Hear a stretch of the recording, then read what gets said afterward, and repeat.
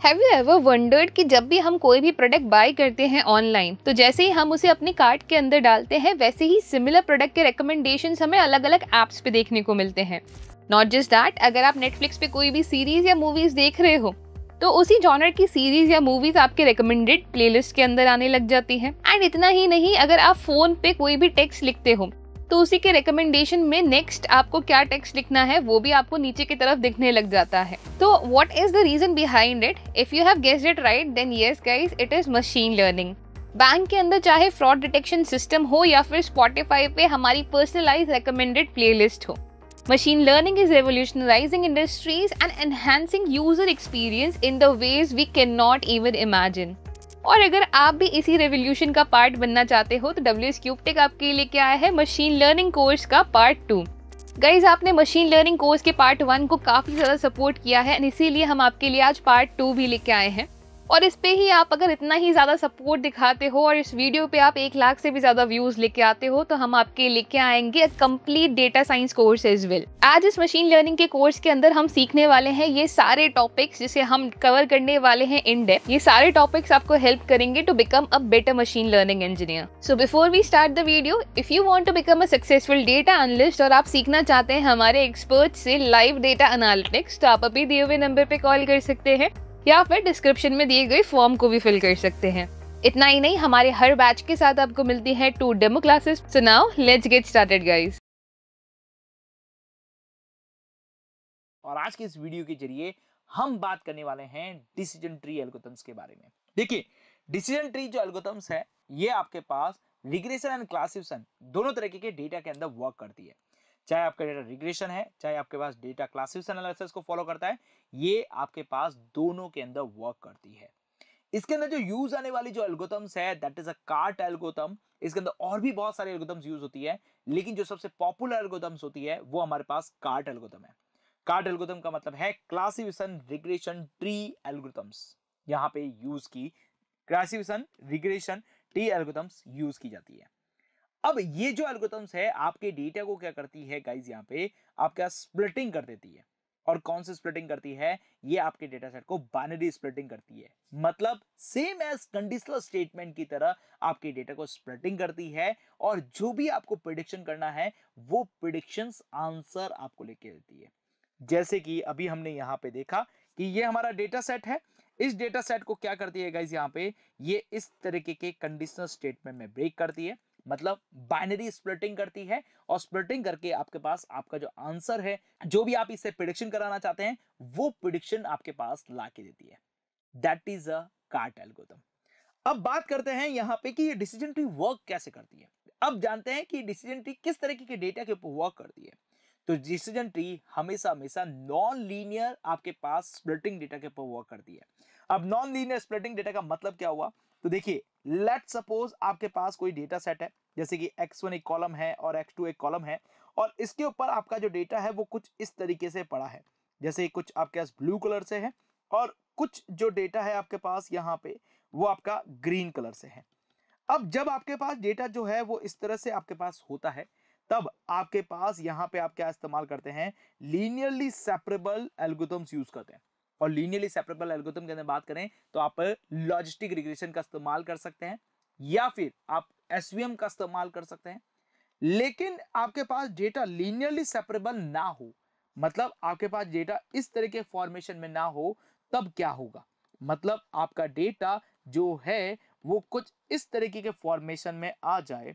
जैसे कि अभी मैं यहाँ पे स्ट्रक्चर बना रहा हूँ यहाँ पे।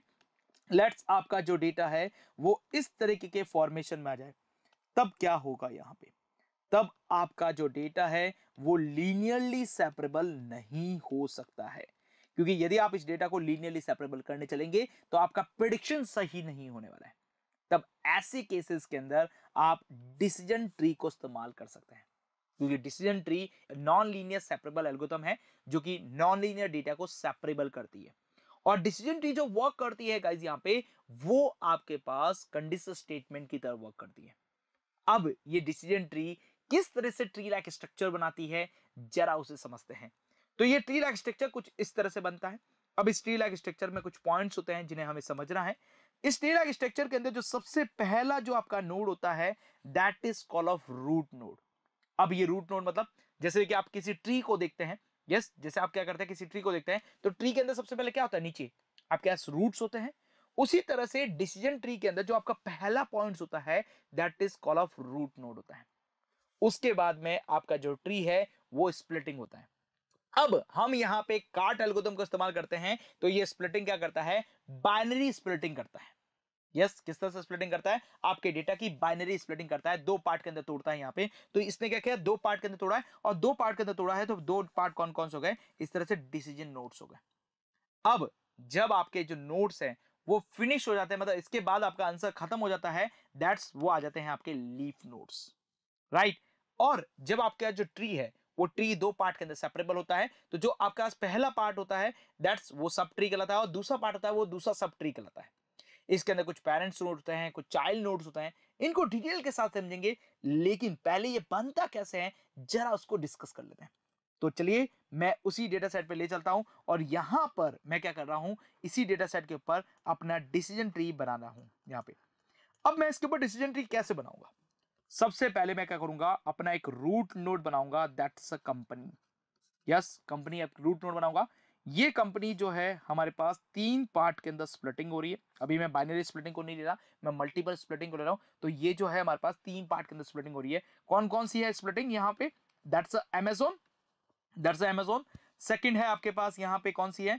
फ्लिपकार्ट यस यानी यहाँ पे लिया है फ्लिपकार्ट एंड थर्ड जो लिए गाइज़ यहाँ पे that's a boat okay then अगली है यहाँ पे जॉब प्रेफरेंस तो मैं इसको क्या कर रहा हूँ? जॉब प्रेफरेंस से इसके स्प्लिटिंग कर रहा हूँ. अच्छा जॉब प्रेफरेंस के हिसाब से स्प्लिटिंग करें यहाँ पे. तो जॉब प्रेफरेंस यहाँ पे तीन तरह की जॉब प्रेफरेंस है. पहली है सेल्स एग्जीक्यूटिव दूसरी है बिज़नेस मैनेजर और तीसरा है पाइथन प्रोग्रामर तो इन तीनों को मैं शॉर्ट शॉर्ट में लिखूँगा. सेल्स एग्जीक्यूटिव को एससी लिख रहा हूँ यहाँ पे बिज़नेस मैनेजर को मैं बी लिख रहा हूँ और पाइथन प्रोग्रामर को पीपी लिख रहा हूँ। राइट इसी तरीके से फ्लिपकार्ट में भी हमारे पास क्या है? तीन तरह की जॉब वैकेंसी है। देखिए सेल्स एग्जीक्यूटिव है बिज़नेस मैनेजर है और पाइथन प्रोग्रामर है। तो मैं सेल्स एग्जीक्यूटिव को स्प्लिटिंग कर रहा हूँ बिज़नेस एनालिसिस को इम्प्लीट कर रहा हूँ और पाइथन प्रोग्रामिंग को स्प्लिटिंग कर रहा हूँ। इसी तरह से हम बोट में भी क्या करेंगे? स्प्लिटिंग करेंगे। अब यहाँ पे मैंने क्या किया चूज़ किया है कंपनी को सबसे ऊपर। इसका मतलब कंपनी क्या बनने वाली है हमारी यहाँ पे? रूट नोड बनेगी। राइट इसके बाद कंपनी ने क्या किया यहाँ पे? और फर्दर स्प्लिटिंग की है। मतलब मैं बेसिकली वाइज बात करूँ यहाँ पे तो मैंने क्या किया यहाँ पे जॉब से स्प्लिटिंग की है। तो जॉब जो हमारा हो जाएगा यहाँ पे that is call of decision notes yes job क्या है हमारा? यहाँ पे डिसीज़न नोट्स है। अब मैं बात करूँ यहाँ पे तो देखिए अमेजोन एक सेपरेट है फ्लिपकार्ट अपनी सेपरेट है बोट अपनी सेपरेट है। इसका मतलब क्या है गाइज़ यहाँ पे? ये तीनों अलग अलग सेपरेटेड चीज़ें चल रही है। इसका मतलब ये तीनों के तीनों जो चीज़ें चल रही है that is a sub tree जैसे कि एक पेड़ के अंदर एक टहनी होती है, उसी तरह से कंपनी जो है, आपके पास एक पेड़ का रूट है यहाँ पे, और उसकी जो टहनी है that's Amazon Flipkart and boat ये तीनों क्या हो गई आपके पास यहाँ पे? आपके पास सब ट्रीज हो जाते हैं। राइट उसके बाद में देखिए गाइज़ मैं यहाँ पे और यहाँ पे डिसीज़न नोट्स बनाने जा रहा हूँ यहाँ पे। जैसे यहाँ पे मैं सेल्स एग्जीक्यूटिव बिज़नेस एनालिटिक्स और पाइथन प्रोग्रामर ओके चलिए, अब हम इसके अंदर डिग्री लेंगे। डिग्री के अंदर हम देखें तो सभी के अंदर क्या है? दो दो डिग्री चल रही है bachelor and master bachelor and master bachelor and master okay तो हम क्या करेंगे? फर्दर से स्प्लिटिंग करेंगे that's a bachelor and master फिर फर्दर स्प्लिटिंग किया मैंने यहाँ पे बैचलर एंड मास्टर फिर फर्दर स्प्लिटिंग किया गाइस यहाँ पे बैचलर एंड मास्टर इसको भी मैंने स्प्लिटिंग किया, मैंने बैचलर और मास्टर के अंदर। राइट? अब नेक्स्ट जो चीज़ आती है गाइस यहाँ पे, इनकी सैलरी जैसे सेल्स एग्जीक्यूटिव के अंदर बैचलर की सैलरी 50 के नहीं है और मास्टर के अंदर 50 के नहीं है। इसका मतलब इनकी सैलरी प्रोडक्शन ज़ीरो और ज़ीरो होगा। अब मेरा जो क्वेश्चन था, उस क्वेश्चन का आंसर आपको यहाँ पे मिलेगा अकॉर्डिंग इज़ डिसीज़न ट्री कैसे? लेट्स मैं अमेजोन कंपनी में काम करने के लिए जा रहा हूँ। मेरी जो जॉब है वो आपके पास किसकी है? सेल्स एग्जीक्यूटिव की है। Right right? उसके बाद में गाइज़ यहाँ पे मैं बात करूँ तो मेरी जो अगली यहाँ पे डिग्री है that is a business that is a bachelor degree और यहाँ पे क्या मुझे 50 के सैलरी मिलेगी? तो this answer is no because zero यहाँ पर आ रखा है। तो गाइज़ यहाँ पे इस तरीके से प्रिडिक्शन होता है। इसको थोड़ा सा और सिंप्लीफाई करूँ तो यहाँ पे आपके पास होता क्या है कि आपका पहला डिसीज़न नोट्स जो होता है।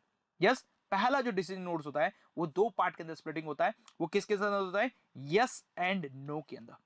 राइट यदि यस आता है तो आप क्या करते हैं? फर्दर इस पार्ट के अंदर चलते हैं और आगे चलते हैं यहाँ पे। यदि नो आता है तो आप दूसरे पार्ट के ऊपर मूव करते हैं। फिर आप क्या करते हैं? फिर से आपके पास यस और नो आता है उस पर्टिकुलर पॉइंट के ऊपर। यस यहाँ पे भी क्या है यस एंड नो आपका आता है पर्टिकुलर पॉइंट के ऊपर। फिर आप यहाँ पे छोटे छोटे और प्लाट्स के अंदर स्प्लिटिंग करते हैं। इस तरह से आपका डिसीज़न ट्री वर्क करता है। मतलब डिसीज़न ट्री यहाँ पे आपका एक ट्री लाइक स्ट्रक्चर बनाता है, जहाँ पे यस नो के बेसिस पे आपका प्रिडिक्शन होता है। अब बात करते हैं यहाँ पे कि इस डिसीज़न ट्री के अंदर किस चीज़ को क्या बोलते हैं। तो यहाँ पर हमने समझा कि जो सबसे पहला जो नोड होता है, जहाँ से आप स्टार्टिंग करते हैं that is call of root node उसके बाद में जितने भी अगले नोड होते हैं that is call of decision nodes और जहाँ पे आपका जो डेटा है वो फिनिश हो जाता है। जैसे कि देखिए मेरे पास यहाँ पे जो डिग्री है that is my finishing point यहाँ पे मुझे अपना फाइनल प्रोडिक्शन देना है यस yes, नो no के अंदर। तो ये मेरा लास्ट पॉइंट है यहाँ पे that is call of leaf node yes ये आप क्या क्या कराते हैं यहाँ पे लीफ नोड कराते हैं। तो किसी भी डिसीज़न ट्री के अंदर जो सबसे लास्ट वाला पार्ट होता है दैट इज़ लीफ नोड आपके पास कहलाता है। इस तरह से आपका जो डिसीज़न ट्री होता है वो डिज़ाइन होता है।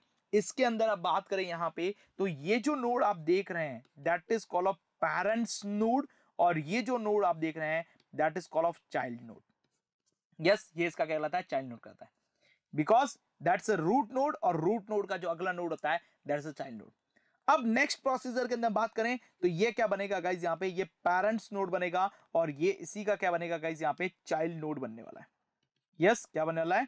चाइल्ड नोड बनने वाला है। तो पेरेंट्स नोड क्या होता है? उसके ऊपर का जो डिसीज़न नोड्स होता है दैट्स अ पेरेंट नोड्स और उसके नीचे वाला क्या होता है गाइस यहाँ पे? चाइल्ड नोड होता है। अब यहीं पे आपका सब ट्री का कॉन्सेप्ट आता है। तो सब ट्री का कॉन्सेप्ट क्या है गाइस यहाँ पे? तो आपका जो ट्री है यस आपका जो ट्री है, वो क्या किया हमने यहाँ पे? दो पार्ट के अंदर स्प्लिटिंग किया। तो ये वाला जो है, ये आपका क्या कहलाएगा? एक सब ट्री आपके पास कहलाने वाला है। ओके चलिए, अब इसके टर्म्स लॉजिक को एक बात देख लेते हैं। तो देखिए रूट नोड कौन सा था हमारा स्टार्टिंग नोड रूट नोड होता है। देन स्प्लिटिंग का मतलब है, है यहाँ पे तोड़ना। मतलब आपके यहाँ पे जो डिसीज़न नोड्स है उसको आप क्या करते हैं? फर्दर दो पार्ट के अंदर तोड़ते हैं सब नोड्स के अंदर तोड़ते हैं। That is call of splitting उसके बाद है आपका डिसीज़न नोड्स जो आपके नोड्स स्प्लिटिंग होने के बाद जो बनते हैं that is call of decision node leaf node को हम टर्मिनेट नोट भी बोलते हैं जो सबसे लास्ट वाला नोट होता है आपके पास यहाँ पे। इसी के अंदर आपका था प्रूनिंग अब प्रूनिंग क्या है गाइज़ यहाँ पे काफ़ी बार आपका जो डिसीज़न ट्री होता है ये बहुत ही लंबा बन जाता है। मतलब बेसिकली गाइस बात करें कि काफ़ी बार क्या होता है आपके पास यहाँ पे ये डिसीज़न ट्री बहुत लंबा बन जाता है, जिसकी वजह से ओवर के चांसेस बढ़ जाते हैं। और इस ओवर से बचने के लिए हम यहाँ पे क्या करते हैं? प्रूनिंग करते हैं। प्रूनिंग करने का मतलब बेसिक सिंपल सा है कट करना। जैसे आपके पास, आपके घर के आसपास कोई ट्री होता है, वो ट्री की ब्रांचेस बहुत ज़्यादा बढ़ जाती है तो आप क्या करते हैं? उस ट्री की ब्रांचेस को कट कर देते हैं। उसी तरह से ही हमारा ये जो डिसीज़न ट्री है, ये क्या करता है गाइज़ यहाँ पे? काफ़ी बार बहुत ही ज़्यादा कॉम्प्लेक्स हो जाता है, जिसकी वजह से ये ओवर फिटिंग में चला जाता है। उस ओवर फिटिंग के सिनेरियो को कम करने के लिए हम यहाँ पे प्रूनिंग का इस्तेमाल करते हैं। प्रूनिंग क्या करता है यहाँ पे? जितना आपके पास यहाँ पे चाहिए, उतने में आप इसे क्या कर देते हैं? कट कर देते हैं। That is call of pruning अब बात करते हैं यहाँ पे अगला पॉइंट क्या है? यहाँ पे ब्रांच एंड सब ट्री तो आपके पास किसी भी डिसीज़न नोड को आप फर्दर स्प्लिटिंग करते रहेंगे तो आपके ब्रांच और सब ट्री आपके बनते रहेंगे। उसके बाद पेरेंट्स एंड चाइल्ड नोड्स तो आपका जो डिसीज़न नोड्स होता है, उसके नीचे के लीफ नोड या आपके उसके अगले जो नोड्स हैं वह चाइल्ड नोड और जो डिसीज़न नोड्स आपके पास होता है दैट्स अ पेरेंट नोड्स अब यहीं पे सिनेरियो के अंदर एक पॉइंट आता है, आपके पास कि, सर, आपके पास ये जो डेटा है, यहीं पे एक पॉइंट आता है क्या पॉइंट आता है कि आपके पास ये जो डेटा है, इस डेटा को आपने कंपनी से ही क्यों स्प्लिटिंग किया? आपने यहाँ पे बैचलर डिग्री से क्यों नहीं स्टार्ट किया? मतलब डिग्री से क्यों नहीं स्प्लिटिंग की? या फिर जॉब से क्यों नहीं स्प्लिटिंग की? आपने ब्रांचेस से ही क्यों स्प्लिटिंग की? इसका जवाब आपको मिलता है यहाँ पे इन तीन पॉइंट्स के ऊपर। यस, यहाँ पे आपने अमेजोन फ्लिपकार्ट और बोट ये तीन पॉइंट से ही क्यों स्प्लिटिंग किया? आपके पास किसी और से क्यों नहीं स्प्लिटिंग किया? तो इसका जवाब आपको मिलता है इन तीन पॉइंट्स के ऊपर। कौन कौन से तीन पॉइंट्स है? That's the first point is information gain second point is entropy और जीन इंडेक्स ये क्या होते हैं? जरा समझते हैं यहाँ पे।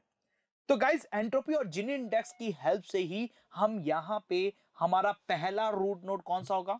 और उसके बाद में उसका अगला जो डिसीज़न नोड्स होने वाला है कौन सा होगा? वो पता लगाते हैं। अब ये पता कैसे लगाते हैं तो जरा समझते हैं।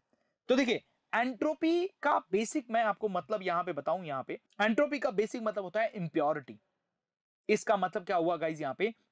कि जो आपके पास सबसे लो इम्प्योर डेटा होगा, देन वो आपका डिसीज़न नोट्स बनने वाला है।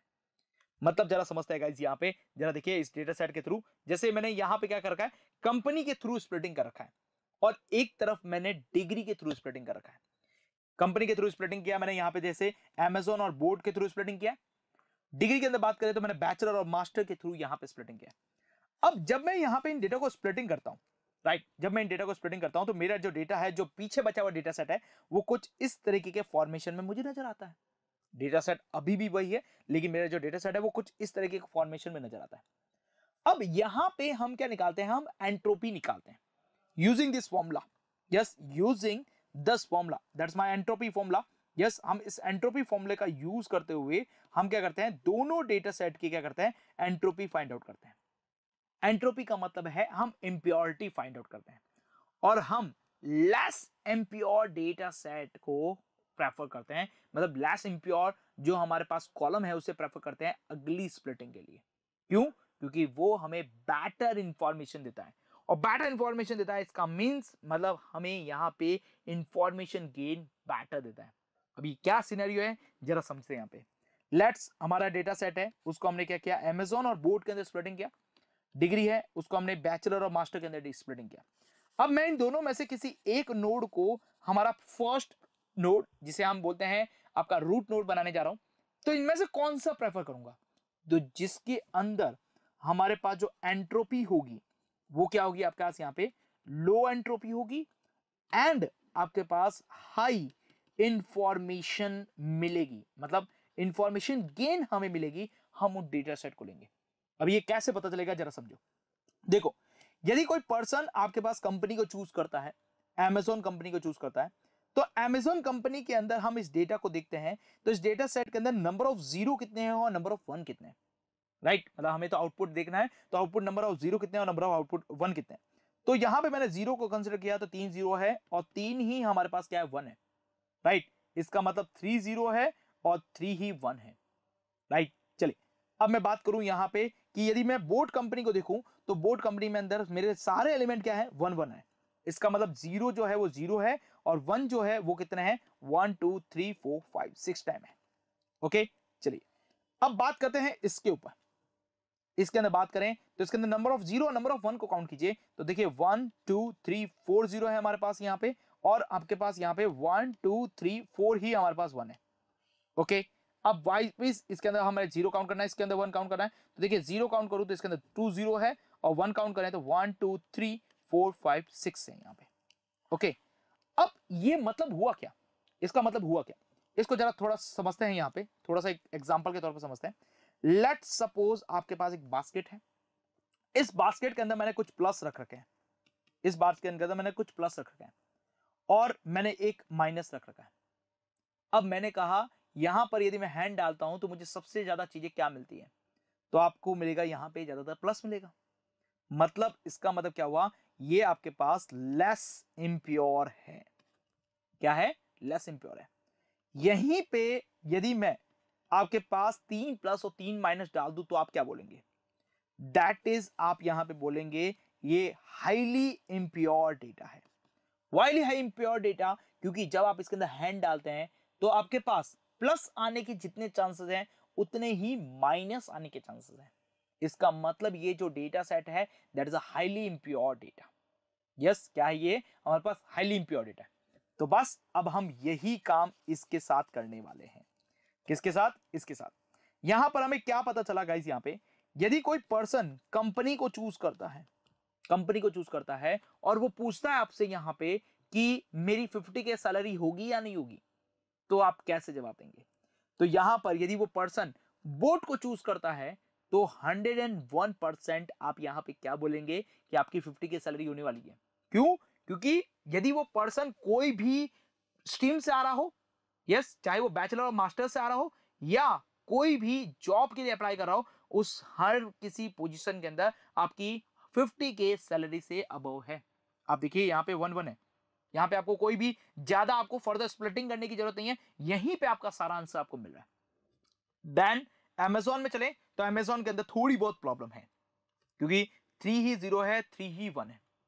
यहीं पे यदि मैं डिग्री के थ्रू चलूँ मैं बोलूँ कि यदि मेरी बैचलर डिग्री है, क्या मेरी फिफ्टी के सैलरी लगेगी? तो यहाँ पे हमें रिज़ल्ट बता पाना थोड़ा मुश्किल है। क्यों? क्योंकि देखिए बैचलर डिग्री के अंदर आपके पास फोर और फोर का रेशियो है। मतलब आपके पास बराबर चीज़ें हैं तो आपके पास बता पाना थोड़ा मुश्किल होगा। यहीं पे मैं मास्टर की बात करूँ तो मास्टर के अंदर भी बता पाना मुश्किल होगा। तो अब हमें यहाँ पे क्या पता चलता है कि यदि मैं कंपनी के थ्रू अपने डेटा को स्प्लिटिंग करता हूँ क्या करता हूँ कंपनी के थ्रू अपने डेटा को स्प्लिटिंग करता हूँ तो मेरे पास क्या मिलता है? यहाँ पे लो एंट्रोपी मिलती है। यस yes, क्या मिलती है? लो एंट्रोपी मिलती है। जबकि डिग्री की तरह स्प्लिटिंग करने पर मुझे हाई एंट्रोपी मिलती है। मतलब सिंपल सा है गाइस यहाँ पे कि कंपनी के थ्रू स्प्लिटिंग करने पर मुझे प्योर डेटा देखने को मिलता है यहाँ पे। यहाँ पे बोर्ड के अंदर ही क्यों ना मिल रहा हूँ लेकिन एक पॉइंट के सिनेरियो पे तो मुझे मिल रहा है। राइट? मतलब यदि कोई पर्सन वोट के लिए आता है स्पेशली तो उसके अंदर मुझे फर्दर स्प्लिटिंग करने की ज़रूरत नहीं पड़ेगी, मुझे फर्दर क्लासिफिकेशन नहीं करने की ज़रूरत पड़ेगी, मैं डायरेक्ट अपना आंसर बोल सकता हूँ, यस, आपको हंड्रेड एंड वन परसेंट आपको फिफ्टी के से अबाउ सैलरी मिलने वाली है. तो कंपनी से स्प्लिटिंग करने पर हमें क्या मिल रहा है गाइज़ यहाँ पे? आपके पास लो एंट्रोपी मिल रही है, जबकि डिग्री से स्प्लिटिंग करने पर हमें हाई एंट्रोपी मिलती है। तो जब भी आप अपना डिसीज़न ट्री बनाने जा रहे हैं जैसे कि मैंने यहाँ पे इस सिनेरियो के अंदर डिसीज़न ट्री बनाया है तो इसके अंदर होता क्या है?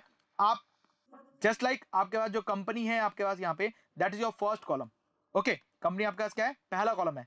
तो इसकी एंट्रोपीज निकाली जाती है इसके अंदर स्प्लिटिंग करने पर कितनी इंप्योरिटी आ रही है। सेम एज जॉब के अंदर भी यही होता है। जॉब के अंदर भी आप क्या करते हैं? अपनी एंट्रोपी कैलकुलेट करते हैं। उसके बाद आप क्या करते हैं? डिग्री के अंदर भी आप अपनी क्या करते हैं? एंट्रोपी कैलकुलेट करते हैं। इसके अंदर जो सबसे मिनिमम एंट्रोपी जिसकी आएगी, वो आपका पहला डिसीज़न नोट्स बनेगा। जैसे कि आपके पास कंपनी के अंदर आपके पास क्या है, सबसे लो एंट्रोपी आई है तो कंपनी आपका क्या बनेगा? पहला डिसीज़न नोट्स आपका बन जाएगा। फिर आपकी कंपनी के थ्रू फर्दर स्प्लिटिंग होने के बाद में, जो बचे हुए दो कॉलम होते हैं just like job and degree yes इनकी फिर से एंट्रोपी निकाली जाती है। एंड इनकी फिर से एंट्रोपी निकालने के बाद में इनमें जो मिनिमम एंट्रोपी आएगी यहाँ पे दैट वो फर्दर ली जाती है। जैसे कि डिग्री है तो डिग्री आपके पास ली जाएगी। देन लास्ट में जो बचा है आपके पास यहाँ पे job that is a final आपका लीफ नोट बनने वाला है। ओके okay, तो आपके पास क्या हो रही है यहाँ पे? आपकी जो है यहाँ पे लो एंट्रोपी को चूज़ किया जाता है। अब जब आप लो एंट्रोपी को चूज़ करते हैं तो यहाँ से हाई इंफॉर्मेशन गेन आपको देखने को मिलता है। हाई इंफॉर्मेशन गेन का मतलब है गाइस यहाँ पे कि यहाँ से हमें बेटर अंडरस्टैंडिंग देखने को मिलती है। कैसे? यदि कोई पर्सन बोर्ड कंपनी को चूज़ करता है तो डेफिनेटली है उसकी जो सैलरी है वो 50 के से अबव होने वाली है। यस yes, क्योंकि यहाँ पे मुझे एक बार में ही सारी इंफॉर्मेशन मिल गई है। मतलब ये वाली जो स्प्लिटिंग है that's a given of high information yes high information gain जबकि मैं बात करूँ ये वाली जो स्प्लिटिंग है यहाँ पे लो इंफॉर्मेशन गेन है। लो इंफॉर्मेशन गेन क्यों है यहाँ पे? क्योंकि यहाँ पे जो डेटा है, वो इम्प्योर है। तो गाइस जब भी आपका डिसीज़न नोट्स आपका बनाया जाता है यहाँ पे तो डिसीज़न नोट्स को लेते वक्त आपका सबसे पहले हम एंट्रोपी देखते हैं। अब काफ़ी केसेस के अंदर आप एंट्रोपी देख सकते हैं, या फिर जिन इंडेक्स को देख सकते हैं। दोनों ही आपके पास, यहाँ पे आपके पास इम्प्योरिटी को ही प्रेफर करती है। तो आप एंट्रोपी और जिन इंडेक्स दोनों में से एक ले सकते हैं। राइट? ये आपको बताती है कि अगला डिसीज़न नोट्स कौन सा बनने वाला है और यहाँ पे हमें हाई इंफॉर्मेशन गेन मिल रहा है या नहीं मिल रहा है। तो बेसिकली ये तीन पॉइंट्स होते हैं जिनके थ्रू आपका जो डिसीज़न ट्री है वो फॉर्मेशन होता है और आप फर्दर स्प्लिटिंग के चलते हैं। अब मैं बात करूँ इंफॉर्मेशन गेन का फॉर्मूला क्या है? तो इन्फॉर्मेशन गेट का फॉर्मूला ये आपके पास ये होता है। एंड नेक्स्ट बात करें एंट्रोपी का फॉर्मूला आपके पास यहाँ पे ये होता है। एंड नेक्स्ट अब बात करें यहाँ पे तो जिन इंडेक्स का जो फॉर्मूला होता है, वो आपके पास ये होता और आज की इस वीडियो के ज़रिए हम बात करेंगे डिसीज़न ट्री के बारे में। अच्छा डिसीज़न ट्री के प्रैक्टिकल करने से पहले मैं आपको थोड़ा डेटा सेट दिखाना चाहूँगा। और डेटा सेट के अंदर आपके पास यहाँ पर है सोशल नेटवर्क्स के नाम से। अब सोशल नेटवर्क्स का मतलब है यहाँ पे कि जस्ट लाइक नेटफ्लिक्स का सब्सक्रिप्शन किसने खरीदा या नहीं खरीदा है, या फिर अमेजोन का सब्सक्रिप्शन खरीदा है या नहीं खरीदा, उससे रिलेटेड मेरे पास यहाँ पे डेटा है। अब ये इस डेटा के अंदर बात करें तो आपके पास क्या क्या है? तो बेसिकली आपके पास यहाँ पे एज दे रखा है। उसके ऊपर क्या आपकी एस्टिमेट सैलरी दे रखी है कि मतलब किसी पर्सन की ये एज है और उसकी एस्टिमेट सैलरी ये है एंड उसने ये सोशल नेटवर्क खरीदा या नहीं खरीदा है, उसके रिगार्डिंग आपको यहाँ पर ये डेटा दे रखा है। अब हम क्या करने वाले हैं, इसके ऊपर डिसीज़न ट्री अप्लाई करेंगे और डिसीज़न ट्री के थ्रू प्रोडिक्शन करना स्टार्ट करेंगे। चलिए कैसे करते हैं तो इसको जरा समझते हैं। तो मैं ले चलता हूँ आपको जुपिटर नोटबुक के ऊपर जहाँ हम ये काम करने वाले हैं। अब यहाँ जाके मैं क्या करता हूँ, एक नई नोटबुक क्रिएट कर लेता हूँ, जहाँ पे हम ये प्रॉपर वर्क करेंगे। अब इसके अंदर सबसे पहले क्या करेंगे, जो मेरे रिक्वायर्ड मॉड्यूल हैं, उनको हम इंपोर्ट करेंगे और डेटा को लोड करेंगे। डेटा को लोड करने के बाद में हम उसके ऊपर प्रोडिक्शन करेंगे।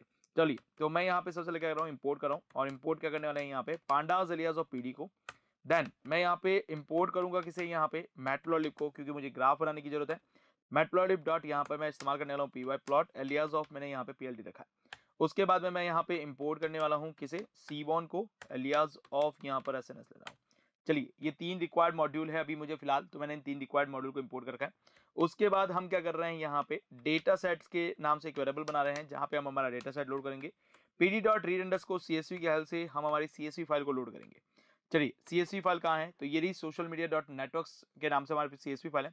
इसके ऊपर राइट क्लिक करना है। एंड राइट क्लिक करने के बाद में यहाँ पे आपको मिलेगा कॉपी एज ए पाथ मतलब आपका जो पाथ है वो कॉपी हो जाएगा। उसके बाद में जो आपके डबल कोड्स हैं, उसे हम यहाँ पे हटा के यहाँ पेस्ट कर देंगे। चलिए तो ये हमारा जो डेटा सेट है वो लोड हो चुका है। हम इसे रिलेटिव पाथ बना लेते हैं और लोड कर देते हैं। उसके बाद यहाँ पर हम, हमारा डेटा सेट जो है, इसे हम देखते हैं डॉट हेड लगाते हुए, इसके तीन डेटा को। तो मेरे पास यहाँ पे एज एस्टिमेट सैलरी और परचेस जो तीनों हैं यहाँ पे कॉलम वो मुझे देखने को मिल गए अब मुझे क्या करना है, यहाँ पे एज और एस्टिमेट सैलरी को अलग करना है दैट्स माय इनपुट पार्ट और परचेज को मुझे यहाँ पे अलग करना है। लेकिन अलग करने से पहले मैं यहाँ पे चेक करूँगा कि क्या इसके अंदर नल वैल्यू है या नहीं है। यदि नल वैल्यू नहीं है तो फ़िलहाल हम आगे बढ़ेंगे, और नल वैल्यू है तो हम यहाँ पे आगे नहीं बढ़ने वाले। चलिए तो मैं क्या करने वाला हूँ, सबसे पहले चेक करने वाला हूँ। तो देखिए क्या कर रहे हैं यहाँ पे। डेटा सेट के अंदर जाएँगे डॉट यहाँ पर मैं इस नल का इस्तेमाल करूँगा, और डॉट सम लगाते हुए इसके अंदर नल वैल्यू को चेक करूँगा। तो फ़िलहाल इसके अंदर कोई नल वैल्यू नहीं है एज के अंदर भी नहीं है एस्टिमेट सैलरी में भी नहीं है परचेस के अंदर भी नहीं है। अब नेक्स्ट टारगेट हमारा क्या होगा? नेक्स्ट टारगेट होगा हमारा इनपुट और आउटपुट को अलग अलग करना मतलब डिपेंडेंट और इंडिपेंडेंट वेरिएबल को अलग अलग करना। चलिए तो मैंने एक्स नाम से एक वेरिएबल बनाया है, जिसके अंदर मैं क्या करूँगा, हमारा डेटा सेट लूँगा। डॉट यहाँ पर मैं आई लॉक लेने वाला हूँ, जिसके थ्रू मैं सारी रोज लेने वाला हूँ एंड कॉमा लगा के कॉलम के अंदर मैं यहाँ पे केवल आपके परचेज को छोड़ के सारे कॉलम लूँगा एज ए इनपुट के अंदर। एक्स को यदि मैं देखूँ तो ये रहे मेरे एक्स के कॉलम जिसमें एज और एस्टिमेट सैलरी है। अब इसी तरीके से मुझे वाई लेना है तो मैं अपने डेटा सेट के पास जाऊँगा देन स्क्वायर ब्रैकेट और परचेज को कॉल कर देता हूँ। तो मेरा एक्स और वाई जो है, दोनों के दोनों आ चुके हैं यहाँ पे। अब नेक्स्ट टारगेट क्या होगा कि देखिए, हमारा जो डेटा सेट है, इसके अंदर जो एज है, उसका जो डेटा है, वो बहुत ही कम है और आपके एस्टिमेट सैलरी देखेंगे तो उसके कंपेरेटिवली बहुत ज़्यादा लार्ज है। तो बेसिकली मुझे क्या करना पड़ेगा गाइज़ यहाँ पे कि मुझे इन दोनों की स्केलिंग करनी पड़ेगी। तब जाके हमारे पास यहाँ पे जो आउटपुट होगा, वो बहुत ही अच्छे तरीके से प्रोडक्शन होगा। तो बेसिकली मुझे इन दोनों की क्या करनी है? स्केलिंग करनी है। अब इन दोनों की स्केलिंग हम कैसे करेंगे, जरा समझते हैं यहाँ पे। तो मैं चलता हूँ फ्रॉम साइकिलन के अंदर डॉट यहाँ पे चलूँगा गाइज़ यहाँ पे प्री प्रोसेसिंग के अंदर। एंड प्री प्रोसेसिंग में चलने के बाद दैट मैं इम्पोर्ट करने वाला हूँ। और इम्पोर्ट कैसे करूँगा गाइज़ यहाँ पे? मैं स्टैंडर्ड स्केलर को इम्पोर्ट करूँगा। तो स्टैंडर्ड स्केलर ले लिया मैंने यहाँ पे। अब उसके बाद देखिए एससी के नाम से एक वेरेबल बना लेते हैं। और स्टैंडर्ड स्केलर को मैं यहाँ पे कॉल कर लेता हूँ। Right right. और स्टैंडर्ड स्केलर को कॉल करने के बाद में नेक्स्ट हमारे पास एस सी डॉट में करूँगा यहाँ पे मॉडल को फिट करूँगा। फिट के अंदर मैं अपना डेटा जो एक्स है, वो मैं पास करूँगा। एंड रन करूँगा तो मेरी जो स्केलिंग है वो हो चुकी है। अब नेक्स्ट टारगेट में हम क्या करेंगे गाइज़ यहाँ पे? एस सी डॉट यहाँ पे ट्रांसफॉर्म करने वाला है। तो ट्रांसफॉर्म के अंदर मैं एक्स रखूँगा तो मेरा जो डेटा है वो स्केलिंग होकर मेरे पास आ जाएगा। अब मुझे इसको वापस डेटा फ्रेम के अंदर कन्वर्ट करना पड़ेगा तो कैसे करेंगे? तो देखिए एक्स नाम का वही दोबारा वेरेबल बनाएँगे। पीडी डॉट यहाँ पे क्या करने वाला हूँ? यहाँ पे डेटा फ्रेम क्रिएट करूँगा। और डेटा फ्रेम के अंदर जाके मैं यहाँ पे क्या करूँगा? एक नया कॉलम बनाऊँगा। पीडी डॉट डेटा फ्रेम के तरफ़ से मैं एक डेटा फ्रेम तैयार कर रहा हूँ, जहाँ पे हमारा जो स्केलिंग करा हुआ जो डेटा है, वो हम यहाँ रखने वाले हैं। अब यहाँ पे मुझे देना है कॉलम के नाम, क्योंकि कॉलम के नाम मुझे यहाँ पे देने पड़ेंगे। क्योंकि जो डेटा फ्रेम बनेगा, उसके अंदर कॉलम की ज़रूरत पड़ेगी। तो मैं एक्स डॉट यहाँ पे कॉलम्स का इस्तेमाल करूँगा कॉलम के नाम के लिए। चलिए, इसे मैं क्लोज कर देता हूँ रन करता हूँ। तो एक्स हमारा वापस आ चुका है, जो कि स्केलिंग हो गया है। है एक्स को देखें तो ये देखिए हमारा जो डेटा है, वो स्केलिंग होकर आ चुका है। एक फिक्स रेंज के अंदर हमारा डेटा आ चुका है। चलिए, अब नेक्स्ट टारगेट में हम क्या करेंगे? हमारे डेटा को ट्रेन और टेस्ट के अंदर स्प्लिटिंग करेंगे। ट्रेन और टेस्ट के अंदर स्प्लिटिंग करने के लिए मैं फ्रॉम साइड के टर्न कर जाऊँगा यहाँ पे। डॉट यहाँ पे जाऊँगा मॉडल सिलेक्शन के अंदर। तो मैं गया मॉडल सिलेक्शन के अंदर। दैट्स मैंने यहाँ पे इंपोर्ट किया। और इंपोर्ट किसे कर रहे हैं गाइज़ यहाँ पे? ट्रेन टेस्ट स्प्लिटिंग को कर रहे हैं। जिससे हम हमारे डेटा सेट के क्या करें? ट्रेन और ट्रेन के स्प्लिटिंग कर सके डेटा को। चलिए, उसके बाद में मैं यहाँ पे एक्स अंडर स्कोर मैं यहाँ लूँगा यहाँ पे T R A I N train and next मैं यहाँ पे लूँगा एक्स अंडर स्कोर टेस्ट लेने वाला हूँ यहाँ पे। देन वाई अंडर स्कोर मैं यहाँ पे ट्रेन लेने वाला हूँ यहाँ पे। ट्रेन लेने वाला हूँ यहाँ पे। देन वाई अंडर स्कोर मैं यहाँ पे टेस्ट लेने वाला हूँ। Right right. और ट्रेन टेस्ट स्प्लिटिंग ले लिया मैंने यहाँ पे। उसके अंदर एक्स और वाई का जो डेटा है वो मैंने पास करा दिया। उसके बाद हमारी जो टेस्टिंग साइज़ है वो दे रहे हैं यहाँ पे zero point two, twenty percent. उसके बाद हम हमारा रैंडम स्टेट देने वाले हैं। Random state equal two forty two रखा है। चलिए इसे रन करते हैं। अब नेक्स्ट हमारा टारगेट क्या होगा? गाइज़ यहाँ पे नेक्स्ट हमारा टारगेट होगा कि जो ट्रेनर टेस्ट के अंदर स्प्लिट हुआ डेटा है, इसके थ्रू हमारा मॉडल बनाए। और मॉडल कौन सा बनाने वाले हैं हम यहाँ पे? डिसीज़न ट्री मॉडल को बनाने वाले हैं। तो हम हमारे जो मॉडल की जो रिक्वायर्ड लाइब्रेरी है, उसे हम इंपोर्ट करते हैं। तो चलिए, मैं फ्रॉम साइकिल के अंदर चलता हूँ यहाँ पे डॉट इसके अंदर जाने के बाद में मैं जाऊँगा ट्री के अंदर, जहाँ पे हमें मिलेगा डिसीज़न ट्री अच्छा हम इंपोर्ट करते हैं डिसीज़न ट्री को। तो देखिए डिसीज़न ट्री जो है गाइस यहाँ पे, ये दो तरीके से काम करता है। डिसीज़न ट्री क्लासीफायर भी है और डिसीज़न ट्री रिग्रेशर भी है। जैसा कि मैंने आपको बोला था कि जो डिसीज़न ट्री है, ये रिग्रेशन एंड क्लासिफिकेशन दोनों तरह के एल्गोरिथम्स के अंदर वर्क करता है। तो यहाँ पे आपको दोनों तरीके के मॉडल्स आपको देखने को मिलेंगे। तो फ़िलहाल हम यहाँ पे क्लासिफिकेशन को इस्तेमाल करेंगे क्योंकि हम क्लासिफिकेशन मॉडल बनाने जा रहे हैं। क्योंकि आप देखेंगे, इसके आउटपुट को देखेंगे तो ज़ीरो वन ज़ीरो वन के फॉर्मेट में आ रहा है। इसका मतलब ये क्लासिफिकेशन मॉडल है और इसके ऊपर क्लासिफिकेशन एनालिसिस होने वाली है। तो इसलिए मैंने डिसीज़न ट्री क्या लिया है? क्लासीफायर को इस्तेमाल किया अब डिसीज़न ट्री क्लासीफायर को इस्तेमाल करने के लिए मैं करूँगा? डी के नाम से एक वेरेबल बनाऊँगा और डिसीज़न ट्री क्लासीफायर को मैं कॉल करने वाला हूँ। उसके बाद में देखिए गाइज़ यहाँ पे मैं डी टी डॉट यहाँ पे कह रहा हूँ? मॉडल को फिट करूँगा। डी डॉट मॉडल को फिट करने के लिए मैं यहाँ पे एक्स अंडर स्कोर क्या करने वाला हूँ? यहाँ पे ट्रेन करने वाला हूँ। And then Y under score में ट्रेन का इस्तेमाल करने वाला हूँ। राइट तो ये हमारा मॉडल जो है वो फिटिंग हो चुका। अब देखिए डी डॉट मैं क्या करूँगा, यहाँ पे मॉडल का स्कोर चेक करूँगा। डी डॉट मॉडल का स्कोर चेक कर रहे हैं यहाँ पे कैसे? एक्स अंडर स्कोर यहाँ पे टेस्ट से and then Y underscore test से मैं इस मॉडल का स्कोर चेक कर रहा हूँ। एटी थ्री परसेंट मेरे पास यहाँ पे एक्यूरेसी आ रही है। तो इस तरह से हमारा जो डिसीज़न ट्री मॉडल है, वो हमारा तैयार हो चुका है। अब इसके थ्रू हम यहाँ पे क्या कर सकते हैं? प्रिडिक्शन भी कर सकते हैं। किस तरह से करेंगे यहाँ पे? तो डी डॉट यहाँ पे आपको मिलेगा प्रिडिक्ट फ़ंक्शन प्रिडिक्ट फ़ंक्शन के अंदर जाने के बाद में आप डबल स्क्वायर ब्रैकेट करते हुए आप अपना डेटा दे सकते हैं। चलिए एक काम करते हैं, पहला टेस्ट करते हैं यहाँ पे, पहले नंबर वाले डेटा को ही। कि यदि मैं 19 और 90,000 देता हूँ यहाँ पे तो ये मुझे क्या प्रोडिक्शन करके देता है? फ़िलहाल ये 83 परसेंट एक्यूरेसी है तो बहुत ही कम यहाँ पे प्रोडिक्शन करके देगा। लेकिन फ़िलहाल हम एक बार फिर से चेक भी कर लेते हैं कि क्या प्रोडिक्शन करके देगा। तो मैंने 19 लिया है और यहाँ पर मैंने 19,000 यहाँ पे एंटर कर दिया। देन जैसे मैं रन करता हूँ ये प्रोडिक्शन मुझे वन करके देता है। मतलब ये रॉन्ग प्रोडिक्शन करके दे रहा है। चलिए इसी तरह से दूसरा चेक कर लेते हैं कि थर्टी है और आपके पास यहाँ पे ट्वेंटी है। तो इसके ऊपर आपका क्या रिज़ल्ट निकल के आएगा? थर्टी थाउज़ेंड है और ट्वेंटी ट्वेंटी थाउज़ेंड है तो यहाँ पे इसका क्या रिज़ल्ट निकल के आएगा? चलिए इसके हम यहाँ पर देख लेते हैं। तो मैंने यहाँ पे दिया थर्टी फाइव थाउज़ेंड और यहाँ पर मैंने कर दिया twenty thousand. Okay and run करता हूँ तो इस पर प्रोडक्शन वन आया है यहाँ पे और एक्चुअल प्रोडक्शन यहाँ पे ज़ीरो है। मतलब इतनी अच्छी तरीके से तो प्रोडक्शन नहीं करके दे रहा है। हाँ लेकिन यहाँ पे ठीक ठाक है, आपके पास एक्यूरेसी आपके पास कितनी आ रही है? आपके एटी थ्री परसेंट एक्यूरेसी आपको देखने को मिल रही है राइट चलिए, अब हम यहाँ पे क्या करते हैं? ये जो डिसीज़न ट्री तैयार हुआ है, इस डिसीज़न ट्री के अंदर हमारा रूट नोड क्या बना है यहाँ पे? बेसिकली और उसके बाद में आपके पास यहाँ पे सब डिसीज़न नोड्स क्या बने यहाँ पे? और ये किस तरह से प्रोडिक्शन हुआ है? इसका थोड़ा सा ग्राफ की एनालिसिस करना चाहते हैं। तो इसकी ग्राफ की एनालिसिस कैसे कर सकते हैं? जरा इसको समझते हैं यहाँ पे। तो देखिए, मैं इसके लिए क्या करूँगा? फ्रॉम साइकिलन के अंदर चलूँगा यहाँ पे। ठीक है? साइकिलन के अंदर चलने के बाद में मैं मैं यहाँ पे ट्री पे जाऊँगा। ट्री के अंदर जाने के बाद मैं यहाँ पे इम्पोर्ट करने वाला हूँ यहाँ पे क्या? प्लॉट ट्री को। यस तो मैं प्लॉट ट्री का इस्तेमाल करूँगा, जिसके थ्रू हम हमारा ट्री जो है वो प्लॉट कर पाएँगे। अब देखिए प्लॉट ट्री के अंदर हम सबसे पहले क्या करेंगे? प्लॉट ट्री को कॉल करेंगे। प्लॉट ट्री को कॉल करने के बाद में ये आपसे मांगेगा आपका डिसीज़न ट्री जो भी आपने डिसीज़न ट्री दिया है, वो आप डिसीज़न ट्री दे सकते हैं। तो फ़िलहाल मैं यहाँ पे क्या कर रहा हूँ, अपना डिसीज़न ट्री दे रहा हूँ दैट्स अ डी टी और उसके बाद में, इस ग्राफ को देखने के लिए मैं पीएलटी डॉट यहाँ पर शो फ़ंक्शन का कॉल करूँगा, ताकि हम डिसीज़न ट्री को बना सकें। देन मैं जैसे ही रन करता हूँ यहाँ पे तो देखिए किस तरह का ग्राफ बन के आता है, उसको जरा एनालिसिस करते हैं। देखिए ओके इसने एक बहुत ही अच्छा ट्री लाइक स्ट्रक्चर बना के दिया है, जहाँ पे ये अच्छे तरीके से स्प्लिटिंग कर रहा है। अब मैं काम करता हूँ, इस ग्राफ को थोड़ा सा बड़ा बनाता हूँ, ताकि आप इसे एनालिसिस कर सकें। और सेकंड चीज़, हम इसे क्या करते हैं सेव कर लेते हैं। सेव करने से क्या होगा कि हम इसे आराम से बाहर से एनालिसिस कर पाएँगे कि ये किस तरह से स्प्लिटिंग कर चुका है, और हम यहाँ पे ये भी देख पाएँगे कि ये किस तरह से डेटा को स्प्लिटिंग करके काम में ले रहा है। ओके तो मैं यहाँ पे क्या करूँगा कि इसे पी एल टी डॉट यहाँ पे क्या करूँगा फिगर की साइज़ को बड़ा करूँगा। तो पीएलटी डॉट मैं करूँगा, यहाँ पे फिगर को इस्तेमाल करूँगा। फिगर के बाद में मैं जाऊँगा यहाँ पे फिक्स साइज़ के अंदर। फिक्स साइज़ के अंदर जाने के बाद में नेक्स्ट हमारा टारगेट क्या होगा गाइज़ यहाँ पे, कि इसके अंदर हमारी साइज़ जो है इसकी बड़ी करेंगे। तो मैं काम करता हूँ ट्वेंटी इंटू ट्वेंटी पिक्सल का बना लेता हूँ ग्राफ ताकि अच्छे से दिखाई दे। और ग्राफ बनने के बाद में मैं इसमें क्या करना चाहता हूँ, इस ग्राफ को सेव करना चाहता हूँ।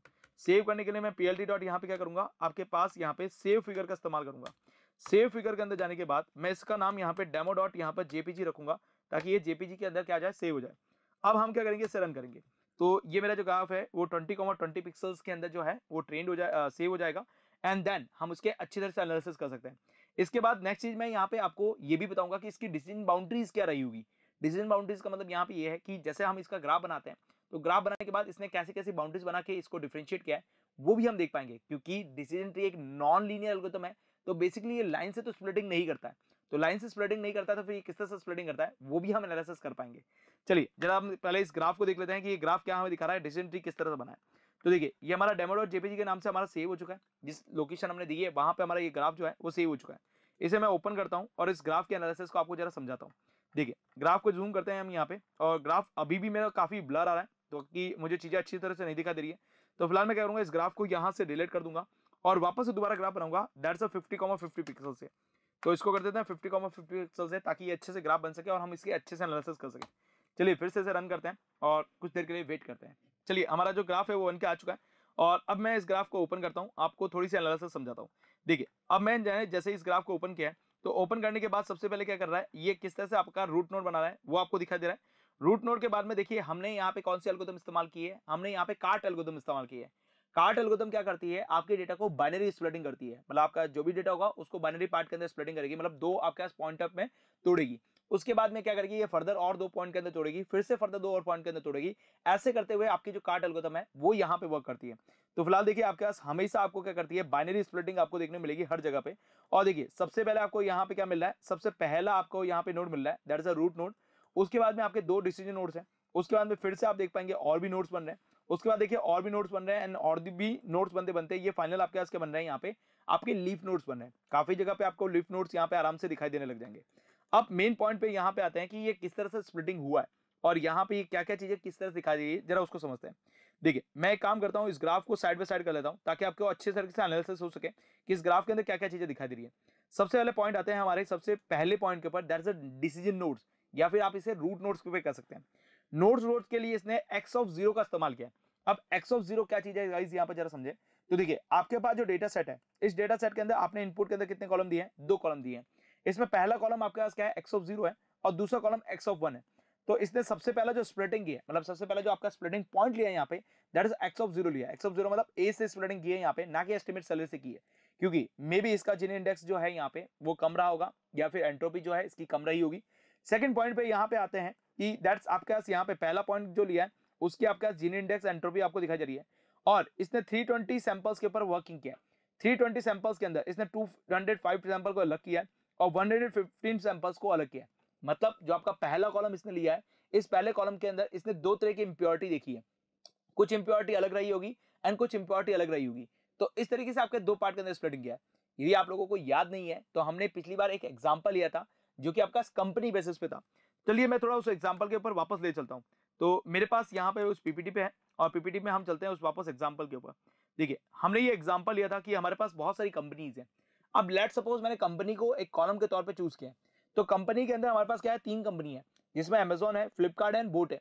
यदि मैं इन दोनों को, इन तीनों को स्प्लिटिंग करूँ तो अमेजोन अलग हो जाएगा फ्लिपकार्ट अलग हो जाएगा, और बोट अलग हो जाएगा। अमेजोन के कितने कॉलम्स है? अमेजोन के मेरे पास यहाँ पे सेवन कॉलम दिख रहे हैं यहाँ पे। फ्लिपकार्ट के मुझे यहाँ पे फोर कॉलम दिख रहे हैं। और बोर्ड के यदि आप नोटिस करेंगे तो बोर्ड के अंदर भी आपको सात कॉलम आपको दिखाई दे रहे हैं। तो बेसिकली आपका जो डेटा है, वो इस तरह से तीन पार्ट के अंदर स्प्लिटिंग हो रहा है। सेम एज हमारे पास भी यहीं पे ये सिनेरियो देखने को मिलेगा। कि हमारे पास जो हमारा डेटा है 320 डेटा जो है यहाँ पे, इस 320 डेटा के अंदर 205 जो डेटा है, वो आपके पास अलग है यहाँ पे 115 जो डेटा है, वो आपके पास अलग तरीके से कैटेगराइज हो रहा है। इस तरह से देखिए आपका जो डेटा है, वो फर्दर आपकी स्प्लिटिंग हुई है। फिर यहाँ पे देखिए अगला जो कॉलम इन्होंने चूज़ किया स्प्लिटिंग करने के लिए, वो एक्स को चूज़ किया है। मतलब एस्टिमेट सैलरी को चूज़ करके यहाँ पे काम किया एस्टिमेट सैलरी को फिर से चूज़ किया यहाँ पे। फिर उसके बाद देखिए आपके पास कहीं पे एक्स वन ज़ीरो कहीं एक्स वन एक्स वन को इस्तेमाल करते हुए आपके डेटा की प्रॉपर पूरी तरीके से क्या की है स्प्लिटिंग की है। अब बात करते हैं कि इसके अंदर जो टोटल डेटा इन्होंने बताया दैट इज़ थ्री ट्वेंटी यहाँ पे बताया तो चलिए जरा देखते हैं कि क्या इसमें वाकई में थ्री ट्वेंटी डेटा है क्या। तो देखिए, हमारे यहाँ पे जो डेटा लिया है that is X data yes इस एक्स डेटा के अंदर हमने क्या किया एक्स ट्रेन को यहाँ पर स्प्लिटिंग किया। तो मैं यहाँ पे एक्स अंडर ट्रेन को लूँगा एंड डॉट यहाँ पर इसकी शेप निकालूँगा। शेप निकालने पे मुझे पता चला है थ्री ट्वेंटी हमने इनपुट के अंदर डेटा दिया है और इन्होंने भी थ्री ट्वेंटी लेते हुए इनके ऊपर स्प्लिटिंग का काम किया राइट तो पहली चीज़ तो हमें यहाँ पे यही चीज़ क्लियर हो गई। सेकंड चीज़, ये ग्राफ कैसे बन रहा है? आई थिंक आपको क्लियर हो चुका होगा। थर्ड पॉइंट पे आपके रहा है यहाँ पे कि आप यहाँ पे स्प्लिटिंग करने के लिए क्या कर रहे हैं? जीनी इंडेक्स का इस्तेमाल करें अब जैसा कि मैंने आपको बताया था कि यदि आप कोई डेटा स्प्लिटिंग करते हैं तो इसके लिए दो चीज़ आपके पास मोस्ट इंपॉर्टेंट वर्क करती है। That is gini index and second cheese entropy इन दोनों में से किसी एक चीज़ को लेकर आपके यहाँ पे वर्क करते हैं, जिसका जीन इंडेक्स सबसे कम होगा, हम उस डेटा के थ्रू स्प्लिटिंग करेंगे। देन सेकंड चीज़ जिसके अंदर एंट्रोपी कम होगी, उसके अंदर भी हम स्प्लिटिंग करेंगे। इसके साथ साथ इन्फॉर्मेशन गेन जो होती है, वो आपके पास हाई होनी चाहिए। जितनी ज़्यादा हाई इन्फॉर्मेशन गेन होगी, उतना ही डेटा आपके पास यहाँ पे स्प्रेडिंग होने में आसानी से होगा। राइट तो बेसिकली यहाँ पे जिन इंडेक्स का इस्तेमाल किया गया हम चाहें तो यहाँ पे एंट्रोपी का भी इस्तेमाल कर सकते हैं। राइट और भी चीज़ों का इस्तेमाल करके हम इस मॉडल को और ज़्यादा इंप्रूव कर सकते हैं। अब उन पॉइंट पे आते हैं जिनके थ्रू हमारा ये जो मॉडल है, वो इंप्रूव होने वाला है।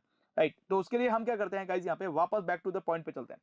अब पहले चीज़ हम यहाँ पे देखते हैं कि हमारा जो डेटा स्प्लिटिंग हुआ है दैट जीनी से हुआ है। यदि हमें इंट्रोपी से करना होता तो हम क्या करते? हैं तो देखिए, ये जो डिसीज़न ट्री है, इस डिसीज़न ट्री को जैसे आप थोड़ा सा ओपन करेंगे यहाँ पे ओपन करने के लिए आप क्या करेंगे? शिफ्ट और टैप का इस्तेमाल करेंगे। ये जो डिसीज़न ट्री है, वो ओपन हो जाएगा। ओपन होने का बेसिक मतलब यहाँ पे ये है कि इसके अंदर के जितने भी हाइपर पैरामीटर्स हैं, वो आपको शो हो जाएँगे। एक तरीके से बात करें यहाँ पे कि ये जो फ़ंक्शन है, ये फ़ंक्शन क्या क्या फंक्शनलिटी करता है यहाँ पे, इस चीज़ के बारे में सब कुछ आपको आइडेंटिफाई हो जाएगा। अब, इसके अंदर आपको देखेंगे, सबसे पहले आपको मिलेगा क्राइटेरिया क्राइटेरिया के अंदर आपके पास मिल रहा है जीनी राइट right. इस जीनी को आप चेंज कर सकते हैं, क्योंकि इसके अलावा और भी आपके यहाँ पे स्प्लिटिंग आते हैं। जैसे जीनी आता है देन एंट्रोपी आता है एंड देन लॉकलॉस आता है। तो आप चाहें तो एंट्रोपी का भी इस्तेमाल कर सकते हैं। तो फ़िलहाल मैं काम करता हूँ, एक और नया डिसीज़न ट्री बनाता हूँ, और उसके अंदर एंट्रोपी के थ्रू यहाँ पे क्या करता हूँ प्रोडिक्शन करता हूँ। तो मैंने इसको फ़िलहाल यहाँ से कॉपी कर रखा है, और डीटी की जगह मैंने क्या कर रखा है, यहाँ पे डी वन कर देते हैं, यहाँ पे एंड डी वन कर देते हैं। इस बार क्राइटेरिया को थोड़ा सा चेंज करते हैं, और क्राइटेरिया को चेंज करके हम क्या करते हैं एंट्रोपी लगा के चेक करते हैं कि एंट्रोपी से हमारे पास कितना फ़र्क देखने को मिलता है। तो यदि मैं यहाँ पे आपका क्राइटेरियन चेंज करूँ और क्राइटेरियन के अंदर मैं एंट्रोपी लगाऊँ तो हमारा मॉडल ट्रेंड हो जाएगा। एंड देन सेकंड चीज़ हमारे पास यहाँ पे आगे स्कोर स्कोर में कितना फ़र्क देखने को मिलेगा? तो यदि मैं डी वन का इस्तेमाल करूँ एंड देन स्कोर चेक करूँ तो देखिए डी वन के स्कोर के अंदर कोई ज़्यादा फ़र्क नहीं देखने को मिला है। तो देन आप बात करें एंट्रोपी एंड आपके पास यहाँ पे जीनी इंडेक्स के अंदर तो इतना कुछ ज़्यादा मेजर डिफरेंस आपको नहीं देखने को मिलेगा। लेकिन काफ़ी बार ऐसी जगह आएगी जहाँ पे एंट्रोपी और जीनी इंडेक्स के अंदर काफ़ी चीज़ों के अंदर मेजर डिफरेंस देखने को मिलेगा। इस तरह से आप अपना डिसीज़न ट्री बना सकते हैं। अब जैसा कि मैंने आप लोगों को बोला था कि डिसीज़न ट्री एक नॉन लीनियर एल्गोरिथम है तो बेसिकली जब आप यहाँ पे डेटा स्प्लिटिंग करने जा रहे हैं कट जब आप यहाँ पे डेटा को अलग अलग डिफ्रेंशिएट करने जा रहे हैं तो उस वक्त आपके पास नॉन लीनियर लाइन बननी चाहिए। तो पहले तो हम ये देखते हैं कि हमारा जो डेटा सेट है, उसके अंदर डेटा किस तरह से स्प्लिटिंग है। मतलब हमारे डेटा के अंदर किस तरह का ग्राफ बन के नज़र आ रहा है, वो देखते हैं यहाँ पे। ग्राफ बनाने के लिए मैं पहले ऊपर जाऊँगा और यहाँ से अपना ग्राफ तैयार करूँगा। अब देखिए, इसके लिए मैं कर रहा हूँ, यहाँ पे एस एन एस डॉट यहाँ पर स्केटर प्लॉट का इस्तेमाल कर रहा हूँ, क्योंकि इसके अंदर हमारे पास क्या था? ह्यू पैरामीटर है, होता है जिसके थ्रू हम हमारे ग्राफ के स्प्लिटिंग को देख सकते हैं कि उसके अंदर जो कैटेगरी है वो किस तरह से स्प्लिटिंग हो रही है। चलिए एक्स एक्सेस का डेटा लेते हैं यहाँ पे। एक्स एक्सेस के अंदर मैं क्या कर रहा हूँ, यहाँ पे एज ले लेता हूँ। देन अब मैं क्या कर रहा हूँ, यहाँ पे वाई एक्सेस का डेटा लेता हूँ और वाई एक्सेस के अंदर मैं लेने वाला हूँ यहाँ पे एस्टिमेट सैलरी तो मैंने Y X two estimate salary है और डेटा इक्वल्स टू की बात करें यहाँ पे तो डेटा इक्वल्स टू हम यहाँ पे ले रहे हैं हमारा डेटा सेट उसके बाद में, मैं यहाँ पे ह्यू पैरामीटर लेने वाला हूँ और ह्यू पैरामीटर के अंदर मैं डालूँगा यहाँ पे परचेस्ट को, जिसके थ्रू हमें यहाँ पे डेटा को स्प्रेडिंग आराम से हो पाएगी। देन इस ग्राफ को देखने के लिए मैं यहाँ पे पी डॉट सो फ़ंक्शन का इस्तेमाल करूँगा एंड रन कर देते हैं इस ग्राफ को। तो देखिए, अब हम इस ग्राफ को देखें तो ये हमारे पास क्या है, एक नॉन लीनियर स्प्रेडिंग ग्राफ है। कैसे? क्योंकि देखिए, कुछ ऐसे आपका रेड पॉइंट है जो ब्लू पॉइंट के साथ मिक्स हो रहे हैं और कुछ ऐसे ब्लू पॉइंट है जो कि रेड पॉइंट के साथ मिक्सिंग हो रहा है। बेसिकली यहाँ पे लीनियर लाइन आपके पास प्रॉपरली वर्क नहीं करेगी। यहाँ पे नॉन लीनियर लाइन ही हमारे लिए प्रॉपरली वर्क करेगी। तो अब ये नॉन लीनियर लाइन कैसे स्प्लिटिंग हुई है? जरा उसको देख लेते हैं। तो इसके लिए मुझे एक मॉडल की रिक्वायरमेंट पड़ेगी तो उस मॉडल को इम्पोर्ट करते हैं।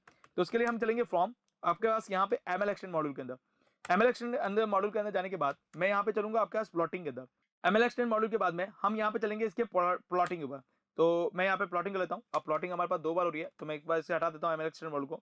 देन प्लॉटिंग के अंदर जाने के बाद में इंपोर्ट करने वाला हूँ गाइस किसे? यहाँ पे डिसीज़न रीजन को। तो मैं यहाँ पे इस्तेमाल करूँगा प्लॉट डिसीज़न रीजन को, जिसके थ्रू हमारा यहाँ पे ग्राफ बनेगा कि किस तरह से हमारे पास जो डेटा है, वो स्प्लिटिंग हुआ है। चलिए, अब हम वापस आ जाते हैं सबसे नीचे, जो डिसीज़न ट्री ने काम किया है यहाँ पे। अब नेक्स्ट टारगेट के अंदर हम क्या करेंगे? इस ग्राफ को बनाएँगे। इसके लिए हम क्या करेंगे? प्लॉट डिसीज़न रीजन को यहाँ पे इस्तेमाल करेंगे। इसके अंदर हमें सबसे पहले क्या चाहिए एक्स एक्सिस का डेटा दूसरा हमें वाई एक्सिस का डेटा तीसरा हमारा मॉडल जिसके थ्रू हम यहाँ पे स्प्रेडिंग कर रहे हैं। राइट तो ये तीन चीज़ें हमें यहाँ पे देनी है। सबसे पहले एक्स एक्सिस का डेटा अब यहाँ पे स्केलिंग या नॉन स्केलिंग वाला डेटा देना पड़ेगा। तो बेसिकली आपको स्केलिंग वाला डेटा देना है, क्योंकि आपने मॉडल स्केलिंग के साथ बनाया है यहाँ पे। तो मैं स्केलिंग वाला डेटा दूँगा यहाँ पे एक्स एक्सिस के अंदर एक्स का ही डेटा देन वाई एक्सिस के अंदर वाई का डेटा दूँगा यहाँ पे। एंड सीएलएफ की जगह मैं यहाँ पे क्या करने वाला हूँ, यहाँ पे डी टी वन डी को देने वाला हूँ यहाँ पे। देन इस ग्राफ को शो करने के लिए मैं पी एल टी डॉट यहाँ पर शो फ़ंक्शन को कॉल करूँगा एंड रन करूँगा। तो ये मुझे क्या करेगा प्रॉपर ग्राफ बना के देगा। अब यहाँ पे बोला जा रहा है कि एक्स और वाई जो होना चाहिए, वो नंपाई एरे होना चाहिए।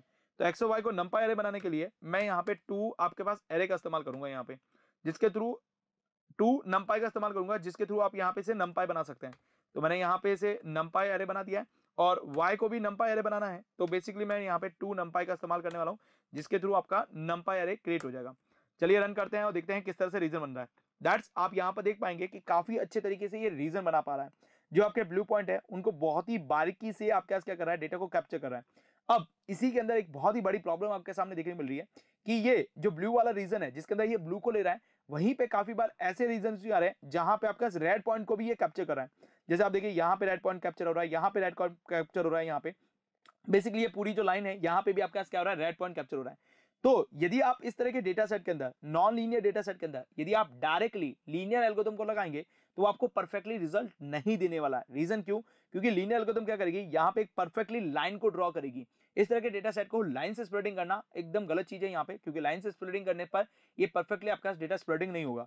तो इस तरह के डेटा सेट के ऊपर हमें क्या करना चाहिए? इस तरह के डेटा सेट के ऊपर हमें बेसिकली डिसीज़न ट्री या हमारे जितने भी नॉन लीनियर एल्गोरिथम्स हैं, उनको यहाँ पर अप्लाई करके ट्राई करना चाहिए। जैसे कि हम यहाँ पर कर रहे हैं और यहाँ पर देख रहे हैं कि आपके पास एक्यूरेसी किस तरह से आ रही है। अच्छा यहाँ पर मैंने C L F D T one का सी एल एफ़ के अंदर डी टी का इस्तेमाल किया है। एक बार मैं डी टी वन के मॉडल को देखता हूँ कि डी टी वन का मॉडल किस तरह से वर्क करता है। डी टी वन के मॉडल को देखिए यहाँ पे तो डी टी वन का मॉडल ऑलमोस्ट सेम वर्क कर रहा है और इसके अंदर भी काफ़ी मिस क्लासिफिकेशन आ रही है, जैसा कि आप यहाँ पर देख पा रहे हैं। राइट तो बेसिकली सेम वर्क कर कोई ज़्यादा यहाँ पर डिफ्रेंशिएट नहीं देखने मिल रहा है। तो इस तरह से आपका डिसीज़न ट्री वर्क करता है और डेटा को स्प्लिटिंग करके आपके सामने यहाँ पर शो करता है। राइट अब यहाँ पे बात करते हैं कि जब ये क्राइटेरियन के अंदर आप जाते हैं तो क्राइटेरियन के अंदर और भी बहुत सारे हाइपर पैरामीटर्स आते हैं।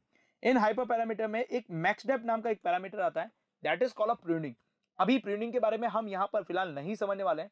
नेक्स्ट वीडियो के अंदर हम प्रूनिंग को समझेंगे। फ़िलहाल, जब हमने यहाँ पे थ्योरी को समझा था तो थ्योरी के अंदर हमने कॉन्सेप्ट को समझा था दैट्स अ प्रूनिंग इस प्रूनिंग के बारे में हमने डिटेल के साथ तो नहीं देखा था, लेकिन अभी जो हमारा नेक्स्ट वीडियो आएगा, उसके अंदर हम प्रूनिंग को डिटेल के साथ समझेंगे कि ये प्रूनिंग क्या होता है, और इस प्रूनिंग की हेल्प से आप अपने मॉडल की एक्यूरेसी कैसे बढ़ा सकते हैं सेकेंड चीज़, आप अपने मॉडल को ओवर फिटिंग होने से कैसे बचा सकते हैं? दैट्स वो भी चीज़ हम यहाँ पर अच्छे तरीके से समझने वाले हैं। और आज के इस वीडियो के ज़रिए हम बात करेंगे प्रूनिंग के बारे में।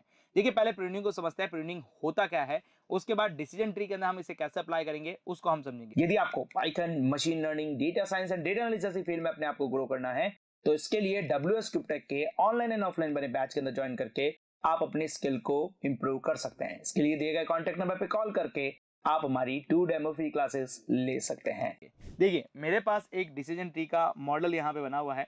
इस मॉडल को मैंने क्या किया नॉर्मल तरीके से जैसे बनाया था, वैसे ही हम जैसे नॉर्मल तरीके से जैसे हम बनाते हैं, उसी तरह से मैंने इसको डिज़ाइन किया है यहाँ पे। अब, जब हम डिसीज़न ट्री इस्तेमाल करते हैं, जैसे डिसीज़न ट्री का मॉडल इस्तेमाल करते थे डिसीज़न ट्री का मॉडल इस्तेमाल करते हैं, उसी तरह से मैंने ये मॉडल बनाया ये देखिए लास्ट वीडियो के अंदर हमने कुछ इस तरह से मॉडल बनाया था। अब इस मॉडल को बनाने के बाद मेरा जो ट्री है लाइक स्ट्रक्चर वो कुछ इस तरह से बना है यहाँ पे। अब ये ट्री लाइक स्ट्रक्चर के अंदर हमें क्या करने की ज़रूरत है? प्रिंटिंग करने की ज़रूरत है। ये हमें क्या करने की ज़रूरत है? प्रिंटिंग करने की ज़रूरत है। अब देखिए प्रिंटिंग आपको ऐसा नहीं है कि हर बार प्रिंटिंग करना है। यदि आपको लगता है कि आपका मॉडल ओवर हो रहा है तो आप प्रिंटिंग करेंगे। यदि आपका मॉडल ओवर नहीं हो रहा है तो आप प्रिंटिंग नहीं करेंगे। प्रूनिंग करने का बेसिक मतलब क्या होता है यहाँ पे? बेसिक उसको समझे। तो लेट सपोज़ मान लीजिए आपका डिसीज़न ट्री है। अब इस डिसीज़न ट्री के अंदर बात करें तो बहुत सारे आपके स्टेप्स होके आपका ट्री जो है, वो कंप्लीट हुआ है। अब इस कंप्लीट से पहले ही हम क्या करेंगे, इस डिसीज़न ट्री को रोक देंगे। जैसे कि मैं क्या करूँगा, यहाँ पे इस पर्टिकुलर पोजिशन के ऊपर ही मैं अपने ट्री को रोक दूँगा। मतलब ये जो लास्ट आपकी लाइन दिख रही है आपके पास यहाँ पे यस ये लास्ट जो आपके पास यहाँ पे लाइन दिख रही है यहाँ पे, मैं यहीं पे हमारे डिसीज़न ट्री को क्या करूँगा, रोक दूँगा। मतलब यहीं पे अपने ट्री को क्या करूँगा कट कर दूँगा। तो इसका मतलब होता है प्रूनिंग अब प्रूनिंग जो होती है वो दो तरीके की होती है। एक होती है प्री प्रूनिंग और दूसरी होती है पोस्ट प्रूनिंग देखिए प्री प्रूनिंग के अंदर क्या होता है कि आप जब अपना मॉडल बनाने जा रहे हैं, उससे पहले ही प्रूनिंग कर देते हैं। पोस्ट प्रूनिंग के अंदर क्या होता है कि पहले आप अपने मॉडल को ट्रेन करते हैं और उस ट्रेन करने के अंदर आप क्या करते हैं डिफरेंट डिफरेंट लेवल को देते रहते हैं। और जैसे जैसे आप लेवल को देते रहते हैं वैसे वैसे आपका मॉडल जो है वो प्रूनिंग होता रहता है। उसके बाद में जो भी आपका फाइनल रिज़ल्ट होता है, वो आप यहाँ पर देख लेते हैं। तो इस तरह से दो तरीके की प्रूनिंग होती है, एक होती है प्री प्रूनिंग और दूसरी होती है पोस्ट प्रूनिंग अब इस प्रूनिंग को समझते हैं कि ये डिसीज़न डी को एक्चुअल में कट कैसे करता है। तो जरा इससे समझते हैं। तो मैं आपको ले चलता हूँ अपने डेटा सेट के ऊपर। देखिए, मेरे पास जो डेटा सेट है, वो सोशल मीडिया नेटवर्क्स का डेटा सेट है। इस डेटा सेट के ऊपर हम पहले से भी काम कर चुके हैं और इस डेटा सेट के ऊपर हमने लास्ट वाली वीडियो के अंदर एक बहुत अच्छा सा प्रोजेक्ट भी बनाया है यहाँ पे। अब, बात करें यहाँ पे कि इस डेटा सेट के अंदर यदि मैं एक्यूरेसी को देखूँ तो लास्ट वाली वीडियो के अंदर हमने इसकी एक्यूरेसी देखी थी और एक्यूरेसी जो थी, वो 87 परसेंट हमारे पास एक्यूरेसी आई थी और हमने यहाँ तक भी ऑब्ज़र्व किया था कि हमारा जो डेटा सेट है वो किस तरह से ट्रेंड हो रहा है। राइट तो मैं इसी डेटा सेट को लेते हुए, इसी मॉडल को लेते हुए अपना अगला काम करूँगा। अब मुझे क्या करना है, इसकी प्रूनिंग करनी है। वैसे तो देखा जाए तो आपका मॉडल यहाँ पे ट्रेंड हो चुका है और किस तरह से ट्रेंड हुआ है वो भी आपको दिखा दे रहा है। लेकिन पहले हम क्या करेंगे, इसकी प्रूनिंग करेंगे। अब प्रूनिंग कौन सी कर रहे हैं? हम यहाँ पे प्री प्रूनिंग कर रहे हैं।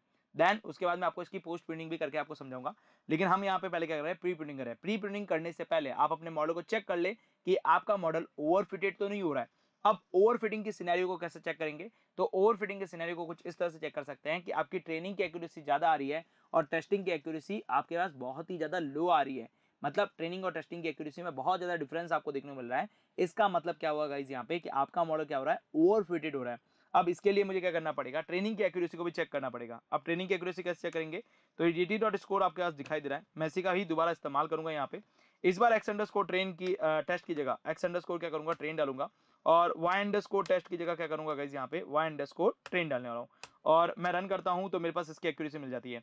अब देखिए, दोनों की एक्यूरेसी में यदि मैं आपके पास यहाँ पे गौर करूँ तो देखिए, आपके पास जो ट्रेनिंग की एक्यूरेसी है, वो 99 परसेंट एक्यूरेसी आपके पास आ रही है। जबकि टेस्टिंग की एक्यूरेसी की बात करें तो वो 83 परसेंट ही एक्यूरेसी आ रही है। इसका मतलब ट्रेनिंग के अंदर तो बहुत ज़्यादा अच्छे तरीके से वर्क कर रहा है और टेस्टिंग के अंदर बिल्कुल अच्छे से वर्क नहीं कर रहा। इसका मतलब हमारा मॉडल जो है, वो ओवर हो चुका है। अब इस ओवर फिटेड के सिनेरियो को बचाने के लिए हम इस्तेमाल करते हैं प्रिंटिंग का। अब यहाँ पे, इसके लिए हम इस्तेमाल करते हैं प्रिंटिंग का। अब यहाँ पे पहला जो स्टेप मैं बताऊँगा, जो कि है प्री प्रिंटिंग प्री प्रिंटिंग कैसे करते हैं कि जब आप यहाँ पे डिसीज़न ट्री बनाने जा रहे हैं, इसी डिसीज़न ट्री के अंदर आपके पास होता है मैक्स स्टेप मैक्स डेप काम क्या करता है? मैक्स डेप आपके पास किसी भी डिसीज़न ट्री के अंदर कितने डेप्थ तक आपको नीचे जाना है मतलब कितना इन डेप्थ आपको यहाँ पे वर्किंग करना है, ये आपको यहाँ पे सजेस्ट करता है।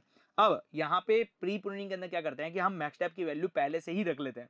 अब मैक्स टैप की वैल्यू पहले से कितनी रखनी है? तो आप कुछ भी रख सकते हैं। दरअसल आप प्री प्रूनिंग कर रहे हैं। तो इसके लिए आप कुछ भी अप्लाई कर सकते हैं। जैसे कि टू थ्री फोर फाइव जो भी आपको लगता है तो वो आप कुछ भी अप्लाई कर सकते हैं। तो जैसे लेके मैंने यहाँ पे फाइव मैक्स टैप लगाया और अपने बड़ों को वापस रिटेन किया। रिटेन करने के बाद में मैंने यहाँ पे स्कोर चेक किया तो that is ninety percent score आया यहाँ पे, और यहाँ पे ट्रेनिंग का स्कोर चेक किया तो ट्रेनिंग का स्कोर भी मेरे पास 93 परसेंट आया। इसका मतलब मेरे मॉडल के अंदर आपके पास जो यहाँ पे देखने को मिला ओवर फिटिंग का सिनेरियो वो कम हो चुका है। इसके साथ साथ हम डिसीज़न ट्री के मॉडल को एक बार चेक कर लेते हैं। तो डिसीज़न ट्री के मॉडल को यदि मैं चेक करूँ तो देखिए काफ़ी हद तक ये जो मॉडल है, वो एकदम सही तरीके से काम कर रहा है। अच्छा डीटी की जगह डीटी करना है डी की जगह। यदि मैं यहाँ पे चेक करूँ तो ये देखिए, काफ़ी अच्छे तरीके से काम कर रहा है यहाँ पे। अब हम यहाँ पे कुछ ट्री को स्ट्रक्चर देख लेते हैं। तो ट्री का स्ट्रक्चर आपका इस तरह से दिखाई दे रहा है। अब जरा समझते हैं कि मैक्स डेप की वैल्यू कितनी है। तो मैक्स डेप की वैल्यू हमने यहाँ पे फाइव रखी है। इसका मतलब फाइव स्टेप तक हमारा मूव ऑन करेगा। चलिए, इस ग्राफ को हम जरा ऑब्ज़र्व करते हैं। तो मैं काम करता हूँ, इस ग्राफ को आप लोगों को दिखाता हूँ। ये रहा हमारा फोल्डर जहाँ पे मैंने डेमो डॉट जेपीजी के नाम से इसे सेव कर रखा है। इसको ओपन करते हैं। ओपन करने के बाद देखिए मैक्स डेप आपने कितना लिया? फाइव लिया। तो देखो, पहला depth then second depth third then fourth and fifth मतलब आप ऊपर से गिनेंगे तो आपका देखिए, पहला आपके पास यहाँ पे आ चुका है देन दूसरा आ चुका है, फिर तीसरा, फिर चौथा, फिर पांचवा। इसका मतलब फाइव डेप तक आपने यहाँ पे वर्किंग की है। फाइव डेप तक वर्किंग करने के बाद में आपने क्या ऑब्ज़र्व किया यहाँ पे कि आपके पास जो ट्रेनिंग एक्यूरेसी और टेस्टिंग एक्यूरेसी है, इसका जो डिफरेंस है वो बिल्कुल खत्म हो चुका है इसका जो डिफरेंस है वो बिल्कुल कम हो चुका है यहाँ पे। इसका मतलब आपका जो मॉडल है वो ओवर फिटिंग से बच चुका है। इस तरह से आप क्या करते हैं, यहाँ पे प्री प्रिंटिंग करते हैं। पोस्ट प्रिंटिंग के अंदर क्या है कि आप क्या करेंगे कि इसके अंदर जो आपके पास मैक्स टैप की वैल्यू है, वो लगातार लगातार चेंज करते रहेंगे और फिर उसके बाद कोई आपका रिज़ल्ट आएगा, उस रिज़ल्ट के बेसिस पे आप यहाँ पे आंसर निकालेंगे। अब वो रिज़ल्ट कैसे आएगा और कैसे काम होगा तो इसको जरा आप यहाँ पे थोड़ा डिटेल के साथ समझते हैं। तो मैं अब आपको बता रहा हूँ पोस्ट प्रिंटिंग के बारे में। पोस्ट प्रिंटिंग के अंदर हम क्या करेंगे, एक लूप लगाएँगे और उस लूप के अंदर मैक्स टैप की वैल्यू को हम डिसाइड करेंगे। देन उसके बाद फर्दर आप यहाँ पे ट्रेनिंग करेंगे और ट्रेनिंग करने के बाद जो एक्यूरेसी आपको मिलती है वो एक्यूरेसी जो एक्यूरेसी मिलती है और जो डेप्थ आपको मिलती है, वो हम एक्सेप्ट करेंगे और उसके बाद, उस एक्यूरेसी और उस डेप्थ के ऊपर जाके हम वापस मॉडल को ट्रेन करेंगे और ट्रेन करने के बाद जो भी आपका रिज़ल्ट आएगा, वो हम यहाँ पर देखेंगे। तो ये आपके पास क्या कहलाता है? पोस्ट प्रिंटिंग कहलाता है यहाँ पे।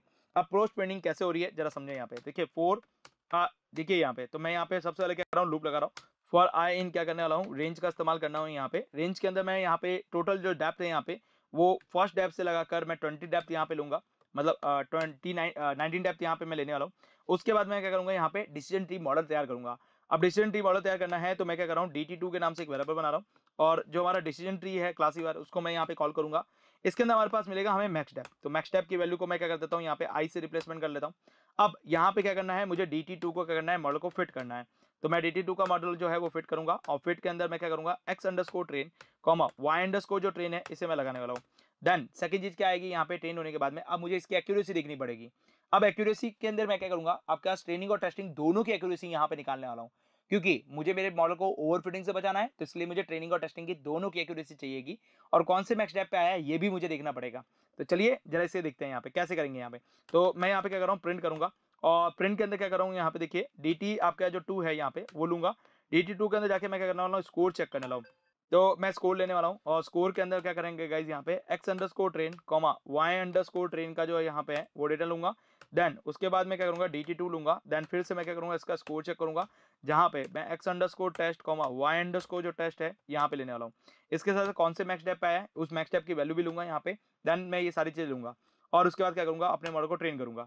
ट्रेन करने के बाद देखिए, ये मेरा जो मॉडल है, वो ट्वेंटी टाइम आपका ट्रेन हो चुका है। इसके अंदर हम एक्यूरेसी को ढूंढेंगे कि कौन सी एक्यूरेसी सबसे बेस्ट रहने वाली है।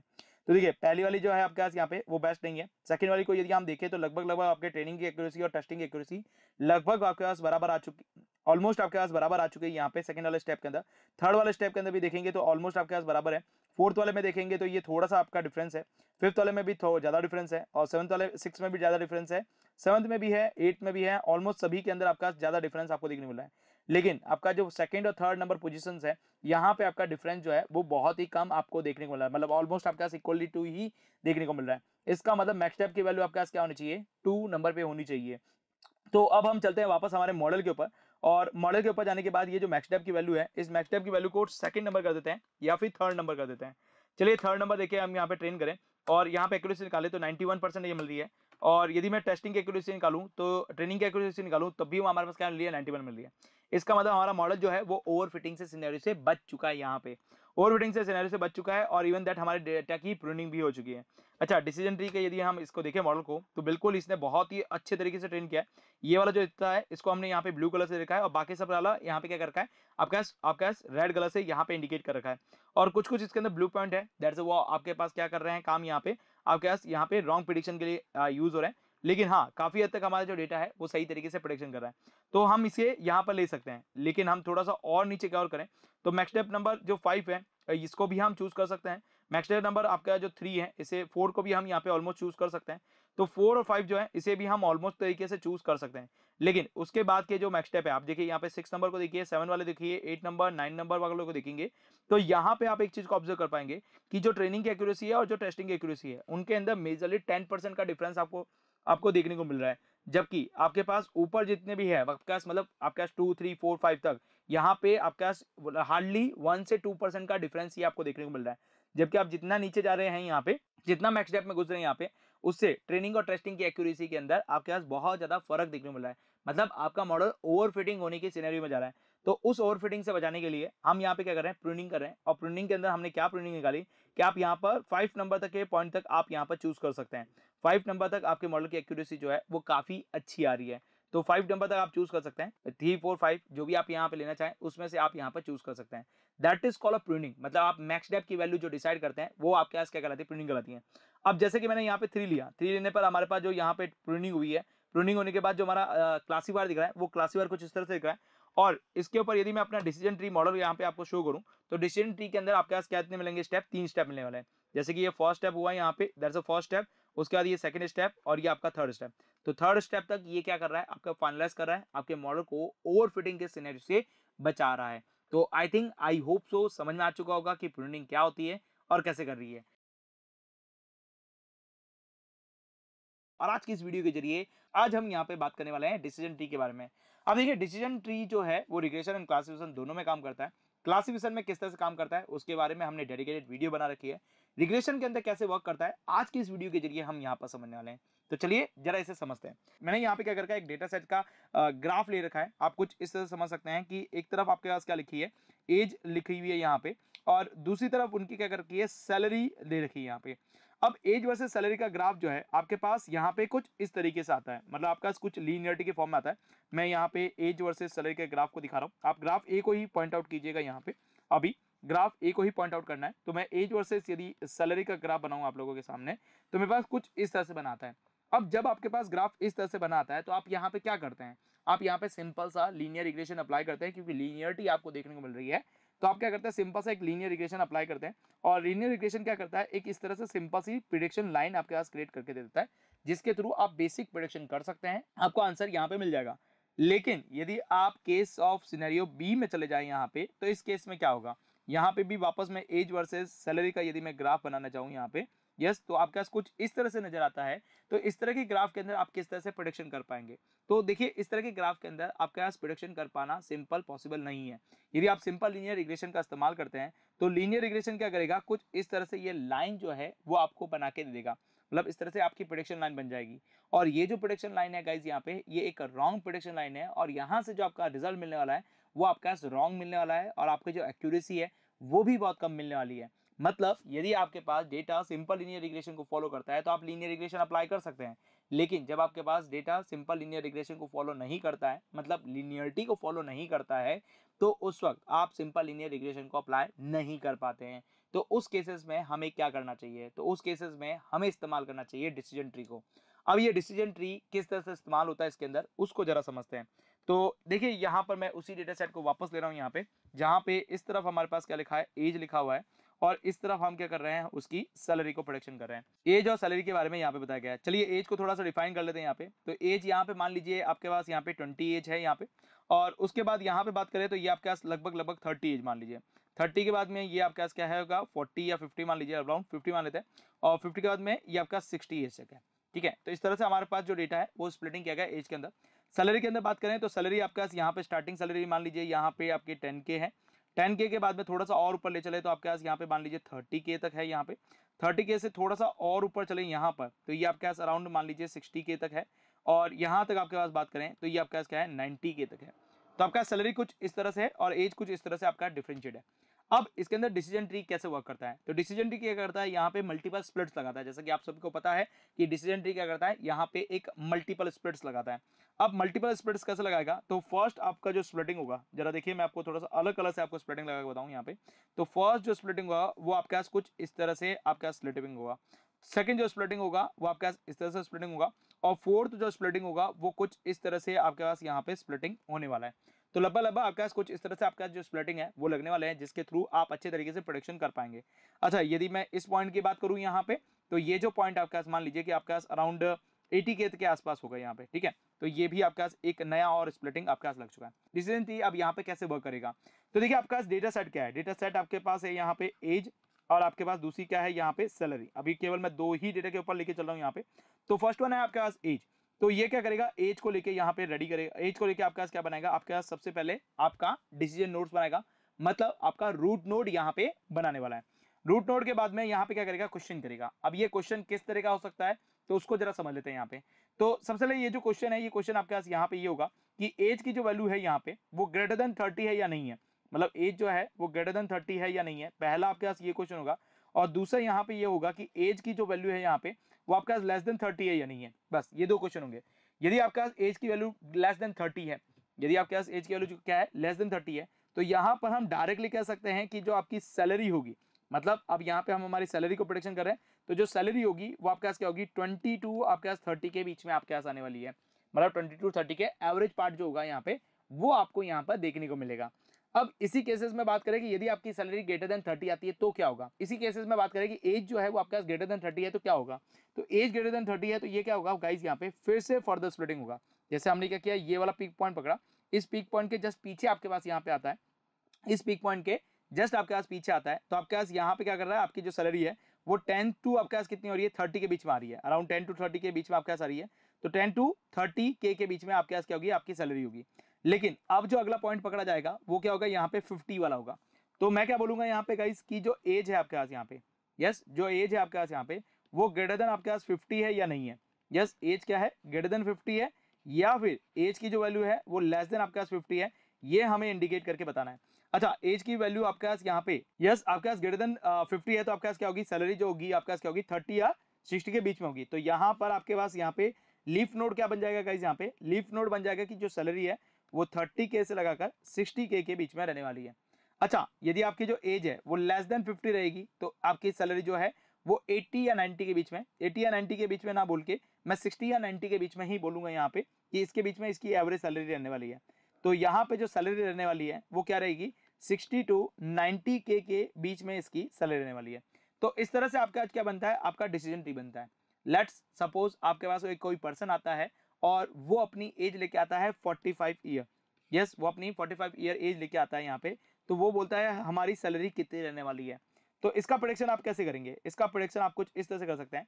सबसे पहले एज इजिकल टू क्या है? 45 है। अच्छा ग्रेटर देन 30 है या लेस देन 30 है? तो ग्रेटर देन 30 है तो आप यहाँ आ जाएँगे। ग्रेटर देन 30 होने के बाद में यहाँ पे क्या है कि आपके पास यहाँ पे ग्रेटर देन 50 है या लेस देन 50 है। तो बेसिकली लेस देन फिफ्टी है। लेस देन फिफ्टी है तो आप इस जगह पे आ जाएँगे। इस जगह पे आने के बाद आपकी जो सैलरी है, वो सिक्सटी और नाइन्टी के बीच में यहाँ पर रहने वाली है, जो कि आप यहाँ पर बता सकते हैं। तो बेसिकली आपके पास इस तरीके से रिग्रेशन एनालिसिस के अंदर प्रिडिक्शन होता है। मतलब आपका जो डेटा सेट है, यदि वो नॉन लीनियर है यहाँ पे तो आप यहाँ पे लीनियर रिग्रेशन नहीं अप्लाई कर सकते। तो यहाँ पे आपको मल्टीपल स्प्लिट्स लगाने पड़ते हैं और उस मल्टीपल स्प्लिट्स के बेसिस पे आपका प्रोडिक्शन यहाँ पे होता है।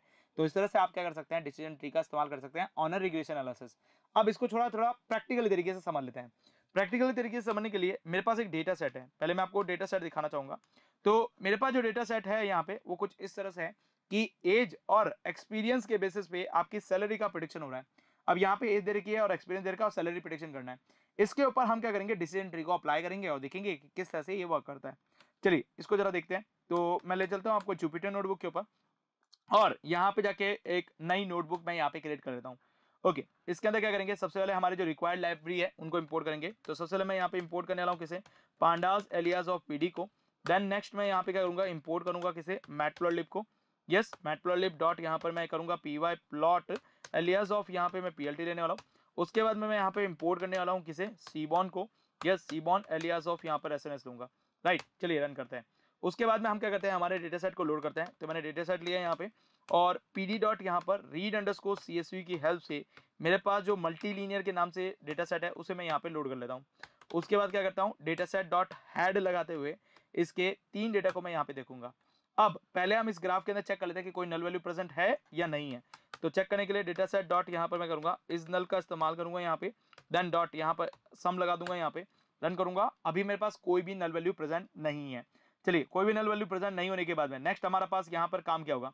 नेक्स्ट हमारे पास यहाँ पे होगा कि आपके पास इसके ऊपर ग्राफ चेक करेंगे कि एज वर्सेस सैलरी का क्या ग्राफ है एक्सपीरियंस वर्सेस सैलरी का क्या ग्राफ है?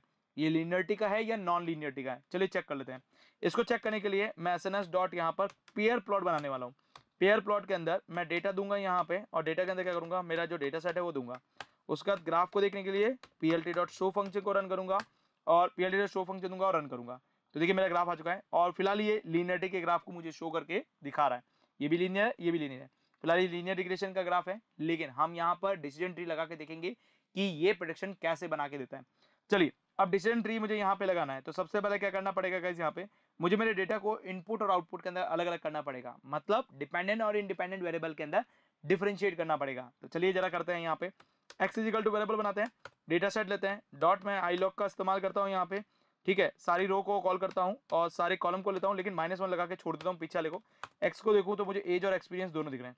अच्छा इस तरह से मैं वाई लूँ यहाँ पे और डेटा सेट लेके उसके अंदर जाके क्या करने वाला हूँ गाइज़ यहाँ पे? एक्सपीरियंस को लेने वाला हूँ।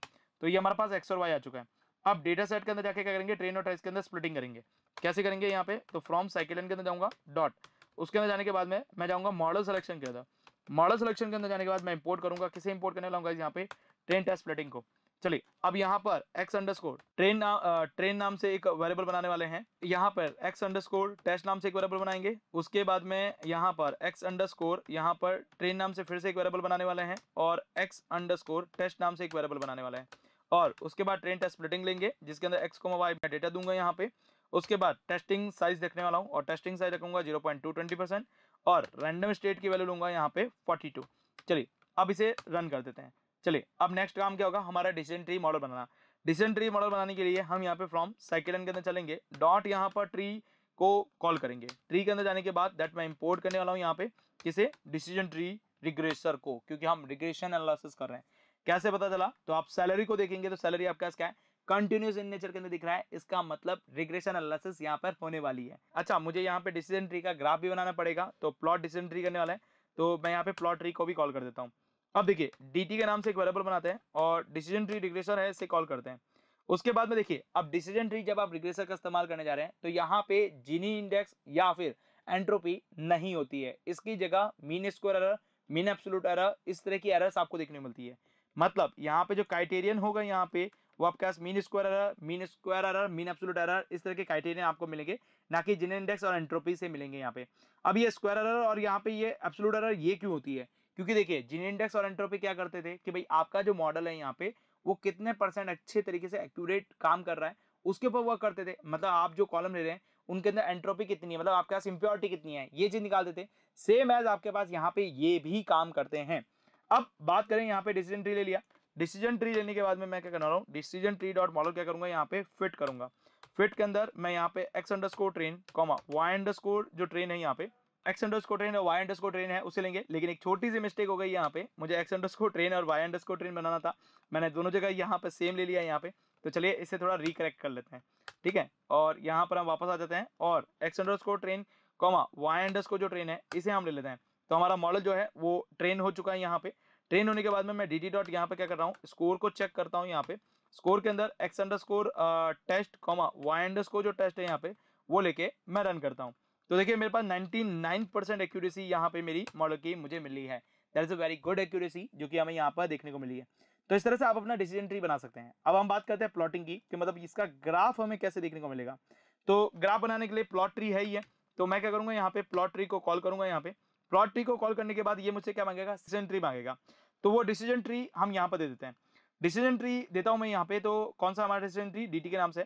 तो मैंने यहाँ पे लगा दिया डीटी अब डीटी लगाने के बाद में मैं यहाँ पे क्या करता हूँ, इस ग्राफ को शो करता हूँ तो उसके लिए मैं पी एल डॉट यहाँ पे क्या करूँगा शो फ़ंक्शन को कॉल करूँगा और रन करूँगा। तो ये मुझे डिसीज़न ट्री का जो ग्राफ है, वो मुझे बना के दे देगा। चलिए थोड़ा वेट करते हैं। तो देखिए, इस तरह से इसने क्या किया है, अपना ग्राफ बना के दिया है और ये इस तरह से अपना क्या कर रहा है डेटा को स्प्लिटिंग कर रहा है यहाँ पे। चलिए, अब एक बार देख लेते हैं कि क्या मेरा मॉडल यहाँ पे ओवर फिटेड तो नहीं हो चुका है। इस ओवर फिटिंग के सिनेरियो को देखने के लिए क्या करूँगा यहाँ पे इसको दोबारा मैं यहाँ पे कॉपी कर लेता हूँ। और जो एक्स अंडर टेस्ट है, इसकी जगह एक्स अंडर क्या लूँगा, यहाँ पे ट्रेन लूँगा। और जो वाई अंडर स्कोर टेस्ट है, इसको भी हटा के करूँगा गाइज़ यहाँ पे वाई अंडर स्कोर ट्रेन लेने वाला हूँ। चलिए रन करते हैं तो हंड्रेड परसेंट है और नाइनटी नाइन परसेंट है। ऑलमोस्ट आपके पास क्या दिख रही है? सेम दिख रही है यहाँ पे। इसका मतलब क्या होगा यहाँ पे? मेरा मॉडल ओवर फिटेड तो नहीं है। और आज की इस वीडियो के ज़रिए हम यहाँ पर बात करेंगे के नियरेस्ट नेबर एल्गोरिथम के बारे में। देखिए मशीन लर्निंग के अंदर बहुत सारी एल्गोरिथम्स आती है, इसके अंदर कुछ आपके पास लीनियर एल्गोरिथम्स हैं और कुछ आपकी नॉन लीनियर एल्गोरिथम्स हैं। मतलब ये भी आपका डेटा नॉन लीनियर एल्गोरिथम से सेपरेबल हो रहा है तो उसके लिए आप नॉन लीनियर एल्गोरिथम को इस्तेमाल करते हैं।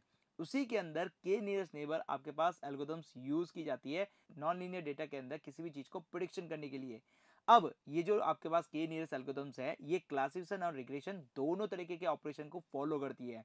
मतलब आपके पास डेटा यदि रिग्रेशन का है, तब भी आप इस एल्गोरिथम को इस्तेमाल कर सकते हैं और यदि आपके पास जो डेटा है, वो क्लासिफिकेशन का है, तब भी आप इस एल्गोरिथम को इस्तेमाल कर सकते हैं प्रिडिक्शन के लिए। यदि आपको Python machine learning data science and data analysis field में अपने आप को ग्रो करना है तो इसके लिए डब्ल्यू एस के ऑनलाइन एंड ऑफलाइन बने बैच के अंदर ज्वाइन करके आप अपनी स्किल को इम्प्रूव कर सकते हैं। इसके लिए दिए गए कॉन्टेक्ट नंबर पर कॉल करके आप हमारी टू डेमो फ्री क्लासेस ले सकते हैं। इसके साथ साथ मैं बात करूँ तो, तो के नियरेस्ट एल्गोरिथम सबसे ईजी एल्गोरिथम है यहाँ पे क्योंकि वो चीज़ अभी आपको पता चल जाएगा कि ये एल्गोरिथम क्यों इतनी इजी है। इसके साथ साथ यदि मैं बात करूँ तो के नियरेस्ट एल्गोरिथम एक लेजी एल्गोरिथम है। इसका जवाब भी अभी आपको दो मिनट के अंदर आपको मिल जाएगा क्योंकि जब हम इसके प्रोसीजर को समझेंगे तब आपको ये चीज़ क्लियर हो जाएगी कि के नियरेस्ट एल्गोरिथम को ईजी क्यों बोला जाता है और इसके साथ साथ इसको लेजी लर्नर क्यों बोला जाता है। तो बेसिकली के नियरेस्ट एल्गोरिथम जो है, वो आपके पास डेटा को प्रोडिक्शन करने के लिए काम में ली जाती है। ये आपके पास रिग्रेशन एंड क्लासेशन दोनों के अंदर इस्तेमाल होती है। अब जरा समझते हैं कि के नियरेस्ट एल्गोरिथम वर्क कैसे करती है। तो देखिए, मेरे पास यहाँ पे एक डेटा सेट का ग्राफ बना हुआ है। ये डेटा सेट आप कुछ इस तरह से मान सकते हैं कि आपके पास कोई एक्स वन कॉलम है, कोई एक्स टू कॉलम है और इसके बेसिस पे वाई आपका प्रोडिक्शन हो रहा है। अब ये जो वाई आउटपुट आ रहा है, वो रेड कलर आपके पास आ रहा है ब्लू कलर आ रहा है रेड कलर आ रहा है ब्लू कलर आ रहा है। जब आप इस डेटा सेट को प्लॉट करते हैं तो ये डेटा सेट कुछ इस तरह से नज़र आता है, जिसके अंदर आपका ये x1 कॉलम हो गया, यहाँ पे x2 कॉलम हो गया, और इसके बेसिस पे ये डेटा आ रहा है। अब यहाँ पे ये जो के नियरेस्ट नेबर जो कि आपका के जो इसका नाम है यहाँ पे, ये कैसे वर्क करता है, इसे जरा समझते हैं। लेट्स ये आपका डेटा है, ये डेटा आपके पास कैसा है, सब कुछ आपका ट्रेनिंग डेटा है। मतलब ये जितना भी आप डेटा दे रहे हैं, ये आपके पास एक तरीके से मान लीजिए कि आपका ये क्या है ट्रेनिंग डेटा है। अब जब आपने अपना ट्रेनिंग डेटा दिया है तो अब आपकी बारी है टेस्टिंग डेटा की। टेस्टिंग डेटा के लिए लेट सपोज़ मान लीजिए कि आपके पास कोई एक नया डेटा पॉइंट आता है, जो कि यहाँ कहीं आपके पास आता है। अब ये जो नया डेटा पॉइंट है, ये कौन से कलर में जाएगा? ये आंसर आपको के नियरेस्ट नेबर देने वाला है।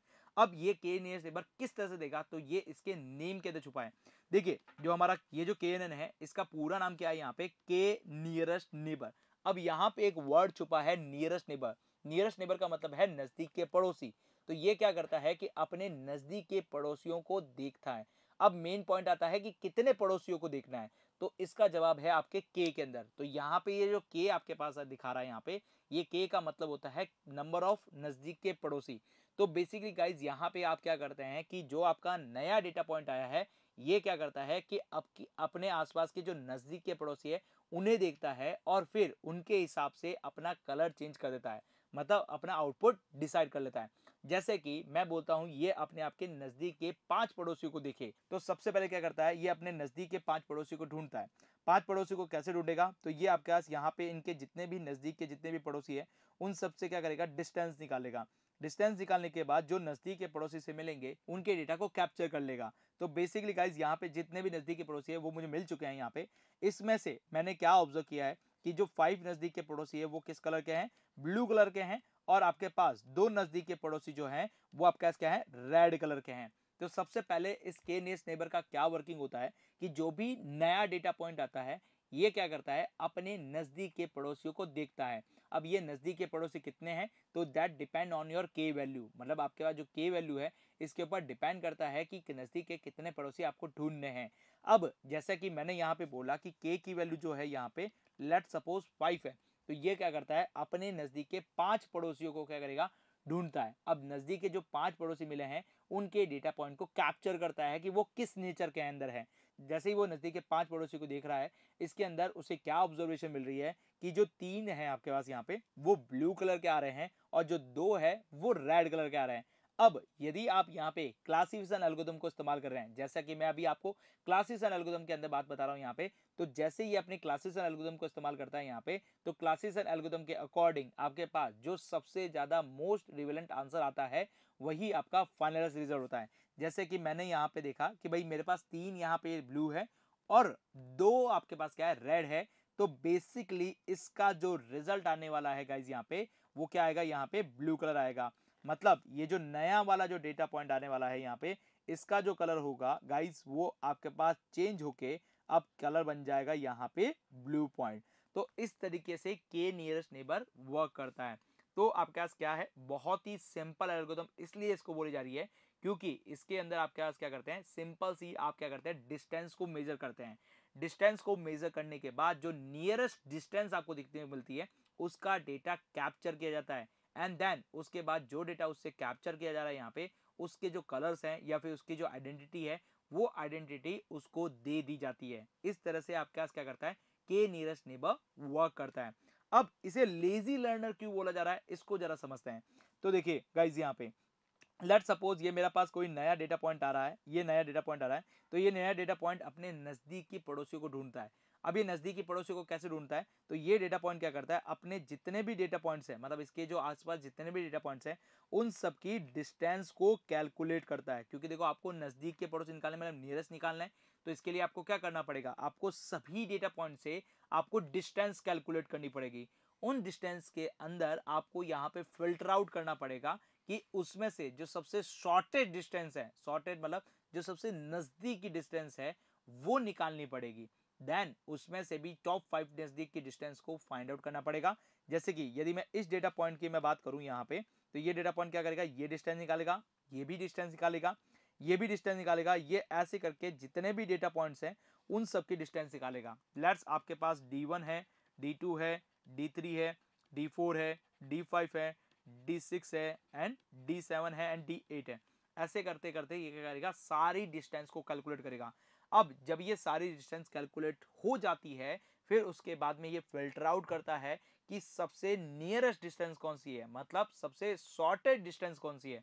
जो इसको शॉर्टेड डिस्टेंस मिलेगी, उस डिस्टेंस के अकॉर्डिंग उस डेटा पॉइंट के नेचर को कैलकुलेट करेगा। एंड देन उसमें जो सबसे ज़्यादा आपके पास नेचर्स आए हैं, उसका रिवर्ट आंसर आपके पास मिल जाएगा। इस तरह से के नियरेस्ट नेबर आपके पास क्या करती है? स्लो वर्क करती है। क्योंकि ये सबके डिस्टेंस को निकालने के लिए थोड़ा सा टाइम यहाँ पर ले लेती है।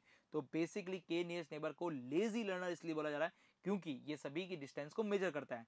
अब यहाँ पे एक पॉइंट आता है कि ये जो डिस्टेंस आपको दिख रही है, ये डिस्टेंस कैसे कैलकुलेट की जाती है? मतलब दो डेटा पॉइंट की डिस्टेंस कैसे कैलकुलेट की जाती है? तो के नियरेस्ट नेबर के अंदर आपकी जो डिस्टेंस कैलकुलेशन होती है, वो दो तरीके से होती है। पहला है आपके पास यहाँ पे यूक्लिड डिस्टेंस और दूसरी है मैनहैटन डिस्टेंस। यस, आप जरा समझते हैं कि ये दोनों कैसे वर्क करती है। तो पहली कौन सी है? मैनहैटन डिस्टेंस है और दूसरी यूक्लिडेड डिस्टेंस है। कैसे वर्क करती है जरा समझते हैं यहाँ पे। तो लेट सपोज़ आपका कोई डेटा पॉइंट ये है और आपका दूसरा डेटा पॉइंट ये है। अब इन दोनों डेटा पॉइंट तक पहुँचने के लिए आप दो तरीके के पाथ को फॉलो कर सकते हैं। पहला पाथ क्या होगा कि इस डेटा पॉइंट से आप क्या करें? सीधे इस पॉइंट पे चले जाएँ। दूसरे क्या करें गाइज़ यहाँ पे कि इस डेटा पॉइंट से पहले इस तरफ़ जाएँ एंड देन दूसरा आपके पास क्या करें, इस तरफ़ जाएँ। इसके अंदर आपके पास ये जो डिस्टेंस पाथ आप चूज़ करें, इसी के अकॉर्डिंग आपके पास दो तरीके से डिस्टेंस आपके पास आती है। चलिए, पहले बात करता हूँ मैं मैन एंड डिस्टेंस के बारे में। मैन एंड डिस्टेंस क्या करती है गाइज़ यहाँ पे? कि ये जो आपके पास लॉन्ग रूट पाथ है यहाँ पे, इस लॉन्ग रूट पाथ को कैलकुलेट करती है। That is call of Manhattan distance अब मैनहट्टन डिस्टेंस का फॉर्मूला क्या है यहाँ पे? तो ये फॉर्मूला है mod of X two minus X one फिर आपके पास मॉड लगाना है देन प्लस आपके पास Y two minus Y one है यहाँ पे। मतलब गाइस सिंपल सी बात करें, ये जो दो पॉइंट आपको यहाँ पर दिख रहे हैं, इन दोनों पॉइंट के अंदर जो x1 x2 और y1 y2 है, आप क्या करेंगे, इन दोनों का डिफरेंस निकालेंगे और मॉड निकाल के ऐड कर देंगे। That is call of Manhattan distance second बात करते हैं गाइस यहाँ पे यूक्लिड डिस्टेंस यूक्लिड डिस्टेंस जो आप देख रहे हैं यहाँ पे that is a Pythagoras formula मतलब ये पाइथागोरस फॉर्मूले की तरह ही है। कैसे, जरा समझे यहाँ पे। देखो, आपके पास यहाँ पे क्या है x1 पॉइंट है और आपके पास क्या x2 पॉइंट है। तो आप क्या करते हैं गाइज़ यहाँ पे x1 माइनस एक्स टू का whole square plus Y two minus Y one का होल स्क्वायर निकाल के आप यहाँ पे क्या करते हैं, ये वाली जो डिस्टेंस है, ये डिस्टेंस आप कैलकुलेट करते हैं। मतलब स्टेट डिस्टेंस कैलकुलेट करते हैं। अब यहाँ पे एक मेजर क्वेश्चन आता है कि आप इन दोनों में से कौन से डिस्टेंस यूज़ करेंगे? तो guys that depend on your project आपके पास, जैसा आपके पास डेटा सेट होगा यहाँ पे जिस तरीके का आपके पास प्रोजेक्ट होगा, उसके अंदर आपको ट्राई करना पड़ेगा कि मैन डिस्टेंस आपको अच्छा रिज़ल्ट देता है या फिर यूक्लिड डिस्टेंस आपको अच्छा रिज़ल्ट देता है। तो वहाँ पे आपको ये डिसाइड करना पड़ेगा, ट्राई करके कि कौन सा रिज़ल्ट आपको बेस्ट देता है। बाकी मैन डिस्टेंस की बात करें, फॉर्मूला आपके पास इस तरह से यूज़ होता है और यदि मैं बात करूँ यूक्लिड डिस्टेंस के बारे में, पाइथागोरस थ्योरम से मिलता जुलता है तो वो आपके पास इस तरह से यूज़ होता है।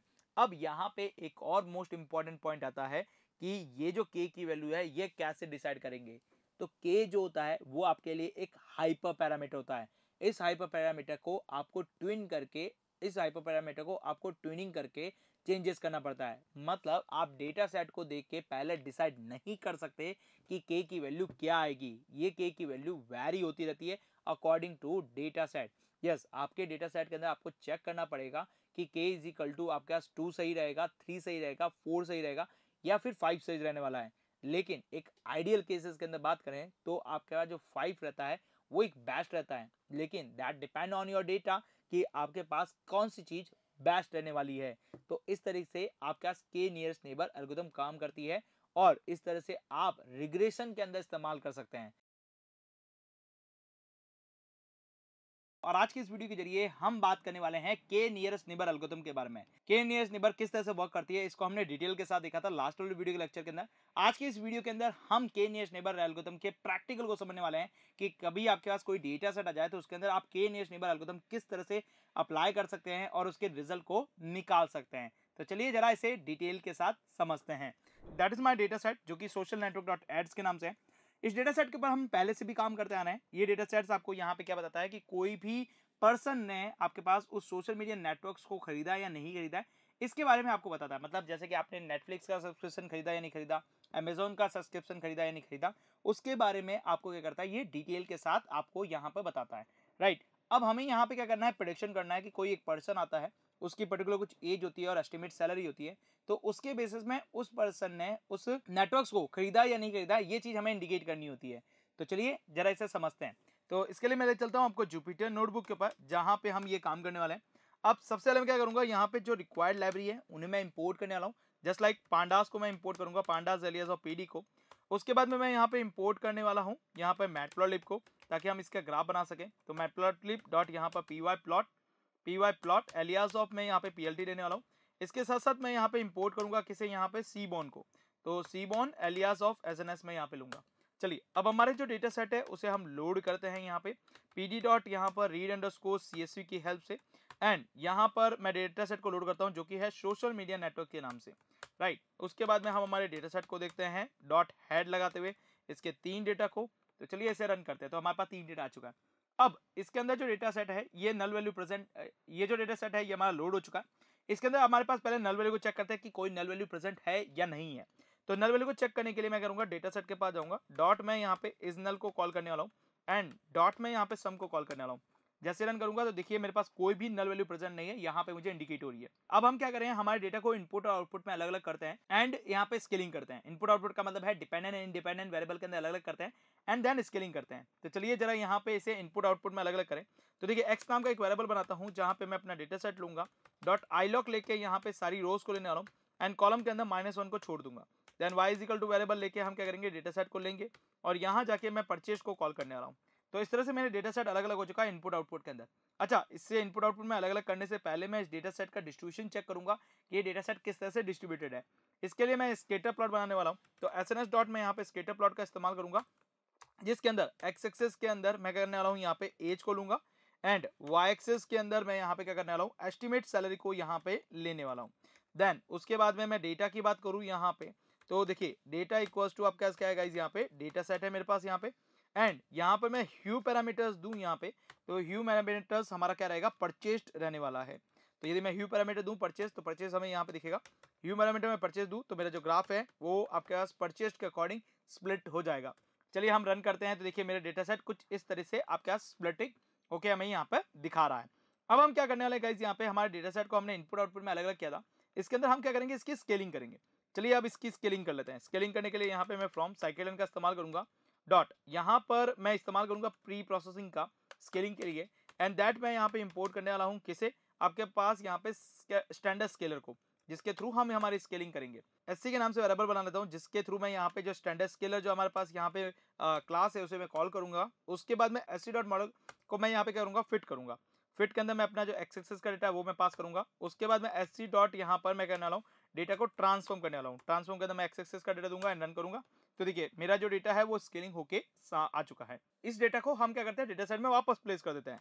तो देखिए एक्स नाम का वही दोबारा मैं वेरिएबल बनाने वाला हूँ। उसके बाद मैं पी डी डॉट यहाँ पर मैं डेटा फ्रेम का इस्तेमाल करूँगा और डेटा फ्रेम के अंदर एस सी डॉट ट्रांसफॉर्म को डालूँगा और इसके बाद मैं कॉलम का नाम डालूँगा। कॉलम के लिए मैं क्या करने वाला हूँ? कॉलम्स का लूँगा यहाँ पे एक्स डॉट यहाँ पे कॉलम्स को कॉल करने वाला हूँ। राइट उसके बाद मैं इसे क्लोज कर देता हूँ और यहाँ पे इसे रन कर देते हैं। देखिए एक्सेसेस का यदि मैं डेटा देखूँ तो ये मेरा डेटा जो है वो स्केलिंग होके मेरे सामने आ चुका है। अब हम बात करते हैं हमारे मॉडल बनाने के लिए। तो देखिए, हमारे पास डेटा सेट आ चुका है। इस डेटा सेट को हम क्या करेंगे? ट्रेन और टेस्ट के अंदर स्प्लिटिंग करेंगे, ताकि हम यहाँ पे चेक कर सकें कि ये मॉडल कितने अच्छे से वेल परफॉर्म कर रहा है। तो ट्रेन और टेस्ट के अंदर स्प्लिटिंग करने के लिए मैं साइकिलन को दोबारा कॉल करूँगा यहाँ पे। एंड साइकिलन के अंदर जाके डॉट मॉडल सिलेक्शन को कॉल करने वाला हूँ यहाँ पे। एंड मॉडल सिलेक्शन के अंदर जाने के बाद मैं दैट मैं इंपोर्ट करूँगा किसे यहाँ पे? ट्रेन टेस्ट को, यहाँ पे स्प्लिटिंग को। उसके बाद मैं क्या करने वाला हूँ गाइज़ यहाँ पे एक्स अंडर मैं यहाँ पे ट्रेन लूँगा। एंड देन मैं यहाँ पे एक्स अंडर टेस्ट को कॉल करने वाला हूँ। इसी तरह से आपके पास यहाँ पे वाई अंडर मैं यहाँ पे ट्रेन को लेने वाला हूँ एंड वाई अंडर मैं यहाँ पे टेस्ट को लेने वाला हूँ। ये मेरे चार वेरिएबल तैयार हो चुके हैं और ट्रेन और टेस्ट स्प्लिटिंग का फ़ंक्शन मैंने कॉल कर दिया है। उसके बाद में गाइज़ यहाँ पे एक्स और वाई का जो डेटा है वो मुझे पास कराना है। रैंडम स्टेट की वैल्यू पास करानी दैट्स फोर्टी टू उसके बाद में मुझे यहाँ पर टेस्टिंग साइज़ देनी है testing size zero point two twenty percent दिया मैंने यहाँ पे। मेरा जो डेटा सेट है वो यहाँ पे चार पार्ट के अंदर टूट चुका है। ट्रेनिंग और टेस्टिंग के अंदर। अब हम क्या काम करते हैं गाइस यहाँ पे? अब हमारे जो डेटा सेट है, इस डेटा सेट से मॉडल को ट्रेन करते हैं। ट्रेन करने के लिए मैं यहाँ पे क्या करूँगा? फ्रॉम साइकिलन के अंदर चलूँगा यहाँ पे। साइकिलन के अंदर जाने के बाद हम यहाँ पे इस्तेमाल कर रहे हैं के नियरेस्ट नेबर को। तो मुझे यहाँ पे क्या करना पड़ेगा? आपके पास नेबर को कॉल करना पड़ेगा। क्योंकि नेबर के अंदर आपके पास क्या मिलेगी? के नियरेस्ट नेबर एल्गोरिथम तो मिलेगी तो इसी के अंदर आपको क्या मिलेगा? के नियरेस्ट नेबर क्लासीफायर मिलने वाला है। अच्छा देखिए, हम यहाँ पे क्लासीफायर क्यों इस्तेमाल कर रहे हैं? क्योंकि जो मेरा डेटा सेट है यहाँ पे, इसका जो आउटपुट है मतलब जो आपके पास यहाँ पे जो हम रिज़ल्ट निकालने वाले हैं, वो आपके पास क्या है? क्लासिफिकेशन इन नेचर के अंदर है। मतलब आपका आंसर ज़ीरो और वन के तौर पे आपको देखने को मिल रहा है। इसी वजह से हम यहाँ पे क्या कर रहे हैं? क्लासिफिकेशन को इस्तेमाल कर रहे हैं। चलिए के नियर्स लेबर क्लासीफायर को मैंने कॉल कर लिया यहाँ पे। अब देखिए, यहाँ पे मैं करूँगा? के एन एन के नाम से एक वेरेबल बना लूँगा। के एन एन के नाम से मैं वेरेबल बना लूँगा, जहाँ पे के नियरेस्ट नेबर जो क्लासीफायर है, इसे मैं यहाँ पे कॉल करने वाला हूँ। अब इस के नियरेबल क्लासीफायर के यदि हाइपर पैरामीटर्स को हम देखें इसके अंदर जो सबसे पहला हाइपर पैरामीटर आता है then N number of neighbours N number of neighbours का मतलब है कि आप कितने नेबर्स बनाना चाहते हैं। देखिए डिफ़ॉल्ट नेबर जो आपके पास है यहाँ पे that is a five neighbour आप इस नेबर को चेंज कर सकते हैं according to your data set yes जैसा जैसा आपका डेटा सेट चेंज होता रहेगा, वैसे वैसे आप इस नेबर को चेंज कर सकते हैं। ये चेक कर सकते हैं कि कौन सा नेबर आपके डेटा सेट के लिए बेस्ट रहेगा। सेकंड चीज़ आती है कि यहाँ पे हमें कौन से डिस्टेंस का फॉर्मूला यूज़ करना है? हमें मैनहट्टन डिस्टेंस का फॉर्मूला यूज़ करना है। या फिर यूक्लिड डिस्टेंस का फॉर्मूला यूज़ करना है। तो चलिए, जरा इसे समझते हैं कि मैनहट्टन यूज़ करना है या यूक्लिड को चूज़ करना है। तो देखिए, जैसे आप यहाँ पे थोड़ा सा नीचे आएँगे यहाँ पे, यस थोड़ा सा आपको नीचे आना है तो देखिए, आपके पास आपको मिलेगा पी की वैल्यू। यस, यहाँ पे जब आप पी की वैल्यू को इस्तेमाल करेंगे तो देखिए पी की वैल्यू के अंदर पी इजिकल टू वन जब आप पी इजिकल टू वन के इस्तेमाल करेंगे तो आपके पास मैनहट्टन डिस्टेंस काम करेगी। लेकिन यदि आप यहाँ पर पी की वैल्यू को टू इस्तेमाल करेंगे तो आपके पास यूक्लियर डिस्टेंस काम करेगी। मतलब आपके पास जो डिफ़ॉल्ट डिस्टेंस है, वो यूक्लियर डिस्टेंस है, लेकिन यदि आपने पी इजिकल टू वन दे दिया यहाँ पे तो आपकी मैनहट्टन डिस्टेंस यहाँ पे वर्क करने लग जाती है। तो फ़िलहाल मैनहट्टन डिस्टेंस की जगह हम यूक्लिड डिस्टेंस को इस्तेमाल कर रहे हैं। आप चाहें तो अपने डेटा सेट के अकॉर्डिंग इसे यूक्लिड डिस्टेंस के अंदर की जगह आप मैनहट्टन डिस्टेंस में कन्वर्ट कर सकते हैं पी की वैल्यू को चेंज करके। चलिए, अभी मैं नेबर की वैल्यू क्या रख रहा हूँ? फाइव ही रख रहा हूँ। फिर मैंने यहाँ पे के एन एन डॉट मॉडल को क्या कर रहा हूँ? फिट कर रहा हूँ। Yes K N N dot model के फिट के अंदर के अंदर मैं X underscore train and Y underscore train जो है, वो यहाँ पे दूँगा और मॉडल को ट्रेन करूँगा। देखिए, हमारा मॉडल यहाँ पे ट्रेन हो चुका है। अब मैं क्या कर रहा हूँ, यहाँ पे गाइस के एन डॉट यहाँ पे करूँगा, आपके पास स्कोर को निकालूँगा कि स्कोर कितना आने वाला है। स्कोर के अंदर मैं यहाँ पे X underscore test comma Y underscore जो टेस्ट है, वो पास कराऊँगा। एंड मल्टीप्लाई बाय हंड्रेड करा देते हैं, ताकि इसकी एक्यूरेसी हमें परसेंटेज में देखने को मिले। रन करते हैं तो देखिए 92 परसेंट एक्यूरेसी के साथ हमें हमारा रिज़ल्ट दे रहा है यहाँ पे। चलिए एक बार नेबर की वैल्यू को चेंज करके देखते हैं कि नेबर की वैल्यू से क्या फ़र्क देखने को मिलता है। तो यदि मैं नेबर की वैल्यू फाइव की जगह मैं यहाँ पे टेन करके रन करूँ और फिर मैं यहाँ पे रन करूँ। तो देखिए मेरी एक्यूरेसी में कुछ ज़्यादा फ़र्क नहीं देखने को मिला है। यदि हम यहाँ पे और थोड़ा सा कम करके देखें यहाँ पे तो अराउंड सेवन करके मैं यहाँ पे चेक करूँ और फिर रन करूँ। यस मेरी एक्यूरेसी के अंदर कुछ कुछ फ़र्क देखने को मिला। तो आप यहाँ पे नेबर की वैल्यू को जैसे जैसे चेंज करेंगे, आपकी मॉडल की एक्यूरेसी में उतना फ़र्क देखने को मिलेगा। अब जरा यहाँ पर चेक कर लेते हैं कि क्या ये मैडम मेरा मॉडल जो है वो ओवर फिटिंग तो नहीं हो चुका है। तो चलिए ओवर फिटिंग के सिनेरियो को चेक करने के लिए मैं टेस्टिंग के साथ साथ मैं ट्रेनिंग की भी एक्यूरेसी चेक कर रहा हूँ। तो यहाँ पर मैं नीचे पेश कर देता हूँ। एक्स अंडर टेस्ट की जगह एक्स अंडर क्या करूँगा? ट्रेन का इस्तेमाल करूँगा। वाई अंडर टेस्ट की जगह मैं यहाँ पे कर रहा हूँ। वाई अंडर ट्रेन का इस्तेमाल करने वाला हूँ। एंड देन रन करूँगा कैसे यहाँ पे तो 91 परसेंट आ रहा है और ये 93 परसेंट आ रहा है। मतलब हमारा जो डेटा सेट है ये अच्छे तरीके से ट्रेन नहीं हो रहा है। तो इसको अच्छे तरीके से ट्रेन करने के लिए हमें क्या करना पड़ेगा? नेबर की वैल्यू को चेंज करना पड़ेगा। चलिए, मैंने नेबर की वैल्यू चेंज की है यहाँ पे और यहाँ पर रन करें। तो अभी भी हमारा जो मॉडल है वो अच्छे तरह से ट्रेंड नहीं हो रहा है। तो हमें कोई एक परफेक्ट नेबर की वैल्यू लानी पड़ेगी, जिसकी वजह से हमारा जो मॉडल है वो अच्छे तरीके से ट्रेंड हो जाए।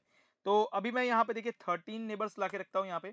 फिर मैं रन करता हूँ और फिर रन करता हूँ। या, अभी भी कोई अच्छी खास नहीं आई है। इसी तरह से हमें क्या करना पड़ेगा? चेंज करना पड़ता रहेगा। तो मैं यहाँ पे करूँगा? नेबर के वैल्यू को चेंज करूँगा इस बार फिर से। यस अभी भी कोई अच्छी चीज़ नहीं आई है। तो हम क्या करेंगे? एक लूप लगाएँगे और लूप लगाने के बाद में हम हमारे मॉडल को अच्छे तरीके से ट्रेन करेंगे। अब ये कैसे करना है तो चलो इसको समझते हैं। मुझे यहाँ पे क्या करना पड़ेगा? नेबर की राइट वैल्यू लानी पड़ेगी, जिसकी वजह से मेरे मॉडल की एक्यूरेसी है, वो अच्छी आए और मेरा मॉडल ओवर फिटिंग के सीनरियो पर ना चला जाए। तो चलिए क्या करते हैं उसके लिए? तो मैं एक फोर लूप लगाता हूँ, फोर आई इन रेंज लगाता हूँ, जहाँ पे मैं अपने नेबर की वैल्यू को चेंज करूँगा। नेबर की वैल्यू वन से लगाकर मैं यहाँ पे नेबर की वैल्यू थर्टी तक रखने वाला हूँ यहाँ पे। चलिए, अब हम क्या करेंगे? यहाँ पे के एन एन वन के नाम से एक वेरिएबल बना लेते हैं। जिसके अंदर के नियरेस्ट नेबर क्लासीफायर को मैं यहाँ पे कॉल करने वाला हूँ। इसके साथ साथ के एन एन वन को डॉट मॉडल डॉट क्या करूँगा, यहाँ पे फिट करने वाला हूँ। फिट के अंदर मैं यहाँ पे X underscore train comma Y underscore जो ट्रेन है, वो मैं देने वाला हूँ। इसके साथ साथ मैं अपनी स्कोर देखूँगा। स्कोर के इससे पहले मैं यहाँ पे आई की वैल्यू देखूँगा।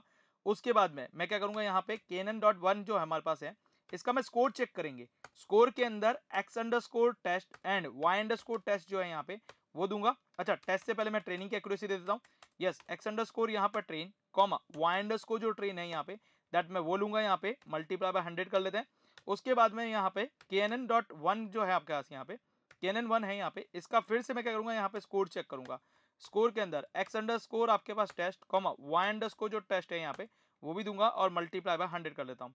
ये दोनों की एक्यूरेसी में क्या करने लूँ, यहाँ पे चेक करने लें। चलिए, अब मैं क्या करता हूँ, इसको प्रिंट कर देता हूँ ताकि मैं प्रिंटिंग ऑप्शन के थ्रू यहाँ पे देख सकूँ कि मेरा मॉडल किस तरह से ट्रेड हो रहा है। इसके साथ साथ मैं यहाँ पे जाऊँगा और यहाँ पर मेरे पास क्या है? ने, नेबर है तो मैं यहाँ पे एन नेबर्स की वैल्यू चेंज करूँगा और नंबर की वैल्यू आई के थ्रू रिप्लेस करूँगा। चलिए इसे रन करते हैं तो देखिए हमारा मॉडल यहाँ पे ट्रेन होना स्टार्ट हो चुका है। अच्छा पहले डेटा को देखें तो that's overfitting scenario second model को देखें तो ये भी ओवर फिटिंग है। थर्ड मॉडल को देखें तो ये ऑलमोस्ट आपके पास सही है। मतलब नेबर की वैल्यू जो थ्री है वो आपके लिए बेस्ट रहेगी। उसके बाद देखिए फोर्थ को देखें तो हाँ फोर्थ वाली आपके पास क्या हो रही है? आपके पास ओवर फिटिंग की जगह अंडर फिटिंग जा रही है। क्योंकि देखिए ट्रेनिंग की एक्यूरेसी कम हो रही है और टेस्टिंग की एक्यूरेसी ज़्यादा हो रही है। That is a not a good part okay इसके साथ साथ देखिए यहाँ पे तो आपका देखिए ये भी आपका क्या है? ये भी आपका अंडर फिटिंग है। देन यहाँ पे ये क्या चल रहा है आपका? ओवर फिटिंग चल रहा देखिए यहाँ पे बात करेंगे तो ये आपके बेस्ट फिटिंग आ चुका है आपके पास यहाँ पे। इसके साथ साथ देखिए नीचे चलेंगे तो ये भी आपके कुछ अच्छा आंसर नहीं है। थोड़ा सा और नीचे मूव करें तो कोई अच्छे आंसर्स हमें यहाँ पर अभी तक दिखने को नहीं मिले हैं। तो सही नेबर की वैल्यू की बात करें तो जो परफेक्ट नेबर निकल के आया हमारे सामने that is a three yes K neighbour neighbour nearest neighbour के अंदर जो हमारा जो नेबर सही तरीके से निकल के आया दैट इज़ अ थ्री इसका मतलब यहाँ पे नंबर ऑफ़ नेबर की वैल्यू मुझे क्या करनी पड़ेगी? थ्री करनी पड़ेगी। चलिए थ्री करके रन करते हैं इसे, फिर रन करते हैं और फिर रन करते हैं। तो देखिए हमारे मॉडल की एक्यूरेसी काफ़ी अच्छी आई है। 91 परसेंट आई है और यहाँ पर ट्रेनिंग की एक्यूरेसी की बात करें तो 92 परसेंट आई है। तो इसका मतलब हमारा जो मॉडल है वो परफेक्टली यहाँ पे वर्क करने वाला है। ठीक है तो हमारा स्कोर निकल चुका है। अब स्कोर निकलने के बाद में, अब हम क्या करते हैं गाइज़ यहाँ पे? इसके अंदर प्रोडिक्शन करके देख लेते हैं एक बार यहाँ पे। तो के एन डॉट में यहाँ पे क्या करूँगा प्रिडिक्ट का इस्तेमाल करने वाला हूँ प्रिडिक्ट के अंदर चलने के बाद डबल स्क्वायर ब्रैकेट का इस्तेमाल करेंगे। अब देखिए प्रिडिक्ट फ़ंक्शन के अंदर जो हमें डेटा देना है, वो स्केलिंग हुआ हुआ डेटा देना है। ना कि आपके पास ये वाला डेटा देना है, आपको जो ऑरिजिनल डेटा वो नहीं देना है। आपको स्केलिंग हुआ हुआ जो डेटा है वो आपको देना है। तो चलिए स्केलिंग हुआ हुआ जो डेटा है वो हम यहाँ पे देंगे। तो उसके लिए मैं देखिए एक्स एक्सेस को कॉल करता हूँ पहले तो। तो ये रहा मेरा एक्स एक्सेस इसके ऊपर हमारा आंसर क्या आना चाहिए? ज़ीरो आना चाहिए। तो मैं स्केलिंग हुआ हुआ जो डेटा है वो इधर पास कराऊँगा यहाँ पे। राइट स्केलिंग हुआ हुआ जो डेटा है, वो मैं पास करा रहा हूँ पहला। एंड रन करूँगा आंसर ज़ीरो आ रहा है। दैट्स गुड पॉइंट यहाँ पे मेरा आंसर ज़ीरो आ ही आना चाहिए, और जो कि ज़ीरो भी आया है। चलिए, इसके साथ साथ देखिए, मैं यहाँ पे कह रहा हूँ, सबसे लास्ट वाला भी चेक कर लेता हूँ यहाँ पे। थ्री नाइनटी नाइन पे आपके पास वन आना चाहिए। तो चलिए, जो सबसे लास्ट वाला डेटा है, उसको भी एक बार चेक कर लेते हैं। तो मैं जो सबसे लास्ट वाला डेटा है ना यहाँ पे, इसको डालता हूँ यहाँ पे, और उसके बाद मैं इस पर चेक करता हूँ कि क्या इसका आंसर वन आ रहा है, या फिर ज़ीरो आ रहा है। इसको लगा के रन करते हैं। यस वन आ रहा है। इसका मतलब आपके पास सही आंसर आ रहा है। क्योंकि देखिए आपका ऐसे और वाई को देखेंगे, यहाँ पे तो आपका रिज़ल्ट वही आ रहा है। देखिए, यदि आप यहाँ पर नहीं समझ पा रहे तो मैं इसको रन करता हूँ तो ये मेरा एक्स एक्सेस का डेटा है और यदि मैं वाई एक्सेस के डेटा को देखूँ तो ये मेरा वाई एक्सेस का डेटा है। तो देखिए ज़ीरो पे तो आपका ज़ीरो आ रहा है एंड थ्री नाइन पे आपका वन आ रहा है। और मैंने यहाँ पे देखिए ऑलमोस्ट थ्री नाइनटी नाइन का जो डेटा है, यहाँ पे उसी को उठा के यहाँ पे पेस्ट किया इसका मतलब मेरा जो डेटा है, वो प्रोडक्शन आपके पास सही हो रहा है। 92 परसेंट एक्यूरेसी है तो इसका मतलब प्रोडिक्शन आपका काफ़ी अच्छे अच्छा हो रहा है। अब हमें क्या करना है गाइज़ यहाँ पे? हमें चेक करना है कि इसका डिसीज़न रीजन क्या होगा। मतलब इसका डिसीज़न बाउंड्रीज क्या बनी होगी, ये चेक करना है। तो देखिए डिसीज़न बाउंड्रीज चेक करने के लिए मैं यहाँ पे क्या करूँगा फ्रॉम जाऊँगा यहाँ पे एम एल मॉड्यूल के अंदर। चलिए एम एल मॉड्यूल के अंदर जाने के बाद डॉट में जाऊँगा यहाँ पे किसके ऊपर प्लॉटिंग के ऊपर। तो प्लॉटिंग के ऊपर क्लिक करने से पहले मैं देखिए एम इलेक्शन दो बार हो गया तो मैं से एक बार के लिए हटा देता हूँ यहाँ पे। उसके बाद में मैं यहाँ पे करूँगा इम्पोर्ट करूँगा, और इम्पोर्ट किसे करने वाला हूँ यहाँ पे गाइस प्लॉट डिसीज़न रीजन को। तो मैं प्लॉट क्या करने वाला हूँ यहाँ पे गाइस डिसीज़न रीजन को कॉल करने वाला हूँ। चलिए, अब इस डिसीज़न रीजन को प्लॉट करते हैं। डिसीज़न रीजन को प्लॉट करने के लिए मैं करूँगा प्लॉट डिसीज़न रीजन को कॉल करूँगा। एक्स एक्सेस का डेटा दूँगा, लेकिन नमपाई के तौर पर तो यहाँ पे टू अंडर स्कोर मैं यहाँ पे क्या कर रहा हूँ, आपके पास नमपाई का इस्तेमाल कर रहा हूँ। टू अंडर स्कोर मैं नमपाई को कॉल करूँगा। उसके बाद में मैं गैस यहाँ पे वाई एक्सेस का डेटा दूँगा, जिसके अंदर इसको भी क्या करूँगा टू अंडर स्कोर मैं नम पाई क्या कॉल कर देता हूँ। उसके बाद में यहाँ पे हमारे पास है C L F C L F के अंदर जाके हम क्या करेंगे, हमारा जो के एन एन है यस उसे हम पास करा देंगे।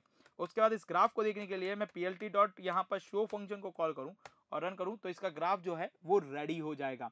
तो चलिए थोड़ा वेट करते हैं ग्राफ के लिए। तो गाइज़ यहाँ पे हमारा जो ग्राफ है वो बन के आ चुका है और इस ग्राफ के अंदर हम ऑब्जर्वेशन करें इसकी तो आप एक ऑब्जर्वेशन कर पाएँगे। देखिए, काफ़ी हद तक ये जो डेटा है, काफ़ी हद तक ये जो मॉडल है, वो बहुत ही अच्छे तरीके से ट्रेंड हो रहा है। देखिए, यहाँ वाला जो रीजन है, इसको तो ये सही तरीके से कैप्चर कर रहा है, लेकिन यहाँ वाले रीजन के अंदर काफ़ी अच्छे अच्छे तरीके से कैप्चर करने की कोशिश कर रहा है, लेकिन ये अच्छे तरीके से कैप्चर नहीं कर पाया। तो इस तरह से आप यहाँ पर देख पाएँगे कि ये किस तरह से वर्किंग कर रहा है राइट और इसने किस तरह के अपने डिसीज़न रीजन को बनाया है। और आज के इस वीडियो के ज़रिए हम यहाँ पर बात करेंगे कि नियरेस्ट नेबर एल्गोरिथम का इस्तेमाल रिग्रेशन एनालिसिस में कैसे किया जाता है। तो चलिए जरा इसे समझते हैं। तो देखिए, मेरे पास यहाँ पे एक डेटा सेट का ग्राफ बना हुआ है यहाँ पे। अब आप कुछ इसे इस तरह समझ सकते हैं कि लेट सपोज़ आपके पास कोई x1 है और आपके पास कोई x2 है। राइट इसके बेसिस पे आप क्या कर रहे हैं? आपका y जो है वो प्रिडिक्शन कर रहे हैं। और ये जो y आपके पास दिख रहा है, ये आपके पास कैसा है? रिग्रेशन टाइप का है। अब इसके अंदर यदि आपके पास कोई नया डेटा आता है तो उस y की वैल्यू क्या होगी? ये हम प्रिडिक्शन करेंगे। तो इसके अंदर कैसे प्रोडक्शन किया जाता है? तो देखिए, ये जो ग्राफ आप देख पा रहे हैं इसके अंदर तो इसके अंदर मैंने क्या कर रखा है? X1 और x2 के बीच में ये ग्राफ बना रखा है, जिसके अंदर हमारे कुछ डेटा पॉइंट्स हैं। अब लेट सपोज़ हमारे पास कोई नया पॉइंट आता है कि ये वाला नया पॉइंट है, जैसे कि रेड पॉइंट है राइट इस रेड पॉइंट का क्या आंसर होगा? मतलब क्या रिज़ल्ट निकलेगा? क्या रिग्रेशन के आंसर निकलेगा? ये हमें यहाँ पर देखना है। तो अब इसे कैसे देखेंगे? सबसे पहले ये क्या करता है कि नियर के जो फाइव पड़ोसी है, उनको ढूंढता है। जैसे कि, देखिए इसके पाँच पड़ोसी कौन कौन से हैं? तो पहला पड़ोसी ये है, दूसरा ये है, तीसरा ये पड़ोसी है एंड चौथा ये पड़ोसी है और पांचवा क्या है? ये पड़ोसी है। अब इनके देखिए पाँच पड़ोसी से मिल चुके हैं। अब ज़रूरी नहीं कि यही पाँच पड़ोसी हो, ऐसा ज़रूरी नहीं है। आप चाहें तो ये देखिए, ये भी इसका पड़ोसी हो सकता है और ये भी इसका पड़ोसी हो सकता है। तो ये डिस्टेंस के ऊपर डिपेंड रहता है कि इसके पड़ोसी कौन कौन से हैं। तो लेट सपोज़ आपके नियर के जो इसके फाइव पड़ोसी है, वो आपके पास इस तरह से दिख रहे हैं। अब मान लीजिए ये नियर का पड़ोसी जो है, आपका पी वन पॉइंट है, ये आपका पी टू पॉइंट है, ये आपका पी थ्री पॉइंट है, ये आपका पी फोर है एंड ये आपका पी फाइव पॉइंट है। तो ऐसे करके आपके पास क्या हुए? ये से पाँच पॉइंट मिल गए, जो आपके पास क्या है? सबसे इसके नियरेस्ट है। अब के नियरेस्ट नेबर इसका आंसर कैसे निकालता है? तो देखिए, ये जो पाँच पड़ोसी आपके पास मिल हैं, जो कि आपके पास क्या है? पी है एंड आपके पास पी है एंड आपके पास यहाँ पे पी है एंड पी है आपके पास यहाँ पे एंड पी है। इन सभी का जो एवरेज आंसर आएगा, वो आपके पास रिज़ल्ट होगा। मतलब इन सभी के कुछ ना कुछ आपके पास वाई आउटपुट मिलेंगे, जैसे कि इसका वाई वन मिलेगा, इसका वाई टू मिलने वाला है, इसका वाई थ्री आपको मिलेगा एंड इसका आपको वाई फोर मिलेगा। एंड देन इसका क्या मिलने वाला? वाई फाइव मिलने वाला है। तो जो हम यहाँ पे फाइनल आंसर के ऊपर बात करें मतलब ये जो रेड पॉइंट का जो रिज़ल्ट आपके पास आने वाला है, इसके फाइनल आंसर की बात करें तो आपके पास रिज़ल्ट क्या होने वाला है कि आपके पास ये Y one plus Y two plus Y three plus यहाँ पे Y four plus Y five आपके पास आएगा। एंड डिवाइड बाय आप क्या करेंगे? फाइव करेंगे। तो इससे आपका आंसर आपको देखने को मिलेगा। अब यहाँ पे आता है कि ये डिस्टेंस कैसे मेजर करते हैं? तो देखिए, इसके अंदर डिस्टेंस मेजर करने के लिए यहाँ पे भी आप क्या क्या करते हैं? मैनहट्टन डिस्टेंस या फिर यूक्लिड डिस्टेंस को ही यूज़ करते हैं। आप इन दोनों में से किसी एक डिस्टेंस को यूज़ कर सकते हैं। आप चाहें तो मैनहट्टन डिस्टेंस को यूज़ कर सकते हैं और आप चाहें तो यूक्लिड डिस्टेंस को यूज़ कर सकते हैं। मैनहट्टन डिस्टेंस क्या करता है गाइस यहाँ पे कि इस पॉइंट से इस पॉइंट के बीच में कितनी डिस्टेंस है, आपके पास एब्सोलूट डिस्टेंस वो आपको निकाल के देता है। और वहीं पर यदि मैं बात करूँ आपके पास की यूक्लिड डिस्टेंस क्या करता है तो यूक्लिड डिस्टेंस क्या करता है, आपकी डायरेक्ट डिस्टेंस क्या है यहाँ पे, ये आपको निकाल के देता है। तो ये एक मेजर डिफरेंस होता है मैनहटन डिस्टेंस और यूक्लिड डिस्टेंस के अंदर। तो basically guys K nearest neighbour के अंदर रिग्रेशन एनालिसिस में क्या करना है कि सिंपल से इसके नियरेस्ट के जो फाइव पड़ोसी हैं, उनको ढूंढेगा यहाँ पे। एंड जो भी इसके नियर फाइव पड़ोसी इसको मिलेंगे, उसके क्या करेगा? उनके जो डेटा पॉइंट के जो भी आउटपुट है उन आउटपुट को निकालेगा एंड देन फाइनली आपके पास क्या करेगा? उनका आपके पास एवरेज करके आपको आंसर लगे देने वाला है। बस ये इसका सिंपल सा प्रोसेस होता है के नेबर के अंदर। अब जरा से थोड़ा प्रैक्टिकली समझ लेते हैं कि किस तरह से वर्क करता है। तो इसके लिए मैं एक डेटा सेट को यूज़ करने जा रहा हूँ यहाँ पे, और पहले मैं आपको थोड़ा डेटा सेट दिखा देता हूँ यहाँ पे। तो मेरे पास जो डेटा सेट है यहाँ पे, वो आपके पास क्या है? मल्टी रिग्रेशन के नाम से एक डेटा सेट है, जिसके अंदर आपके पास क्या कर रखा है कि किसी पर्टिकुलर की एज और उसके एक्सपीरियंस के बेसिस पे उसकी सैलरी डिसाइड की गई है यहाँ पे। अब यहाँ पे एक्सपीरियंस हंड्रेड से ऊपर भी है यहाँ पे आप लोगों को दिख रहा है। दैट इज़ नॉट हंड्रेड ये आपके पास यहाँ पे टेन टेन के आसपास है। मैंने पॉइंट को सिम्प्लीफाई कर रखा है यहाँ पे। That is ten point seven है सिक्स पॉइंट नाइन है सिक्स पॉइंट फोर है। इस तरह की आपके पास क्या है यहाँ पे? एक्सपीरियंस आपको देखने मिला है। एक्सपीरियंस कभी भी आपके पास वन हंड्रेड सेवन ईयर का नहीं हो सकता। That is a ten point seven year yes ये आपके पास क्या है? सारी की सारी डेसिमल वैल्यू है। मैंने इनको नॉर्मल वैल्यू के अंदर पहले से ही कन्वर्ट करके रख रखा है यहाँ पे। Uh, इनको मल्टीप्लाई बाय टेन करके यहाँ पे रख रखा है। तो देखिए, यहाँ पर मुझे इसके डिवाइड बाय टेन करना है, आप लोगों को भी करना हो कभी। तो आप इस तरह से कर सकते हैं कि आप पहले सेलेक्ट कर लें सभी डेटा को और इसे क्या कर एक टेबल बना लीजिए। आपका जो आंसर है, आपको सही तरीके से मिल जाए। देन आप क्या करें इक्वल टू लिखे एंड उसके बाद ये जो डेटा है, आप वो ले लें यहाँ पे। डिवाइड बाय आप क्या करें टेन कर लीजिए एंड देन एंटर कर दीजिए। तो आपका जो डेटा है, वो आपके पास मिल जाएगा। अब मैं काम करता हूँ, ये जो एक्सपीरियंस है, इसको मैं यहाँ से कॉपी कर लेता हूँ यहाँ पे। यस मैं कॉपी कर लेता हूँ और उसके बाद में देखिए, यहाँ पे जो कॉलम का नाम है, वो मैं कर रहा हूँ एक्सपीरियंस रख देता हूँ। Right right. अब मेरे को क्या करना है, इसके डेटा को कॉलम को हटाना है तो मैं इसे कॉपी कर लेता हूँ पहले तो एंड उसके बाद पेस्ट एज नंबर कर लेता हूँ। ओके एंड देन ओके कर लेते हैं यहाँ पे। तो अभी क्या करना है गाइस यहाँ पे, कि इस नंबर को यदि हटाना चाहते हैं मतलब यहाँ से आप एक्सपीरियंस ये जो एक्सपेंशन है यहाँ पे, इसको आप हटाना चाहते हैं तो इसके लिए क्या करें, सबसे पहले आप क्या करें, आपका जो डेटा है, उस डेटा को ले लें यहाँ पे, और इस डेटा को यहाँ से यहाँ तक सेलेक्ट कर लें एंड देन कॉपी कर लें and paste as a number आपको यहाँ पे कर देना, बस सिंपल सा। उसके बाद क्या करना है? दैट्स इसको क्या करें? आप डिलीट कर सकते हैं आराम से। तो मैं डिलीट कर चुका हूँ। तो देखिए, अब मेरा एक्सपीरियंस आ चुका है। एक्सपीरियंस वर्सेज आपका सैलरी आ चुकी है और एज आ चुका है। ठीक है? अब इस एक्सपीरियंस को मैं एक्सपीरियंस बना देता हूँ। एक्सपीरियंस टू है तो एक्सपीरियंस बना लेते हैं इसे। राइट चलिए, इस तरह से आपका डेटा आ चुका है। अब एज आ गया सैलरी आ गई और एक्सपीरियंस आ गया। इसके बेसिस पे आपको क्या करना है? प्रोडिक्शन करना है आपकी सैलरी को। एज आ गया एक्सपीरियंस आ गया और सैलरी आ गई है यहाँ पे। अब आपको क्या करना है? एज वर्सेस आपको सैलरी का प्रोडक्शन करना है। ये जो कॉलम है, अब रेडी है यहाँ पे प्रोडक्शन के लिए। तो चलिए अब इसका काम करते हैं यहाँ पे आगे चल के। तो मैं ले चलता हूँ आपको जुपिटर नोटबुक के ऊपर, जहाँ पे हम के नियर्स नेबर को लगाएँगे as regression point of view से। राइट तो चलिए देखते हैं किस तरह से ये प्रोडक्शन करता है। तो पहले मैंने जुपिटर नोटबुक ओपन कर लिया उसके बाद मैं कह रहा हूँ इम्पोर्ट कर रहा हूँ किसी पांडास को, क्योंकि मुझे इसकी रिक्वायर पड़ेगी डेटा सेट को लोड करने के लिए। तो पांडास एलियस ऑफ़ हम क्या करने वाले पीडी करने वाले चलिए, उसके बाद हम क्या करते हैं? हमारे डेटा सेट को लोड करते हैं। तो डेटा सेट के नाम से एक वेरिएबल बनाएँगे और पीडी डॉट यहाँ पे क्या करूँगा? रीड अंडर सी के हेल्प से मेरे पास यहाँ पे क्या है? आपके पास multi linear regression dot C है। तो मैं उसे लेने वाला हूँ यहाँ पे। चलिए, उसके बाद क्या करते हैं? डेटा सेट को लेते हैं और डॉट हेड लगाते हुए इसके तीन डेटा को देखते हैं।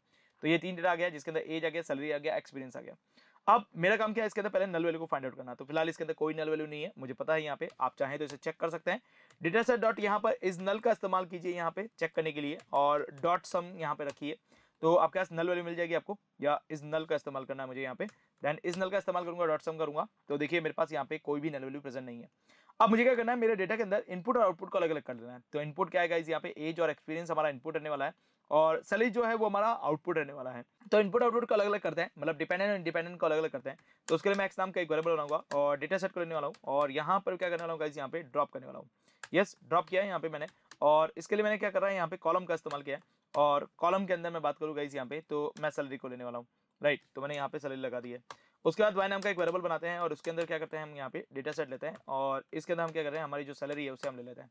तो देखिए एक्स एक्सेस का डेटा हमारा अलग हो चुका है। और मेरे पास यहाँ पे वाई एक्सेस का डेटा दिखूँ तो देखिए वाई एक्सेस का डेटा भी अलग हो चुका है। अब मेरा नेक्स्ट टारगेट क्या रहेगा? मेरे डेटा को ट्रेन और टेस्ट के अंदर स्प्रेडिंग करना है। तो चलिए इसे ट्रेन और टेस्ट के अंदर स्प्रेडिंग कर लेते हैं। तो फ्रॉम साइकिल के अंदर चलेंगे। डॉट उसके बाद में कहाँ चलने वाले हैं? मॉडल सिलेक्शन के ऊपर चलने वाले हैं। तो मैं साइकिल के चलूँगा और मॉडल सिलेक्शन को चूज़ करूँगा। दैट मैं इंपोर्ट करने वाला हूँ किसे?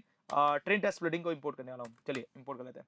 उसके बाद में हम क्या करते हैं गाइज़ यहाँ पे एक्स अंडर स्कोर मैं यहाँ पे क्या करूँगा? ट्रेन नाम से एक वेरिएबल बनाऊँगा। देन उसके बाद मैं एक्स अंडर स्कोर मैं टेस्ट नाम से एक वेरिएबल बनाने वाला हूँ यहाँ पे। उसके बाद मैं क्या करने वाला हूँ? वाई अंडर स्कोर मैं यहाँ पे ट्रेन नाम से एक वेरिएबल बनाने वाला हूँ। और वाई अंडर स्कोर मैं टेस्ट नाम से एक वेरिएबल बना रहा हूँ। और ट्रेन टेस्ट स्प्लिटिंग लेते हैं यहाँ पे, जिसके अंदर एक्स और वाई दोनों रखेंगे यहाँ पे। और उसके बाद में यहाँ पे टेस्टिंग साइज़ दे देते हैं। Testing size zero point two twenty percent रखेंगे यहाँ पे। और रैंडम स्टेट की जो वैल्यू है दैट मैं फोर्टी टू रखने वाला हूँ। चलिए इसे रन कर लेते हैं। उसके बाद हम क्या करें? हमारा मॉडल बनाते हैं। अब मॉडल किसका बनाना है गाइस यहाँ पे के नियरेस्ट नेबर एल्गोरिथम का बनाना है। तो चलिए के नियरेस्ट नेबर एल्गोरिथम को लेके आते हैं। तो कैसे? फॉर्म सेकंड के अंदर चलेंगे। डॉट कहाँ जाएँगे? नेबर के अंदर जाना है हमको।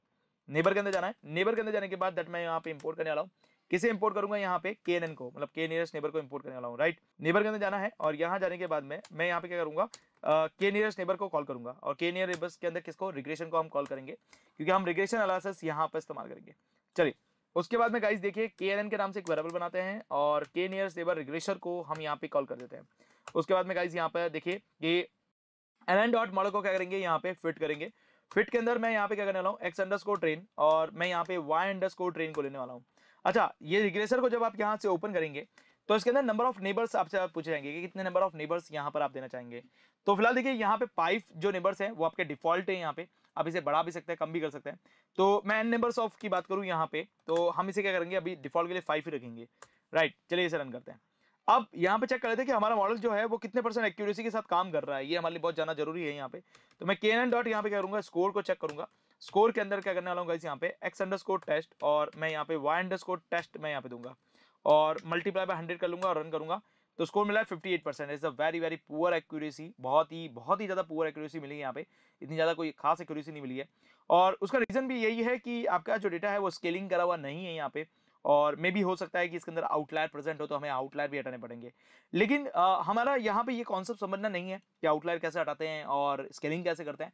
हमारा पॉइंट ये है कि के केनियस नेबर का एल्गोरिथम को इस्तेमाल कैसे करते हैं।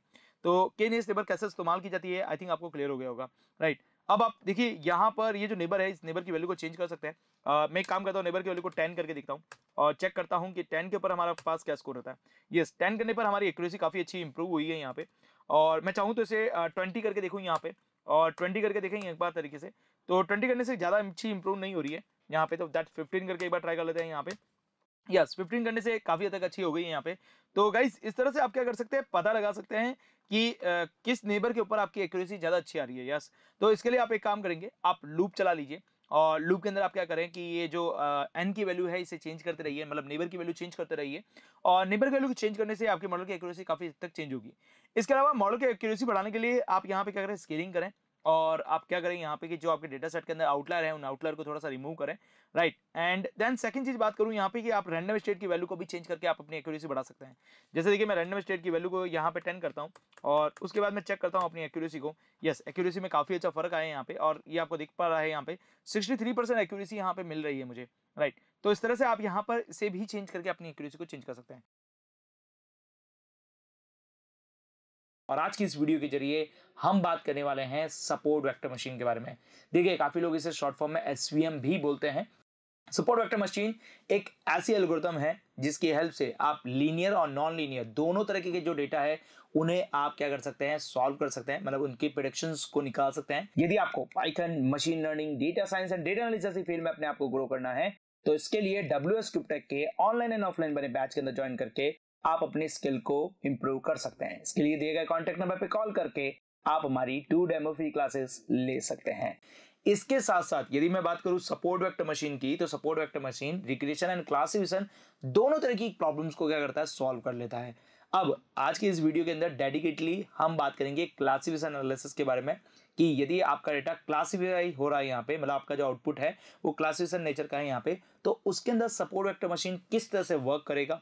एंड उसके ऊपर प्रोडिक्शन किस तरह से किया जाता है, वो चीज़ें हम यहाँ पर देखने वाले हैं। तो चलिए, जरा इसे समझते हैं। तो देखिए सपोर्ट वेक्टर मशीन जो है, वो क्लासिफिकेशन एंड रिग्रेशन दोनों तरीके के एल्गोरिथम्स के अंदर वर्क करता है। ये वर्क करता कैसे? है जरा उसे समझते हैं यहाँ पे। तो देखिए सपोर्ट वेक्टर मशीन क्या करता है कि जस्ट सपोज़ आपके पास ये डेटा है। अब ये डेटा क्या है यहाँ पे?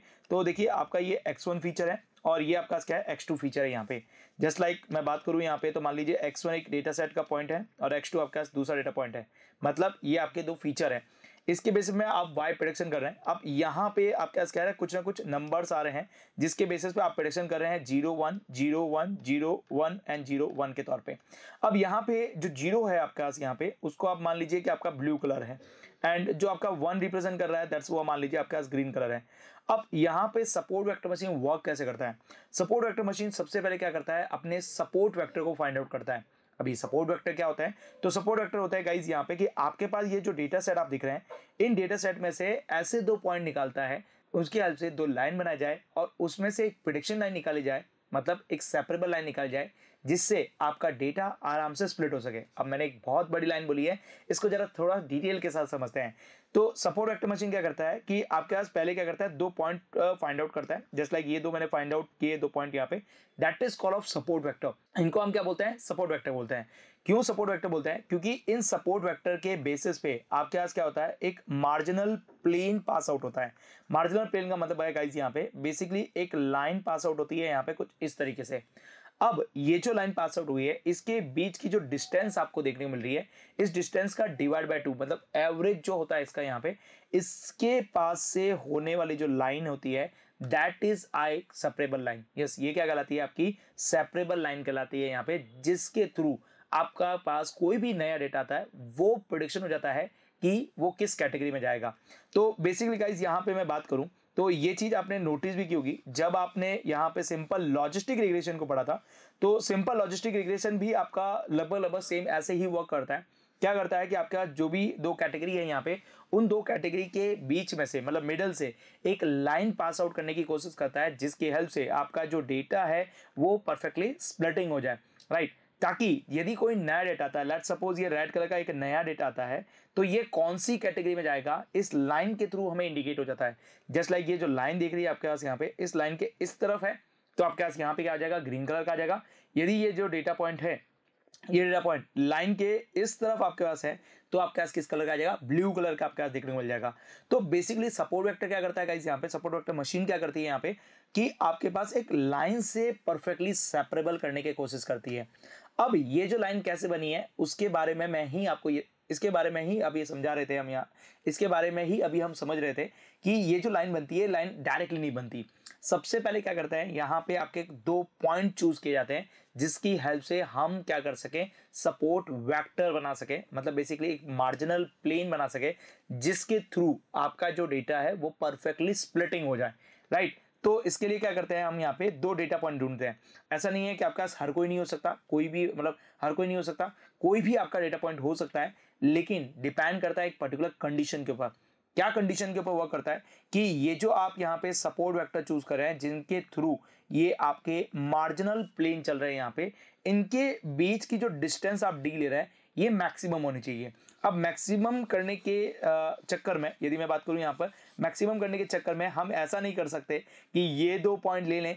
आपके पास ये दो सपोर्ट वेक्टर ऐसे चूज़ किए जाते हैं जिनके थ्रू आपका जो मार्जिनल पे निकल रहा है, उस मार्जिनल प्लेन के अंदर जितना कम हो सके, उतने कम डेटा पॉइंट्स आपके पास आए।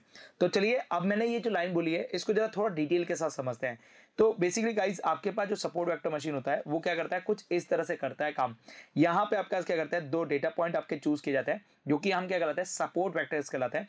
इन सपोर्ट वेक्टर से आप क्या क्या करते हैं? आपके पास मार्जिनल प्लेन जिसे आप हाइपर प्लेन भी बोलते हैं ये हाइपर प्लेन पास किया जाता है।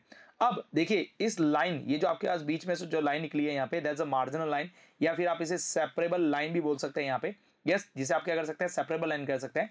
इस सेपरेबल लाइन के यदि आपके पास राइट साइड में आपका ये जो प्लेन चल रहा है इसको हम पॉजिटिव हाइपर प्लेन बोलते हैं। और इस लाइन के लेफ़्ट साइड के अंदर आपके पास यहाँ पे जो लाइन चल रही होती है इसे हम नेगेटिव हाइपर प्लेन बोलते हैं। और ये जो बीच में चल रहा है यहाँ पे दैट इज़ आपके पास यहाँ पे मैक्सिमम हाइपर प्लेन कहलाता है। और ये जो डिस्टेंस डी दिख रही है आपके पास यहाँ पे ये डिस्टेंस डी आपके पास क्या होनी चाहिए? मैक्सिमम टू मैक्सिमम होनी चाहिए। यस yes, जितनी ज़्यादा मैक्सिमम हो सके उतनी ज़्यादा मैक्सिमम होनी चाहिए ताकि हमारे जो डेटा पॉइंट है वो आराम से सेपरेबल हो सके। सेकेंड पॉइंट एक और चीज़ है यहाँ पे कि यदि कोई नया डेटा पॉइंट हमारे सामने आता है तो वो परफेक्टली प्रेडिक्ट हो सके कि that is a blue colour या that is a green colour yes वो कौन सी कलर में जाएगा, इसके ऊपर डिपेंड कर सकता है। Right right. अब बात करते हैं कि सब सपोर्ट वेक्टर मशीन कैसे वर्क करती है, ये तो हमें आइडिया लग गया यहाँ पे कि सबसे पहले क्या करना है, हमें यहाँ पे सपोर्ट वेक्टर को फाइंड आउट करना है। तो सबसे पहले हमने यहाँ पे ये सपोर्ट वेक्टर फाइंड आउट कर लिया यहाँ पे। इसके बाद में से हमने क्या किया, यहाँ से प्लेन निकाल दिया। इसके बाद से हमने प्लेन निकाल लिया। और प्लेन निकालने के बाद में यहाँ से हमने हमारा हाइपर प्लेन बना दिया, जिसके थ्रू हमारा डिफरेंशिएट हो रहा है। लेकिन ये जो सपोर्ट वेक्टर हमने चूज़ किया है, ये सपोर्ट वेक्टर क्या कोई भी हो सकता है क्या? नहीं। ये चीज़ मैंने आपको पहले बता दी डिस्टेंस डी जो होती है, वो मैक्सिमम होनी चाहिए। क्योंकि देखिए, यदि मैंने मान लिया ये दो पॉइंट लेके चला, और इन दोनों पॉइंट से यदि मैंने हाइपर प्लेन बनाया तो आप डिस्टेंस देख लीजिए दोनों के बीच की डी जो है वो बहुत ही कम है। इसकी जगह पर यदि मैं यहाँ पे इस पॉइंट को लेके और इस पॉइंट को लेके चलता हूँ यहाँ पे तो देख लीजिए आपका जो डिस्टेंस डी है वो काफ़ी अच्छी है यहाँ पे। मतलब प्लेन की जो डिस्टेंस है वो काफ़ी अच्छी हो चुकी है। राइट तो ये आपके पास होती है। अब इसी के अंदर हमारी जो सपोर्ट वेक्टर मशीन है, ये दो तरीके से वर्क करती है। अब ये दो तरीके से कैसे वर्क करती है? तो ये दो तरीके से वर्क करती है आपकी हार्ड मार्जिन से और इसके साथ साथ सॉफ्ट मार्जिन से मतलब सपोर्ट वेक्टर मशीन जो होती है टू तरीके से वर्क करती है। That is a hard margin and that is a soft margin अब ये हार्ड मार्जिन और सॉफ्ट मार्जिन का मतलब क्या है यहाँ पे? जरा समझते देखिए।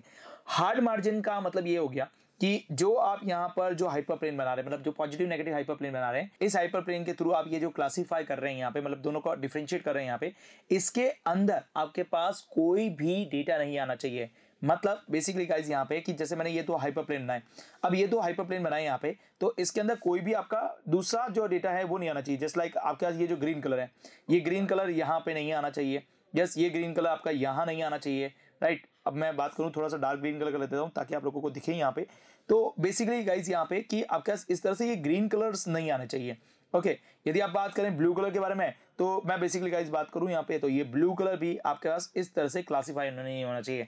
हार्ड मार्जिन का मतलब क्या हुआ? कि आप अपने डेटा को कुछ इस तरह से सेपरेबल कर रहे हो, ताकि ये जो डिस्टेंस डी जो आप देख रहे हो यहाँ पे, ये डी जो है आपका मैक्सिमम तो नहीं होना चाहिए।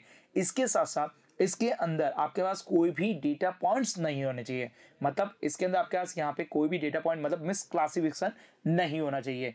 यदि ये मिस क्लासिफिकेशन होता है तो इससे हमें रॉन्ग प्रिडिक्शन देखने को मिलता है। राइट तो पहला पॉइंट होता है हार्ड मार्जिन अब इसी में आता है आपका सॉफ्ट मार्जिन सॉफ्ट मार्जिन में क्या होता है गाइस यहाँ पे? सॉफ्ट मार्जिन में होता है कि अब आपके पास ऐसी काफ़ी सिचुएशन आ जाती है, जैसे कि ये तो आपके पास क्या है परफेक्टली सेपरेबल है। लेकिन यदि मान लीजिए आपके पास कुछ डेटा पॉइंट इस तरह से आता है, जैसे मैं अभी आपको बना के दिखाता हूँ, ठीक है? आपके पास डेटा पॉइंट आपके पास कुछ इस फॉर्मेशन में आ जाए, जैसे इस तरह के सेपरेबल में तो आपके पास क्या चल रहा है? आपका हार्ड मार्जिन चल रहा है, आप इसमें आराम से काम कर सकते हैं। लेकिन लेट सपोज़ आपके पास जो डेटा सेट है, वो कुछ इस तरह से है। तो उस वक्त आपके पास आपको सॉफ्ट मार्जिन की ज़रूरत पड़ेगी क्योंकि वहाँ पे आप डेटा पॉइंट को परफेक्टली सेपरेबल नहीं कर पाएँगे। जैसे मान लीजिए कुछ मेरे रेड पॉइंट्स हैं यहाँ पे। राइट right, मेरे ये क्या है? कुछ रेड पॉइंट्स हैं जिसके थ्रू आपके पास यहाँ पे चीज़ें सेपरेबल हो रही है। एंड आपके पास जिसके थ्रू आपके डेटा पॉइंट आ रहे हैं। एंड देन मैं ब्लू कलर से कर रहा हूँ यहाँ पे। तो ये मेरे कुछ ब्लू कलर के डेटा पॉइंट्स हैं जिसके थ्रू हम यहाँ पे ये कुछ मेरे ब्लू पॉइंट्स हैं यहाँ पे। राइट तो आप यहाँ पर देख पाएँगे कि अब यहाँ पे हम यदि सेपरेबल करने चले मतलब मैं यदि हाइपर प्लेन बनाने चलूँ इन केस ठीक है? तो हाइपर प्लेन के अंदर बात करें तो हाइपर प्लेन मेरे परफेक्टली परफेक्टली आपके पास सेपरेबल नहीं हो पाएँगे। क्यों नहीं सेपरेबल हो पाएँगे? तो क्योंकि कुछ जो रेड डेटा है वो ब्लू के साथ मिक्सअप है और कुछ जो ब्लू डेटा है वो क्या है? रेड के साथ मिक्सअप है। तो इनकेस यदि मैं यहाँ से अपने हाइपर प्लेन को ड्रॉ करूँ पॉजिटिव नेगेटिव हाइपर प्लेन को ड्रॉ करूँ और यहाँ पर मैं अपने लाइन को सेपरेबल बनाऊँ। तो आप देखिए, ये डिस्टेंस डी तो आपके पास काफ़ी मैक्सिमम है, लेकिन इसके बीच में काफ़ी मिस क्लासिफिकेशन है। तो बेसिकली गाइस यहाँ पे क्या हो रहा है कि सपोर्ट वेक्टर मशीन जो आपके पास यहाँ पे है, ये दो तरीके से वर्क करती है। यदि आपका डेटा परफेक्टली सेपरेबल है तो वो किसमें आएगा? आपका हार्ड मार्जिन में आएगा। और यदि आपका डेटा परफेक्टली सेपरेबल नहीं हो पाता है कुछ आपका मिस क्लासिफिकेशन कर जाता है तो वो आपका सॉफ्ट मार्जिन के अंदर आने वाला है। तो आपका सपोर्ट वेक्टर मशीन कुछ इस दो तरीके से वर्क करती है। अब यहाँ पे बात करते हैं कि जो सपोर्ट वेक्टर मशीन है, जो हमने यहाँ पे देख रहे हैं, ये सपोर्ट वेक्टर मशीन तो आपके पास लीनियरली सेपरेबल करती है। और लीनियरली सेपरेबल लीनियरली सेपरेबल करने के लिए हमारे पास क्या है? कैपेबल लीनियरली सेपरेबल करने के लिए हमारे पास क्या है? लॉजिस्टिक रिग्रेशन है। तो हम लॉजिस्टिक रिग्रेशन से भी कर सकते हैं। सपोर्ट वेक्टर मशीन में ऐसी क्या टेक्निक है जिसकी वजह से ये नॉन लीनियर डेटा सेट को भी परफेक्टली सेपरेबल कर सकती है? तो उसको जरा अब यहाँ पर देखते हैं। तो गाइस देखिए, आपके पास डेटा यदि लीनियरली सेपरेबल है, कुछ इस तरह का डेटा है, तब तो सपोर्ट वेक्टर मशीन आपके पास लाइन से काम लाइन से सेपरेबल कर लेती है। लेकिन यदि आपका डेटा लीनियरली सेपरेबल नहीं है जमथिंग मान लीजिए आपका जो डेटा है वो कुछ इस तरीके से आ रहा है यहाँ पे यस आपके पास जो डेटा है, जैसे मैं मान लूँ यहाँ पे, ये मेरा x1 है और ये मेरा क्या है x2 है और डेटा कुछ इस तरह से आ रहा है तो that is a non linear yes ये क्या कहला रहा है? नॉन लीनियर कहला रहा है। अब जब हमारे पास डेटा नॉन लीनियर फॉर्मेशन में आ जाता है तो अब हम यहाँ पे इसे लीनियरली सेपरेबल नहीं कर सकते। मतलब अब हम इसे लीनियरली सेपरेबल नहीं कर पाएँगे, इतनी इसकी पॉसिबिलिटीज नहीं हो पाती है। तो हमें कहाँ जाना पड़ता है? नॉन लीनियर सेपरेबल में जाना पड़ता है। Right right? तो बेसिकली एसवीएम का जो रोल है, वो दो तरीके से काम करता है। पहला तो आपके पास एसवीएम कब काम करता है लीनियरली सेपरेबल के लिए काम करता है। दूसरा नॉन लीनियरली डेटा सेपरेबल यदि आपके पास है, तब भी एसवीएम आपके पास परफेक्टली वर्क करता है। और ये परफेक्टली वर्क करता है किसकी हेल्प से? आपके पास कर्नल की हेल्प से। अब ये कर्नल क्या चीज़ होती है? जरा समझते हैं यहाँ पे। तो देखिए एसवीएम जो होता है गाइज़ यहाँ पे, ये आपके पास क्या करता है? एक फॉर्मूला अप्लाई करता है। अब ये फॉर्मूला क्या अप्लाई करता है? जरा आप इससे समझते हैं। तो देखिए एसवीएम क्या करता है यहाँ पे कि ये जो लाइन आप जो ले रहे हैं यहाँ पे यस ये जो लाइन आप बना रहे हैं यहाँ पे, इस लाइन का एक फॉर्मूला अप्लाई करता है। अब आपको पता है लाइन का फॉर्मूला आप सब लोगों ने पढ़ा भी होगा और नहीं पढ़ा है तो इसके लिए मैं चाहूँगा आप मेरी पुरानी वाली जो वीडियो है, देखें कौन सी लीनियर रिग्रेशन वाली वीडियो देखें। उसके अंदर मैंने आपको बता रखा है कि लाइन का फॉर्मूला क्या होता है। तो चलिए, जिनको पता है दैट्स हम आगे वर्क करते हैं और जिनको नहीं पता है तो बस इस वीडियो के एंड होने पर आपको क्या करना है? आपको मेरा वो वाला जो वीडियो है लीनियर रिग्रेशन वाला वो आपको देखना है। राइट चलिए तो अब मैं बात करता हूँ यहाँ पे कि दैट्स माय लाइन ओके इस लाइन के फॉर्मेशन की बात करूँ तो लाइन की इक्वेशन यदि आपने लीनियर रिग्रेशन में पढ़ी होगी तो that is is to M X plus C आपके पास ये होती है। दैट इज़ सेपरेबल करने के लिए Y equal to M X plus C आपके पास लाइन होती है। यस yes, और यहाँ पे जो हम हाइपर प्लेन बना रहे हैं राइट right? ये जो हम हाइपर प्लेन बना रहे हैं इन हाइपर प्लेन की जो लाइन की इक्वेशन होती है वो कुछ इस तरह से आती है y is equal to M X plus C plus आपके पास यहाँ पे, जैसे ये इक्वेशन है, इससे आपके पास क्या आएगा? आपके पास यहाँ पे माइनस आ जाएगा। कितना? लेमडा या डेल्टा मान सकते हैं। और यदि इसकी मैं बात करूँ आपके पास यहाँ पे तो ये क्या हो जाएगी? y is equal to M X plus C plus आपके पास क्या होगी? डेल्टा लाइन हो जाएगी। तो गाइज़ यहाँ पे ये जो लाइन बन रही है, इस लाइन के थ्रू आपके पास क्या होता है? प्रोडिक्शन होता है। Yes yes? तो इसको हम क्या बोलते हैं? इसको हम बोलते हैं सिंपल एसवीएम सिंपल एसवीएम मतलब यहाँ पे आपका linear regression and classification problem solve हो रही है। मतलब बेसिकली लीनियरली सेपरेबल जो लाइन है वो आपकी सॉल्व हो रही है। अब यहाँ पे ये कर्नल वाला माजरा क्या है? तो बेसिकली ये जो कर्नल है गाइज़ यहाँ पे, ये कर्नल क्या करता है कि आपके डेटा का मॉडिफिकेशन करता है। अब मॉडिफिकेशन करने का मतलब क्या हुआ गाइज़ यहाँ पे? बेसिकली गाइज़ यहाँ पे बात करें कि एसवीएम जो है यहाँ पे सपोर्ट वेक्टर मशीन है, वो y is to M X plus C को फॉलो कर रहा है। मतलब बेसिकली लाइन को फॉलो कर रहा है। लेकिन यदि हमारा जो डेटा है यहाँ पे, ये डेटा आपके पास लीनियरली सेपरेबल नहीं है तो उस केसेस में हम क्या करेंगे? तो हम क्या करेंगे कि जो हमारा यहाँ पे जो फॉर्मूला है, उसे हम क्या करेंगे? मॉडिफिकेशन करेंगे। क्या करेंगे? हमारा जो फॉर्मूला है, इसे हम क्या करेंगे? मॉडिफिकेशन करेंगे। मतलब इसके जो जो डेटा आपके पास आ रहा है यहाँ पे, उस डेटा को हम मॉडिफिकेशन करके हम अप्लाई करेंगे। जैसा यदि मैं आप लोगों को थोड़ा सा आइडिया दूँ यहाँ पे तो हमने पढ़ा था polynomial regression right polynomial regression के अंदर हमारा डेटा तो था लीनियर रिग्रेशन का और हमने फॉर्मूला भी लीनियर रिग्रेशन का अप्लाई किया था। लेकिन जब हमारा डेटा लीनियरली आपके पास परफेक्टली रिग्रेशन को फॉलो नहीं कर रहा था तो हमने हमारे डेटा को क्या किया था? हमने हमारे डेटा को पॉलिनोमियल डेटा के अंदर कन्वर्ट किया था, ताकि आप क्या कर सकें? आपका जो भी डेटा है यहाँ पे, उस डेटा को आप लीनियर रिग्रेशन के अंदर अप्लाई कर सकें और एक प्रिडिक्शन लाइन बना सकें। राइट ये चीज़ हमने पॉलिनोमियल रिग्रेशन के अंदर की थी। सेम एज हमारे पास यहाँ पे भी है कि जब हमारा डेटा लीनियरली सेपरेबल नहीं हो रहा है तब हमें क्या करनी पड़ती है? हमें हमारे डेटा को देना पड़ता है कर्नल कर्नल क्या करता है गाइज़ यहाँ पे? कि हमारे डेटा का मॉडिफिकेशन करता है. यस yes, कर्नल क्या करता है? हमारे डेटा को मॉडिफिकेशन करता है और मॉडिफिकेशन करने के बाद में प्लस एसपीएम को देता है? जिसके थ्रू प्रोडिक्शन होता है. मतलब जिसके थ्रू आपके चीज़ें सेपरेबल होती है. अब ये कर्नल करता कैसे है? इस चीज़ को समझने के लिए हम इस तरह से कंसिडर कर सकते हैं. लेट सपोज़ आपका एक डेटा है. Right right? आपका एक्स एक्सेस और वाई एक्सेस का आपका डेटा यहाँ पे। यदि मैं मान लू केवल एक्स एक्सेस का डेटा यहाँ पे जिसके थ्रू आप यहाँ पे क्लासिफिकेशन कर रहे हैं तो मान लीजिए आपका डेटा कुछ इस तरह से है। यस yes, आपका जो डेटा है यहाँ पे कुछ इस तरह से है कि आपके पास कुछ रेड पॉइंट है। यहाँ पे कुछ आपके पास कुछ के देखा देखा रेड पॉइंट दे रखे हैं। और आपके पास मान लीजिए कि आपके पास कुछ ग्रीन पॉइंट्स हैं। राइट right, आपके पास क्या कर रहा है? कुछ ग्रीन पॉइंट्स है। ये आपके पास एक वन डायमेंशन डेटा सेट है। ठीक है? तो हम क्या करते हैं? कुछ अनल एसवीएम लगाते हैं। क्या करते हैं? हम यहाँ पे कर्नल एसवीएम लगाते हैं। कर्नल एसवीएम क्या करता है? इस डेटा पॉइंट की सिचुएशन को चेंज कर देता है। कर्नल एसवीएम क्या करता है? इस डेटा पॉइंट की सिचुएशन को कम चेंज कर देता है। जैसे कि ये वन डायमेंशन डेटा सेट है ना तो कर्नल एसवीएम क्या करेगा? कुछ फॉर्मुलेशन लगाएगा और फॉर्मुलेशन की हेल्प से ये जो वन डायमेंशन डेटा है, ये टू डायमेंशन में कन्वर्ट हो जाएगा। मतलब टू डायमेंशन के अंदर स्पेस के अंदर कन्वर्ट हो जाएगा। अब लेट सपोज़ यदि मैं इसके टू डायमेंशन स्पेस के अंदर कन्वर्ट कर लूँ यस लेट सपोज़ यदि मैं इसे क्या करूँ? टू डायमेंशन के अंदर यदि मैं इसे कन्वर्ट कर लूँ तो आपका जो आपके पास केवल एक्स एक्सेस था, वो अब दो पॉइंट में बदल चुका है। एक्स वन और एक्स टू में बदल चुका है। तो आपके जो पॉइंट्स हैं यहाँ पे तो ये पॉइंट जो है आपके पास यहाँ पे कुछ इस तरह से आ जाएँगे कि कुछ ग्रीन पॉइंट्स यहाँ पे आ गए एंड कुछ ग्रीन पॉइंट्स यहाँ पे भी आ गए आपके पास यहाँ पे। और रेड पॉइंट की बात करेंगे इस यहाँ पे तो कुछ रेड पॉइंट आपके पास इस तरह से भी आ गए। तो आपका जो डेटा है वो कुछ इस तरह से सेपरेबल हो जाएगा। अब जब आपके पास इस तरह से आ जाएगा ना तो हम क्या कर सकते हैं? यहाँ पर आपके पास सपोर्ट वेक्टर मशीन को लगा सकते हैं। कैसे लगाएँगे यहाँ पे? तो मैं सपोर्ट वेक्टर मशीन कुछ इस तरह से लगा के इसे सेपरेबल कर दूँगा। जैसे ये लाइन बनाई ना मैंने, यहाँ पे सेपरेबल लाइन बनाई तो मैं कुछ इस तरह से सेपरेबल कर दूँगा। जैसे कि इस तरह के, इस वाले डेटा सेट के ऊपर बात करते हैं। यदि ये डेटा सेट है हमारा टू डायमेंशन के अंदर, अब मुझे यहाँ पे ये सेपरेबल नहीं हो रहा है तो मैंने क्या लगाया? कर्नल एसवीएम लगाया। कर्नल एसवीएम लगाने के बाद में क्या होगा कि ये टू डायमेंशन डेटा है, इसको हम करेंगे थ्री में कन्वर्ट यदि मैं इसे थ्री में कन्वर्ट करूँ तो आप कुछ इस तरह से ऑब्जर्वेशन ले सकते हैं। जैसे कि मैं आपको बात करूँ तो आप कुछ इस तरह से ऑब्जर्वेशन ले सकते हैं कि आपका जो डेटा पॉइंट है, वो इस तरह से चेंजेस हो जाएगा। जैसे ये आपका एक्स एक्सेस हो गया, ये आपका वाई एक्सेस हो गया और ये आपका जेड एक्सेस हो गया। तो ये एक्स हो गया, ये वाई हो गया और आप यह जेड हो गया। अब इसके अंदर जो आपके पास ग्रीन पॉइंट है, या इसके जो ग्रीन पॉइंट है, वो ग्रीन पॉइंट आपके पास यहाँ पर आ जाएँगे। ये ग्रीन पॉइंट क्या करेंगे? आपके पास यहाँ पे आ जाएँगे। एंड जो आपके ब्लू पॉइंट है गाइस यहाँ पे, वो ब्लू पॉइंट आपके पास कुछ यहाँ पे भी आ सकते हैं। राइट कुछ ब्लू पॉइंट आपके पास यहाँ पे भी आ जाएँगे। अब हम क्या करेंगे यहाँ पे? यदि मुझे इसको सेपरेबल करना है तो मुझे यहाँ पर क्या करना पड़ेगा? बस एक हाइपर प्लेन बनाने की ज़रूरत है और ये हाइपर प्लेन आपके डेटा को स्प्लिटिंग कर देगा। तो बेसिकली कर्नल एसपीएम क्या करता है गाइस यहाँ पे?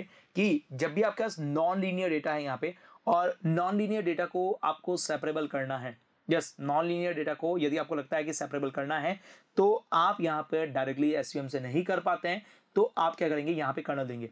अब बेसिकली गाइस यहाँ पे कर्नल के अंदर कौन कौन से कर्नल्स आते हैं? उनको जरा आप देखते हैं तो गाइस कर्नल क्या है, आपके पास यहाँ पे कि आपका जो वन डायमेंशन डेटा है, उसको हाई डायमेंशन स्पेस के अंदर कन्वर्ट करते हैं, ताकि हम यहाँ पे उसे आराम से स्प्लिटिंग कर सकें।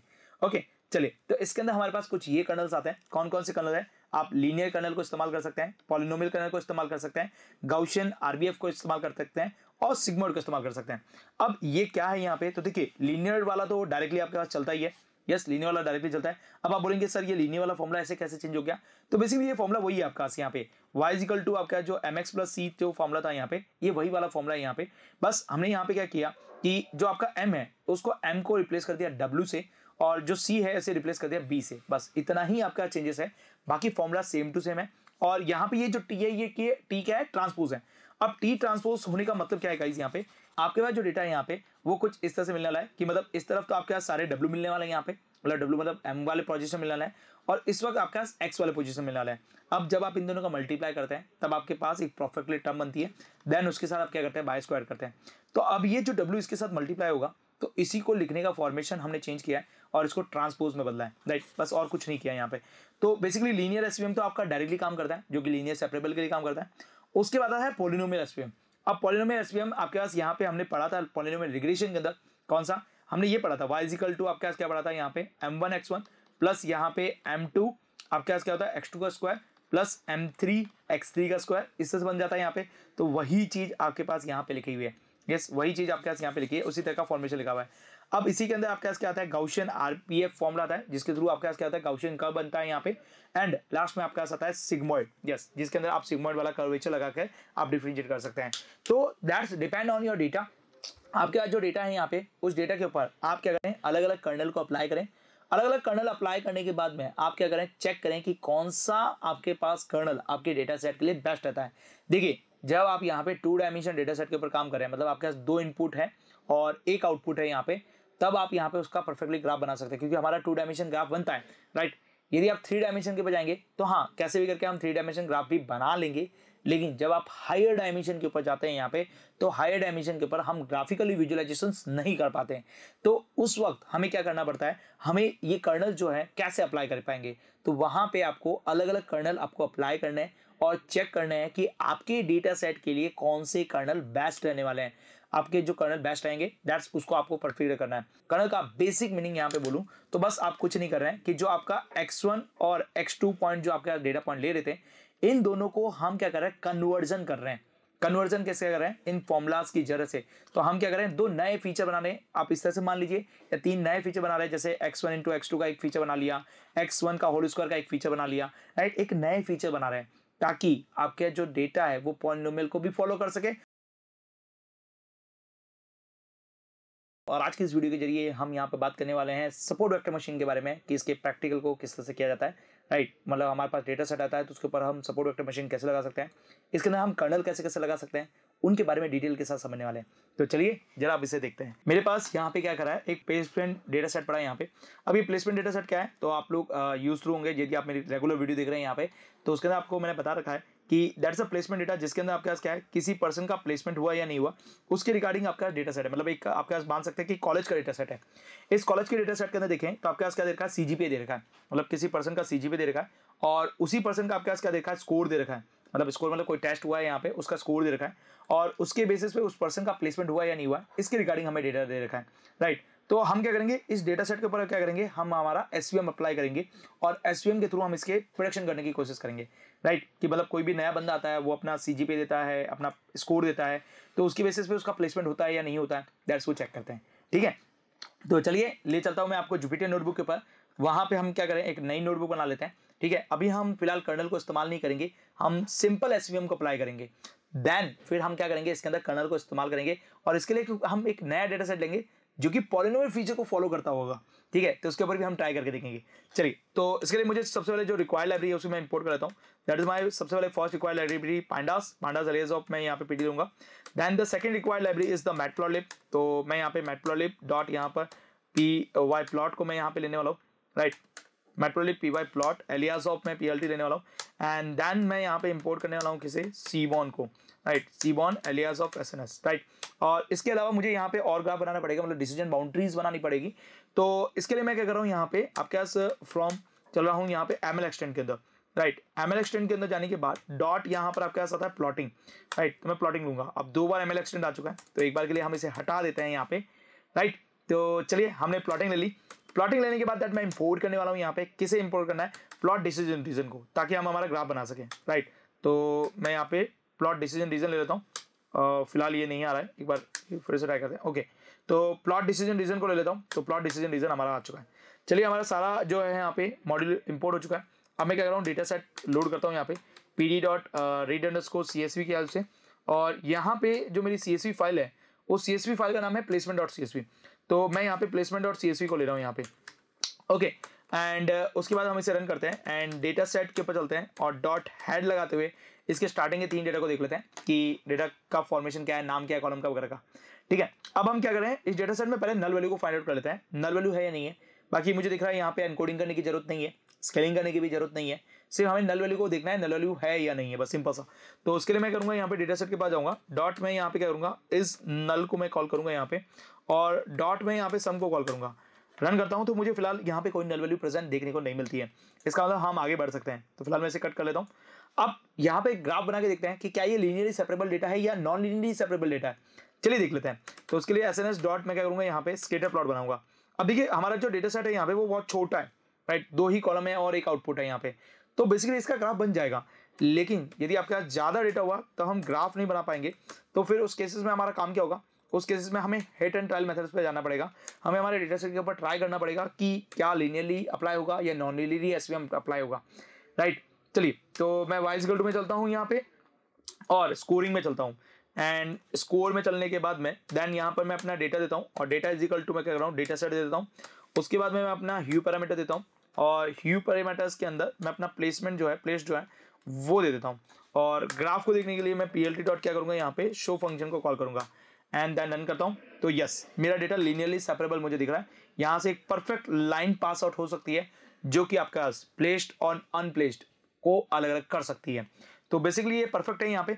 चलिए अब हम क्या करते हैं गाइस यहाँ पे? आ, इसको मैं ग्राफ को छोटा कर देता हूँ पहले तो राइट ताकि हमारे लिए प्रॉब्लम ना करे आगे चलते हुए। तो पी डॉट हम क्या करेंगे इसके लिए? फिगर का इस्तेमाल करेंगे। यस पी डॉट मैं करना लो फिगर का इस्तेमाल कर रहा हूँ। और फिगर के अंदर मुझे क्या करना है? यहाँ पे फिक्स साइज़ देना है। और फिक्स साइज़ के अंदर फोर थ्री का ग्राफ बना लेते हैं राइट एक छोटा सा ग्राफ बना लेते हैं ताकि थोड़ा सा हमें आराम से पता चल सके डेटा सेट के बारे में। चलिए अब हम क्या करें? हमारे डेटा सेट को इनपुट आउटपुट के अंदर अलग करते हैं मतलब डिफ्रेंशिएट करते हैं। चलिए तो इसके लिए मैं एक्सेल से लेता हूँ। इनपुट आउटपुट का मतलब हमारे जो डेटा सेट है, इसमें डिपेंडेंट और इंडिपेंडेंट वेरिएबल को अलग अलग कर लेते हैं। चलिए, इसके लिए डेटा सेट के पास चलते हैं। डॉट यहाँ पर मैं आई लॉक का इस्तेमाल करूँगा। ओके सारी नंबर ऑफ़ रोल लूँगा और सारे नंबर ऑफ़ कॉलम लूँगा, लेकिन माइनस वन को छोड़ दूँगा। मतलब आपका जो सबसे पीछे है, उसको छोड़ दूँगा। तो देखिए, मेरा एक्स एक्सेस का जो डेटा है, वो बाहर आ गया। एंड वाई एक्सेस के बारे में बात करें यहाँ पे तो डेटा सेट के पास चलते हैं। एंड देन मैं यहाँ पे प्लेस जो है यहाँ पे राइट जो प्लेस्ड हुआ है यहाँ पे, उनको अलग कर लेता हूँ। तो एक्स एक्सेस और वाई एक्सेस का डेटा मेरे पास यहाँ पे अलग अलग हो चुका है। अब हमें क्या करना है यहाँ पे गाइस फ्रॉम साइकिल के अंदर चलता है। डॉट यहाँ पे क्या करना है? मॉडल सिलेक्शन को लेना है। एंड ये क्यों कर रहे हैं? क्योंकि हमारे डेटा सेट को ट्रेन और टेस्ट के अंदर स्प्लिटिंग कर रहे हैं। राइट चलिए इंपोर्ट करते हैं यहाँ पे। इंपोर्ट करते हैं यहाँ पे। और इंपोर्ट करते हैं किसे? ट्रेन और टेस्ट के अंदर स्प्लिटिंग करते हैं। राइट ओके चलिए डेटा सेट को स्प्लिटिंग कर लेते हैं। तो मैं एक्स अंडर स्कोर यहाँ पे क्या कर रहा हूँ? ट्रेन नाम से एक वेरिएबल बना रहा हूँ यहाँ पे। एंड उसके बाद मैं एक्स अंडर स्कोर टेस्ट के नाम से एक वेरिएबल बना रहा हूँ। वाई अंडर स्कोर मैं यहाँ पे ट्रेन के नाम से एक वेरिएबल बना रहा हूँ और वाई अंडर स्कोर मैं टेस्ट के नाम से एक वेरिएबल बना रहा हूँ। और ट्रेन टेस्ट स्प्लिटिंग मॉडल को ले रहा हूँ यहाँ पे मतलब आपके पास यहाँ ट्रेन टेस्ट क्लास को ले रहा हूँ यहाँ पे, जिसके अंदर एक्स और वाई का डेटा दूँगा यहाँ पे और उसके बाद में मेरे पास क्या आएगा? टेस्ट साइज़ आएगी। तो टेस्ट साइज़ कर देता हूँ zero point two twenty percent and random state ले लेता हूँ अ forty two right uh forty two okay चलिए रन करते हैं। तो हमारा डेटा यहाँ पे स्प्लिट हो चुका है। अब हमारा जो डेटा है वो स्प्लिटिंग हो चुका है। एंड नेक्स्ट अब हम बात करते हैं यहाँ पे कि एसवीएम कैसे अप्लाई होगा। तो इसके लिए मैं क्या कर रहा हूँ यहाँ पे फ्रॉम मैं साइकिल के अंदर चलने वाला हूँ। डॉट यहाँ पे मैं क्या कर रहा हूँ SVM को कॉल कर रहा हूँ। तो मेरा एसवीएम आ चुका है। एसवीएम को कॉल करने के बाद डॉट अब हमारा जो डेटा है, वो किस तरह का है? क्लासिफिकेशन का है या रिग्रेशन का है? तो हमारा जो डेटा है, वो क्लासिफिकेशन का है, क्योंकि मुझे पता चलता है ज़ीरो और वन है यहाँ पे। तो इसके लिए आपके पास क्या होता है? एसवीसी होता है। राइट इसके लिए आपके पास क्या होता है? एसवीसी सपोर्ट वैक्टर क्लासीफायर इसका हमें इस्तेमाल करना पड़ेगा। चलिए सपोर्ट वैक्टर क्लासीफायर को हमने इस्तेमाल किया एंड देन अब मैं क्या कर रहा हूँ यहाँ पे एसवी के नाम से एक ऑब्जेक्ट बना रहा हूँ यहाँ पे, ताकि मैं एसवीसी को कॉल कर सकूँ एंड इसका इस्तेमाल कर सकूँ। अब देखिए एसवी डॉट हमें क्या करना है? मॉडल को फिट करना है राइट एसवी डॉट हमें क्या करना है? मॉडल को फिट करना है। फिट करने के लिए मैं X underscore train and Y underscore train का इस्तेमाल करूँगा। अब देखिए, ये जो एसवीसी है, इस एसवीसी को जब हम ओपन करते हैं तो इसके अंदर बहुत सारी चीज़ देखने को मिलती है। जैसे कि आपके पास यहाँ पे कर्नल देखने को मिलता है। राइट जिसके बारे में हम बात कर रहे थे। अभी कर्नल जो चलता है, वो आरबीएफ चल रहा है यहाँ पे। इस आरबीएफ को आप चेंज कर सकते हैं। फ़िलहाल देखिए, यहाँ पे थोड़ा सा नीचे चलेंगे आप यहाँ पे। तो कर्नल के अंदर आपके पास बहुत सारे कर्नल्स है। देखिए आरबीएफ है लीनियर है पॉलिनोमियल है सिग्मोइड है पंचुएड है। राइट तो बेसिकली अभी इस चीज़ के लिए मतलब इस डेटा सेट के लिए मुझे लगता है लीनियर एसवीएम सबसे बेस्ट रहेगा। लीनियर लाइन मेरे लिए बेस्ट रहेगी। तो मैं यहाँ पे क्या करने वाला हूँ यहाँ पे कर्नल का इस्तेमाल करूँगा। और कर्नल के अंदर मैं लीनियर को इस्तेमाल करने वाला हूँ। राइट एंड रन करते हैं। तो हमारे पास क्या हुआ? कर्नल लीनियर अप्लाई हो चुका है यहाँ पे, इस डेटा सेट के ऊपर, और ये परफेक्टली आपका डिवाइड कर चुका होगा। चलिए, अब मैं यहाँ पे चेक कर लेता हूँ कि इस मॉडल का स्कोर क्या रहा होगा। तो एस वी डॉट मैं यहाँ पे स्कोर की बात करूँ, इसके अंदर मैं X underscore test and Y underscore test को अप्लाई करता हूँ, और मल्टीप्लाई बाय हंड्रेड कर देता हूँ और रन करता हूँ। बिल्कुल हंड्रेड परसेंट डेटा जो है वो सेपरेबल हो चुका है। अच्छा चेक कर लेते हैं कि क्या मेरा डेटा सही तरीके से सेपरेबल हुआ है या नहीं हुआ। तो या फिर ओवरफिटिंग तो नहीं चला गया। तो इसके लिए मैं एस डॉट स्कोर का चेक करूँगा यहाँ पे। इसके लिए X underscore train and Y underscore train का इस्तेमाल करूँगा और मल्टीप्लाई बाय हंड्रेड कर दूँगा। ओके नाइन्टी सेवन परसेंट आपका ट्रेनिंग का आ रहा है और हंड्रेड परसेंट स्कोर आ रहा है आपके पास टेस्टिंग का। इसका मतलब कहीं ना कहीं कुछ ना कुछ मिस्टेक्स हुई है, क्योंकि ट्रेनिंग और टेस्टिंग एक्यूरेसी लगभग बराबर आनी चाहिए और टेस्टिंग की एक्यूरेसी ज़्यादा नहीं आनी चाहिए राइट तो बेसिकली हमारा रैंडम स्टेट के अंदर कहीं ना कहीं मिस्टेक हुई है। इसको जरा चेक कर लेते हैं। तो रैंडम स्टेट के अंदर जो वैल्यू है, इसको थोड़ा चेंज करें टेन करें। और इसे दोबारा मैं ट्रेन करूँ या अभी तक कोई फ़र्क नहीं पड़ा रैंडम स्टेट की वैल्यू से तो मैं काम करता हूँ इसके अंदर मैं ट्वेंटी करके चेक कर लेता हूँ यहाँ पर यस ट्वेंटी करके चेक किया इसके अंदर भी कुछ फ़र्क नहीं पड़ा है यहाँ पे। एंड फाइव uh, करके एक बार रन करके चेक कर लेते हैं। यस फाइव से भी कोई ज़्यादा फ़र्क नहीं पड़ रहा है यहाँ पे। एंड uh, मैं यहाँ पे फिफ्टीन करके चेक करूँ यहाँ पे। राइट तो फिफ्टीन से फ़र्क पड़ा है और फिफ्टीन से हमारा मॉडल थोड़ा सा ओवर फिटिंग ज़रूर हो गया यहाँ पे। लेकिन हाँ परफेक्टली काम ज़रूर हुआ है। ये आपके पास यहाँ पे अंडर फिटिंग पर भी नहीं गया एंड देन आपका सही काम कर रहा है राइट तो बेसिकली हमारा मॉडल जो है वो सही काम कर रहा है। अब यहाँ पे देख लेते हैं कि ये सेपरेबल हुआ कैसे होगा? मतलब लीनियरली सेपरेबल क्या है तो लाइन कैसे बनी होगी, किस तरह से सेपरेबल हुआ होगा, उसको जरा देख लेते हैं यहाँ पे। उसके लिए हमने यहाँ पे देखिए क्या कर रखा है प्लॉट डिसीज़न रीजन को बुला रखा है यहाँ पे राइट जो हमारा एमएल एक्सटेंड मॉड्यूल है, इसके अंदर हमने प्लॉट डिसीज़न रीजन लिया है यहाँ पे, जिसके थ्रू यहाँ आपके पास क्या करा डिफ्रेंशिएट करेगा। अब इसके अंदर क्या मांग रहा है आपके पास यहाँ पे? एक्स एक्स का डेटा वाई एक्सेस का data and C L F C L F का मतलब आपका मॉडल चलिए तीनों चीज़ें पास ऑन कर देते हैं। सबसे पहले एक्स एक्स का डेटा एक्स एक्स का डेटा एक्स के अंदर ही है, लेकिन ये आपके पास एरे के फॉर्मेट में आता है। तो मैं टू अंडर स्कोर नम्पाई का इस्तेमाल करूँगा इसके लिए एंड वाई एक्सेस के डेटा के लिए बात करूँ तो वाई एक्सेस के लिए मैं क्या करूँगा यहाँ पे टू नम्पाई का इस्तेमाल करूँगा यहाँ पे, और सी की बात करूँ यहाँ पे तो सी के अंदर मैं एस डाल रहा हूँ यहाँ पे राइट इस ग्राफ को देखने के लिए मैं पी डॉट क्या करूँगा, यहाँ पे सो फ़ंक्शन को कॉल करूँगा और रन करूँगा। चलिए देखते हैं ओके इसने बहुत ही परफेक्टली लाइन को सेपरेबल किया है यहाँ पे। लेकिन इसके अंदर आप देखेंगे तो कुछ मिस क्लासिफिकेशन हुई है यहाँ पे। जैसे कि आप देखिए यहाँ पे ये जो ब्लू कलर के डेट पॉइंट्स आप देख रहे हैं, ये कुछ इधर चले जा चुके हैं और कुछ पॉइंट्स आपके पास इधर भी आ चुके हैं राइट तो बेसिकली ये परफेक्टली सेपरेबल नहीं हो पाया लीनियर की वजह से। इसी वजह से हमें हमारी जो एक्यूरेसी है, वो भी हमें कम देखने को मिली है। हमारी जो एक्यूरेसी है, वो भी हमें क्या देखने को मिली है? कम देखने को मिली है। तो दैट इज़ वाई आपने कर्नल कौन सा लिया है? लीनियर लिया है। इस लीनियर की वजह से ये जो लाइन है, वो आपका लीनियरली सेपरेबल हुई है। यदि मैं अपने कर्नल को चेंज करूँ यस यदि मैं अपने कलर को चेंज करूँ तो कलर को चेंज करने से मेरी ये जो लाइन है, वो आपकी डिफ्रेंशिएट होगी। मतलब आपकी अलग अलग चलेगी। चलिए देखते हैं कैसे। तो मैं सबसे पहले कर्नल में जाऊँगा। कर्नल के अंदर हमारे पास बहुत सारे कर्नल्स पड़े हैं यहाँ पे। तो मैं एक एक करके कर्नल सारे अप्लाई करके देखूँगा कि इसमें सबसे बेस्ट कौन रहा है। तो लीनियर हमारा इतना बेस्ट नहीं है यहाँ पे, ठीक है? तो मैं पॉलिनोमियल देखता हूँ यहाँ पे। पॉलिनोमियल क्या इफ़ेक्ट करता है यहाँ पे? पॉलिनोमियल से एक्यूरेसी में आपके पास फ़र्क आया है यहाँ पे। ओके और यदि मैं अपने डेटा सेट के अंदर देखूँ तो यस देखिए, इसने अपना कर्वेचर जो है वो मोड़ लिया यहाँ पे, लेकिन इतना परफेक्टली इससे सेपरेबल अभी भी इसने नहीं किया तो पॉलिनोमियल हमारा बेस्ट नहीं है यहाँ पे। आरबीएफ के लिए ट्राई करें यहाँ पे। तो मैं आरबीएफ लगा लेता हूँ यहाँ पे। आरबीएफ से हमारी मॉडल की एक्यूरेसी वापस वहीं यहाँ पे आ गई है। और आरबीएफ के अंदर देखें तो यस आरबीएफ ने देखिए अपना एक एरिया बनाने की कोशिश की है यहाँ पे परफेक्टली लेकिन वो परफेक्टली अभी भी एरिया नहीं बन पाया है। तो आरबीएफ में ने भी कुछ अच्छा काम नहीं किया यहाँ पे। हम चेक कर लेते हैं सिग्मॉइड के बारे में, ठीक है? तो सिग्मॉइड के यदि मैं रन करूँ यहाँ पे और सिग्मॉइड वाला ग्राफ देखूँ मैं यहाँ पे। तो देखिए सिग्मॉइड ने तो बिल्कुल ही परफेक्टली सेपरेबल नहीं कर पाया यहाँ पे। ओके एक्यूरेसी बहुत देखिए, बहुत ही लो आ चुकी है फोर्टी और fifty two it's a very very low accuracy इसी तरह से यदि मैं यहाँ पे बात करूँ तो प्री कमेंट से भी आप ट्राई कर सकते हैं। लेकिन आप देख सकते हैं कि आपके मॉडल की एक्यूरेसी किससे अच्छी आ रही है, आप उस तरह से ले सकते हैं। जैसे कि मुझे जो लग रहा है यहाँ पे तो लीनियर के कंपेरेटिवली पॉलिनोमियल अच्छा काम कर रहा है, या मुझे यहाँ पे लीनियर ही बेस्ट लग रहा है तो मैं बेसिकली लीनियर लेके यहाँ पे ट्राई करूँगा, और लीनियर से अच्छा काम कर रहे हैं यहाँ पे। तो ये तो था डेटा हमारा लीनियरली सेपरेबल जिसके अंदर हमने लीनियरली सेपरेबल किया और काफ़ी अच्छी क्यूरीज मिली है। लेकिन इन केस यदि हमारा डेटा लीनियरली सेपरेबल ना हो परफेक्टली तो हमारे पास क्या होगा? जस्ट लाइक हमारे पास ये पॉलिनोमियल क्लासिफिकेशन के नाम का एक डेटा सेट है राइट right. इसके अंदर जो डेटा देख रहे हैं आप यहाँ पे, इसके अंदर डेटा वन और डेटा टू के नाम से डेटा सेट पड़ा है और एक आउटपुट बढ़ा है यहाँ पे। और इस डेटा सेट का, इस डेटा सेट का जो फॉर्मेशन यदि आप देखेंगे तो ये आपका लीनियरली सेपरेबल नहीं है। ये दैट्स अ पॉलिनोमियल सेपरेबल यहाँ पर है। तो फिर ऐसे केसेस में हम क्या करेंगे? तो चलिए, इसको भी देख लेते हैं यहाँ पे। तो मैं बस इसे प्लेसमेंट डॉट सी को हटा दूँगा यहाँ पे, और मैं यहाँ पे क्या करूँगा, जो पॉलिनोमियल वाला है ना यहाँ पे, उसको ले आऊँगा। तो मैं पॉलिनोमियल जो डेटा क्लासेस है, उसको ले आऊँगा यहाँ पे सेम पेजेस पे। और हमारा जो डेटा वन है डेटा टू आपके इससे आ गया।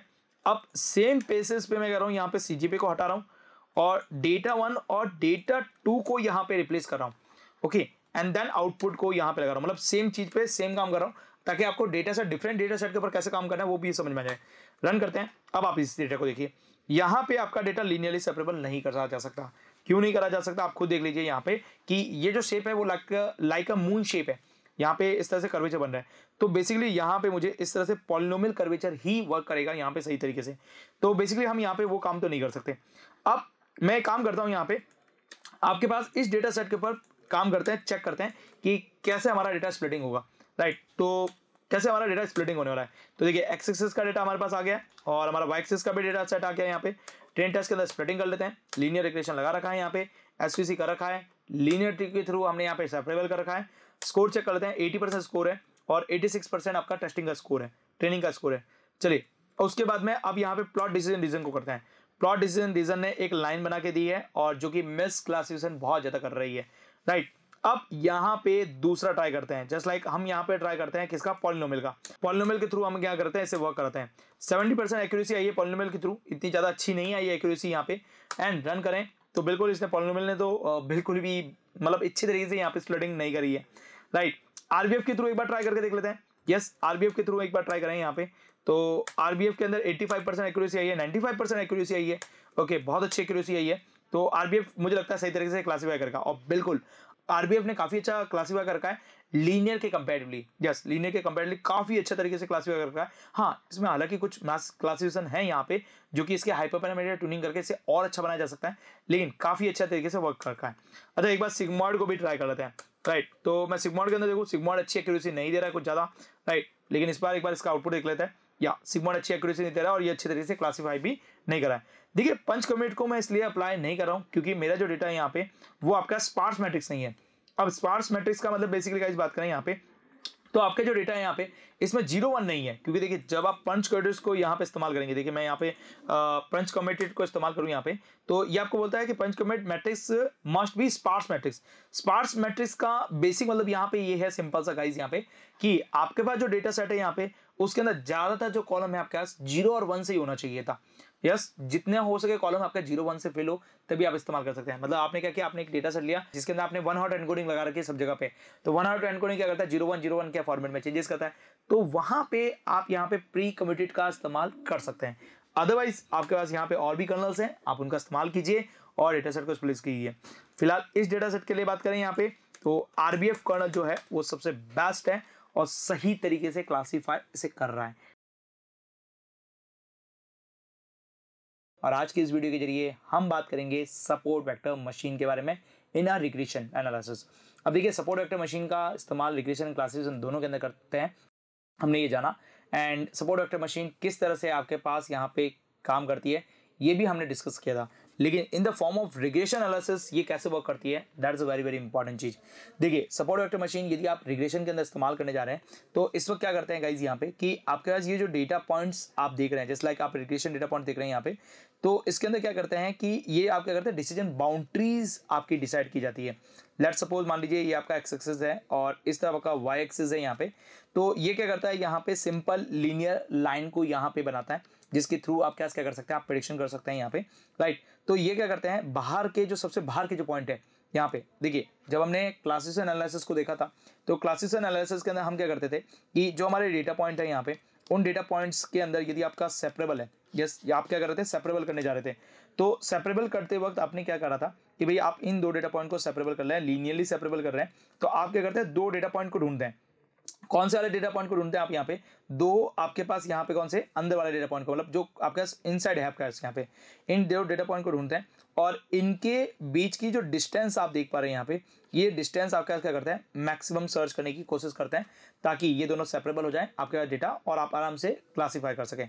राइट जबकि रिग्रेशन के अंदर आपके पास यहाँ पे रिवर्स हो जाता है। रिग्रेशन एनालिसिस के अंदर आप क्या करते हैं कि आप क्या करते हैं कि आपका जो डेटा पॉइंट है लेट सपोज़ आपके पास मैं बात करूँ यहाँ पे तो आपके डेटा पॉइंट कुछ इस तरह के फॉर्मेशन के अंदर चल रहे हैं यहाँ पे राइट इस तरह के फॉर्मेशन के अंदर आपके डेटा पॉइंट चल रहे हैं।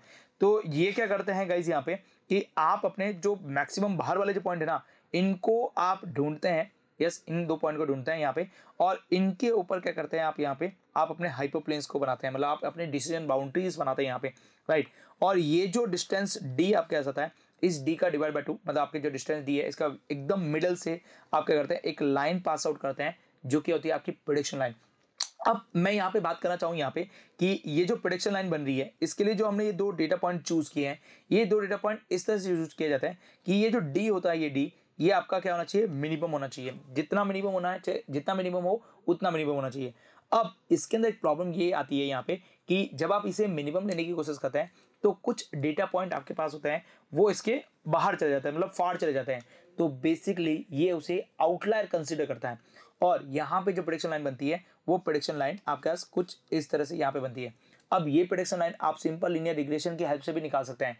लेकिन सपोर्ट वेक्टर मशीन के अंदर आप क्या कर सकते हैं कि यदि आपका डेटा सेट नॉन लीनियरिटी के फॉर्मेट के अंदर है तब भी आप इसका इस्तेमाल करके काम में ले सकते हैं। मतलब आपका डेटा यदि पॉलिनोमियल फीचर के अंदर है तब भी आप सपोर्ट वेक्टर मशीन का इस्तेमाल करते हुए आप अपने डेटा सेट के अंदर प्रोडिक्शन कर सकते हैं। अब जरा यहाँ पे देखते हैं कि ये प्रोडिक्शन करता कैसे है। तो देखिए, मेरे पास यहाँ पे क्या है, एक प्लेसमेंट डॉट सीएसवी के नाम से एक डेटा सेट है, जो कि आपके पास क्या करता है कि किसी भी पर्टिकुलर सी पे, किसी भी पर्टिकुलर पर्सन का कितना पैकेज लगा है यहाँ पे, उस चीज़ को ये प्रोडिक्शन करके देता है।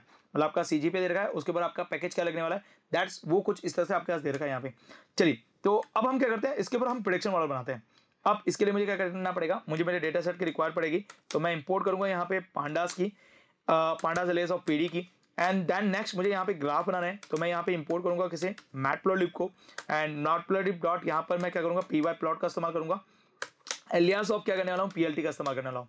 इसके साथ साथ मैं इंपोर्ट करूँगा किसी यहाँ पे? सीबॉन को ताकि हम यहाँ पे स्केटर प्लॉट्स वगैरह बना सके एडवांस वगैरह बना सके तो सीबॉन एलियास ऑफ़ एसएनएस का इस्तेमाल करने वाला हूँ राइट चलिए, अब हम क्या करते हैं गाइज़ यहाँ पे हम हमारे डेटा सेट को लोड करते हैं।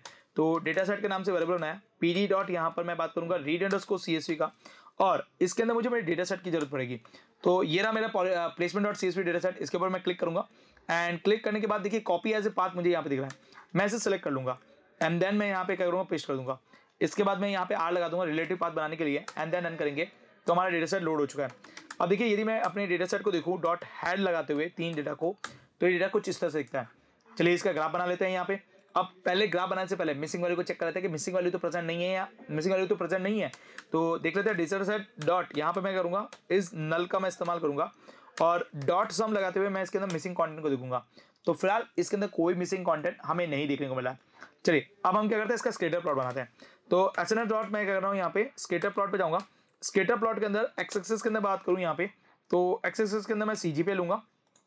एक्स एक्सिस के अंदर मैं सी पे लूँगा। और वाई के अंदर बात करें तो वाई के अंदर मैं क्या लेने वाला हूँ? पैकेज को लेने वाला हूँ। राइट और उसके बाद में हम हमारे डेटा को लेने वाले हैं। और डेटा इक्वल्स टू मैं करने वाला हूँ गाइज़ यहाँ पे डेटा सेट को लेने वाला हूँ। उसके बाद में पी एल टी डॉट यहाँ पे क्या करूँगा? शो फ़ंक्शन को कॉल करूँगा एंड रन करूँगा। तो देखिए, हमारा डेटा हमें कैसा दिखा दे रहा है? यहाँ पे लीनियरिटी के फॉर्मेट में दिखा दे रहा है। बस हम इसी के ऊपर हमारा सपोर्ट वेक्टर मशीन लगाएँगे और देखेंगे कि किस तरह से ये प्रोडक्शन लाइन हमें बनाता है। अब ये ग्राफ काफ़ी बड़ा है यहाँ पे। तो इसके लिए मैं कह रहा हूँ यहाँ पे पी एल टी डॉट यहाँ पे फिगर के अंदर जाके मैं इसकी साइज़ जो है वो थोड़ी कम कर देता हूँ। तो P L T dot figure के अंदर चलता हूँ। फिगर के अंदर मैं फिक्स साइज़ के अंदर जाऊँगा, जहाँ पे मैं इसकी साइज़ फोर कोमा थ्री कर देता हूँ। मतलब एक स्मॉल साइज़ में कन्वर्जन कर लेता हूँ। चलिए, उसके बाद हम क्या करते हैं? हमारे डेटा को दो पार्ट के अंदर स्प्लिटिंग करते हैं ट्रेनिंग और टेस्टिंग के अंदर। चलिए तो उसके लिए हम क्या कर रहे हैं यहाँ पे फ्रॉम साइकिल के अंदर चलेंगे। डॉट मैं यहाँ पे जाऊँगा मॉडल सिलेक्शन के अंदर। मॉडल सिलेक्शन के अंदर जाने के बाद दैट मैं इंपोर्ट करूँगा किसी ट्रेन टेस्ट स्प्लिटिंग को। और इसके अंदर मैं इस्तेमाल करूँगा एक्स अंडर स्कोर मैं यहाँ पे इस्तेमाल करूँगा ट्रेन का। मतलब मुझे चार वेरिएबल बनाने पड़ेंगे. X underscore train X underscore test Y underscore मैं यहाँ पे लूँगा train and Y under score मैं यहाँ पे लूँगा टेस्ट राइट और मैं लेने वाला हूँ ट्रेन टेस्ट स्प्लिटिंग जिसके अंदर, अब मुझे एक्स एक्सेस और वाई एक्सेस का डेटा पहले स्प्लिटिंग करना था, जो कि मैंने नहीं किया था. मतलब मैंने डिपेंडेंट और इंडिपेंडेंट फीचर को अलग करा था, जो कि मैंने नहीं किया, लेकिन आप कर लेते हैं. एक्स एक्सेस का डेटा लेते हैं यहाँ पे, और मैं यहाँ पे क्या करता हूँ गाइस यहाँ पे सी जी पे को लेता हूँ. राइट, किसको ले रहे हैं हम यहाँ पे? सी को ले रहे हैं।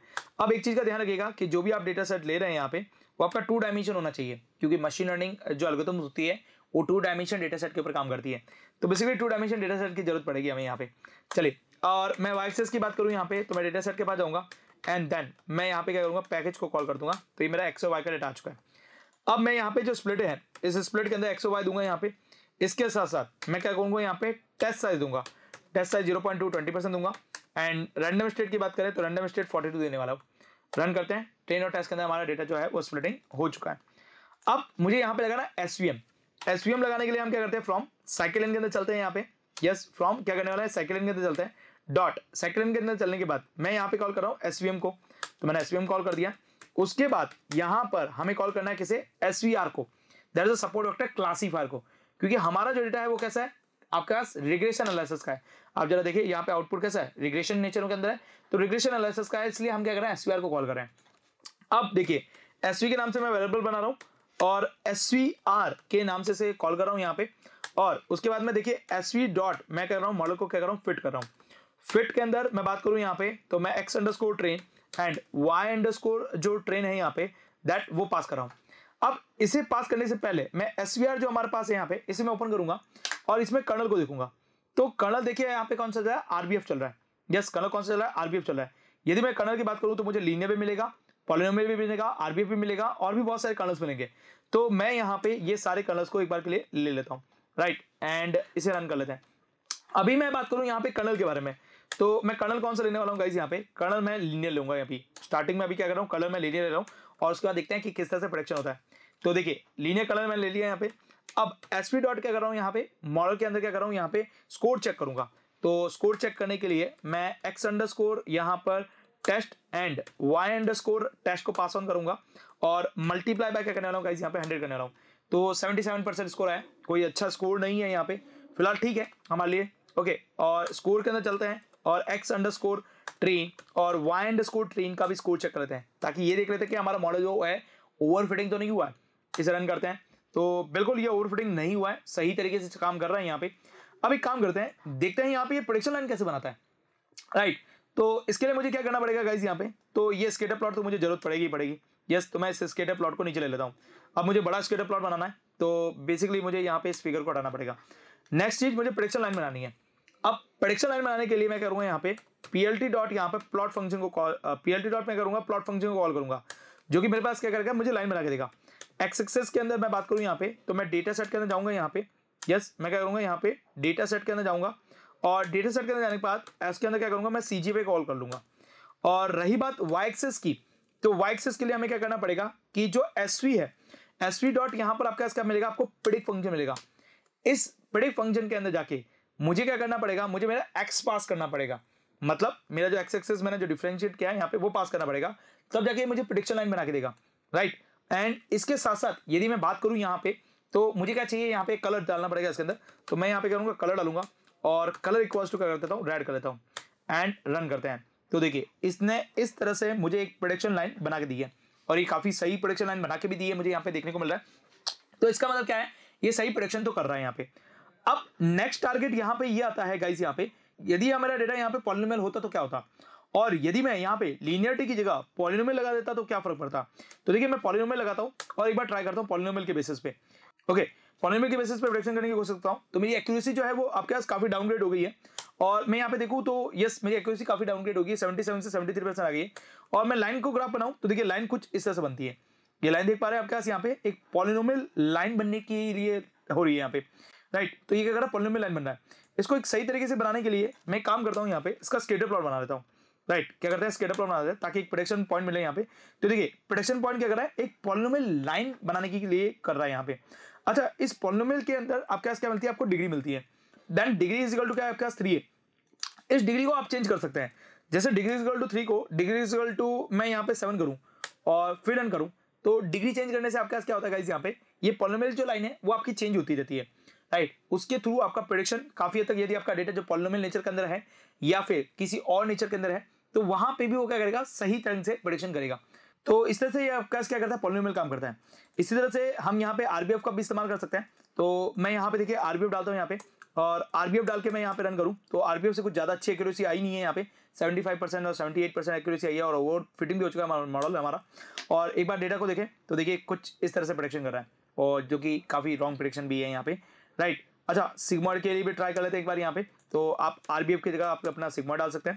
और सिग्मोड में तो ऑलरेडी आपका माइनस में जा चुकी है लाइन यहाँ पे। बहुत ही गलत लाइन आई है तो इस तरह से आप यहाँ पर देख सकते हैं राइट चलिए, ये तो हमारा था डेटा लीनियरली सेपरेबल डेटा मतलब ये था हमारा डेटा यहाँ पे लीनियर रिग्रेशन वाला डेटा यदि मेरा डेटा लीनियर रिग्रेशन ना हो तो क्या होगा? तो देखिए, मेरे पास एक डेटा सेट है जो कि पॉलिनोमियल फीचर को फॉलो करता है। A polynomial dot C S yes इस डेटा सेट के अंदर यदि हम देखें यहाँ पे तो ये जो डेटा सेट है यहाँ पे, ये पॉलिनोमियल नेचर को रखता है यहाँ पे। अब जरा देख लेते हैं ये पॉलिनोमियल नेचर को कैसे रखता है। तो गाइस मैं इसी के अंदर आपका पॉलिनोमियल नेचर वाला जो डेटा सेट है, वो अप्लाई करूँगा यहाँ पे।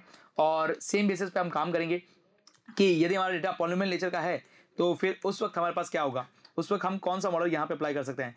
तो फ़िलहाल मैं काम करता हूँ, इस एड्रेस को मैं करता हूँ, यहाँ से रिमूव कर लेता हूँ और सेम पेज पे मैं वापस दूसरा एड्रेस डालता हूँ, जो कि पॉलिनोमियल डेटा सेट का है। राइट एंड रन करें। तो देखिए लेवल वर्सेस सैलरी है यहाँ पे। अब मैं काम करता हूँ, यहाँ पे सी जी की जगह लेवल पास कर देता हूँ और सैलरी की जगह पैकेज की जगह मैं सैलरी पास कर देता हूँ। राइट एंड रन करते हैं यहाँ पे. There's my polynomial nature data okay अब मैं बात करूँ यहाँ पे. तो बेसिकली मुझे यहाँ पे क्या डालना पड़ेगा?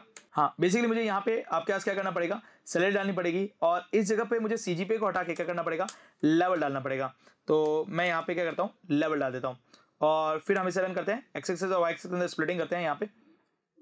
जस्ट मिस्टेक हो गई है यहाँ पे लेवल ओके तो लेवल डाल देते हैं. एक्स एक्सेस और वाई एक्सेस स्प्लिटिंग कर लेते हैं और इसे रन करते हैं. और फिर इसे रन करते हैं. और फिर इसे रन करते हैं और रन करते हैं। ठीक है? सिग्मॉड के लिए अप्लाई किया है। और सिग्मॉड में तो ऑलरेडी नेगेटिव जा रहा है यहाँ पे।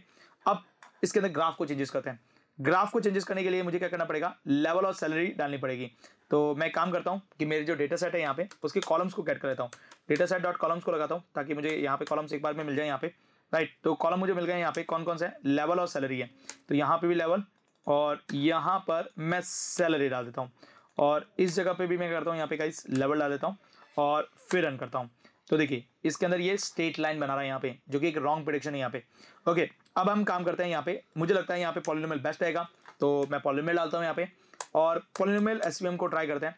तो पॉलिनोमियल ने भी नेगेटिव आंसर दिया है, कुछ ज़्यादा अच्छा आंसर नहीं दिया यहाँ पे।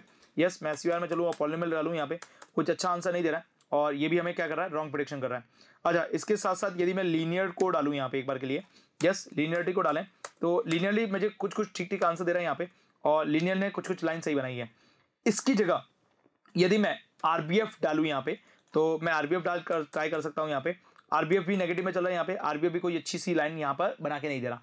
तो बेसिकली हमारा ये जो पॉलिनोमियल डेटा है, इसके साथ तो ये परफेक्टली वर्क नहीं कर रहा है।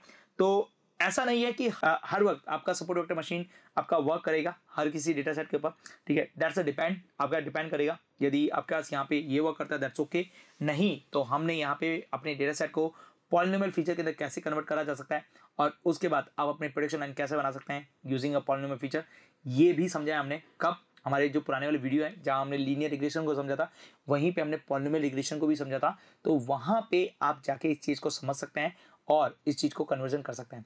तो आई थिंक आई होप सो समझ में आ चुका होगा कि ये किस तरह से वर्क करता है।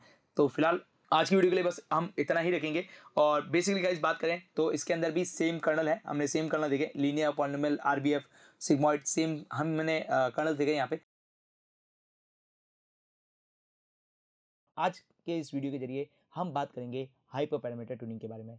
देखिए हाइपर पैरामीटर ट्यूनिंग पढ़ने से पहले हमें ये समझना पड़ेगा हाइपर पैरामीटर्स क्या होते हैं।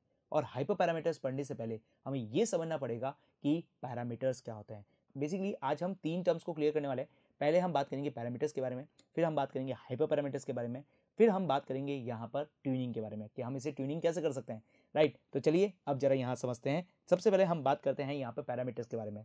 देखिए मॉडल पैरामीटर्स क्या होते हैं, इसको जरा समझने के लिए मैं एक छोटा सा एग्जांपल ले रहा हूँ। राइट आपने बहुत सारी एल्गोदम्स पढ़ी होगी और यदि नहीं पढ़ी है तो आप मेरे पुराने वाली जो वीडियो है उनको देख सकते हैं। वहाँ पर मैंने मशीन लर्निंग की बहुत सारी एल्गोदम्स आपको स्टडी कराई है। यहाँ से कोई भी एक एल्गोदम लेते हैं यहाँ पर। जस्ट सपोज़ हम यहाँ पर लीनियर रिग्रेशन लेते हैं।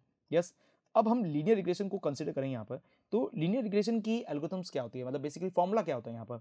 तो लीनियर रिग्रेशन की एल्गोथम का फॉर्मूला यहाँ पर ये यह होता है Y hat is equal to M X plus C मतलब बेसिकली गाइस हमारे पास इनपुट होता है, हमारे पास हमारा आउटपुट होता है। हम इस इनपुट और आउटपुट के बेसिस पे हम यहाँ पे क्या करते हैं? एम और सी की बेस्ट वैल्यू फाइंड आउट करने की कोशिश करते हैं, जिसकी हेल्प से हम क्या बनाते हैं? एक प्रोडिक्शन लाइन यहाँ पे डिज़ाइन करते हैं। तो बेसिकली गाइज़ यहाँ पे मैं बात करूँ कि ये जो लीनियर रिग्रेशन आपको दिख रहा है, ये लीनियर रिग्रेशन की जो एल्गोथम दिख रही है, इस एल्गोथम के अंदर हम क्या करते हैं एम और सी की वैल्यू फाइंड आउट करते हैं। बेसिकली आप इसे क्या बोलते हैं कॉन्स्टेंट या कोफिशंस बोलते हैं। अब ये जो एम और सी जो आप देख रहे हैं that is call of model parameter ये क्या होता है आपके पास, यहाँ पे मॉडल पैरामीटर कहते हैं।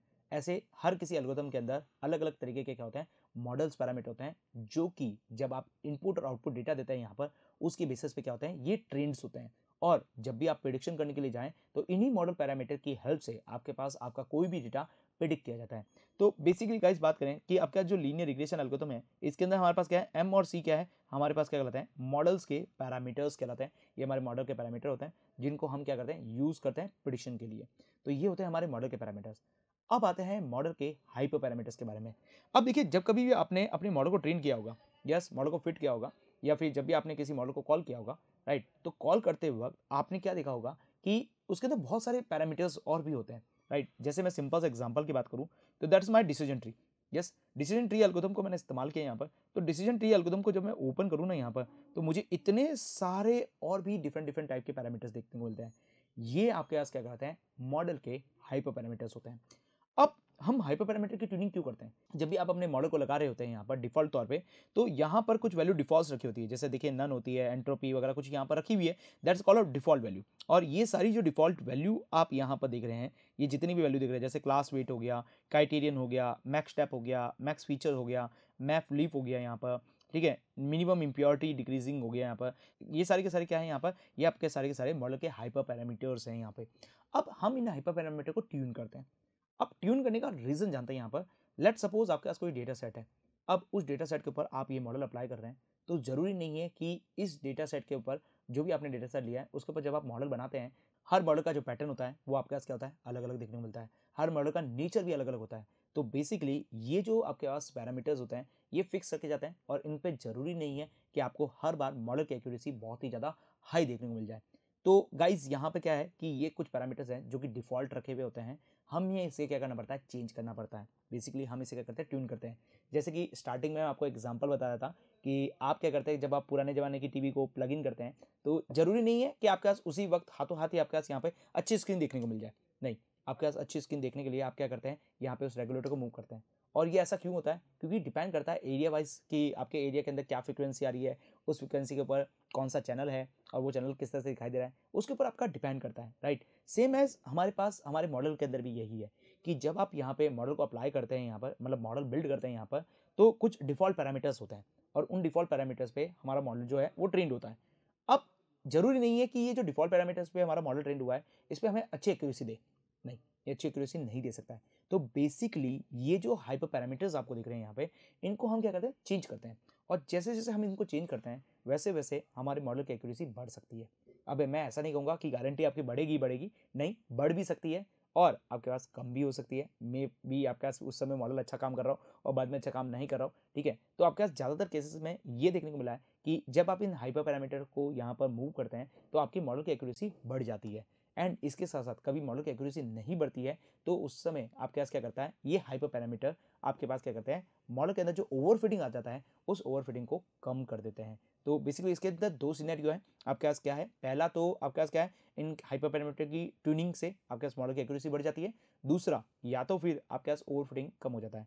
और ये हाइपर पैरामीटर क्या होता है? तो जब भी आप किसी एल्गोरिथम को इस्तेमाल करेंगे तो इसके अंदर ये इतने सारे हाइपर पैरामीटर्स होते हैं, जिनको आप चेंज करके आप अपनी एक्यूरेसी को इंप्रूव कर सकते हैं। अब ऐसा नहीं है कि हाइपर पैरामीटर हमें खुद मैनुअली चेंज करने पड़ेंगे। नहीं, आज के टाइम के अंदर मशीन लर्निंग के अंदर बहुत इन्वेंशन हो चुका है। तो बेसिकली गाइज़ बात करें तो आपका जो साइकिल की लाइब्रेरी है, इनके अंदर हमें दो ऐसे मैथड्स देखने को मिल जाते हैं, जिनके थ्रू ये हाइपर पैरामीटर की ट्यूनिंग अपने आप हो जाती है। जैसे सिंपल सी बात करें तो पहले के ज़माने में हम क्या करते थे? रेगुलेटर खुद मूव करते थे और उन रेगुलेटर को मूव करके हम एक परफेक्ट चैनल को फाइंड आउट करते थे कि यस ये परफेक्ट चैनल है और यहाँ पे क्लियर स्क्रीन आ रही है यहाँ पे। लेकिन आज के ज़माने की टीवी को यदि हम ऑब्ज़र्व करें तो वहाँ पे हमारे पास क्या आता है? केवल केवल रिमोट आता है। हम केवल बटन दबाते हैं जो नंबर दबाते हैं उस नंबर पे वो स्क्रीन हमें डायरेक्टली क्लियर दिखने को मिल जाती है। हमें यहाँ पे ट्यून करने की ज़रूरत नहीं पड़ती है। वैसे का वैसे साइकेट लर्न के अंदर बात करें तो साइकेट लर्न के अंदर भी इस हाइपर पैरामीटर को ट्यून करने के लिए मतलब इन हाइपर पैरामीटर की वैल्यू को चेंज करने के लिए जस्ट लाइक like, मुझे क्राइटेरियन चेंज करना है। क्राइटेरियन के अंदर आप लोगों को पता होगा क्राइटेरियन के अंदर बात करें तो क्राइटेरियन के अंदर बहुत सारे हाइपर क्राइटेरियन होता है जैसे एंट्रोपी हो गया जिन इंडेक्स हो गया राइट ऐसे क्राइटेरियन आपको देखने को मिलते हैं। तो आप इन क्राइटेरियन को बैठ के मैनुअली खुद नहीं मूव करते हैं यहाँ पे। राइट इनके लिए हम इस्तेमाल करते हैं हाइपर पैरामीटर ट्यूनिंग का। अब ये हाइपर पैरामीटर ट्यूनिंग करने के लिए हमारे पास क्या होता है? दो मेथड्स होते हैं। अब वो दो मेथड कौन कौन से हैं? तो पहला मेथड है आपका ग्रेड सर्च सीवी और दूसरा है रेंडमाइज सर्च सीवी इन दोनों में से किसी एक ही हेल्प से आप क्या कर सकते हैं? आपके हाइपर पैरामीटर की ट्यूनिंग कर सकते हैं। अब ये दोनों कैसे वर्क करते हैं? इसको आप जरा थोड़ा डिटेल के साथ समझते हैं यहाँ पे। लेट्स सबसे पहले हम बात करेंगे यहाँ पे ग्रेड सर्च सीवी के बारे में। अभी ग्रिड सर्च भी कैसे काम करता है बेसिकली गाइस यहाँ पे ये क्या करता है? ग्रिड बनाता है। अभी ग्रिड कैसे बनाता है? इसे जरा ऑब्ज़र्व करते हैं यहाँ पे। लेट सपोज़ मैं डिसीज़न ट्री का ही इस्तेमाल कर रहा हूँ। यस yes, मैं डीटी का इस्तेमाल कर रहा हूँ। और डीटी जो है आपके पास यहाँ पर बहुत सारे हाइपर पैरामीटर्स लेती है यहाँ पे। Right right? इसमें मैं बात करता हूँ कोई ए नाम का एक हाइपर पैरामीटर लेती है और कोई बी नाम का एक हाइपर पैरामीटर लेती है। अब ए के अंदर भी क्या हो सकता है गाइज़ यहाँ पर? और भी बहुत सारे पैरामीटर्स हो सकते हैं। जैसे मैं क्राइटेरियन की बात करूँ तो क्राइटेरियन के अंदर क्या है? हमारे दो क्राइटेरियन है यहाँ पे, एक जिन इंडेक्स है, एक एंट्रोपी है। उस तरह से बात कर लेते हैं यहाँ पे भी। तो मान लीजिए ए और बी आपके क्या है? इसके हाइपर पैरामीटर्स है। बी के अंदर मान लो मैक्स स्टेप की बात करें यहाँ पर तो max step one max step two max step three इस तरह से मैक्स स्टेप हो सकती है। तो मैं मान लेता हूँ मैक्स स्टेप वन पे है टू है और थ्री है। तो ये आपके पास क्या है? ये दो हाइपर पैरामीटर इनको हम ट्यून करें। अब इन दोनों की हेल्प से हम ये समझेंगे कि ये ग्रेड भी कैसे काम करता है। तो अब जरा यहाँ पर इसे देखते हैं डिटेल के साथ। देखिए ग्रेड भी क्या करता है कि आपके जो भी हाइपर पैरामीटर्स हैं, इनका क्या करता है ग्रिड्स बनाता है। अब ये ग्रिड्स कैसे बनते हैं, जरा देखें यहाँ पर।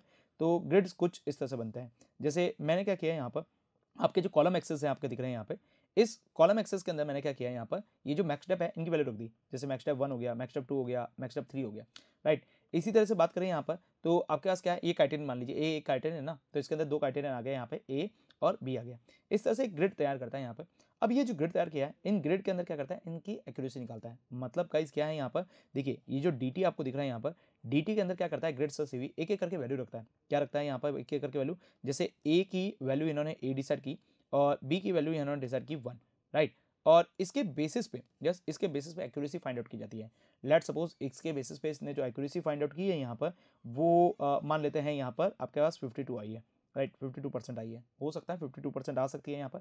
यस अब बात करते हैं यहाँ पर कि एक बार क्या करेगा? ये आप ए और रखा है यहाँ पे वन रखा इस वन को हटा के यहाँ पे टू रखेगा।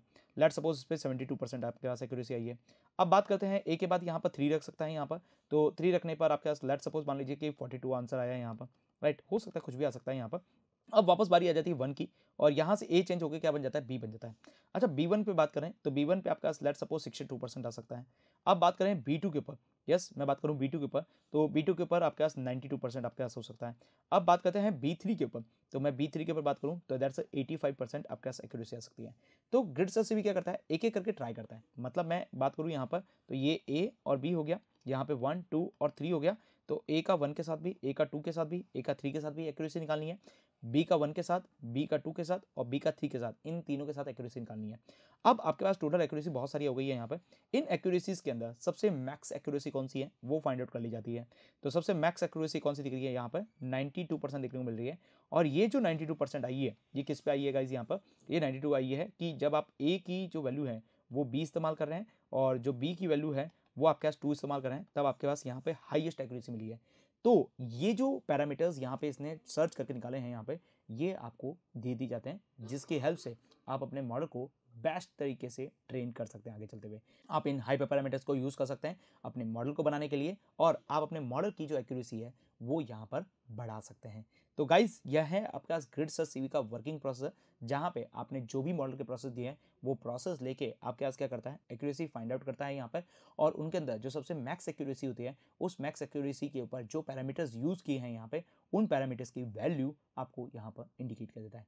तो इस तरह से आपके पास क्या करता है? ग्रेट सर सीवी वर्क करता है। लेकिन ग्रेट सर सीवी की एक आपके पास यहाँ पे लैक भी है यहाँ पर। क्या लैक है यहाँ पर? बेसिकली देखिए ग्रेट सर सीवी के अंदर क्या है? यदि आप यहाँ पर बहुत सारे हाइपर पैरामीटर्स एक साथ दे दें और यदि आपका डेटा सेट बहुत ज़्यादा लार्ज है यहाँ पर तो उस वक्त आपके पास जो ग्रेड सर सी है, वो बहुत ज़्यादा स्लो वर्क करता है।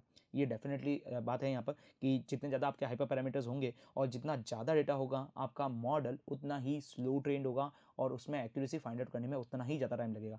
क्योंकि जब भी आप यहाँ पर कोई भी हाइपर पैरामीटर का इस्तेमाल कर रहे हैं, जैसे कि मैं यहाँ पे ए का इस्तेमाल कर रहा हूँ राइट तो ए के ऊपर क्या हो रहा है? मेरा पूरा का पूरा जो डेटा है यहाँ पर, वो ट्रेंड हो रहा है। राइट और उसके बाद में जब मैं ए टू का इस्तेमाल कर रहा हूँ यस मैं क्या कर रहा हूँ, यहाँ पर ए टू का इस्तेमाल कर रहा हूँ तो फिर से मेरा पूरा का पूरा डेटा यहाँ पर फिर से ट्रेंड हो रहा है। तो मतलब गाइज़ यहाँ पर जब भी आप नया हाइपर पैरामीटर ये लेता है तो ये दोबारा पूरा मॉडल ट्रेन करता है। पूरे डेटा सेट के ऊपर फिर से दोबारा ट्रेन करता है। ऐसे करने से क्या होता है, आपके मॉडल की जो स्पीड्स हैं, वो थोड़ी कम हो जाती है। मतलब बेसिकली गाइज़ बात करें, आपकी ट्रेनिंग की स्पीड बहुत ज़्यादा लार्ज हो जाती है राइट तो ये ग्रिड से सीवी की बहुत बड़ी प्रॉब्लम है। जब आप लार्ज डेटा इस्तेमाल करें, तब आप ग्रिड से सीवी को इस्तेमाल ना करें। राइट अब इसके बाद में बात करें यहाँ पर तो अगला आता है यहाँ पर रैंडमाइज सर सीवी के बारे में। तो ये रैंडमाइज सर सीवी कैसे काम करता है? तो देखिए ग्रिड सर सीवी की तरह ही काम करता है, लेकिन ये थोड़ा सा अलग हटके काम करता है। कैसे? जैसे देखिए, अभी हमने क्या कहता कि भाई हमारे पास ए और बी दो पैरामीटर्स हैं। ए के अंदर आपके पास क्या है? ए है और बी है। अब बात करें बी के अंदर बात करें तो वन टू और थ्री है। टोटल आपके पास यहाँ पे कितने पेयर बनने चाहिए थे? टोटल आपके पास यहाँ पे बहुत छः पेयर बनने चाहिए थे यहाँ पर। जैसे ए वन आपके पास पेयर बनना चाहिए था। दूसरा मैं बात करूँ ए टू एक पेयर बनना चाहिए था। उसके बाद यहाँ पर ए थ्री एक पेयर बनना चाहिए था। सेम एज मैं बात करूँ, यहाँ पर बी वन एक पेयर बनना चाहिए था बी टू एक पेयर बनना चाहिए था और बी थ्री एक पेयर बनना चाहिए था। तो ये टोटल सिक्स पेयर्स आपके पास बनने चाहिए थे। लेकिन रैंडमाइज सर सीवी ऐसा नहीं करता है। रैंडमाइज सर सीवी के अंदर आप यहाँ पर अपनी नंबर ऑफ़ पेयर्स दे सकते हैं। मतलब यहाँ पर आप सारे पेयर्स के ऊपर ट्रेन ना कराते हुए आप रैंडमली किसी पेयर्स के ऊपर ट्रेन करवा सकते हैं। अब इसके अंदर आपको सिंपल सा क्या करना है? आपको बताना है कि कितने नंबर ऑफ़ पेयर्स के ऊपर ट्रेन करना है। लेट सपोज़ मैं यहाँ पर डिसाइड कर रहा हूँ कि मेरे पास यहाँ पर तीन पेयर्स के ऊपर काम होना चाहिए। तो ये रैंडमाइज सर्च भी क्या करेगा यहाँ पर? आपके पास इसमें से रैंडमली तीन पेयर्स निकालेगा जैसे कि एक पेयर ये निकाल लिया, एक पेयर ये निकाल लिया और एक पेयर ये निकाल लिया। अब यहाँ पर ए टू बी वन और बी टू ये तीन रैंडम पेयर्स आपने यहाँ पे निकाले हैं। इन तीनों की अलग अलग तरीके से एक्यूरेसी फाइंड आउट की जाएगी। जैसे कि मान लो इसकी 72 परसेंट आई है यहाँ पर, इसकी मान लो 75 परसेंट आई है यहाँ पर, इसकी मान लो यहाँ पर 80 परसेंट आई है यहाँ पर अब इनमें से जो सबसे मैक्स एक्यूरेसी होगी, जो कि आपके पास यहाँ पे मुझे दिख रही है बी टू की है तो ये बी टू आपको फाइंड आउट करके ला दे देगा। तो इस तरह से आपके पास क्या करता है? यहाँ पर रैंडमाइज सर्च वर्क करता है। तो ये गिर सर्च से बहुत हट के है यहाँ पर, थोड़ा सा हट के है गिर सर्च की तरह आपके पास पूरे हाइपर पैरामीटर के ऊपर ट्रेन नहीं होता है यहाँ पर। आपके पास यहाँ पर आप जितने हाइपर पैरामीटर्स बोलेंगे यहाँ पर यस, जितने नंबर ऑफ़ हाइपर पैरामीटर देंगे, उतने ही हाइपर पैरामीटर्स के ऊपर आपका ट्रेंड होता है और मॉडल की एक्यूरेसी दी जाती है। तो ये थोड़ा सा हटके और बेसिकली ये ग्रिड सी से थोड़ा सा फास्ट वर्किंग करता है, क्योंकि यहाँ पर उतने नंबर ऑफ़ हाइपर पैरामीटर पर ट्रेंड नहीं होती है। आपके पास मिनिमम हाइपर पैरामीटर्स के ऊपर ट्रेंड होती है। अब इसकी एक लैक है यहाँ पर, इसका क्या लैक है यहाँ पर? जब आप यहाँ पे परफेक्टली सारे हाइपर पैरामीटर के ऊपर ट्रेन नहीं करवा रहे हैं यहाँ पर, कुछ पैरामीटर्स के ऊपर ट्रेन करा रहे हैं तो मे बी आपके पास कोई ऐसा हाइपर पैरामीटर हो जहाँ पे बहुत अच्छी एक्यूरेसी हो और ये उसे मिस कर सकता है। तो इससे कभी कभी आपके पास क्या होता है कि आपको वो बेस्ट हाइपर पैरामीटर नहीं मिलने के चांसेस भी होते हैं। तो बेसिकली कुछ इसके अंदर भी लैक है और कुछ उसके अंदर भी लैक है। ये बल्कि फास्ट है आपका साइप गेट सी से रीज़न उसका सिंपल सा है, यहाँ पे ये है कि ये कम हाइपर पैरामीटर पे ट्रेंड होता है और रैंडम हाइपर पैरामीटर पे ट्रेंड होता है यहाँ पर। तो बेसिकली ये थोड़ा उसके कंपेरेटिवली फास्ट वर्किंग करता है यहाँ पर। जबकि ग्रेड सी आपका स्लो वर्किंग करता है। लेकिन ग्रेड सर सी में क्या फ़ायदा है यहाँ पर ग्रेड सी में हमें परफेक्ट एग्जैक्ट आंसर हमें देखने को मिलता है क्योंकि सारे हाइपर पैरामीटर ट्रेन होते हैं यहाँ पर। लेकिन रेंडमाइज सर्च सीवी के अंदर सारे हाइपर पैरामीटर ट्रेन नहीं होने की वजह से आपके पास क्या होता है यहाँ पर? आपके पास जो हाईएस्ट एक्यूरेसी किसी एक दूसरे हाइपर पैरामीटर पर आनी चाहिए थी, वो हमें नहीं देखने को मिलती है। तो ये दोनों में कुछ ना कुछ आपके पास लैक है। और आज के इस वीडियो के ज़रिए हम बात करने वाले हैं हाइपर पैरामीटर ट्यूनिंग के बारे में। देखिए लास्ट वाले वीडियो के लेक्चर के अंदर हमने ये समझा था हाइपर पैरामीटर ट्यूनिंग किस तरह से वर्क करती है। आज के इस वीडियो के ज़रिए हम एक डेटा सेट लेंगे और उसके ऊपर हाइपर पैरामीटर ट्यूनिंग अप्लाई करके देखेंगे कि ये कैसे वर्क करता है। तो चलिए अभी जरा से समझते हैं। यदि आपको Python machine learning data science and data analysis field में अपने आप को ग्रो करना है तो इसके लिए डब्ल्यू एस के ऑनलाइन एंड ऑफलाइन बने बैच के अंदर ज्वाइन करके आप अपनी स्किल को इम्प्रूव कर सकते हैं। इसके लिए दिए गए कॉन्टेक्ट नंबर पे कॉल करके आप हमारी टू डेमो फ्री क्लासेस ले सकते हैं। मैं आपको ले चलता हूँ डेटा सेट के पास।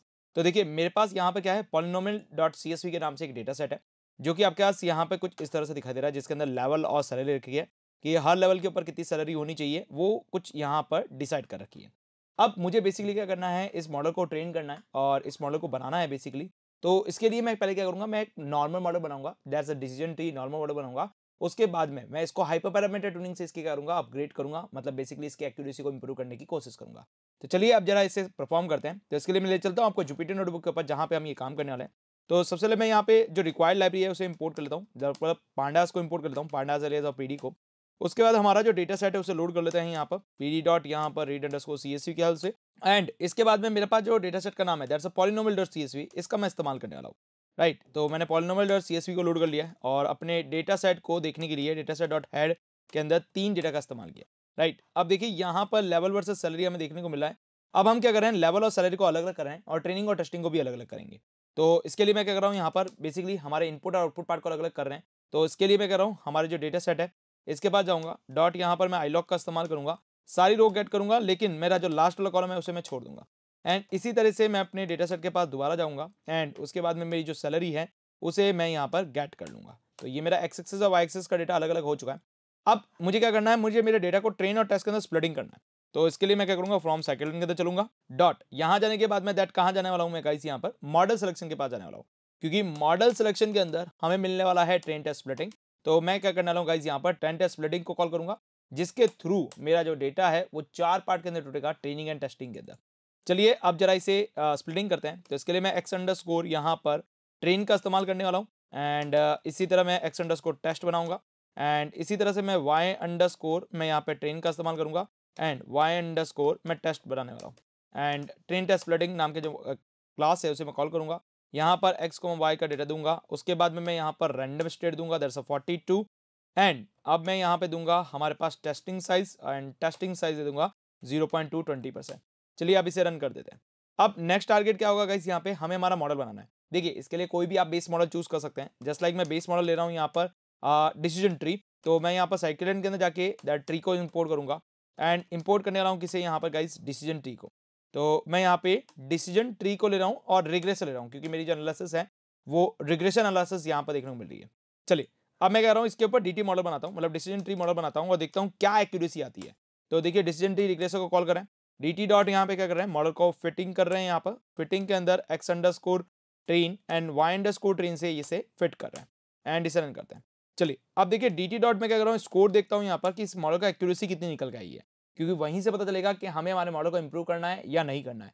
तो देखिए यहाँ पर मैं ट्रेनिंग और टेस्टिंग दोनों की एक्यूरेसी चेक करूँगा वन बाय वन क्योंकि मुझे ये भी देखना है कि मेरा डेटा मेरा जो मॉडल है वो ओवर तो नहीं हो गया। यदि एक्यूरेसी अच्छी मिल रही है, लेकिन ओवर हो गया, तब भी हमारे लिए प्रॉब्लम है। तो इसके लिए एक्स अंडर्स को टेस्ट एंड वाई अंडर्स को जो टेस्ट है, मैं इसे लेने वाला हूँ।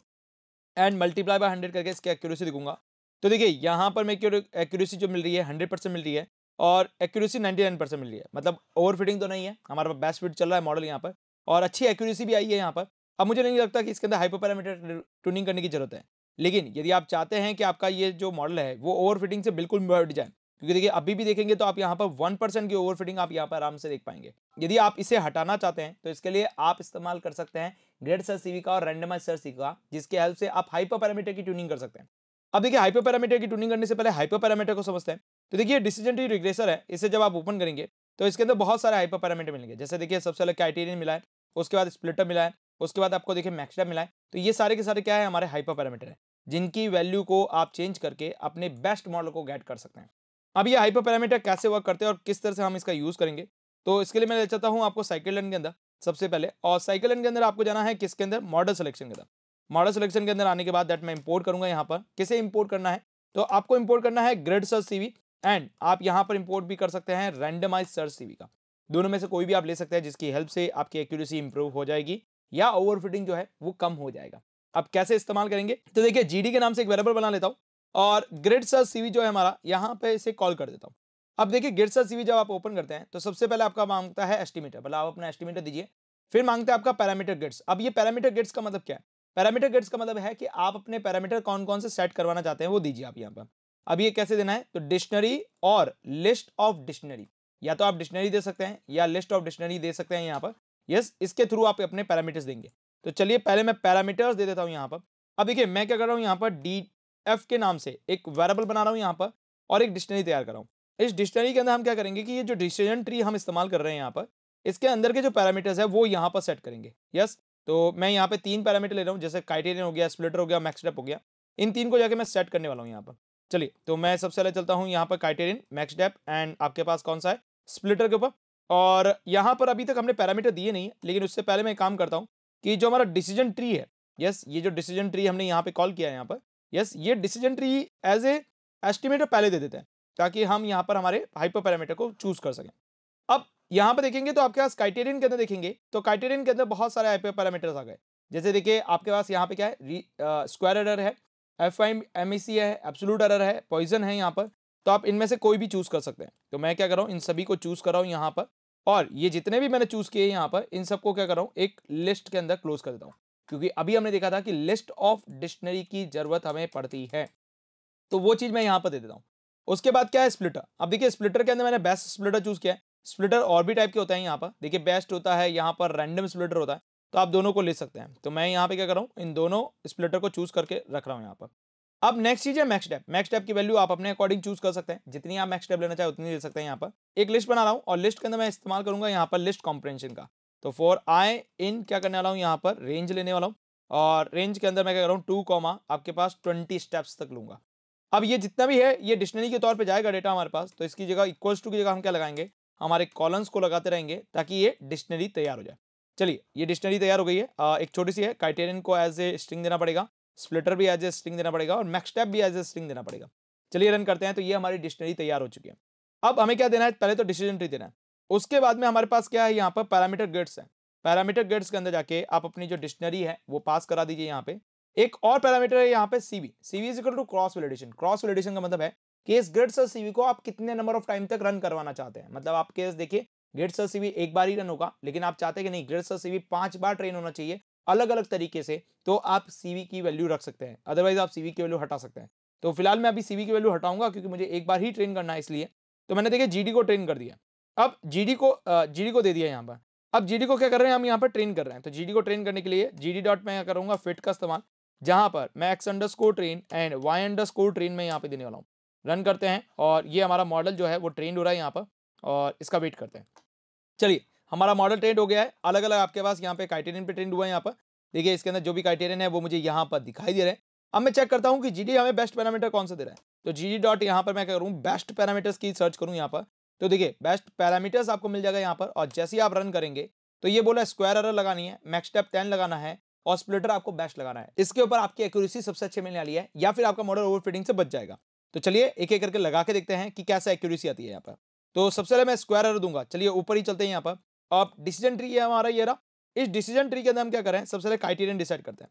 तो क्राइटेरियन के अंदर हमने क्या दिया यहाँ पर? स्क्वायर एरर दे दिया। उसके बाद नेक्स्ट क्या है गाइज़ यहाँ पर स्प्लिटर है। स्प्लिटर हमारा कौन सा है? बेस्ट स्प्लिटर की बात की गई है यहाँ पर। तो देखिए, मैं यहाँ पे क्या कर रहा हूँ? स्प्लिटर को कॉल कर रहा हूँ और स्प्लिटर के अंदर मैं बेस्ट को इस्तेमाल कर रहा हूँ। उसके बाद है हमारी मैक्स टैप मैक्स टैप हमारे पास कितनी यहाँ पर सजेस्ट होकर आई है। मैक्स टैप हमारी टेन सजेस्ट होकर आई है।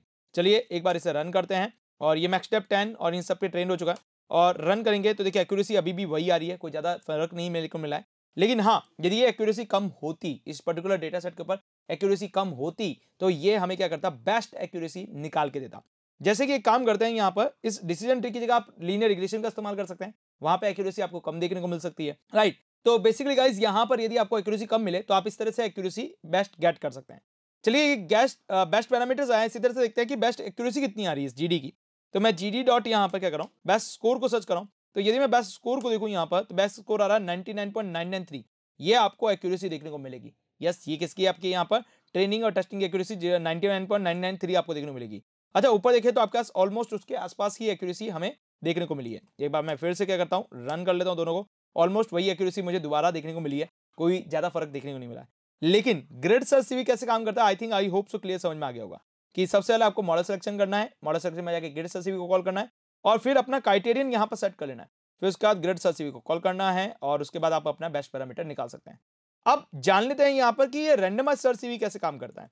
तो इसके लिए मैं कर रहा हूँ यहाँ पर रैंडमाइज सर्च सीवी को कॉल करता हूँ।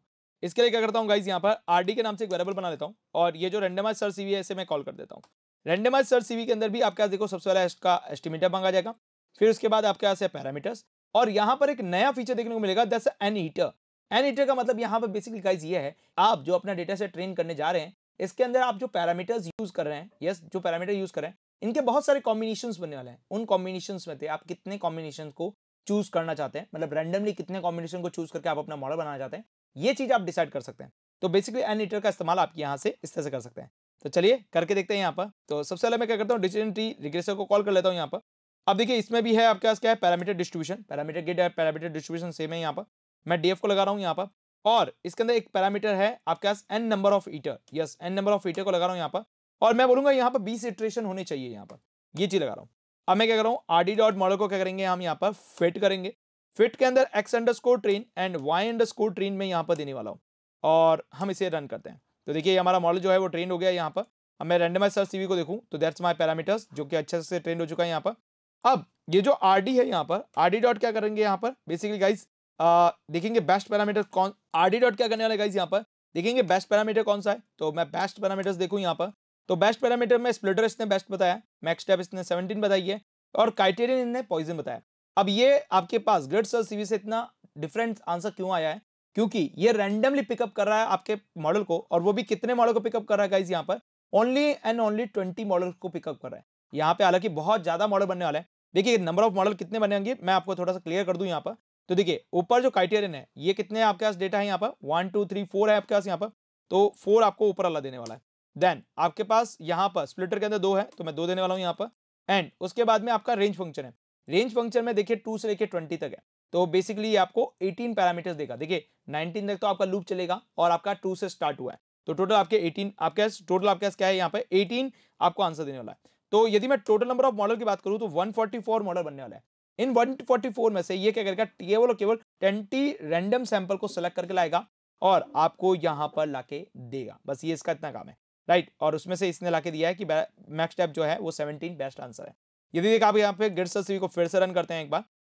और बेस्ट पैरामीटर सर्च करते हैं तो देखिए ये बेस्ट पैरामीटर अपना चेंज कर देता है, यहाँ पर। क्योंकि ये जितनी बार आप इससे रन करेंगे, ये आपके पास क्या करेगा? रैंडमली सर्च करेगा और रैंडमली सर्च करके आपको रैंडमली आंसर निकाल के देगा। हाँ हालाँकि इसका जो आंसर होता है, वो काफ़ी हद तक सही होता है मतलब 99 परसेंट जो होता है, वो काफ़ी हद तक अच्छे आंसर निकाल के देता है।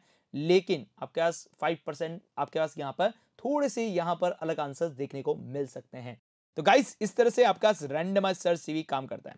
चलिए इस आरडी की एक्यूरेसी भी चेक कर लेते हैं कि आरडी कितनी एक्यूरेसी दे रहा है यहाँ पर। तो मैं बेस्ट स्कोर को देखूँ यहाँ पर। तो बेस्ट स्कोर मिल रहा है ninety nine point nine three दस ये भी आपको सेम ही आंसर दे रहा है यहाँ पर। तो इस तरह से आप क्या कर सकते हैं गाइज़ यहाँ पर रैंडमाइज सर सीवी को भी इस्तेमाल कर सकते हैं। और आज के इस वीडियो के ज़रिए हम बात करेंगे यहाँ पर क्रॉस वैलिडेशन के बारे में और यहीं पे हम समझेंगे कि डेटा को स्प्लिटिंग करने के और क्या क्या मेथड हो सकते हैं। वैसे तो डेटा स्प्लिटिंग करने के ट्रेनिंग और टेस्टिंग मेथड्स है ही यहाँ, लेकिन इसके अलावा भी बहुत सारे मेथड्स होते हैं जिसके थ्रू आप डेटा को स्प्लिटिंग कर सकते हैं। अब ये क्रॉस वैलिडेशन होता क्या है? इसको जरा समझते हैं यहाँ पर बेसिक तरीके से। लेट सपोज़ मेरे पास कोई एक डेटा सेट है। यस yes, आप ये मान लीजिए क्या है यहाँ पर? मेरे पास कोई एक डेटा सेट है और इस डेटा सेट पे मैं क्या कर रहा हूँ? अपना डिसीज़न ट्री मॉडल ट्रेन कर रहा हूँ। अब डिसीज़न ट्री की मॉडल की जो एक्यूरेसी है वो आपके पास यहाँ पर 67 परसेंट आ रही है। अब आप क्या कर रहे हैं? पीछे जा रहे हैं डेटा की प्री प्रोसेसिंग कर रहे हैं आप डेटा के अंदर और भी चीज़ें चेंजेस कर रहे हैं हाइपर पैरामीटर ट्यूनिंग कर रहे हैं और कैसे करके इसकी एक्यूरेसी को बढ़ाने की कोशिश कर रहे हैं।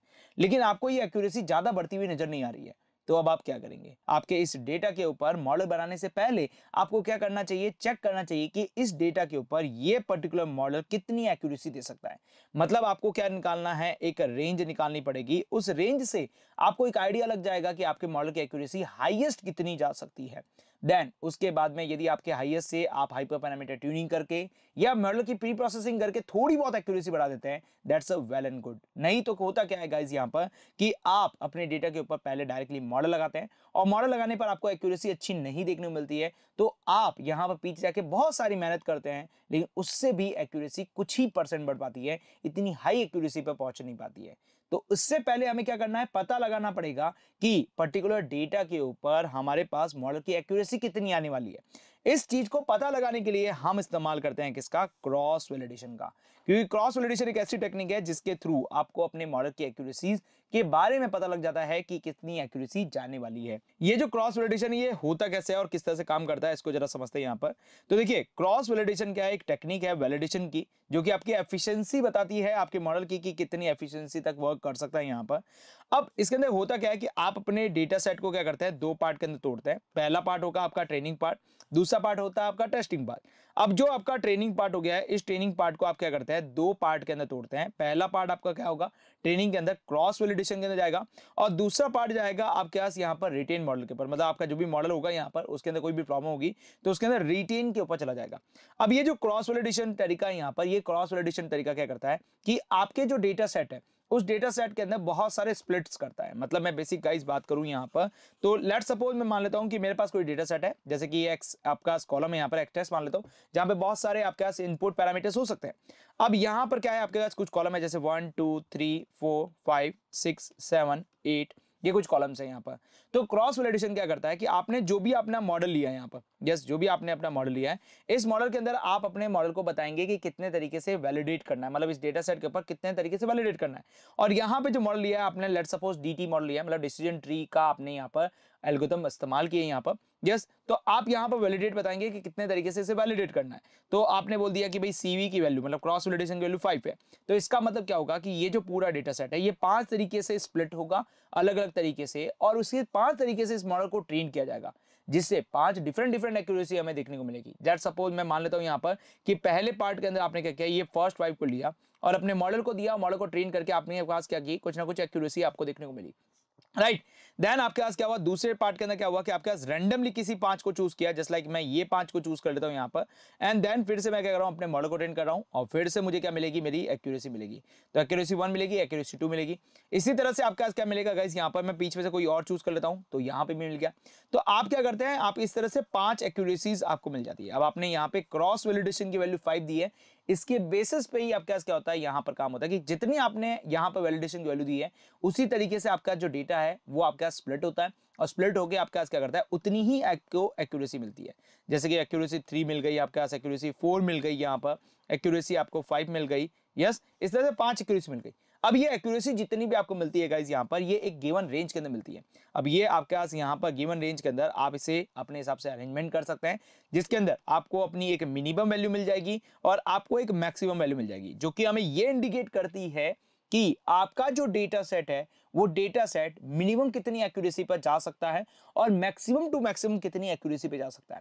अब, जो मैक्सिमम एक्यूरेसी आपको बताई गई है, आप उस मैक्सिमम एक्यूरेसी को अडॉप्ट करें। यस आप ट्रेन टेस्ट स्प्लिटिंग को चेंज करें मॉडल को रिटेन करें। जैसे भी करके आप अपने क्या करें, अपने मॉडल की एक्यूरेसी को इंप्रूव करें। एंड इंप्रूव करने के बाद में आपको जो मैक्सिमम एक्यूरेसी है लेट सपोज़ आपको मैक्सिमम एक्यूरेसी 85 परसेंट मिली है यहाँ पर तो अब आप हाइपर पैरामीटर की ट्यूनिंग करके आप इसकी एक्यूरेसी को थोड़ी बहुत बढ़ा सकते हैं। ऐसा नहीं है 85 से आपके पास यहाँ पे 95 चले जाए, नहीं, आपके पास 80 फाइव से थोड़ी बहुत आपकी मॉडल की एक्यूरेसी बढ़ जाती है। तो बेसिकली क्रॉस वैलिडेशन क्या है? एक टेक्निक है जिसके थ्रू आप डेटा को ट्रेन करने से पहले आप क्या करते हैं गाइज़ यहाँ पर? उसके अंदर के जो आपके पास पैरामीटर्स हैं, जितने भी आपके पास उसके पैरामीटर्स हैं, उन्हें आप ट्रेन कर रहे हैं अपने डेटा सेट से मतलब आपके फीचर से ट्रेन कर रहे हैं। और फीचर से ट्रेन करने के बाद में आप यहाँ पर पता लगा रहे हैं कि आपके पास एक्यूरेसी की क्या रेंज आपको देखने को मिलेगी। तो that is call of cross validation technique अब ये जो क्रॉस वोलेशन टेक्निक है, इसके अंदर हम क्या करते हैं? डेटा को स्प्लिटिंग करते हैं। मतलब बेसिकली गाइज़ मैं बात करूँ यहाँ पर तो आप क्या करते हैं? आप अपना इनपुट डेटा और आपका अपना आउटपुट डेटा वो पूरा का पूरा कंप्लीटली इसे दे देते हैं। काफ़ी बार आप इसे ट्रेन और टेस्ट के अंदर स्प्लिटिंग करके भी देते हैं यहाँ पर। तो लेट सपोज़ आपने अपना डेटा दिया है यहाँ पर अब ये जो आपने डेटा दिया है, इसके अंदर आपने क्या किया स्प्लिटिंग की है? स्प्लिटिंग करने का मतलब क्या है गाइज़ यहाँ पर? आपने इस डेटा को तोड़ा है, जैसे कि मैं पाँच इसको तोड़ लेता हूँ, पाँच ऐसे तोड़ता हूँ तो ये पाँच पाँच जो तोड़ने का तरीका मतलब हमारे डेटा को स्प्लिटिंग करने का जो तरीका है, उसको हम डिटेल के साथ समझते हैं। अब ये जो स्प्लिटिंग है स्प्लिटिंग करने का मतलब क्या हुआ गाइज़ यहाँ पर? स्प्लिटिंग करने का मतलब सिंपल सा ये हुआ कि जितना भी आप डेटा दे रहे हैं सपोज़ मैं इतना डेटा यहाँ पे स्प्लिटिंग कर रहा हूँ तो ये वाला जो डेटा होगा गाइज़ ये किसमें चलाएगा हमारा? ये हमारा ट्रेनिंग में चला जाएगा यहाँ पर, और पीछे जो बच्चा हुआ यहाँ पर, ये किसमें चला जाएगा? आपका टेस्टिंग में चला जाएगा। तो बेसिकली आप यहाँ पर टेंट स्प्रेडिंग के अंदर डेटा जो तोड़ते हैं यहाँ पर, उसके लिए आप रैंडम स्टेट का इस्तेमाल करते हैं। आप इसके अंदर ट्रेंड स्प्लिटिंग का इस्तेमाल करते हैं। लेकिन क्रॉस वैलिडेशन जब आप करते हैं यहाँ पर तो क्रॉस वैलिडेशन के अंदर डेटा को तोड़ने के डिफरेंट डिफरेंट तरीके होते हैं। मतलब क्रॉस वैलिडेशन को करने के डिफरेंट डिफरेंट तरीके होते हैं। और अब हम समझते हैं वो डिफरेंट डिफरेंट तरीके क्या है यहाँ पर। तो बेसिकली इन डिफरेंट डिफरेंट तरीके के अंदर बहुत सारे मेथड्स आते हैं, जो कि डेटा को तोड़ने के लिए काम आते हैं यहाँ पर। यस जैसे कि मैं, मैंने बोला कि यहाँ पर मेरा वन से लगाकर नाइन तक डेटा है। yes 1 2 3 and then 4 5 6 okay. Six के बाद सेवन, एट और नाइन। ये नाइन तक हमारा डेटा है। तो अब हमें इसमें क्या करना है? डेटा को तोड़ना है। किसके अंदर तोड़ना है? ट्रेनिंग और टेस्टिंग के अंदर तोड़ना है। तो वो ट्रेनिंग और टेस्टिंग के अंदर किस तरह से स्प्लिटिंग होगा? यस उसके कुछ आपके पास मेथड्स यहाँ पे बताए गए हैं यहाँ पर। या फिर आप बोल सकते हैं ट्रेनिंग और वैलिडेशन के अंदर किस तरह से टूटेगा डेटा यहाँ पर। यदि आप ट्रेन टेस्ट स्प्लिटिंग पहले से तोड़ लाए देखिए, काफ़ी लोग क्या करते हैं, मैं आपको बता देता हूँ। लेट सपोज़ आपका ये डेटा सेट है राइट लेट सपोज़ आपके पास ये डेटा सेट है। इस डेटा सेट को काफ़ी लोग पहले से क्या करते हैं, दो पार्ट के अंदर तोड़ देते हैं। First part is your training part and second part your is testing part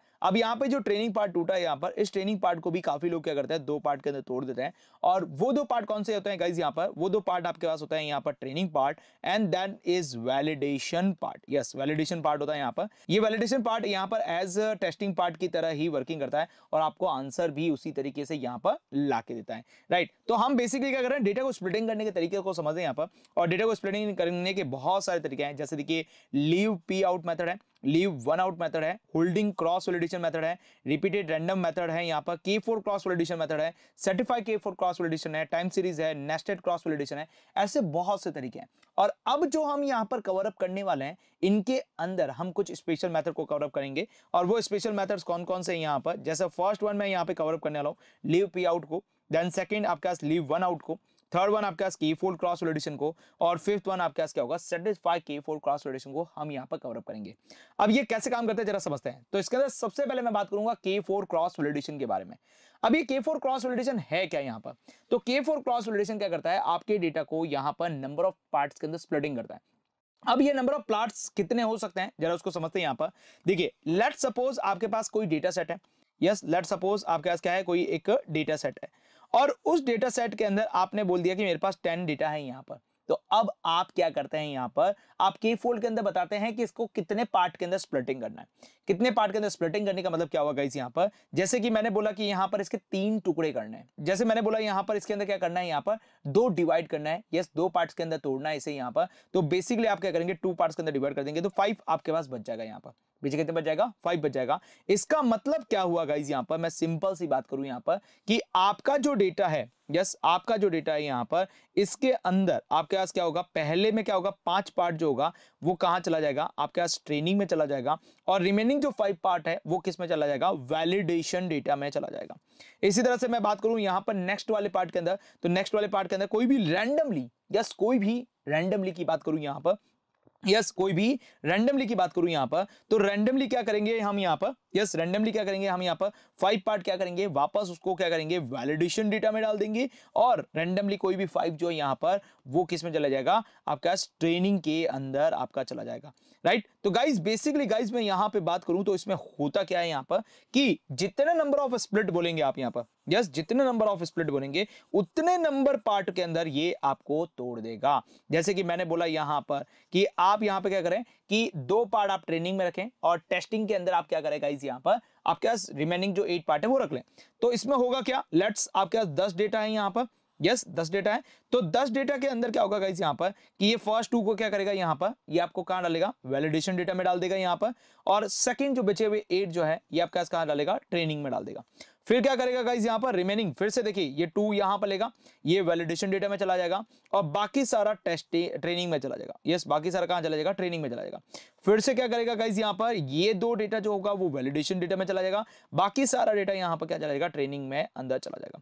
फिर से आपके पास क्या होगा गाइज़ यहाँ पर ये आपका वैलिडेशन डेटा में चला जाएगा, बाकी सारा किसमें चला जाएगा? ट्रेनिंग में चला जाएगा। ऐसे करते करते टोटल टेन स्प्लिट्स इसके अंदर आ जाएँगे, और ये टेन पार्ट के अंदर वर्किंग कर लेगा। राइट गाइस तो इस तरह से के फोर क्रॉस वैलिडेशन यहाँ पर वर्किंग करता है। आपके डेटा को ट्रेनिंग और वैलिडेशन डेटा के अंदर स्प्लिटिंग करता है।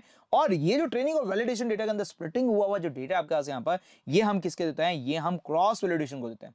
और क्रॉस वैलिडेशन इससे हमें क्या करता है? एक रेंज ला के देता है अपने डेटा के एक्यूरेसी की, जिसके थ्रू हमें ये पता लगता है कि हमारा डेटा मैक्सिमम कितना अचीव कर सकता है और मिनिमम कितना अचीव कर सकता है।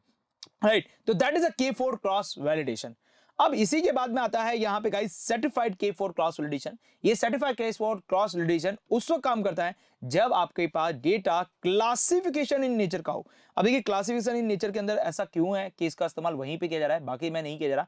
रीजन बहुत ही क्लियर है यहाँ पर, देखिए गाइज़ यहाँ पर।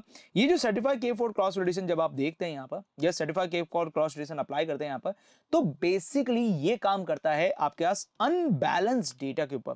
यस किसके ऊपर काम करता है गाइज़ यहाँ पर? ये काम करता है अनबैलेंस्ड डेटा के ऊपर काम करता है।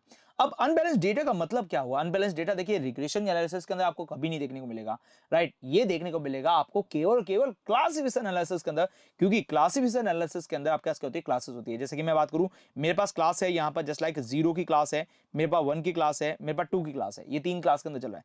तो अब इन तीन क्लासेस में चलू तो यहाँ पर पहला वाला मान लू, जैसे पाँच डेटा है यहाँ पर, दूसरे वाले में आपके पास क्या है? सौ डेटा है यहाँ पर, तीसरे वाले में आपके पास क्या है? यहाँ पर चार सौ डेटा है यहाँ पर। तो आप खुद देखो यहाँ पर डेटा क्या हो रहा है? अनबैलेंस हो रहा है। अब जब डेटा अनबैलेंस होता है और यहाँ पर आप के फोर क्रॉस रिलेशन लगा देते हैं यहाँ पर तो के फोर क्रॉस रिलेशन ये देखकर आपके पास डेटा को स्प्लिटिंग नहीं करता है कि आपके पास टेस्टिंग के अंदर मतलब आप जैसे वैलिडेशन डेटा बोलते हैं यहाँ पर वैलिडेशन डेटा के अंदर आपके पास तीनों के तीनों कैटेगरी के कुछ ना कुछ एग्ज़ाम्पल होने चाहिए। मतलब गाइज़ यदि मैं के फोल्ड को अप्लाई करूँ यहीं पर क्या करूँ यहाँ पर? के फोल्ड को मैं अप्लाई करूँ तो के फोल्ड डेटा यहाँ पे क्या करेगा? स्प्लिटिंग करेगा। किसके अंदर? आपके पास यहाँ पर वैलिडेशन डेटा के अंदर।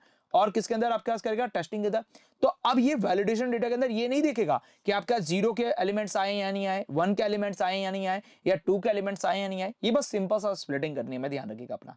राइट जबकि के फोर क्रॉस वैलिडेशन की जगह हम यदि certify K four cross validation को अप्लाई करते हैं। यस yes, किसको अप्लाई करते हैं? इस certify K four cross validation को इस्तेमाल करते हैं यहाँ पर।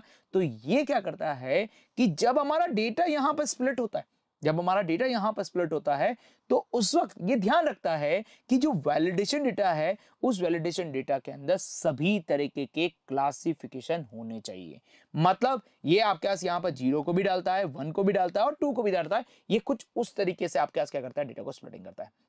इस तरीके से ये certify K four validation work करता है राइट तो बेसिकली यहाँ पर आपका डेटा ट्रेनिंग और टेस्टिंग के अंदर या ट्रेनिंग एंड वैलिडेशन के अंदर स्प्लिटिंग तो होता है यहाँ पर लेकिन एक चीज़ का स्पेशली ध्यान रखा जाता है, और वो चीज़ क्या है गाइज़ यहाँ पर? वो चीज़ बहुत ही सिंपल चीज़ है कि यदि आपका डेटा क्लासिफिकेशन इन नेचर के अंदर है यस क्लासिफिकेशन इन नेचर के अंदर है तो उसके अंदर जितने भी नंबर ऑफ़ क्लासेस हैं यस नंबर ऑफ़ आपके जितने भी क्लासेस हैं, उन क्लासेस के अंदर जितने भी आपके डेटा पॉइंट्स हैं वो आपके पास सभी तरीके से उस वैलिडेशन डेटा के अंदर आए, ताकि जब आपकी टेस्टिंग हो रही हो यहाँ पर, तब आपके पास सही तरीके से टेस्टिंग हो सके। राइट तो इस चीज़ का आपके पास यहाँ पर सर्टिफाइड के फोर क्रॉस वैलिडेशन के अंदर ध्यान रखा जाता है।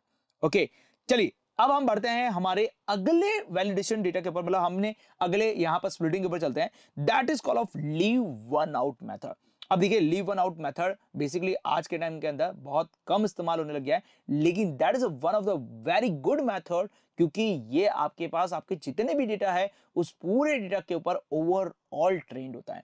इसका रीजन क्या है यहाँ पर? जरा आप अभी दो मिनट में समझ आएँगे देखिए लीव वन आउट मेथड क्या करता है कि आपके पास जितने भी नंबर ऑफ़ डेटा है यहाँ पर, ये जितने भी नंबर ऑफ़ डेटा है, उस नंबर ऑफ़ डेटा में क्या करता है? एक एक करके डेटा निकालता है। जैसे कि मैं मान लू, देखो one two three four five six, seven, eight, nine और टेन। ये मेरे पास डेटा है।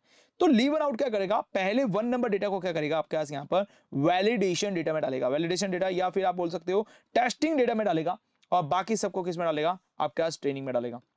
राइट दैट्स फ़र्स्ट पार्ट यहाँ पर। अब उसके बाद में क्या करेगा? सेकंड टाइम में क्या करेगा? ये टू को क्या करेगा? ट्रेनिंग में डाल टेस्टिंग में डाल देगा और बाकी सबको ट्रेनिंग में डाल देगा। फिर क्या करेगा यहाँ पे गाइस थ्री को डालेगा। थ्री को ट्रेनिंग में, बाकी सबको टेस्टिंग सभी डेटा को एक एक करके आपके पास क्या करेगा? टेस्टिंग के अंदर डालता रहेगा और रिमेनिंग जितना भी डेटा है वो ट्रेनिंग के अंदर डालता रहेगा। तो ऐसे आपके पास क्या होता है? पूरे डेटा के ऊपर आपके पास अच्छे तरीके से ट्रेनिंग हो जाती है।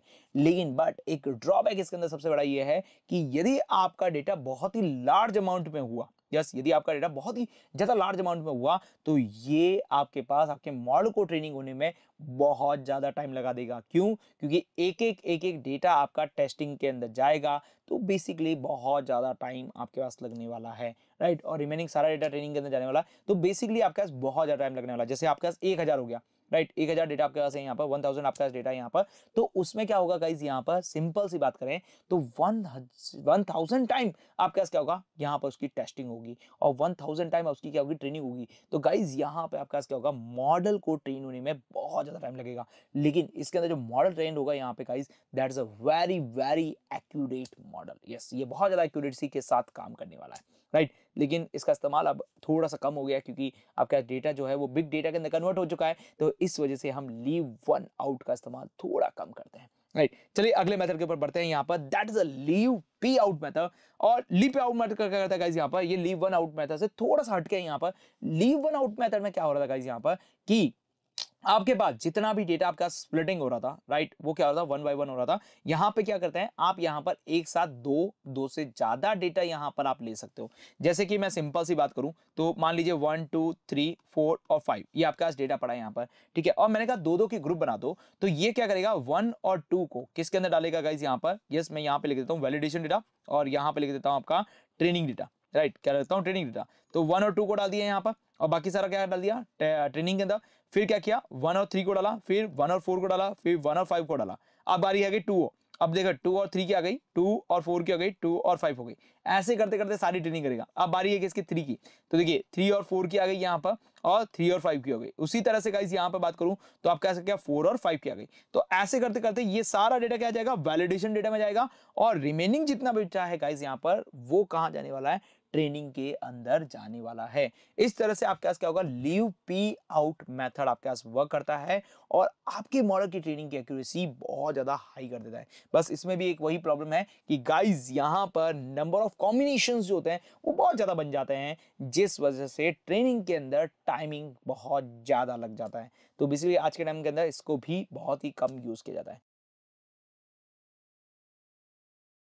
और आज की इस वीडियो के ज़रिए हम बात करेंगे क्रॉस वैलिडेशन के बारे में। देखिए लास्ट वाले लेक्चर के अंदर आपने क्रॉस वैलिडेशन को समझाऊँगा और टाइप्स ऑफ़ क्रॉस वैलिडेशन के बारे में भी डिस्कस किया होगा। आज के इस वीडियो के ज़रिए हम एक डेटा सेट के ऊपर क्रॉस वैलिडेशन अप्लाई करके देखेंगे और उसकी बेस्ट एक्यूरेसी फाइंड आउट करने की कोशिश करेंगे।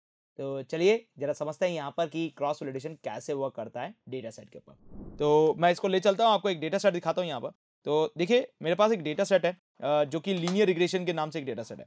यस आप यहाँ पर देख पाएँगे इस डेटा सेट के बारे में। That is a placement dot C नाम से एक डेटा सेट है। हम बेसिकली इसके ऊपर बात करने वाले हैं और इसके ऊपर क्रॉस वैलिडेशन लगाने वाले हैं। अब यहाँ पे क्या है? सीजीपी के बेसिस पे आपको पैकेज दे रखा है। और हम क्या करेंगे? इसके अंदर पता करेंगे कि इसकी बेस्ट एक्यूरेसी कितनी है। मतलब आपका मिनिमम एक्यूरेसी कितनी है और मैक्सिमम एक्यूरेसी कितनी है, ये भी देखेंगे। और इसके साथ साथ हम यहाँ पे ये भी पता करेंगे कि यदि मैं के फोर क्रॉस वैलिडेशन लगाऊँ P hold out cross validation लगाऊँ या अदर कोई भी क्रॉस वैलिडेशन लगाऊँ तो वो किस तरह से वर्क करता है, वो भी हम डिस्कस करने वाले हैं। अच्छा यदि मैं टोटल नंबर ऑफ़ डेटा की बात करूँ यहाँ पर तो देखिए टोटल नंबर ऑफ़ डेटा मेरे पास कितने हैं? 200 डेटा यहाँ पर प्रेजेंट है, जिसके ऊपर हम यहाँ पर ये काम करने वाले हैं। लेकिन के फोल्ड एंड बाकी जो आपके पास क्रॉस वैलिडेशन के मेथड्स हैं, वो समझाऊँगा, तब मैं आपके पास केवल और केवल टेन डेटास लेके ही उसके ऊपर वर्किंग करके दिखाऊँगा कि ये कैसे वर्क करते हैं और ये किस तरह से फाइंड आउट किया जाता है। चलिए, अब जरा इसे समझते हैं यहाँ पर तो इसके लिए मैं ले चलता हूँ आपको जुपिटर नोटबुक के अंदर। अब सबसे पहले क्या कर रहा हूँ, हमारी जो रिक्वायर्ड लाइब्रेरी है, उसे हम इम्पोर्ट करते हैं। जैसे import pandas alias of PD का मैं इस्तेमाल करूँगा यहाँ पर। अब मैं क्या करूँगा, यहाँ पर डेटा सेट को लोड करूँगा और डेटा सेट को लोड करने के लिए मैं पी डी डॉट यहाँ पर रीनेट को सी एस वी का इस्तेमाल करूँगा, जिसके अंदर मैं क्या करूँगा, यहाँ पर जो placement dot C S V है, उसे मैं लोड करने वाला हूँ यहाँ पर और ये ना placement dot C S V को लोड कर चुके हैं और डेटा सेट को देख लेते हैं डेटा सेट डॉट यहाँ पर हेड लगा के मैं इसके तीन डेटा को देखना चाहूँगा। तो देखिए, हमारे पास सी जी और पैकेज आपके पास आ चुका है। इस सी पैकेज को हम क्या करते हैं इनपुट और आउटपुट का अलग अलग कर लेते हैं। तो देखिए, मैं एक्स एक्सेस का डेटा अलग कर रहा हूँ, उसके लिए मैं डेटा सेट के पास जाऊँगा डॉट यहाँ पर आई लॉक का इस्तेमाल करूँगा सारी नंबर ऑफ़ रोज का इस्तेमाल करूँगा और यहाँ पर सारे नंबर ऑफ़ कॉलम का इस्तेमाल करूँगा माइनस वन करके पैकेज को छोड़ दूँगा। एंड वाई के अंदर बात करें तो मैं देखिए डेटा सेट के पास जाऊँगा एंड उसके बाद में मैं पैकेज को लेके यहाँ पे इसका वाई आउटपुट तैयार कर लूँगा। अब देखिए सबसे पहले हम इस डेटा सेट के ऊपर ये समझते हैं, जो भी हमने यहाँ पर क्रॉस वैलिडेशन के मैथड जो समझे थे, वो किस तरह से परफॉर्म करते हैं यहाँ पर। चलिए जरा अब इसे देख लेते हैं यहाँ पर। तो इसके लिए मैं क्या कर रहा हूँ गाइज़ यहाँ पर कि ये मेरा डेटा सेट है, इस डेटा सेट में से केवल टेन डेटा निकालूँगा, ताकि आप लोगों को थोड़ा आइडिया लग जाए कि किस तरह से ये परफॉर्म करते हैं। तो मैं क्या कर रहा हूँ गाइज़ यहाँ पर एक न्यू डेटा नाम से एक वेरेबल बना लेता हूँ यहाँ पर। यस न्यू अंडर डेटा के नाम से एक वेरेबल बना लेता हूँ यहाँ पर। और उसके बाद में मेरा जो डेटा सेट है यहाँ पर, वो लेता हूँ और डॉट हेड लेके आगे के जो टेन डेटा है, वो मैं यहाँ पे कंसिडरेशन कर लेता हूँ। अब इस न्यू डेटा के ऊपर हम क्या करें अलग अलग वैलिडेशन जो मेथड्स हैं, वो अप्लाई करके देखेंगे कि वो किस से आपके पास डेटा को स्प्लिटिंग करते हैं। चलिए तो मैं चलता हूँ यहाँ पर फ्रॉम साइकिल के पास यहाँ पर डॉट उसके बाद में मैं जाऊँगा किसके पास? मॉडल सिलेक्शन के पास। मॉडल सिलेक्शन के अंदर जाने के बाद में दैट मैं इंपोर्ट करने वाला हूँ यहाँ पर। किसे इंपोर्ट करूँगा? सबसे पहले मैं इंपोर्ट करूँगा यहाँ पर लीव वन आउट को। यस yes, यहाँ पे हमको क्या करना है? लीव वन आउट को यहाँ पे इंपोर्ट करना है। दैट्स मैं लीव वन आउट को इंपोर्ट करूँगा। उसके बाद मैं इंपोर्ट करने वाला हूँ लीव पी आउट को यहाँ पर इंपोर्ट करूँगा। दैट उसके बाद में मैं यहाँ पे के फोल्ड को इंपोर्ट करने वाला हूँ। और उसके बाद मैं सर्टिफाई के फोल्ड को इंपोर्ट करने वाला हूँ। तो ये मैंने सर्टिफाई के फोल्ड को ले लिया है। इस तरह से मैंने चारों मॉडल ले लिए और चारों मॉडल किस तरह से वर्क करते हैं, अब जरा वन बाय वन समझते हैं यहाँ पे। आ जाइए। देखिए, सबसे पहले मैं इस्तेमाल करूँगा लीव वन आउट का। देखिए लीव वन आउट मेथड क्या कहता है यहाँ पर कि आपके पास जो ट्रेनिंग और टेस्टिंग का डेटा जो स्प्लिटिंग होता है, इसमें टेस्टिंग का जो डेटा होगा, वो वन वन करके अलग होगा यहाँ पर और ट्रेनिंग का डेटा बाकी रिमेनिंग बच गया डेटा वो आपके पास यहाँ पर दिखेगा। वही चीज़ अब हम यहाँ पर देख रहे हैं, ये कैसे वर्क करती है। तो इसके लिए मैं क्या कर रहा हूँ गाइज़ यहाँ पर लीव वन आउट के लिए तो मैं एलो के नाम से एक वेरेबल बना लेता हूँ। और यहाँ पर, ये जो लीव वन आउट है, इसे मैं कॉल कर देता हूँ। अब लीव वन आउट को जैसे आप ओपन करेंगे यहाँ पर तो ये आपके पास क्या करेगा? आपके डेटा सेट को लेगा। लेकिन अभी डेटा सेट को नहीं लेगा। डेटा सेट को लेने के लिए हम क्या करेंगे? यहाँ पर स्प्लिट मेथड का इस्तेमाल करेंगे। वो डेटा सेट को यहाँ पर कंसिडरेशन करेंगे। यहाँ पे जो डेटा आने वाला है, इसको मैं लूप के थ्रू यहाँ पे ट्रेड करने वाला हूँ। तो मैं देखिए फॉर आपके पास यहाँ पे बना लेता हूँ ट्रेन नाम से एक डेटा दूसरा, मैं यहाँ पे बना लेता हूँ टेस्ट नाम से डेटा एंड इन करके मैं एलो डॉट क्या करने वाला हूँ? यहाँ पर स्प्लिट का यूज़ करूँगा। जिसके थ्रू मेरा जो डेटा है, वो स्प्लिट होने वाला है। इसके अंदर आप एक्स एक्सेस का डेटा एंड वाई एक्सेस का डेटा यहाँ पर पास कराते हैं। देन एक्स कोमा वाई मैं इसके अंदर पास करा रहा हूँ यहाँ पर। देन कॉलन करके हम यहाँ पर प्रिंट करके देखेंगे कि ट्रेनिंग और टेस्टिंग का डेटा किस तरह से अलग अलग होता है। तो मैंने ट्रेन कॉमा टेस्ट का जो डेटा है वो अलग अलग कर लिया देन जैसे रन करेंगे तो देखिए, आपके पास लीव वन आउट और लीव पी आउट कैसे वर्क करा है? आई थिंक आपको क्लियर समझ में आ गया होगा। अब देखिए, ये एक्स और वाई जो हमने अलग अलग किया है, ये हमने क्या किया? ओरिजिनल में से किया है, लेकिन हमें न्यू डेटा में से करना था यहाँ पर। तो मैं यहाँ पर एक न्यू एक्स वाई बनाता हूँ यहाँ पर। तो एक्स अंडर मैं न्यू का इस्तेमाल करूँगा यहाँ पर। और ये कहाँ से लगेगा मेरा जो न्यू डेटा है यहाँ पर डॉट मैं आई लॉक का इस्तेमाल करूँगा। सारी नंबर ऑफ़ रोल लूँगा, सारे नंबर ऑफ़ कॉलम लूँगा माइनस वन को छोड़ दूँगा। इसी तरह से मैं वाई अंडर स्कोर मैं न्यू का इस्तेमाल करने वाला हूँ यहाँ पर। ये कहाँ से आएगा? ये हमारे न्यू डेटा में से आएगा। और न्यू डेटा में से आने के बाद में इसके अंदर जाके मैं पैकेज के थ्रू इसका डेटा को कंसिडर कर लूँगा। अब ये जो एक्स और वाई है, इसकी जगह एक्स अंडर को न्यू कर देते हैं। और ये जो वाई है, इसको वाई अंडर को न्यू कर लेते हैं। तो अब देखिए आप यहाँ पर। मेरे पास टोटल टेन डेटा था, उसमें से आगे वाले जो नाइन डेटा है, वो हमारे पास किसके आ जाएँगे? ट्रेनिंग के रिमेनिंग जो वन गए यहाँ पर, वो टेस्टिंग में। फिर देखिए, आगे वाले नाइन डेटा आपके पास ट्रेनिंग में आ गया वन आपका टेस्टिंग में। तो इस तरह से लीव वन आउट काम करता है आपका यहाँ पे। मतलब आपके पास जो आपके इंडेक्स नंबर चल रहे हैं, अब आप देख सकते हैं यहाँ पर न्यू डेटा का इंडेक्स नंबर क्या है? देखिए न्यू डेटा का इंडेक्स नंबर आपके पास देखिए zero one two three four five six seven eight nine दे रखा है यहाँ पर। तो बस उसी तरह से आपके पास यहाँ पे वर्क कर रहा है कि पहला डेटा आपके पास यहाँ पे आ चुका है, दूसरा डेटा आपके पास यहाँ अलग हो गया। फिर इसमें से एक अलग और हो गया, इसमें से एक और अलग हो गया। तो ये जो आपके पास है, ये स्प्लिटिंग के मेथड है। मतलब आप अपने डेटा को ट्रेन टेस्ट के अंदर स्प्लिटिंग करते हैं, वो स्प्लिटिंग के मेथड्स हैं, आप इन इन तरीके से भी स्प्लिटिंग कर सकते हैं। That is a leave one out अब मैं बात करता हूँ लीव पी आउट में क्या होगा। देखिए लीव पी आउट के अंदर कोई भी आप अपनी पी वैल्यू दे सकते हैं, उस पी वैल्यू के बेसिस पे आपका आउट होने वाला है। मतलब आप अपने टेस्टिंग के अंदर कितने नंबर अलग करना चाहते हैं, वो यहाँ पर आप दे सकते हैं। तो देखिए पी की वैल्यू मैं डिसाइड कर लेता हूँ just like a two yes मैं टू डिसाइड करता हूँ और रन करता हूँ। तो देखिए, इसने मेरे डेटा के अंदर बहुत सारी स्प्लिटिंग कर ली है। जैसे कि देखिए टू मैंने यहाँ पर दिया है। तो बेसिकली टू आपके पास किसमें आ गए? टेस्टिंग के लिए आ गए। बाकी सारा डेटा देखिए ट्रेनिंग में आ चुका है। जैसे देखिए ज़ीरो वन आ गया ज़ीरो टू आ गया ज़ीरो थ्री आ गया ज़ीरो फोर आ गया ज़ीरो फाइव आ गया। ऑल पॉसिबल कॉम्बिनेशन इसने डिज़ाइन कर लिया यस ऑल पॉसिबल कॉम्बिनेशन इसने डिज़ाइन करके आपको दे दिए हैं। इस तरह से आपके अपने जो डेटा सेट है, इसके अंदर आप इसे ट्रेनिंग और टेस्टिंग के अंदर स्प्लिटिंग कर सकते हैं। तो ये था आपका लीव पी आउट मतलब तो अब यहाँ हम यूज़ करते हैं के फोल्ड क्रॉस के फोल्ड का इस्तेमाल करते हैं। तो देखिए, मैं के फोल्ड का इस्तेमाल कर रहा हूँ और के फोल्ड के अंदर आपसे क्या पूछा जाता है? Number of fold number of fold मतलब नंबर ऑफ़ स्प्लिट आप कितने नंबर ऑफ़ स्प्लिट लगाना चाहते हैं? मतलब आपके अपने डेटा को कितने पार्ट के अंदर तोड़ना चाहते हैं? मतलब आपका जो डेटा है, उस डेटा के अंदर कितने टुकड़े बनाना चाहते हैं? तो मैंने कहा पाँच टुकड़े बनाने हैं, दस टुकड़े बनाने हैं, वो आप यहाँ पे डिसाइड कर सकते हैं। तो मैंने यहाँ पे फाइव टुकड़े लिए हैं यहाँ पर मतलब फाइव फोल्ड लिए हैं यहाँ पर बेसिकली एंड जैसे रन करूँगा तो देखिए इसने फाइव फोल्ड बना दिया। फाइव फोल्ड के अंदर देखिए क्या किया ज़ीरो वन यहाँ लिया है zero two zero four four five six seven eight nine यहाँ पे ले लिया है। और देखिए टोटल नंबर ऑफ़ फोल्ड की काउंटिंग करेंगे तो आपका टोटल नंबर ऑफ़ फोल्ड यहाँ पे कितने फाइव है। देखिए वन फोल्ड आ गया देन इसी तरह से टू फोल्ड आ गया, फिर देखिए आपका थ्री फोल्ड आ गया, फिर फोर फोल्ड आ गया, इसी तरह से फाइव फोल्ड आ गया। तो यहाँ पर आप जितने भी स्प्लिट करना चाहते हैं अपने डेटा सेट को, उतने स्प्लिट्स यहाँ पर इस्तेमाल कर सकते हैं। अब बात करते हैं ये सेटिस्फाई के फोल्ड कैलकुलेशन कैसे काम करेगा। तो यहाँ पर ये बेसिकली आपके पास क्लासिफिकेशन में बहुत अच्छा काम करेगा, लेकिन अभी मैं यहाँ पर फिर भी अप्लाई करके बताऊँगा आप लोगों को कैसे ये सर्टिफाई के फोल्ड कैलकुलेशन कैसे काम करता है। इसके अंदर भी आपके पास क्या होता है? नंबर ऑफ़ स्प्लिट होता है। इसके अंदर मैं पाँच स्प्लिट देना चाहूँगा बट ये यहाँ पर वर्क नहीं करेगा, क्योंकि ये जो सेटिस्फाई के फोर क्रॉस रोटेशन है, ये आपके पास only on only for classification analysis के अंदर ही वर्क करता है। आपके पास रिग्रेशन एनालिसिस के अंदर वर्क नहीं करता है। तो बेसिकली जब भी आप क्लासिफिकेशन एनालिसिस का इस्तेमाल करें, तब यहाँ पर सर्टिफाई के फोर क्रॉस का इस्तेमाल कर सकते हैं। तो basically guys certify K four cross same as ऐसे ही वर्क करता है, लेकिन ये केवल केवल किसमें वर्क करता है? क्लासिफिकेशन एनालिसिस में ही वर्क करता है। चलिए, ये तो हो गया हमारे पास क्रॉस वैलिडेशन का तरीका। लेकिन अभी हम हमारे डेटा सेट के ऊपर चेक करना चाहते हैं, जैसे ये हमारा डेटा सेट है, इसके ऊपर चेक करना चाहते हैं कि ये हमें कितनी एक्यूरेसी दे सकता है।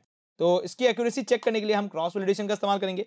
अब ये क्रॉस वैलिडेशन कैसे बनाया जाएगा? तो देखिए, सबसे पहले मैं चलूँगा साइकिलन के पास। साइकिलन के पास जाने के बाद में डेट मैं इस्तेमाल करूँगा मॉडल सिलेक्शन का। मॉडल सिलेक्शन के अंदर मैं जाके इंपोर्ट करने वाला हूँ किसे? क्रॉस वैलिडेशन को। तो आप यहाँ पे इंपोर्ट कर सकते हैं क्रॉस वेल स्कोर को। तो मैं क्रॉस वेल स्कोर को इंपोर्ट कर रहा हूँ। अब देखिए क्रॉस वेल स्कोर इंपोर्ट करने से पहले ये आपसे पूछेगा आपका एस्टिमेटर एस्टिमेटर का मतलब है आपका मॉडल आप कौन से मॉडल के ऊपर से ट्रेन करना चाहते हैं, पहले आपको बताना पड़ेगा। तो मैं यहाँ पे फ्रॉम साइकिल लेके लीनियर मॉडल को इस्तेमाल करूँगा एंड लीनियर मॉडल के अंदर मैं यहाँ पे इंपोर्ट करने वाला हूँ किसे? आपके पास लीनियर रिग्रेसर को। यस मैं लीनियर रिग्रेसर का इस्तेमाल करने वाला हूँ। चलिए लीनियर रिग्रेसर का इस्तेमाल यहाँ पे कैसे होगा जरा समझते हैं यहाँ पे। तो बेसिकली मैं सबसे पहले क्रॉस वेल स्कोर को कॉल कर देता हूँ यहाँ पर। क्रॉस वेल स्कोर के अंदर सबसे पहले आपसे मांगा जाएगा एस्टिमेटर एस्टिमेटर का मतलब आप किस मॉडल के ऊपर बनाना चाहते हैं, वो बताइए। आपका एक्स एक्सेस का डेटा वाई एक्सेस का डेटा यहाँ पर एंड सीवी सीवी मतलब आपके पास यहाँ पे क्रॉस वेलिडेशन कौन सी लगानी है? देखिए, इस सीवी का इस्तेमाल आप दो तरीके से कर सकते हैं। कैसे? अभी हम यहाँ बात करते हैं। सबसे पहले हम यहाँ पर एस्टिमेटर दे देते हैं। तो मैं यहाँ पे पहले तो पहले लीनियर रिग्रेशन को यहाँ पर दे देता हूँ। उसके बाद है मेरे पास यहाँ पर आपके पास एक्स एक्स का डेटा तो एक्स और वाई हमने ओरिजिनली बना रखे हैं यहाँ पर। उसके बाद क्या है गाइज़ यहाँ पर सीवी है हमारा। अब ये सीवी कैसे काम करता है? देखिए सीवी के अंदर आप डायरेक्ट नंबर दे सकते हैं, जैसे कि फाइव टेन फिफ्टीन दे सकते हैं यहाँ पर। ये फाइव टेन फिफ्टीन कैसे काम करते हैं? बेसिकली यदि आपने फाइव दिया है तो ये क्या करेगा? आपके इस डेटा को फाइव बार ट्रेन करेगा अलग अलग तरीके से। देन आपने यहाँ पर सिक्स दिया तो सिक्स टाइम आपके पास यहाँ पे क्या करेगा? अलग अलग तरीके से ट्रेन करेगा अपने डेटा को राइट एंड यदि आपने सीवी की जगह नंबर नहीं सीवी के अंदर नंबर नहीं देखे ये फॉर क्रॉस वेलिडेशन या फिर आपके पास P leave one out leave P out यदि आप ये देते हैं तो ये उसके बेसिस पे काम करता है। चलिए, अभी हम क्या कर रहे हैं? पहले बेसिक तौर पे इसे ट्रेन करते हैं। जस्ट लाइक मैं फाइव दे रहा हूँ यहाँ पर और मैं रन कर देता हूँ। देखिए रन करने पर क्या हुआ? मुझे एक्यूरेसी मिली और एक्यूरेसी देखिए लीनियर रिग्रेशन की कितनी जा रही है? देखिए सेवेंटी फाइव आ रही है सेवेंटी नाइन भी है सेवेंटी फाइव है सेवेंटी एट भी है और आपके पास कितनी है? सेवेंटी भी है। तो इस तरह से आपको एक्यूरेसी देखने को मिल रही है। अभी मैं क्या करता हूँ गाइज़ यहाँ पर, इसको एक वेरिएबल के अंदर सेव कर लेता हूँ और सॉर्टेड कर देता है कि आपके पास मिनिमम एक्यूरेसी कितनी है और मैक्सिमम एक्यूरेसी कितनी है। एक रेंज हमें मिल जाएगी। तो मैं इसे पी नाम के एक वेरेबल में सेव कर लेता हूँ। अच्छा यदि मैं पी को रन करूँ तो ये देखिए पी मिल गया और वो भी कैसा एरे मिला यहाँ पर। तो डॉट मैं यहाँ पे क्या करूँगा? शॉर्ट का इस्तेमाल करूँगा यहाँ पर और पी को मैं यहाँ पर दोबारा रन कर दूँगा। तो देखिए मेरा डेटा सॉर्टेड हो चुका है और इसकी एक्यूरेसी देखिए कहाँ तक जा सकती है? सेवेंटी से लगाकर सेवेंटी नाइन तक जा सकती है। यदि आप परसेंटेज के तौर पर दिखाना चाहते हैं तो मल्टीप्लाई बाय हंड्रेड कर दीजिए तो परसेंटेज पे आपके बेसिस पे आ जाएगी। देखिए सेवेंटी परसेंट एक्यूरेसी से सेवेंटी नाइन परसेंट एक्यूरेसी तक पहुँच सकती है। बस, ये इसकी एक्यूरेसी है यहाँ पर। देर से क्रॉस वैलिडेशन फाइव दिया आपने तब। अब बात करते हैं कि यदि मैं यहाँ पर के फोर क्रॉस वैलिडेशन इस्तेमाल करूँ तो क्या होगा? कुछ नहीं, आप के फोर क्रॉस वैलिडेशन इस्तेमाल आराम से कर सकते हैं यहाँ पर। बस, आपको नंबर ऑफ़ स्प्लिट देना है और जैसे कि नंबर ऑफ़ स्प्लिट दे देता हूँ मैं यहाँ पर total ten splits and run करते हैं और यहाँ पर रन करते हैं। तो देखिए टेन स्प्लिट देने पर हमारे पास टेन तरीके से आपका डेटा ट्रेंड हो रहा है अलग अलग तरीके से। देखिए, आपके पास मिनिमम एक्यूरेसी कितनी है? सिक्सटी है यहाँ पर। मैक्सिमम एक्यूरेसी कितनी है? एट्टी थ्री परसेंट तक आपकी जा सकती है इस डेटा सेट के ऊपर। तो बेसिकली इसके अलग अलग तरीके से ट्रेन करें। और आज के इस वीडियो के ज़रिए हम बात करेंगे अनसुपरवाइज मशीन लर्निंग के बारे में और हम ये भी जानेंगे कि इसके अंदर हमें कौन कौन से एल्गोरिथम स्टडी करनी है। तो basically guys unsupervised machine learning की मैं बात करूँ तो unsupervised machine learning machine learning का पार्ट है। मशीन लर्निंग को हमने टोटल तीन टाइप से कैटेगराइज किया था। There is supervised then unsupervised and reinforcement तो हम बात कर रहे हैं अनसुपरवाइज मशीन लर्निंग के बारे में। देखिए अनसुपरवाइज मशीन लर्निंग जो होती है, वो अनलेबल डेटा के ऊपर काम करती है। तो पहला तो पॉइंट यहाँ पे आता है कि ये लेबल डेटा का मतलब क्या होता है और अनलेबल डेटा का मतलब क्या होता है। देखिए लेबल डेटा का मतलब मैं सिंपल सेंटेंस में बोलूँ तो ऐसा डेटा सेट जहाँ पे आपको इनपुट भी पता है और उसका जो डिज़ायर आउटपुट है, वो भी आपके पास यहाँ पे डिस्कस कर रखा है कि आप ये इनपुट के बेसिस पे ये आउटपुट आप निकालना चाहते हैं। अनसुपराइज मशीन लर्निंग में क्या होता है गाइज़ यहाँ पे कि आपको जस्ट सिंपल कॉलम दे रखे होता है आपका कोई भी आउटपुट डिज़ायर नहीं होता है। तो बेसिकली फिर हम यहाँ पे अनसुपराइज डेटा के अंदर करते क्या है? तो अनसुपराइज डेटा के अंदर हम यहाँ पे करते हैं कैटेगराइज यस हम यहाँ पे करते हैं क्लस्टरिंग क्लस्टरिंग को एक सिंपल सेंटेंस में बोले तो कैटेगराइज होता है आपके पास यहाँ पे। मतलब आप बेसिकली कैटेगराइज करते हैं। अब ये कैटेगराइज किसके बेसिस पे करते हैं? तो दैट डिपेंड रहता है कि आपके पास यहाँ पे जो मोस्ट फ्रिक्वेंटली चल रही है, उसके हिसाब से करना है। या फिर आपके पास सेम चीज़ें जो फीचर्स दिख रहे हैं, उसके बेसिस पे करना है। तो ये आपका डिपेंड रहता है कि आप यहाँ पे जो क्लस्टरिंग है मतलब बेसिकली कैटेगराइज है वो किस बेसिस पे कर रहे हैं। तो अनसुपराइज मशीन लर्निंग की बात करें तो ये अनलेबल डेटा के ऊपर बात कर, काम करती है। और इसका काम क्या है गाइज़ यहाँ पे कि आपके जो भी डेटा है उसे कैटेगराइज करना। जस्ट लाइक देखिए मेरे पास यहाँ पे क्या है बहुत सारे इमेजेस पड़ी है जिसके अंदर बहुत सारी कैट है बहुत सारे डॉग है। तो अब मेरा मेन फोकस क्या होगा यहाँ पे अनसुपर मशीन लर्निंग के अंदर कि जितने भी तरह की कैट दिख रही है यहाँ पे इनको एक अलग ग्रुप दे दूँ और जितने भी तरीके के डॉग दिख रहे हैं यहाँ पे, इनको एक अलग ग्रुप के अंदर कर दिया जाए, ताकि आपका डेटा क्या हो सके यहाँ पे कैटेगराइज हो सके। तो बेसिकली अनसुपर मशीन लर्निंग का काम क्या होता है गाइज़ यहाँ पे? डेटा को कैटेगराइज करना मतलब ग्रुप्स के अंदर डिवाइड करने का काम होता है। अब ये ग्रुप्स के अंदर कैसे डिवाइड करता है? तो सबसे पहले आप क्या करते हो? आप अपना रॉ डेटा देते हो। अब ये रॉ डेटा कैसा हो सकता है गाइज़ यहाँ पे? मतलब अनलेबल डेटा जो है वो किस तरह से दिख सकता है? तो इसको जरा मैं आप लोगों को दिखाता हूँ अनलेबल डेटा कैसा दिखता है। तो देखिए, मैं आपको ले चलता हूँ अपने डेटा सेट के अंदर। राइट। और डेटा सेट के अंदर देखिए, मेरे पास यहाँ पे देखिए, एक iris dot C S V और iris raw dot C S V के अंदर डेटा सेट है। यदि मैं iris raw dot C S V को ओपन करूँ तो इसके अंदर आप देखिए, मेरे पास केवल और केवल डेटा सेट है। इसके अंदर आप क्या देखिए, किसी भी फ्लावर की petal length sepal length petal width और सेपल वेथ के बारे में यहाँ पे मुझे बताया गया है। लेकिन मुझे यहाँ पे ये नहीं बताया गया ये कौन सा फ्लावर है। तो बेसिकली यहाँ पे आप इस डेटा को देखेंगे तो ये डेटा आपके पास एक नॉर्मल डेटा है। यहाँ पे कोई आपका आउटपुट नज़र नहीं आ रहा है। कि आप यहाँ से क्या प्रिडिक्शन करना चाहते हैं? आप फ्लावर का नेम प्रिडिक्ट करना चाहते हैं या फिर आप फ्लावर की कैटेगरी प्रिडिक्ट करना चाहते हैं? तो ऐसा बिल्कुल यहाँ पे कुछ भी आइडेंटिफिकेशन नहीं है, बस आपके पास आपका डेटा सेट यहाँ पे दे रखा है। इस तरह के डेटा को बोलते हैं हम यहाँ पे अनलेबल डेटा एंड यहाँ पे आप क्या कर सकते हैं, आप इसके अंदर जो नंबर्स आपके पास दे रखे हैं, इनके अंदर आप पैटर्न को सर्च करते हुए मतलब पैटर्न को रिकॉग्नाइज करते हुए आप यहाँ पे क्या कर सकते हैं बेसिकली आप ग्रुप्स बना सकते हैं कि ये वाला जो पैटर्न है, ये इस पर्टिकुलर ग्रुप्स का रहेगा ये वाला जो पैटर्न है, ये पर्टिकुलर इस ग्रुप्स का होने वाला है। तो बेसिकली हम क्या करते हैं, इस तरह के पैटर्न को पता करते हैं। और यदि मैं लेबल डेटा की बात करूँ यहाँ पे तो लेबल डेटा के अंदर जस्ट मैं इसी का लेबल डेटा बता रहा हूँ आप लोगों को तो लेबल डेटा के अंदर आप नोटिस करेंगे तो आपके पास क्या है, आपके इनपुट्स हैं कौन से? Sepal and petal and sepal width and petal width और आपका आउटपुट क्या है? स्पीसीज है। मतलब इसकी कौन सी स्पीसीज होने वाली है? दैट इज़ योर आउटपुट तो बेसिकली इसको हम क्या बोलते हैं? लेबल डेटा बोलते हैं। तो label data on label data में क्या डिफरेंस है यहाँ पे? लेबल डेटा के अंदर आपके पास क्या होगा? आपका इनपुट आउटपुट होगा और अनलेबल डेटा के अंदर क्या होगा गाइस यहाँ पे? आपके पास केवल और केवल इनपुट होने वाला है। तो बस इसी अनलेबल डेटा के ऊपर आपके पास क्या करता है? अनसुपराइज मशीन लर्निंग वर्क करता है। अब ये अनसुपराइज मशीन लर्निंग क्या करता है यहाँ पे? आपका जो भी आपका रॉ डेटा था उससे लेता है एंड इंटरप्रेशन करता है। इंटरप्रेशन करता है मतलब डेटा के पैटर्न को रिकॉग्नाइज करता है कि ये पैटर्न मिलते जुलते किस पैटर्न के साथ है। देन उसके बाद में आपके पास क्या करते हैं? आपकी एल्गोदम अप्लाई करती है। जो आप एल्गोदम अप्लाई करना चाहे, वो एल्गोदम आप लगा सकते हैं। देन प्रोसेस करने के बाद में आपका जो डेटा होता है according to our data set के ऊपर मतलब आपका जो डेटा सेट है, उसके अकॉर्डिंग आपका जो डेटा है, वो आपका डिवाइड हो जाता है। जैसे डॉग अलग हो गए और कैट अलग हो गए इस तरह से आपका वर्क करता है। तो बेसिकली इसको हम बोलते हैं अनसुपरवाइज मशीन लर्निंग अब देखिए अनसुपरवाइज मशीन लर्निंग को हम दो टार्ट के अंदर डिवाइड करते हैं। पहला होता है आपका क्लस्टरिंग दूसरा होता है एसोसिएशन दोनों के अंदर बहुत ही बड़ा मेजर डिफरेंस है यहाँ पे। अब दोनों के अंदर क्या मेजर डिफरेंस है, जरा इसको समझते हैं। देखिए क्लस्टरिंग क्या करता है गाइज़ यहाँ पे? क्लस्टरिंग आपका जितना भी आपका रॉ डेटा होता है उस रॉ डेटा के बेसिस पे आपके डेटा को डिवाइड करता है, आपके पास अलग अलग छोटे छोटे क्लस्टर के अंदर। जैसे देखिए, मेरे पास बहुत सारा, आपके पास क्या डेटा पड़ा है? फ्रूट्स का, जिसके अंदर बहुत सारे अलग अलग तरीके के फ्रूट्स हैं। तो इसने क्या रखा है कि आपका एल्गोदम के अंदर जाने के बाद अपने आप ही क्या करते हैं, ये सारे फूड्स को अलग अलग कैटेगराइज कर देते हैं। इस पार्ट को बोलते हैं हम क्लस्टरिंग एंड अब आता है एसोसिएशन एसोसिएशन का मतलब होता है अरेंजमेंट अरेंजमेंट का मतलब बेसिकली गाइज़ मैं बात करूँ यहाँ पे कि पहला डेटा के बाद दूसरा डेटा कौन सा आने वाला है? दूसरा डेटा के बाद में तीसरा डेटा कौन सा आने वाला है?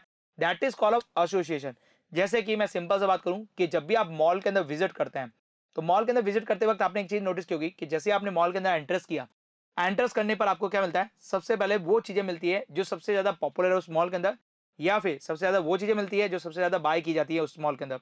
तो गाइस सबसे पहले आपके पास मॉल के अंदर वो चीज़ें मिलती है। सेकंड उसी से रिवलेंट चीज़ें मिलती है। थर्ड उससे भी रिवलेंट चीज़ें मिलती है। तो बेसिकली यहाँ पे आप जो डेटा देख रहे हैं, वो आपके पास क्या कर रखा है कि पहले डेटा के पास दूसरा डेटा मतलब पहला आपके पास यहाँ पे आइटम है उसके बाद जो दूसरा आइटम दूसरे आइटम के बाद में तीसरा आइटम इस तरह से क्या कर रखा है? एक अरेंज कर रखा है। सिस्टमेटिक वे के अंदर क्या कर रखा है? अरेंज कर रखा है। तो that is call of association मतलब आपके पास क्या कर रहा है? आपने डेटा क्या क्या एसोसिएट कर रखा है कि इस डेटा के बाद ये डेटा आना चाहिए, इस डेटा के बाद ये डेटा आना चाहिए।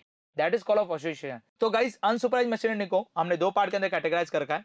कौन कौन सा? पहला है क्लस्टरिंग दूसरा है एसोसिएशन जहाँ पे आप उसे बोल सकते हैं अरेंजमेंट मतलब आपकी चीज़ें यहाँ पे पड़ी है, बिखरी तरीके से पड़ी है और आप उनको क्या कर रहे हैं? अरेंज कर रहे हैं कि पहला ये होगा, दूसरा ये होगा, तीसरा ये होगा, चौथा ये होगा। इसको बोलते हैं हम एसोसिएशन तो बेसिकली गाइज़ यहाँ पे अनसुपराइज मशीन लर्निंग को हमने दो पार्ट के अंदर कैटेगराइज कर रखा है। अब इसके अंदर हमारे पास कौन कौन सी एल्गोदम आती है? तो इसके अंदर कुछ ये एल्गोदम्स आती है। जैसे कि केमिन क्लस्टिंग हो गई हेरल्कर क्लस्टिंग हो गई डीबी स्कैन क्लस्टिंग हो गई अपयोरी हो गई। अपयोरी के साथ यहाँ पे आप एफ़ ग्रोथ भी देख सकते हैं यहाँ पे। यस एफ़ ग्रोथ भी आप यहाँ पे एल्गोदम का इस्तेमाल कर सकते हैं। फिर आपके पास हो गई PC principal of component analysis जो कि आपके डायमेंशन रिडक्शन के लिए काम आती है राइट तो बेसिकली ये कुछ पॉपुलर एल्गोदम्स हैं, जो कि आपके पास क्या करती है? अनसुपरवाइज मशीन लर्निंग के अंदर आती है। और आज के इस वीडियो के ज़रिए हम बात करने वाले हैं के मीन क्लस्टरिंग के बारे में। देखिए के मीन क्लस्टिंग को स्टार्ट करने से पहले क्लस्टर के बारे में बात करें तो क्लस्टर होता क्या है? यदि आपको Python machine learning data science and data analysis field में अपने आप को ग्रो करना है तो इसके लिए डब्ल्यू एस के ऑनलाइन एंड ऑफलाइन बने बैच के अंदर ज्वाइन करके आप अपनी स्किल को इंप्रूव कर सकते हैं। इसके लिए दिए गए कॉन्टेक्ट नंबर पे कॉल करके आप हमारी टू डेमो फ्री क्लासेस ले सकते हैं। तो क्लस्टर आपके पास क्या होता है? सिंपल सा आपके पास क्लस्टर का मतलब होता है ग्रुपिंग करना। अब ग्रुपिंग का मतलब क्या होता है गाइस यहाँ पे? लेट सपोज़ आपके पास क्या है? इस तरह से आपका डेटा दे रखा है। जैसे आपका एक्स एक्सेस डेटा दे रखा है X one X two data दे रखा है। और ये X one X two data देने के बाद में ये डेटा पॉइंट्स कुछ इस तरह से आपके पास आ रहे हैं। राइट ये डेटा पॉइंट आपके पास इस तरह से आ रहे हैं। और आपको बोला जा रहा है कि इसके अंदर कितने नंबर ऑफ़ ग्रुप्स बनने वाले हैं। तो आप क्या करते हैं? क्लस्टिंग का इस्तेमाल करते हैं। और क्लस्टिंग की हेल्प से क्या करते हैं गाइज़ यहाँ पे? कि आप पहले एक ग्रुप ये बनाते हैं और आप यहाँ पर दूसरा ग्रुप कुछ इस तरीके से डिज़ाइन करते हैं। तो दैट्स ये आप जो ग्रुप बना रहे हैं, इनको हम क्या बोलते हैं? क्लस्टिंग बोलते हैं। इनके लिए हम क्या करते हैं? के मीन क्लस्टिंग का इस्तेमाल करते हैं क्लस्टिंग का इस्तेमाल करते हैं डीवी स्कैन क्लस्टिंग का इस्तेमाल करते हैं according to your data set yes data set के अकॉर्डिंग आप क्या करते हैं? क्लस्टिंग का इस्तेमाल करते हैं। अब हम यहाँ पे ये समझने वाले हैं कि ये जो के मीन क्लस्टिंग है, ये कैसे इस्तेमाल की जाती है? इससे पहले मैं आपको क्लस्टिंग का एक लाइव एग्ज़ाम्पल बताने वाला हूँ यहाँ पे कि क्लस्टिंग कहाँ पे इस्तेमाल होती है। तो इसके लिए हम चलते हैं हमारे गूगल अकाउंट के ऊपर। अच्छा आप सब लोग फ़ोन का इस्तेमाल करते हैं और फ़ोन के अंदर आप गूगल फ़ोटोज़ का भी इस्तेमाल करते होंगे, जहाँ पे अपनी फ़ोटोज़ अपलोड करते हैं। राइट आप डिफरेंट डिफरेंट फ़ोटोज़ को अपलोड करते हैं यहाँ पे। लेकिन कभी आपने एक चीज़ नोटिस की है कि जब आप फ़ोटो वाले सेशन में जाते हैं मतलब आप गूगल फ़ोटोज़ में वापस दोबारा जाते हैं तो गूगल फ़ोटोज़ के अंदर जो भी आपने फ़ोटोज़ अपलोड किए, जैसे मैंने यहाँ पे बहुत सारी फ़ोटोज़ अपलोड की है यहाँ पे, इसके अंदर एक एक्सप्लोर बटन होता है। अब आपके फ़ोन में भी एक एक्सप्लोर बटन आएगा। उस एक्सप्लोर बटन के ऊपर जैसे आप क्लिक करेंगे तो आपके पास क्लस्टरिंग का बहुत ही अच्छा एग्ज़ाम्पल देखने को मिलेगा। कैसे? देखिए, ऊपर उन पीपल्स की फ़ोटोज़ आपके पास आ जाएगी जो कि सिमिलर फ़ोटो कंसिडर करते हैं। मतलब इस फ़ोटोज़ के अंदर आप देखेंगे तो इस फ़ोटोज़ के अंदर जो भी सिमिलर फ़ोटोज़ आपको दिख रही है यहाँ पे, उन लोगों के फेसेस ऊपर आ चुके हैं। और जैसे आप उस फेस के ऊपर क्लिक करेंगे, आपके पास उस फेसेस से रिलेटेड उनकी जितनी भी फ़ोटोज़ हमारे गूगल फ़ोटोज़ के अंदर है, वो आपको देखने को मिल जाएगी। जैसे मैंने आमिर खान की फ़ोटो पे क्लिक किया, मुझे आमिर खान की सारी फ़ोटोज़ मिल गई। यदि मैं सलमान खान की फ़ोटो पे क्लिक करता हूँ तो देखिए मुझे सलमान खान की जितनी भी फ़ोटोज़ है इसके अंदर वो सारी की सारी देखने को मिल गई राइट तो ये आपके पास किस तरह से पॉसिबल उपाय है? ये आपका पॉसिबल उपाय है क्लस्टरिंग की हेल्प से। Yes that is a possible in clustering यदि क्लस्टरिंग नहीं होता तो ये आपके पास ग्रुप्स जो है नहीं बन पाते। तो ये ग्रुप बनने के पीछे रीजन आपके पास क्या है? क्लस्टरिंग का है। तो बस आज की इस वीडियो के ज़रिए हम यही समझ रहे हैं कि ये क्लस्टरिंग एक्चुअल में परफॉर्म कैसे होती है। मतलब हमारे पास यदि डेटा है तो डेटा के साथ ये क्लस्टर कैसे परफॉर्म किया जाता है, जरा उसको समझते हैं। तो देखिए, हम इस्तेमाल कर रहे हैं यहाँ पे केमिन क्लस्टरिंग का। तो केमिन कस्टिंग किस तरह से वर्क करती है जरा इसको समझते हैं यहाँ पे। तो देखिए केमिन क्लस्टरिंग आपके पास एक अनसुपराइज मशीन लर्निंग का एग्जांपल है और इसके अंदर जो आपका डेटा आता है वो एक अनलेबल डेटा होता है। अब अनलेबल डेटा क्या होता है तो इसके बारे में हम पहले भी डिस्कस कर चुके हैं। एक मैं छोटा सा इंट्रोडक्शन देना चाहूँगा कि एक ऐसा हमारे पास डेटा सेट की बात कर रहा हूँ जिसके अंदर आपके पास कोई आउटपुट ही नहीं होता। मतलब विदाउट आउटपुट आप यहाँ पे काम करते हैं। यस yes, आप यहाँ पे बल्कि आउटपुट निकाल रहे होते हैं। कि बेसिकली इसके अंदर कितने नंबर ऑफ़ ग्रुप्स बनने वाले हैं, ये आप डिसाइड कर रहे होते हैं। तो बेसिकली आपके पास कोई आउटपुट नहीं होता, केवल केवल इनपुट्स ही दिए जाते हैं यहाँ पे। दैट इस तरह के डेटा सेट को हम बोलते हैं आपके पास अनलेबल डेटा सेट यस तो यहाँ पर क्या होता है गाइज़ यहाँ पे अनलेबल डेटा सेट के ऊपर काम किया जाता है यहाँ पे। अब ये अनलेबल डेटा सेट के ऊपर आपके पास के मीन क्लस्टरिंग कैसे वर्क करती है? तो के मीन से आपको क्या पता चला? मतलब के मीन्स का मतलब क्या हो रहा है? यहाँ पे थोड़ा सा आइडिया लग रहा होगा यहाँ पे। अनलेबल डेटा सेट के ऊपर किया जाता है। अब जरा देखिए यहाँ पे कि ये के मीन्स का मतलब क्या है? यस थोड़ा सा यहाँ पे इस नाम के ऊपर थोड़ा सा गौर करें यहाँ पे। तो के मीन्स का मतलब होता है के कोई नंबर आपके पास होगा यहाँ पे। मीन्स का मतलब है मीन यस मीन्स का मतलब क्या है? Mean basically K mean clustering जो एल्गोरिथम्स है आपके पास यहाँ पे, वो मीन के बेसिस पे क्या करती है? क्लस्टर करती है। अब ये मीन के बेसिस पे कैसे क्लस्टर करती है? जरा समझते हैं। तो देखिए, यदि हमारे पास इस तरह का कोई डेटा सेट है यहाँ पे तो केमिन क्लस्टरिंग क्या करती है गाइस यहाँ पे? कि आपके पास इस तरह से छोटे छोटे ग्रुप्स बना देती है। जैसे कि पहला ग्रुप ये बनाया, दूसरा ग्रुप ये बनाया, तीसरा ग्रुप से आपके पास ये बनाया। इस तरह से छोटे छोटे ग्रुप्स बना लेती है और आपको क्या करती है? क्लस्टर के तौर पे आपको दे देती है। राइट आपको क्लस्टर के तौर पे देती है कि इसके अंदर तीन नंबर ऑफ़ क्लस्टर आपके पास बन रहा है। राइट लेकिन इसके बनने के पीछे एक प्रोसीजर होता है। उस प्रोसीजर को समझते हैं। तो जरा देखिए प्रोसीजर क्या है यहाँ पे। तो देखिए मैंने वही डेटा सेट वापस दिया है यहाँ पे। अब देखिए केमिंग क्लस्टरिंग करती क्या है? सबसे पहले केमिन क्लस्टरिंग क्या करती है? अपने सेंट्रॉइड डिसाइड करती है। अब सेंट्रॉइड क्या है? कि एक ऐसे पॉइंट्स होते हैं जो कि आपका एक सेंटर पॉइंट कहलाता है राइट तो बेसिकली गाइज़ यहाँ पे क्या करेगी? केमिन क्लस्टरिंग आपके पास एक सेंटर पॉइंट को डिसाइड करेगी। जैसे कि मैंने ये दो सेंटर पॉइंट को यहाँ पे डिसाइड कर रखा है, यहाँ पे। अब दो सेंटर पॉइंट को डिसाइड कर रखा है। अब एक सेंटर पॉइंट को मैं रेड कलर से बना रहा हूँ और दूसरे सेंटर पॉइंट को मैं यहाँ पे क्या कर रहा हूँ? आपके पास ब्लू कलर से बना रहा हूँ। ये दो सेंटर पॉइंट इसने डिसाइड किया। अब दो सेंटर पॉइंट डिसाइड करने के बाद में केमिन क्लस्टरिंग क्या करती है? आपके पास कि केमिन क्लस्टरिंग आपके पास इन दोनों से मिलने वाली एक लाइन बनाती है यहाँ पे सिंपल से एक लाइन बनाती है। लाइन बनाने के बाद में क्या करती है? इसकी जो मिडल वाली लाइन है, उस मिडल वाली लाइन से एक लाइन को पास कर देती है। अब ये पास करने के पीछे रीजन क्या हुआ? गाइस देखिए, यदि आप इस पास को नहीं समझना चाहते तो आप ये समझ सकते हैं कि ये जो सेंट्रॉइड आपको दिख रहे हैं यहाँ पे यस ये सेंट्रॉइड जो दिख रहे हैं यहाँ पे, इन सेंट्रॉइड के जो पास पास जो नियरेस्ट जो डिस्टेंस पे जो भी एलिमेंट्स आ रहे हैं, जो नियरेस्ट डिस्टेंस पे जो भी एलिमेंट आ रहे हैं, उनको अपने टर्म्स में मतलब अपने एरिया में कंसिडर कर लेती है। अपने एरिया में कंसिडर करने का मतलब क्या है यहाँ पे सिंपल सा ये है कि उनको भी क्या करती है, ये रेड कलर की मार्किंग के अंदर ला लेती है, ताकि ये एक क्लस्टर बन जाए। राइट अब ये भी क्या करेगा? अपने जो नियरेस्ट पॉइंट है, उनको ढूंढेगा और नियरेस्ट पॉइंट को ढूँढने के बाद में ये उनके ऊपर क्या करेगा? एक इस तरह से क्लस्टर बना लेगा। That's a blue colour cluster ठीक है? इस तरह से क्लस्टर बना लेगा। इसको सिंपल टर्म्स के अंदर समझे तो इसको सिंपल टर्म्स में कुछ इस तरह से करती है कि आपके पास ये दो पॉइंट है, इन दो पॉइंट से निकलने वाली एक सीधी डिस्टेंस लाइन ली जाती है। फिर क्या करते हैं, इनके मिडल से एक लाइन को पास आउट किया जाता है। जैसे आप इस मिडल को लाइन को पास आउट करेंगे तो आपके पास क्या बनेंगे, यहाँ पे कुछ डेटा पॉइंट्स बनेंगे जो कि लाइन के उस तरफ़ होंगे और जो कि लाइन के इस तरफ़ है। अब जो लाइन के इस तरफ़ है यहाँ पे, उनके ऊपर एक क्लस्टर डिज़ाइन कर लिया जाता है। मतलब एक ब्लू कलर की लाइन डिज़ाइन कर ली जाती है। ब्लू कलर क्लस्टर और जो ऊपर वाली लाइन रह गई हमारे पास यहाँ पे, उसके ऊपर भी क्या करते हैं, एक क्लस्टर डिज़ाइन कर लेते हैं। रेड कलर क्लस्टर अब जैसा कि हमें पता है कि ये क्लस्टर सही डिज़ाइन नहीं हुए हैं यहाँ पे तो अब क्या करते हैं गाइज़ यहाँ पे? अब ये मीन निकालती है। क्या निकालती है? मीन्स निकालती है। मीन्स कैसे? मतलब यहाँ पे गाइज़ देखिए, ये क्या करती है डेटा पॉइंट्स इन सबसे मीन को कंसिडर करती है। मतलब मीन को निकालती है यहाँ पे। अब ये क्या करती है गाइज़ यहाँ पे कि ये जो पॉइंट्स है यहाँ पे, ये पॉइंट्स आपको पता है कि ये सही क्लस्टर नहीं बना है। क्योंकि ये not a right cluster yes इसका राइट right क्लस्टर क्या होना चाहिए था गाइज़ यहाँ पे? इस राइट right पॉइंट का मतलब इसका सेंटर पॉइंट यहाँ पे आना चाहिए था, जिसका सेंटर पॉइंट यहाँ कहीं आना चाहिए था. डेट अ राइट क्लस्टर लेकिन अब आप यहाँ पे क्या करेगी यहाँ पे? यस ये केमिन क्लस्टरिंग क्या करती है गाइज़ यहाँ पे? केमिन क्लस्टरिंग जो आपके डेटा पॉइंट के ऊपर आपने जो सेंटर पॉइंट बनाया यस जो आपने ये सेंटर पॉइंट बनाया यहाँ पे, इन सेंटर पॉइंट से आपने पहले ये लाइन गुजारी, फिर आपने ये लाइन कट बनाई तो गाइस अब यहाँ पे जो अगला पॉइंट आएगा कि ये जो पॉइंट्स आपके पास दिख रहे हैं यहाँ पे, ये पॉइंट आपके पास सही तरीके से क्लस्टर नहीं हो पा रहे हैं। मतलब ये सेंटर पॉइंट नहीं है। इन सब डेटा पॉइंट का क्या करते हैं गाइस यहाँ पे मीन निकाला जाता है। मतलब यहाँ पे फ़र्स्ट ऑफ़ ऑल आप क्या करेंगे, यहाँ पे अब इनका क्या करेंगे मीन निकालेंगे। ये भी जो डेटा पॉइंट आपके पास आ गए हैं, इन सब का मीन निकालेंगे। अब ये जो मीन निकालते हैं तो मीन आपको पता है कि इन सब डेटा पॉइंट का मीन कहाँ आएगा? यहाँ कहीं आपके पास आएगा। इन सभी डेटा पॉइंट का मीन कहाँ आएगा? यहाँ कहीं आपके पास आएगा। तो बेसिकली ये जो आपने सेंटर पॉइंट देखा है ये सेंटर पॉइंट क्या करते हैं? इस जगह पर मूव करते हैं। यस yes, ये जो सेंटर पॉइंट देखा आपके पास यहाँ पे ये क्या करते हैं? इस जगह पर आपके पास मूव करने लग जाते हैं। और ये जो पॉइंट आप देख रहे हैं ये पॉइंट क्या करते हैं गाइस यहाँ पे? इस जगह पर मूव करने लग जाते हैं। तो जैसे आप यहाँ पे इस जगह पे मूव करेंगे ये यस जैसे आप यहाँ पे देखेंगे कि इस जगह पे मूव करेंगे तो आपके न्यू सेंटर पॉइंट आपको देखने मिल जाएँगे। That's a first centre point and that's a second centre point और सेकंड सेंटर पॉइंट लेकर आने के बाद में आप क्या करते हैं? इन दोनों के लाइन को मिक्स करते हैं। और इसके बाद यहाँ पे रखते हैं। तो अब आप देख पाएँगे कि ये एक आपके पास क्या कर रहे हैं? परफेक्ट क्लस्टर आपके पास डिज़ाइन हो रहे हैं। राइट तो गाइज़ इस तरह से आपके पास क्या करता है? केमिंग क्लस्टिंग काम करता है। देखिए क्या स्टेप्स है मैं आपको बता देता हूँ यहाँ पे। स्टेप नंबर फ़र्स्ट के अंदर आपके पास क्या करते हैं? एक रैंडम सेंटर पॉइंट यहाँ पे लिया जाता है। यस आपके पास क्या करते हैं? रैंडमली आपके पास क्या करते हैं यहाँ पे? आप क्या करते हैं यहाँ पे? सेंटर पॉइंट को लेते हैं यहाँ पे। मतलब बेसिकली रैंडम सेंटर पॉइंट लिया जाता है। ओके okay, तो मैं यहाँ पे लिखता हूँ। सेंटर आपके पास क्या कर जाता है? रैंडम लिया जाता है।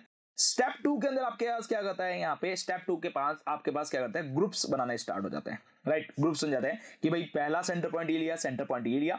अब उसके बाद क्या हो रहा है? नियरेस्ट पॉइंट को यहाँ पे सर्च किया, या फिर आप इस तरह से ले सकते हैं कि जैसे इस लाइन को कट किया एंड देन यहाँ पे कट किया कट किया तो आपके पास क्या हुआ? एक ग्रुप आपके पास ये बना, और दूसरा ग्रुप आपके पास क्या बना? ये बना राइट अब इस चीज़ को परफेक्ट बनाने के लिए क्या करते हैं गाइज़ यहाँ पे स्टेप थ्री का इस्तेमाल करते हैं। और स्टेप थ्री के अंदर क्या करते हैं गाइज़ यहाँ पे कि ये जो सेंटर पॉइंट मिले ये सेंटर पॉइंट परफेक्ट नहीं है। तो जो आपके पास डेटा पॉइंट आए हैं उस डेटा पॉइंट के अकॉर्डिंग ये अपने आप को मूवमेंट करने लग जाते हैं। राइट right, इनको क्या करते हैं मूव करते हैं। मतलब ये वाला जो पॉइंट आपके पास दिख रहा है ये वाला पॉइंट उधर मूव हो जाता है और ये वाला पॉइंट जो है वो इस तरफ़ मूवमेंट हो जाता है। मतलब बेसिकली गाइज़ यहाँ पे अब निकाला जा रहा है आपका मीन और मीन के हिसाब से आप क्या कर रहे हैं यहाँ पे मूव कर रहे हैं।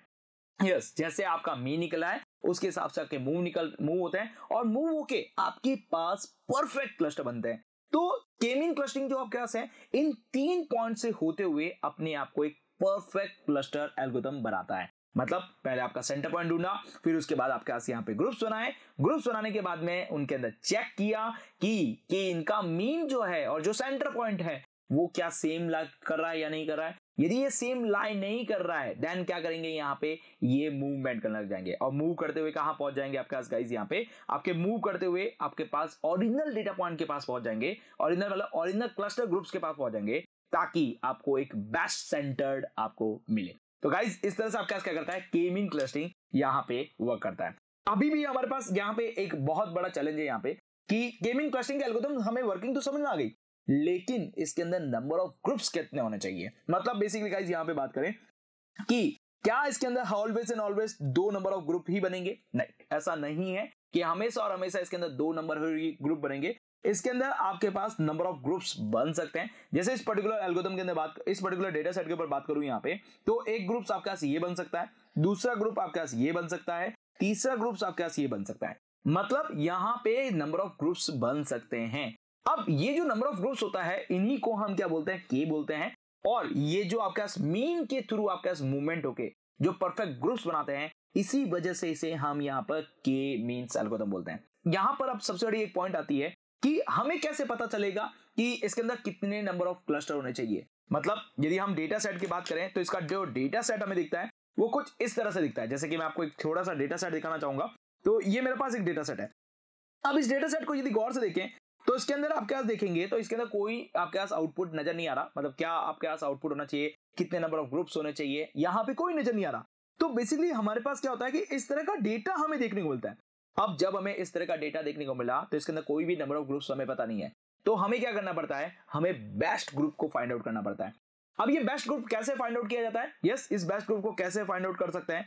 तो इसके लिए हम इस्तेमाल करते हैं यहाँ पे एल्बो मेथड का। मतलब बेसिकली गाइज़ यहाँ पे हम इस्तेमाल करते हैं डब्ल्यू का मेथड का। ये जो डब्ल्यू है, इसकी हेल्प से हम क्या करते हैं?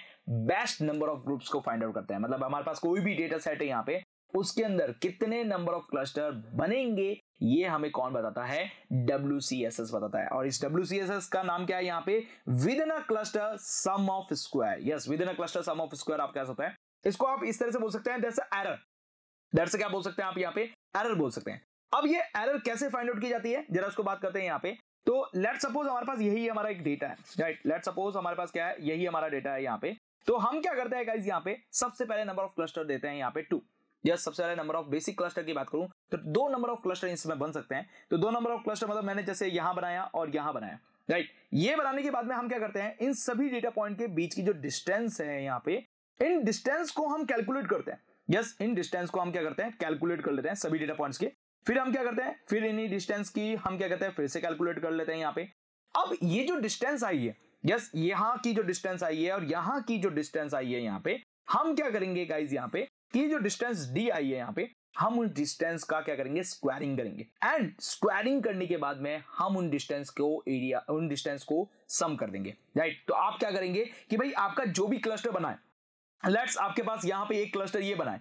तो यहाँ पे ये जो क्लस्टर बना है, इसके अंदर आप क्या करोगे? इनकी डिस्टेंस को कैलकुलेट करोगे। डिस्टेंस की कैलकुलेट मतलब सेंट्रोइड से डिस्टेंस की कैलकुलेट करनी है यहाँ पे। तो सेंट्रोइड की डिस्टेंस की, जैसी आपने कैलकुलेशन की तो डिस्टेंस की कैलकुलेशन करने के बाद में जो आपकी डिस्टेंस आई है, उसको आपने क्या किया? स्क्वायरिंग किया। स्क्वायरिंग करके आपने क्या किया? यहाँ पे सम कर दिया। तो आपके पास ये एक पहली वैल्यू आ गई है। किस पे? दो नंबर ऑफ़ क्लस्टर पे। अब बात आ गई आपके तीन नंबर ऑफ़ क्लस्टर पे। तीन नंबर ऑफ़ क्लस्टर पे एक ये आएगा, एक ये आएगा और एक ये आएगा। अब क्या करेंगे? इसी सेंटर पॉइंट से आप क्या करेंगे? इन सबकी डिस्टेंस को आप फिर से कैलकुलेट करेंगे। यस yes, इसी सब पॉइंट से आप क्या करेंगे? इन सभी पॉइंट को डिस्टेंस को फिर से कैलकुलेट करेंगे। एंड कैलकुलेट करने के बाद आप क्या करेंगे यहाँ पे? वही आपको स्क्वायर करना है और सम करना है। अब यहाँ से आपके पास क्या आएगी? इस तरह से आपकी डब्ल्यूसीएसएस की वैल्यू आएगी। और जब आप डब्ल्यूसीएसएस की वैल्यू को और नंबर ऑफ़ क्लस्टर के बीच में जब आप ग्राफ बनाते हैं तो ये ग्राफ आपके पास कुछ इस तरह से दिखता है। और ये जो ग्राफ आपके दिखता है, ये लुक लाइक like आपको किससे दिखता है? एल्बो की तरह दिखता है। मतलब आपकी जो हैंड शेप होती है यहाँ पे, उस हैंड शेप की तरह आपके पास दिखता है। तो देखिए, जब आपके पास नंबर ऑफ़ क्लस्टर्स बढ़ते रहते हैं तो डब्ल्यूसीएसएस की जो वैल्यू है यहाँ पे, वो लगभग लगभग कॉन्स्टेंट होती चली जाती है। मतलब आप डब्ल्यूसीएस की वैल्यू को देखेंगे तो एकदम कॉन्स्टेंट होती रहती है।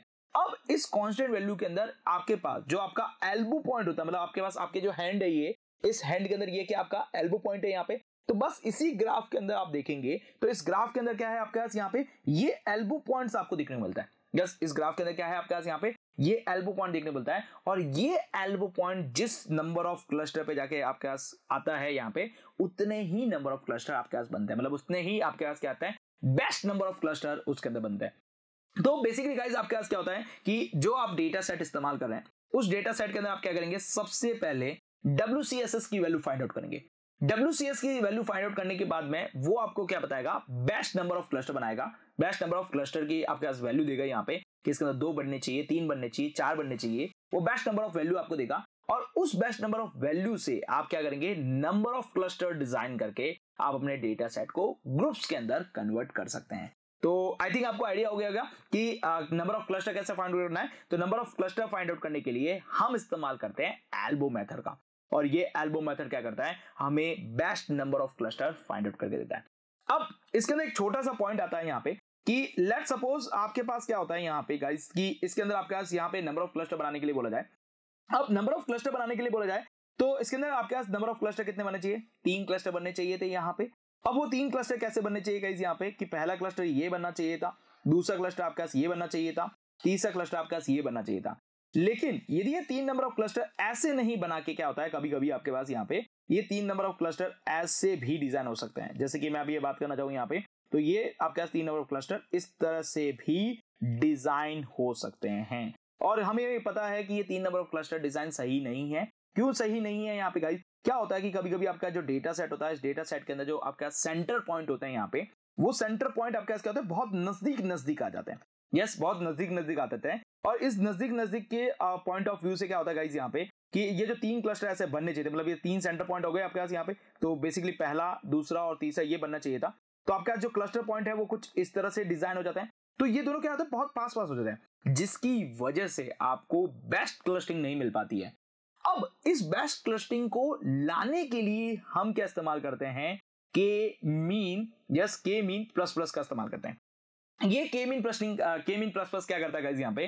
कि आपके जो सेंटर पॉइंट है, इन सेंटर पॉइंट को आपके पास नियरेस्ट लाने की जगह मतलब आपके पास यहाँ पे पास पास लाने की जगह दूर दूर लेके चला जाता है। मतलब आपके पास यहाँ पे ये जो सेंटर पॉइंट आपके पास आ रहे हैं ये सेंट्रॉइड पॉइंट आपके पास आ रहे हैं, इन सेंट्रॉइड पॉइंट को वो दूर दूर लेके चला जाता है। ताकि आपके पास जो क्लस्टर है गाइज़ यहाँ पे, वो क्लस्टर आपके पास परफेक्ट इस तरह से तीन क्लस्टर बन जाए। कभी कभी क्या होता है कि ये नंबर ऑफ़ क्लस्टर्स बनाने में प्रॉब्लम आ जाती है और वो परफेक्टली क्लस्टर नहीं बना पाता है तो उसको परफेक्टली क्लस्टर बनाने के लिए मतलब उसके सेंटर पॉइंट को थोड़ा सा दूर दूर करने के लिए, क्योंकि काफ़ी बार सेंटर पॉइंट नज़दीक नज़दीक हमें देखने को मिल जाते हैं तो उनको दूर करने के लिए हम क्या इस्तेमाल करते हैं? के मीन प्लस प्लस का इस्तेमाल करते हैं। और ये के मीन प्लस क्या करता है? आपके बेस्ट क्लस्टिंग में आपकी हेल्प करता है। तो गाइस इस तरह से आपका क्या होता है? के मीन क्लस्टिंग यहाँ पे वर्क करता है।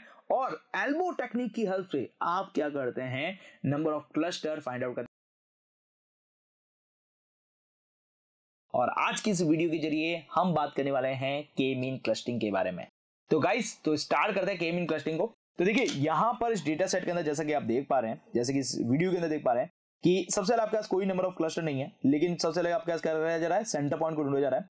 और जैसे जैसे सेंटर पॉइंट मूव कर रहे हैं, वैसे वैसे आपके पास नंबर ऑफ़ क्लस्टर डिज़ाइन हो रहे हैं यहाँ पे, और परफेक्ट नंबर ऑफ़ क्लस्टर यहाँ पर बने जा रहे हैं। तो बस हम भी कुछ इस तरह से ही डिज़ाइन करेंगे और परफेक्ट नंबर ऑफ़ क्लस्टर निकालेंगे। इसके लिए हमें डेटा सेट की ज़रूरत पड़ेगी। तो एक हमारे पास डेटा सेट पड़ा है यहाँ पे। That is iris raw dot C S के नाम से। ये एक आयरस डेटा सेट है मतलब आयरस फ्लावर का डेटा सेट है। और मैंने इसमें से क्या कर रखा है? आउटपुट को हटा रखा है। और जैसा कि आप सबको पता है कि इसके अंदर आउटपुट होता है और इसके अंदर तीन आउटपुट आपको मिलते हैं। सेटोसा वर्जिनिका वर्सिकला ये तीन तरह के आउटपुट्स आपको देखने को मिलते हैं। तो फ़िलहाल मैंने क्या कर रखा है? उस आउटपुट को हटा रखा है। और मैं इसमें यहाँ पे फाइंड आउट करूँगा कि कितने नंबर ऑफ़ बेस्ट क्लस्टर्स बन सकते हैं। मतलब तीन क्लस्टर बनेंगे, चार क्लस्टर बनेंगे। हम केमिंग क्लस्टिंग से पूछेंगे कि बेस्ट नंबर ऑफ़ क्लस्टर्स आप हमें यहाँ पे बताइए राइट तो बेसिकली हम ये काम करने वाले हैं। अब ऐसा नहीं है कि मेरे पास यही एक डेटा है, हमने इसका रॉ डेटा भी लिया यहाँ पे, और इसके साथ इसका ओरिजिनल डेटा सेट भी पड़ा है। और हम ओरिजिनल डेटा सेट से साइड बाय साइड कंपेयर करेंगे कि क्या केमिंग क्लस्टरिंग इतना परफेक्ट वर्क कर पाती है, कि इसके अंदर तीन नंबर ऑफ़ क्लस्टर बन रहे हैं, और उसमें भी तीन नंबर ऑफ़ क्लस्टर बन पाएँगे या नहीं बन पाएँगे। तो साइड बाय साइड हमारा कंपैरिजन भी होने वाला है। तो इस वीडियो को हमने दो पार्ट में रखा है। पहले हम केमिंग क्लस्टरिंग के थ्रू इसके अंदर नंबर ऑफ़ क्लस्टर निकालेंगे सेकंड हमारे पास जो ओरिजिनल डेटा सेट है, उसके थ्रू हम चेक करेंगे कि के मीन क्लस्टरिंग कितना परफेक्ट रिज़ल्ट हमें देता है। राइट तो ये हमारा दो प्रोसेसर के अंदर काम कर चलने वाला है। तो चलिए, इस वर्किंग को करते हैं। इसके लिए मैं ले चलता हूँ आपको जुपिटर नोटबुक के अंदर, और मैं आ चुका हूँ जुपिटर नोटबुक के अंदर। और सबसे पहले मैं क्या करता हूँ, एक न्यू नोटबुक क्रिएट कर लेता हूँ, और वहाँ पे जाके हमारे डेटा सेट को लोड कर लेते हैं। चलिए तो मैं इसके लिए क्या कर रहा हूँ, यहाँ पे इंपोर्ट कर रहा हूँ, और इंपोर्ट क्या करूँगा, यहाँ पे पांडास एलियास ऑफ़ पीडी क्योंकि मुझे डेटा सेट को लोड करना है। यस इंपोर्ट करने वाला हूँ यहाँ पे। इंपोर्ट कैसे कर रहे हैं यहाँ पे? मैट को, क्योंकि मुझे ग्राफ बनाने पड़ेंगे यहाँ पे तो matplotlib dot P Y plot and alias of P L T लेते हैं यहाँ पे। उसके बाद हम यहाँ पे इंपोर्ट करेंगे कैसे यहाँ पे सीबॉन को, क्योंकि मुझे कुछ एडवांस ग्राफ बनाने की ज़रूरत पड़ेगी तो alias of S N S right अब हम क्या करते हैं, हमारे डेटा सेट को लोड कर लेते हैं, और डेटा सेट को लोड करने के लिए पी डी डॉट यहाँ पे क्या करूँगा? Read underscore C S का इस्तेमाल करूँगा। और यहाँ पर जाके पहले हम डेटा सेट का एक एड्रेस ले आते हैं। तो आईरिस रॉ के अंदर हमारा डेटा सेट है यहाँ पे। राइट तो इसका मैं करता हूँ कॉपी एज ए पाथ के तौर पे। और ये जो आपके पास डबल कोड है, इसे हटाकर पेस्ट कर देते हैं। उसके बाद यहाँ पे आगे रॉस्टिंग लगा देते हैं। मतलब इसको रॉस्टिंग के अंदर कन्वर्ट कर लेते हैं और इसे रन कर लेते हैं। चलिए डेटा सेट को देखते हैं। डेटा सेट डॉट यहाँ पर मैं हेड लगाऊँगा। हेड लगा के तीन डेटा देखूँगा तो ये हमें डेटा सेट मिल चुका है। अब यहाँ पे देखिए sepal length sepal weight petal length and petal weight हमें मिल चुका है। लेकिन हमें आउटपुट के तौर पर कुछ भी नहीं मिला है। मतलब आउटपुट के तौर पर हमें कोई भी नाम नहीं दिया गया कि ये सेटोसा है वर्जिंग कलर है या वर्सी कलर है। जो भी है नाम हमें नहीं दिया गया हमें बस बोला गया है कि इसका क्लस्टर बना के दे दीजिए। तो अब हम इसके क्या करेंगे? क्लस्टर तैयार करेंगे।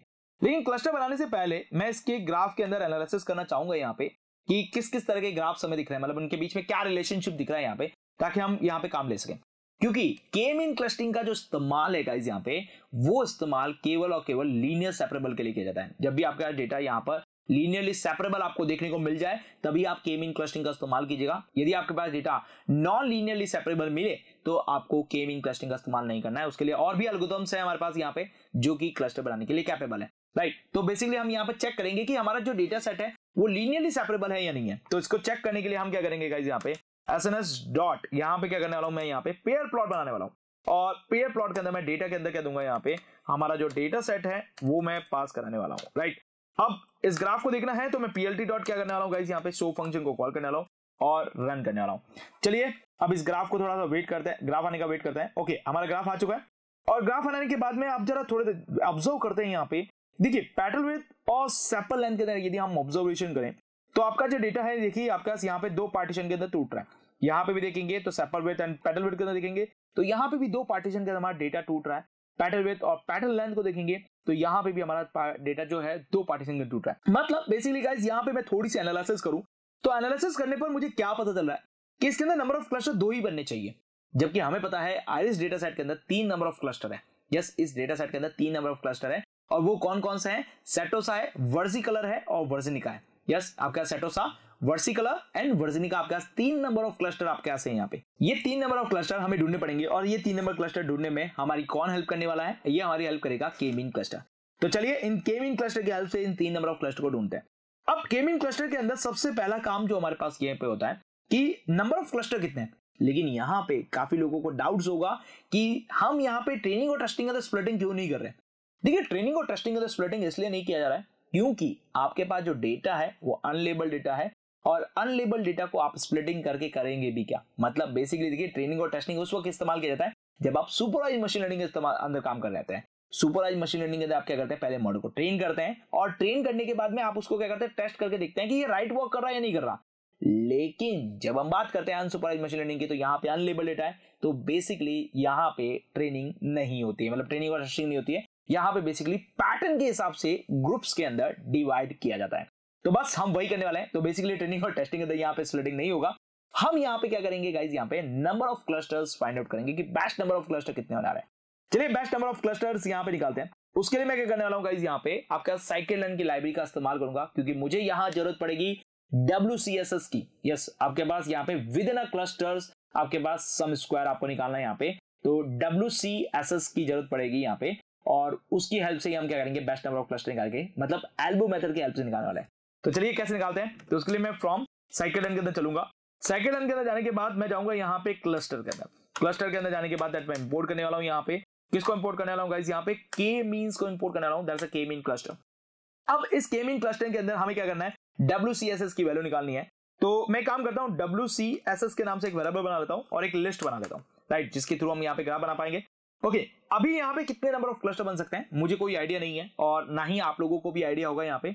तो एक काम करते हैं एक लूप चलाते हैं। यस यहाँ पे एक लूप चलाते हैं। उसके अंदर हम क्या करेंगे? टू क्लस्टर से लगा के ट्वेंटी क्लस्टर तक बनाएँगे। मतलब हम क्या करेंगे? टू से लेके ट्वेंटी क्लस्टर डिज़ाइन करेंगे यहाँ पे। उसके अंदर हमें हमारा बेस्ट नंबर ऑफ़ क्लस्टर देखने को मिल जाएगा। चलिए कैसे मिलेगा यहाँ पे? तो मैं क्या करने वाला हूँ गाइज़ यहाँ पे? आ, उसके लिए हम क्या करेंगे? एक लूप चलाएँगे। तो फॉर आई इन मैं क्या करने वाला हूँ यहाँ पे? रेंज लगाने वाला हूँ। और रेंज के अंदर टू कॉमा यहाँ पे ट्वेंटी वन लेने वाला हूँ। मतलब यहाँ पे ट्वेंटी तक हम क्लस्टर को इस्तेमाल करेंगे। लेकिन अभी तक हमें डब्ल्यू की वैल्यू नहीं मिली है तो डब्ल्यू की वैल्यू भी निकालेंगे। तो देखिए के मीन क्लस्टर है तो यहाँ पे के के नाम से एक वेरिएबल बना लेते हैं यहाँ पे। उसके बाद के मीन्स को कॉल कर लेते हैं। इस के मीन्स को जब भी आप ओपन करेंगे तो इसके अंदर कुछ हाइपर पैरामीटर्स निकलेंगे। इन हाइपर पैरामीटर्स के अंदर जो सबसे पहला हाइपर पैरामीटर्स है दैट्स नंबर ऑफ़ क्लस्टर कितने नंबर ऑफ़ क्लस्टर्स आप डिज़ाइन करना चाहते हैं, वो है। फिर है यहाँ पे इनिशिएट इनिशिएट के अंदर के मीन प्लस प्लस दे रखा है। देखिए, यदि आपके पास इनिशिएट के अंदर के मीन प्लस प्लस नहीं है तो आपको के मीन प्लस प्लस आपको देना है। क्यों मीन प्लस प्लस आपके पास क्या करता है? बेस्ट क्लस्टर फाइंड आउट करने में आपकी हेल्प करता है। तो इसलिए आपको क्या करना है? मीन प्लस प्लस आपको देना है। चलिए, इनको मैं कॉपी कर लेता हूँ यहाँ पे एंड देन पेस्ट कर लेता हूँ। अच्छा यहाँ पर मुझे क्या करना है? नंबर ऑफ़ क्लस्टर की वैल्यू को जो चेंज है नंबर ऑफ़ क्लस्टर की जो वैल्यू है यहाँ पे मुझे चेंज करनी पड़ेगी। नंबर ऑफ़ क्लस्टर की वैल्यू मैं क्या करने वाला हूँ गाइस यहाँ पे आई देने वाला हूँ। क्यों? क्योंकि जितने नंबर ऑफ़ क्लस्टर आएँगे के मीन क्लस्टर से हिसाब से काम करेगा। तो के मीन प्लस प्लस लगाना है यहाँ पे। अब के मीन क्लस्टर क्लस्टर लगाने के बाद में आपको क्या करना है मॉडल को क्या करना है फिट करना है। फिट करना मतलब अपना जो डेटा है, वो डेटा ट्रांसफ़र करना है। तो डेटा हमारे पास किस फॉर्मेट में है? डेटा सेट की फॉर्मेट में पहले मैं वो दूँगा यहाँ पे। उसके बाद के मीन डॉट यहाँ पर मैं लगाऊँगा इनर्सिया यस ये जो इनर्सिया होता है यही आपके पास क्या होता है? डब्ल्यूसीएसएस की वैल्यू होता है। यस yes, ये आपकी डब्ल्यूसीएसएस की वैल्यू आपको निकाल देता है जिसके थ्रू आप एल्बो वाला जो ग्राफ है वो डिज़ाइन करेंगे। तो यहाँ से आपको मिलने वाला है डब्ल्यूसीएसएस की वैल्यू यहाँ पे। अब ये जो डब्ल्यूसीएसएस की वैल्यू आई है इसको हम क्या करेंगे? इसके अंदर अपेंड करा देंगे। इसके काम करूँगा यहाँ पे। डब्ल्यूसीएसएस के अंदर डॉट क्या करूँगा यहाँ पे? मैं अपेंड कर दूँगा और अपेंड के अंदर के डॉट के एम डॉट इनर्शिया को मैं यहाँ पे अपेंड कर दूँगा राइट ये मेरा यहाँ पे काम करने वाला है। चलिए इसे रन करते हैं। तो ये हमारे पास क्या कर रहा है? वैल्यू को ट्रेन कर चुका है। ये हमारे पास क्या करेगा? आपका वैल्यू को ट्रेन करेगा और डब्ल्यू की वैल्यू निकालेगा। अब यहाँ पे कुछ वार्निंग मिली है। अब ये इस वार्निंग को आप इग्नोर कर सकते हैं। ये सिंपल सी वार्निंग है यहाँ पे। काफ़ी बार आपके पास क्या होता है कि आपका सिस्टम जो होता है, आपका जो यहाँ पे आप जो वर्जन इस्तेमाल कर रहे हैं पाइथन का, वो इसके साथ सपोर्टेड नहीं होता है तो उसके रिगार्डिंग आपके पास यहाँ पे कुछ वार्निंग दे रखी होती है। आप इस वार्निंग को इग्नोर कर सकते हैं। यदि आपके पास एरर आती है दैट्स नॉट इग्नोरेबल लेकिन हमारे पास यहाँ पे सिर्फ़ वार्निंग है तो वार्निंग को हम एक बार के लिए इग्नोर करें। अब देखिए, हमारे पास डब्ल्यू सी एस एस की वैल्यू आ चुकी है। अब हम क्या करेंगे? ये जो हमारा डब्ल्यू सी एस एस जो आपके पास वैल्यू है यहाँ पे यस इसके और हमारे पास जो दूसरी वैल्यू है कितनी? नंबर ऑफ़ क्लस्टर के बीच में हम क्या करेंगे? ग्राफ डिज़ाइन करेंगे। और ये कौन सा डिज़ाइन करना है? ग्राफ यहाँ पे दरअसल हमें डिज़ाइन करना है लाइन प्लॉट चलिए तो लाइन प्लॉट बनाते हैं यहाँ पे। तो पीएलटी डॉट मैं क्या करने वाला हूँ यहाँ पे गाइस प्लॉट फ़ंक्शन का इस्तेमाल करूँगा यहाँ पे। प्लॉट फ़ंक्शन के अंदर एक्स एक्सेस की वैल्यू देनी है। एक्स एक्सेस के अंदर हमारे पास क्या है? नंबर ऑफ़ क्लस्टर्स है।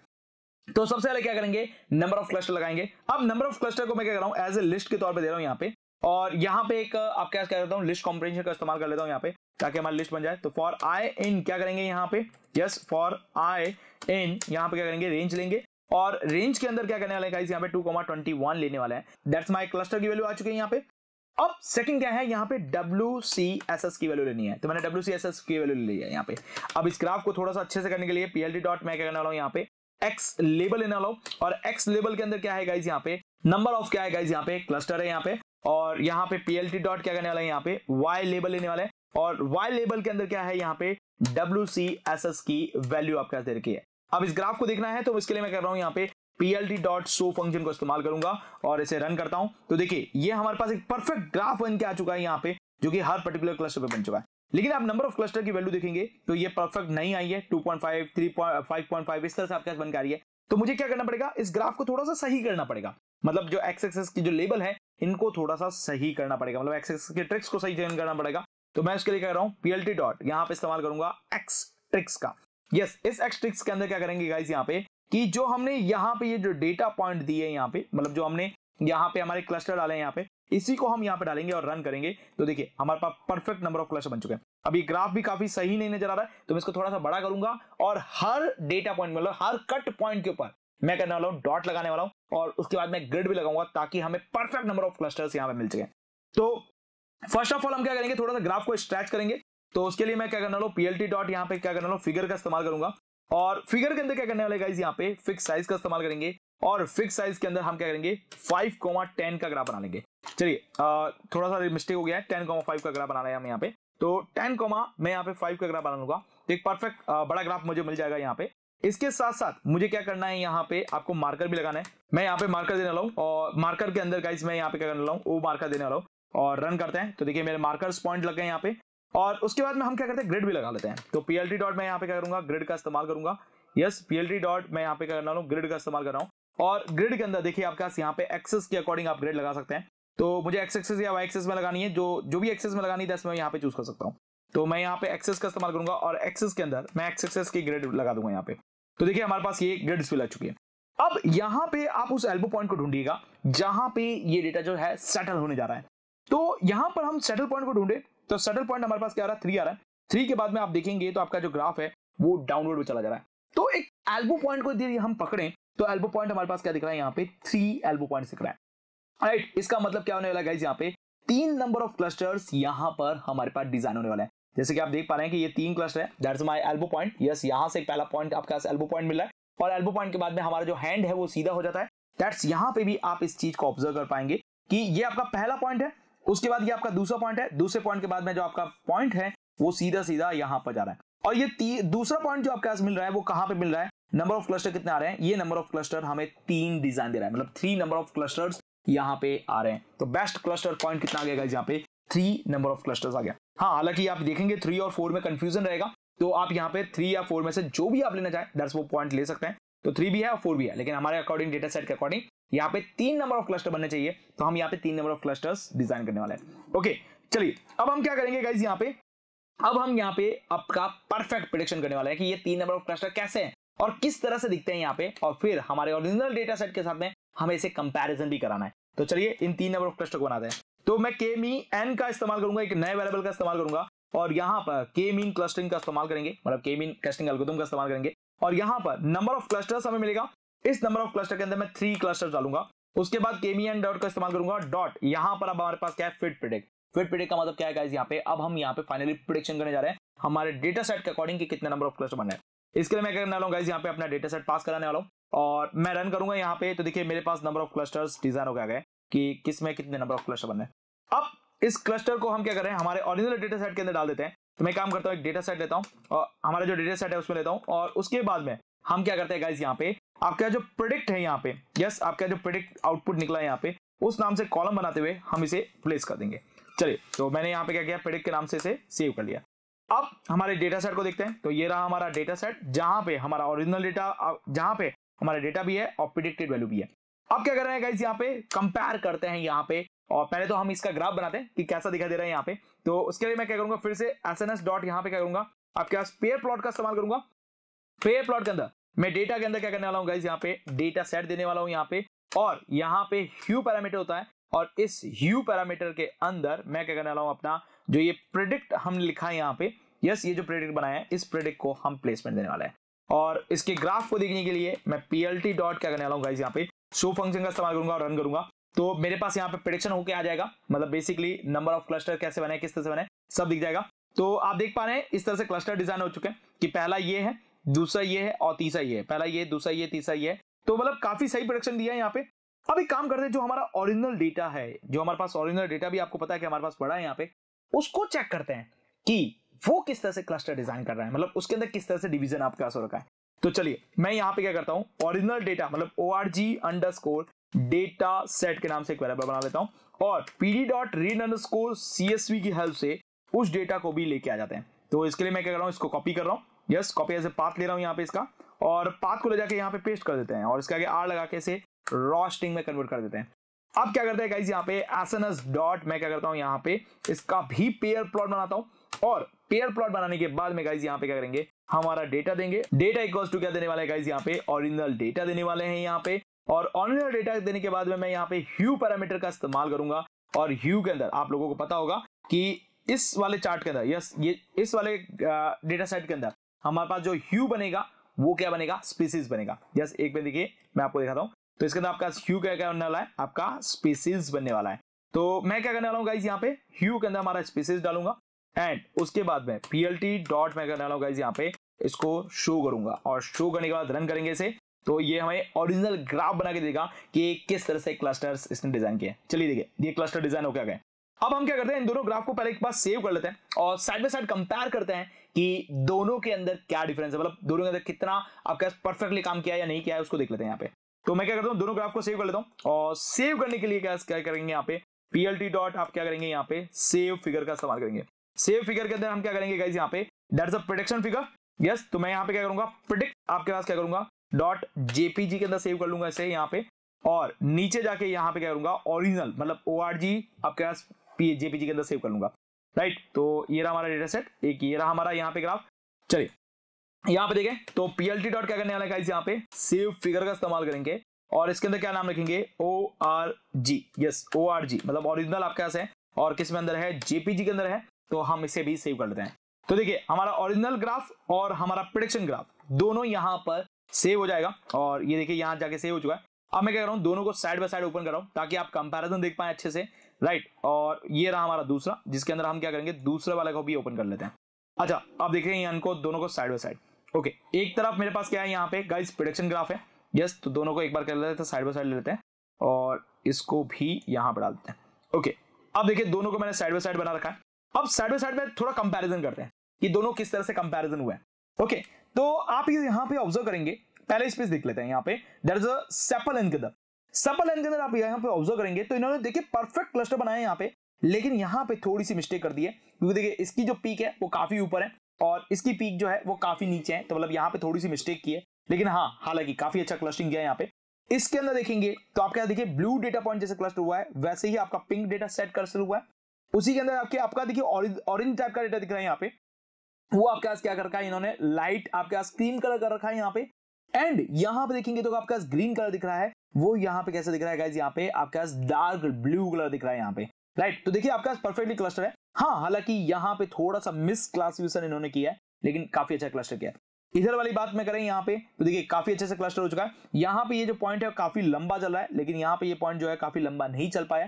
तो कुछ कुछ मिस क्लासिफिकेशन है, और कुछ कुछ अच्छे तरीके से क्लासीफाई भी कर चुका है यहाँ पे। देखिए, इसको भी आप कंपेयर कर सकते हैं। इसके अंदर भी आप कंपेयर कर सकते हैं। इसके अंदर भी आप कंपेयर कर सकते हैं। तो देखिए, सभी के अंदर कंपेयर करें तो ऑलमोस्ट यदि मैं यहाँ पे बोलूँ तो 90 परसेंट इन्होंने वर्किंग क्या कर रखी है? सही कर रखी है। यस 90 परसेंट यहाँ पे आप वर्किंग देखेंगे तो काफ़ी अच्छी वर्किंग कर रखी है और काफ़ी अच्छे तरीके से क्लस्टरिंग कर रखा है 90 परसेंट तक। हाँ हालाँकि कुछ परसेंट में इन्होंने गड़बड़ कर रखा है, लेकिन काफ़ी अच्छी यहाँ पे क्लस्टरिंग कर रखी है।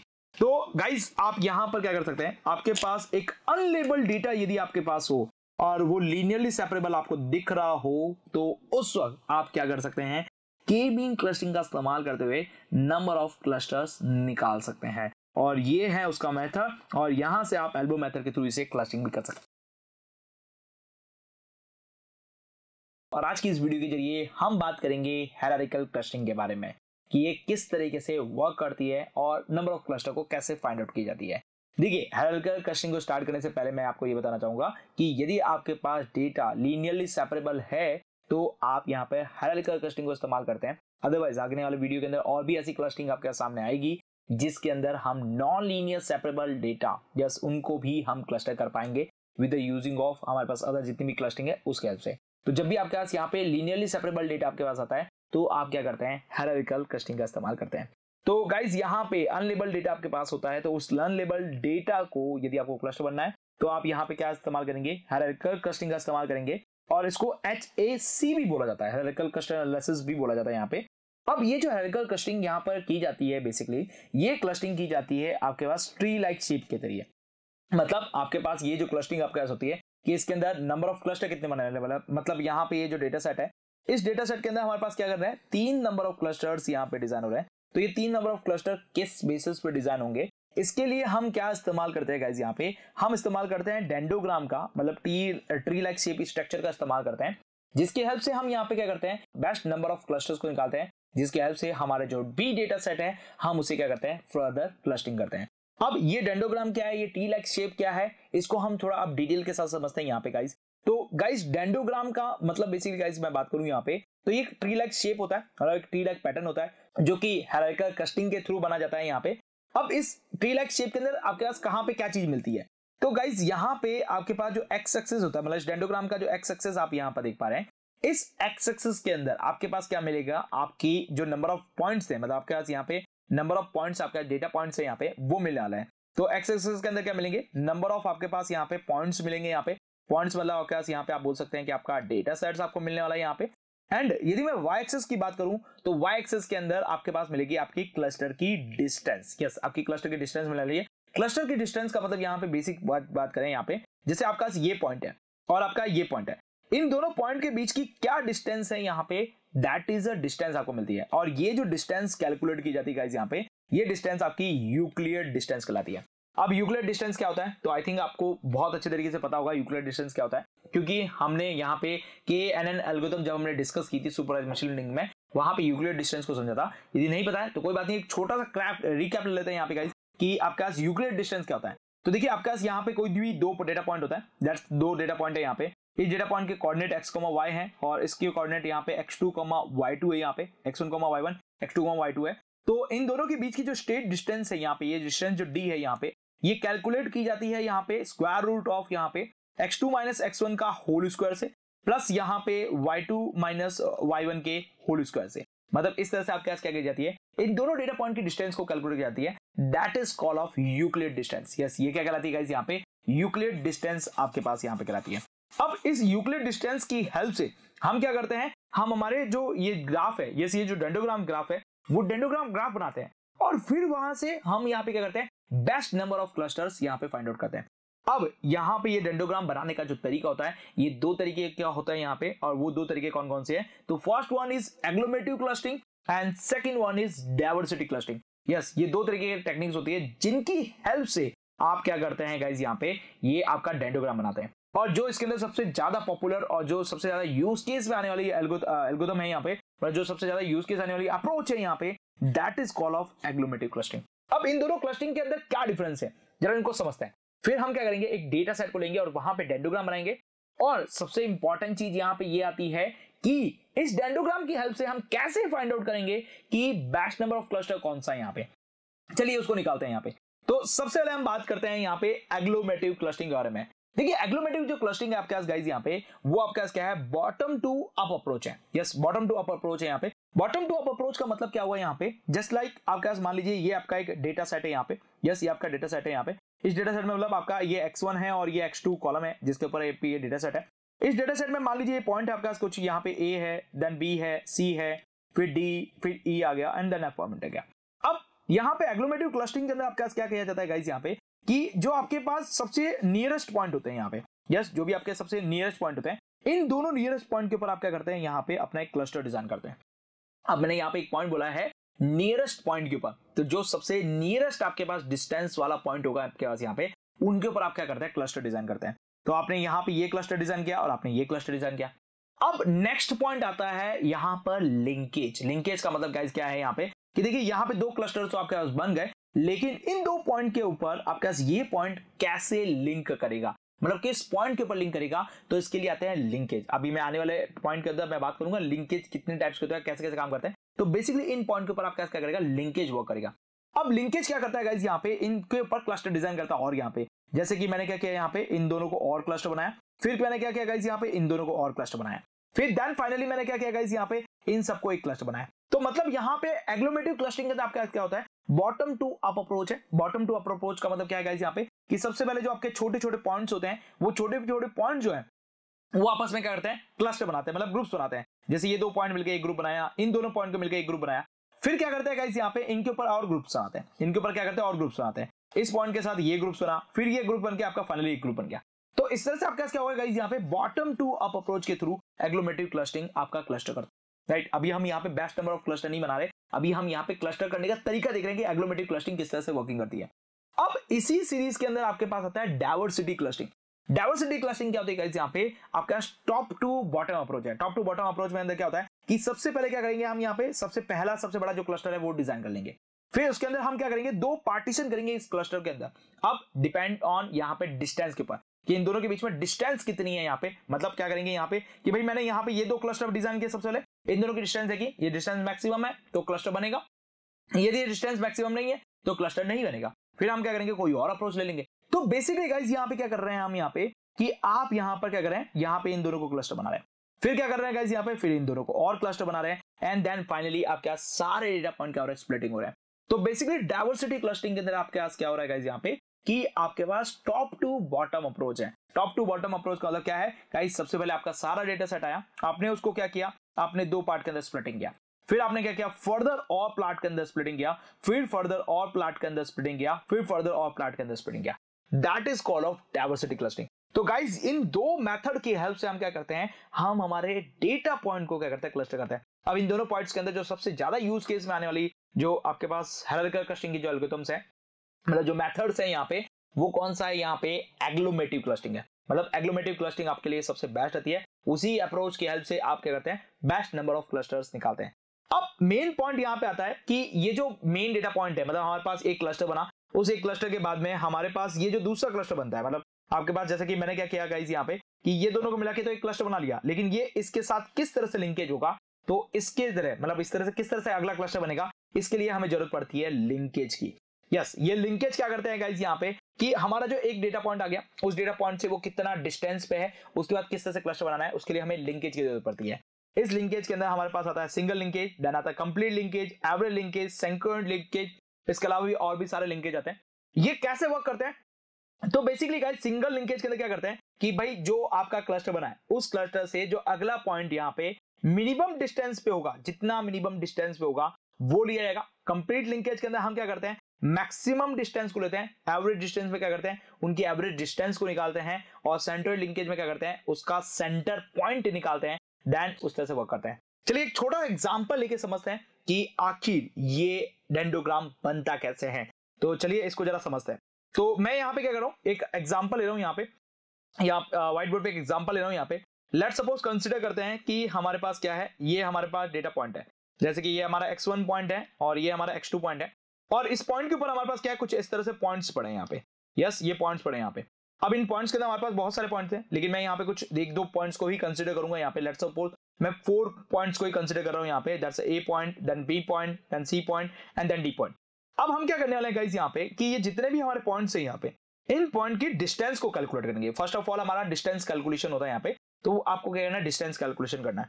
तो जो भी डिस्टेंस कैलकुलेशन हुई है, मैं उसकी एक मैट्रिक्स डिज़ाइन कर रहा हूँ यहाँ पे। मैं इसको थोड़ा सा पहले तो कम कर लेता हूँ। और मैं कह रहा हूँ यहाँ पे गाइस यहाँ पे एक मैट्रिक्स डिज़ाइन कर रहा हूँ कि जो भी हमारा डिस्टेंस कैलकुलेट हुई है, उनकी मैट्रिक्स क्या है? लेट्स हमारे पास ए पॉइंट है बी पॉइंट है सी पॉइंट है एंड डी पॉइंट है। ऊपर भी क्या है? A point then B point then C point and D point अब मैं बता रहा हूँ किस तरह से आपका डेंडोग्राम बनता है यहाँ पे। तो आपने क्या किया? यहाँ पे एक मैट्रिक्स डिज़ाइन कर ली। अब देखिए ए और ए के बीच की डिस्टेंस क्या होगी? ए और ए की डिस्टेंस हमारी ज़ीरो होने वाली है। बी और बी की डिस्टेंस ज़ीरो होने वाली है। सी और सी की डिस्टेंस आपके पास यहाँ पे ज़ीरो होने वाली है। एंड डी एंड डी की डिस्टेंस आपके ज़ीरो होने है। तो लेट्स हमने क्या किया यहाँ पे? जिनकी खुद की डिस्टेंस है, वो ज़ीरो होगी। क्योंकि देखिए, वो पॉइंट वहीं पे है और डिस्टेंस को कैलकुलेट करेंगे उसी से तो वो तो आपके ज़ीरो ही निकलने वाली है राइट अब सेकेंड पॉइंट यहाँ पे आता है कि इस पर्टिकुलर पॉइंट से बाकी लोगों की डिस्टेंस कितनी है? और यहाँ पे डिस्टेंस जो हम कैलकुलेट कर रहे हैं that's a Euclid distance yes ये हमें डिस्टेंस निकालनी है। तो अब मैं क्या कर रैंडमली डिस्टेंस भर रहा हूँ, क्योंकि यहाँ पे हमें एक्जैक्टली डिस्टेंस तो नहीं बता तो मैं रैंडमली कुछ भी डिस्टेंस भर रहा हूँ। लेट सपोज़ ए और बी की जो डिस्टेंस आपको दिख रही है that's a two just two distance है यहाँ पे। और ए और सी की डिस्टेंस है, ये आपके पास फोर है। और ए सी और बी की डिस्टेंस की बात करें तो आप यहाँ पे फाइव मान लीजिए। डी और ए की डिस्टेंस की बात करें तो ये आपके सिक्स मान लीजिए। डी और बी की बात करें तो ये सेवन मान लीजिए। और डी और सी की बात करें तो ये आपके पास यहाँ पर एट मान लीजिए। ठीक है? ये कुछ डिस्टेंस हमने कैलकुलेट कर लिए। अब ये ग्राफ आप ऊपर भी, ये जो डेटा है यहाँ पे ऊपर भी बढ़ सकता है, लेकिन मैं फ़िलहाल ऊपर नहीं बढ़ रहा हूँ। राइट अब हमें करना क्या अब हमें सबसे पहले इनके अंदर जो सबसे मिनिमम डिस्टेंस है उसे फाइंड आउट करना है। मतलब हम हमारा पहला क्लस्टर डिज़ाइन करने जा रहे हैं यहाँ पे। मतलब पहला जो ग्रुप्स है वो डिज़ाइन करने जा रहे हैं। अब इनके अंदर जो सबसे मिनिमम डिस्टेंस कौन सी दिख रही है? सबसे मिनिमम जो डिस्टेंस हमें दिख रही है दैट्स अ टू यस सबसे मिनिमम डिस्टेंस हमारे पास क्या आ रही है? टू हमारे पास सबसे मिनिमम डिस्टेंस हमें मिल रही है। इसका मतलब क्या हुआ गाइज़ यहाँ पे? कि अब आप अपना क्लस्टर डिज़ाइन कर लीजिए। और वो क्लस्टर कौन सा होगा गाइज़ यहाँ पे? ये ए और बी का होने वाला है। और इनके बीच की डिस्टेंस कितनी है? टू डिस्टेंस है। तो चलिए साथ साथ हम यहाँ पर हमारा जो डेंडोग्राम है, वो भी हम यहाँ पर डिज़ाइन कर लेते हैं कि ये डेंडोग्राम किस तरह से बनेगा। तो मैं डेंडोग्राम भी बनाने जा रहा हूँ यहाँ पे साथ साथ ठीक है? तो एक तरफ़ हमारे पास क्या आएगा? हमारे डेटा पॉइंट आएँगे। तो ये हमारा पहला डेटा पॉइंट ए आया है और ये हमारा दूसरा डेटा पॉइंट बी आया। अब इन दोनों के बीच की डिस्टेंस को हमने कैलकुलेट किया और कैलकुलेट करने पर हमारे पास आंसर कितना आया? टू आया। तो वो हमने यहाँ पे लिख लिया। मतलब इस तरफ़ हमारे पास क्या आएँगे? डेटा पॉइंट आएँगे। यस, यहाँ पे क्या आएँगे? डेटा पॉइंट्स हमारे पास आने वाले हैं, और इस तरफ़ क्या आने वाली है? डिस्टेंस आपके पास यहाँ पे आने वाली है। राइट तो डिस्टेंस कितनी आई? आपके पास टू आई है। ओके अब हमारे पास क्या होगा? ये क्लस्टर बन चुका है। अब इस क्लस्टर से अगला डेटा पॉइंट कौन सा होने है? अब यहाँ पे देखिए, हमारे पास डेटा पॉइंट कम है। इसलिए हमने एक ही क्लस्टर बनाया। अब यदि हमारे पास डेटा पॉइंट ज़्यादा होते तो उनमें से काफ़ी ऐसे डेटा पॉइंट होंगे, जिनके बीच के क्लस्टर की जो डिस्टेंस होगी, वो सेम होगी। तो वो भी आपस में मिलकर एक क्लस्टर डिज़ाइन करेंगे। राइट लेकिन हमारे पास अभी क्या डेटा पॉइंट कम है तो उसको डेटा पॉइंट को कम लेते हुए मैं यहाँ पे वर्किंग कर रहा हूँ। अब हमारा नेक्स्ट टारगेट होगा कि ए और बी मिलके हमारे पास एक क्लस्टर बन चुका है। तो अगला क्लस्टर कौन सा बनेगा? तो यहाँ पर काम आते हैं आपके लिंकेज इस लिंकेज के बेसिस पे आप क्या करते हैं कि अगला डेटा पॉइंट उनके साथ कौन सा जुड़ेगा, वो डिसाइड करते हैं। तो फ़िलहाल अभी मैं जो यहाँ पे ले रहा हूँ दैट इज़ आपके पास सिंगल लिंकेज की बात कर रहा हूँ यहाँ पे। सिंगल लिंकेज में क्या होता है यहाँ पे कि ये जो डेटा पॉइंट है, इस डेटा पॉइंट से अगले डेटा पॉइंट के बीच की मिनिमम डिस्टेंस को कैलकुलेट किया जाता है। मतलब दोनों के बीच में मिनिमम डिस्टेंस कौन सी है, वो हम कैलकुलेट करेंगे। कैसे करेंगे? तो देखिए, मैं पे अगर क्या कर रहा हूँ, इस मैट्रिक्स को थोड़ा थोड़ा सा चेंज कर रहा हूँ यहाँ पे। और मैट्रिक्स को चेंज करके क्या कर रहा हूँ यहाँ पे, कि अब ए और बी मिलके तो हमारे पास क्लस्टर बन चुका है। तो मैं ए और बी का क्या कर रहा हूँ, एक सिंगल ग्रुप बना रहा हूँ। पीछे रह गया हमारे पास यहाँ पे सी और डी यहाँ पे बात कर लेते हैं तो हमने क्या किया ए और बी का एक ग्रुप बना लिया यहाँ पे। एंड पीछे रह गया आपके पास यहाँ पे सी और डी अच्छा ए बी के बीच की डिस्टेंस ज़ीरो है यहाँ पे, या सी और सी के बीच की डिस्टेंस भी ज़ीरो हो जाएगी। डी और डी के बीच डिस्टेंस क्या हो जाएगी? ज़ीरो हो जाएगी। अच्छा एक और देख, देखते हैं यहाँ पे। ओके okay, एक और चीज़ देखते हैं। डी और डी के बीच की डिस्टेंस भी हमारे पास क्या हो जाएगी? यहाँ पे ज़ीरो हो जाएगी। अब हम क्या कर रहे हैं गाइस यहाँ पे? देखिए सी और ए की डिस्टेंस देखते हैं। या सी और ए की डिस्टेंस देखते हैं। तो ये अभी इसके लिए वेट करते हैं यहाँ पे। और सी और सी की डिस्टेंस तो ज़ीरो ही है यहाँ पे। अच्छा डी और डी की डिस्टेंस ज़ीरो है लेकिन डी और सी की डिस्टेंस ये हमें पता है। डी और डी और सी की डिस्टेंस वो कितनी है गाइज़ यहाँ पे? डी एंड सी की जो डिस्टेंस है आपके पास यहाँ पे वो कितनी है? एट है। तो मैं एट रख लेता हूँ। इस ग्राफ को थोड़ा इस मैट्रिक्स को थोड़ा सा सही बना देते हैं यहाँ पे राइट तो मैट्रिक्स को थोड़ा सा सही कर देते हैं। तो उसके लिए मैं थोड़ा सा लाइन का इस्तेमाल करूँगा यहाँ पे मैट्रिक्स को सही बनाने के लिए। तो इस मैट्रिक्स को थोड़ा सा सही बना लेते हैं यहाँ पे गाइज़ तो मैं यहाँ पे कह रहा हूँ मैट्रिक्स को सही बना रहा हूँ। और अब हमारे पास क्या बन गए यहाँ पे? तीन पॉइंट्स बन गए यहाँ पे। दैट्स ये पहले तीन पॉइंट्स हमारे पास यहाँ पे आ चुके हैं, कुछ इस तरह से। ओके अब जरा समझते हैं इन पेन पॉइंट्स को। क्या है यहाँ पे? तो ये हमारे पास ए बी है देन सी है और देन डी है। यहाँ पे भी क्या आएगा? ए बी आएगा देन आपके पास क्या आएगा? सी आएगा एंड देन डी आएगा। अच्छा ए बी के बीच के बीच ज़ीरो है सी और सी के बीच की ज़ीरो है, और डी और डी की ज़ीरो है। अच्छा सी और डी के बीच की डिस्टेंस देखे तो वो कितनी आ रही है? एट आ रही है।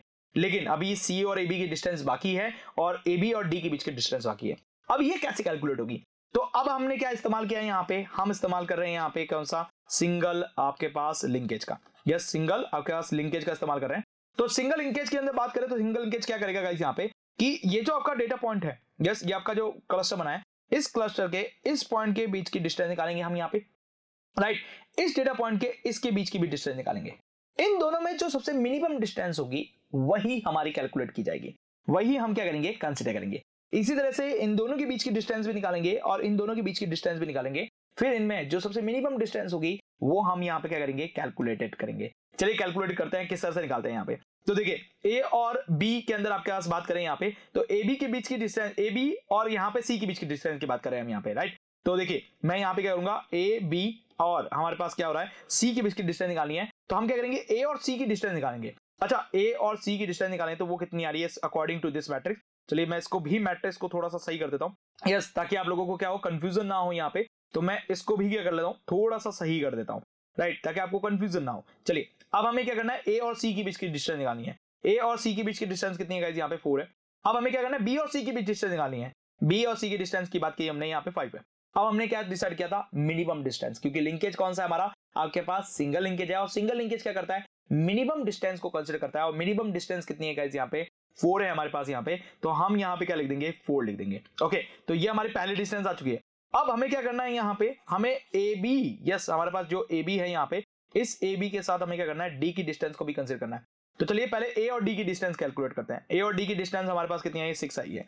अच्छा नेक्स्ट हमारे पास क्या है? बी और डी की डिस्टेंस कैलकुलेट करनी है। तो बी और डिस्टेंस बी और डी की डिस्टेंस कितनी है? सेवन है। तो मैंने सेवन निकाला। इसमें मिनिमम कौन सा है? मिनिमम आपका सिक्स है तो ये हमने कंसिडर कर लिया।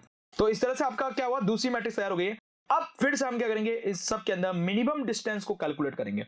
सबसे मिनिमम डिस्टेंस कौन सी है? सबसे मिनिमम डिस्टेंस हमें यहाँ पे फोर दिख रही है। मतलब इस ए बी का जो अगला क्लस्टर आपका बनने वाला है, वो किसके साथ बनेगा? सी के साथ बनेगा। तो अब हमारा क्लस्टर स्टार्ट हुआ है यहाँ पे फिर से। और ये क्लस्टर कौन सा बना है यहाँ पे? ये आपके पास सी के साथ आपका डिज़ाइन हो चुका है। और यहाँ पे बात करें तो ये बी के साथ अब क्या जुड़ेगा? सी भी जुड़ेगा यहाँ पे। और ये डिस्टेंस कितनी है गाइस यहाँ पे फोर के साथ क्लस्टर बना है यहाँ पे। तो बेसिकली मैं यहाँ पे ये क्लस्टर बनाऊँगा और ये कितना पॉइंट पाएगा फोर पॉइंट पा जाएगा। राइट तो ये आपका एक और क्लस्टर डिज़ाइन हो गया। अब बारी है हमारे पास डी की। अब डी कैसे बनेगा यहाँ पे? जरा उसकी बात करें। तो अब आपकी जो मैट्रिक्स है वो भी अब फिर से क्या होगी? चेंज हो जाएगी। मैट्रिक्स चेंज होकर कैसे बनेगी गाइस यहाँ पे? यस ये मैट्रिक्स चेंज होकर कैसे बनेगी? तो जरा देखें तो ये मैट्रिक्स अब कुछ इस तरह से डिज़ाइन होगी। अब यहाँ पे बात करें तो अब आपके पास पॉइंट्स भी कम बच गए हैं यहाँ पे। अब पॉइंट की बात करें तो आपके पास क्या बना? ए बी सी बना और पीछे रह गया आपका डी यहाँ पे बात करें तो ए बी सी बना और पीछे रह गया आपका D right A B C के बीच की डिस्टेंस ज़ीरो और डी और डी आपस में करेंगे ज़ीरो डिस्टेंस रखेंगे। अब ये जो ए बी सी है, इस डी के साथ कितनी डिस्टेंस रखता है, वो मिनिमम डिस्टेंस हम यहाँ पे ढूंढेंगे। राइट क्योंकि हमने लिंकेज कौन सा इस्तेमाल किया है? सिंगल लिंकेज इस्तेमाल किया है।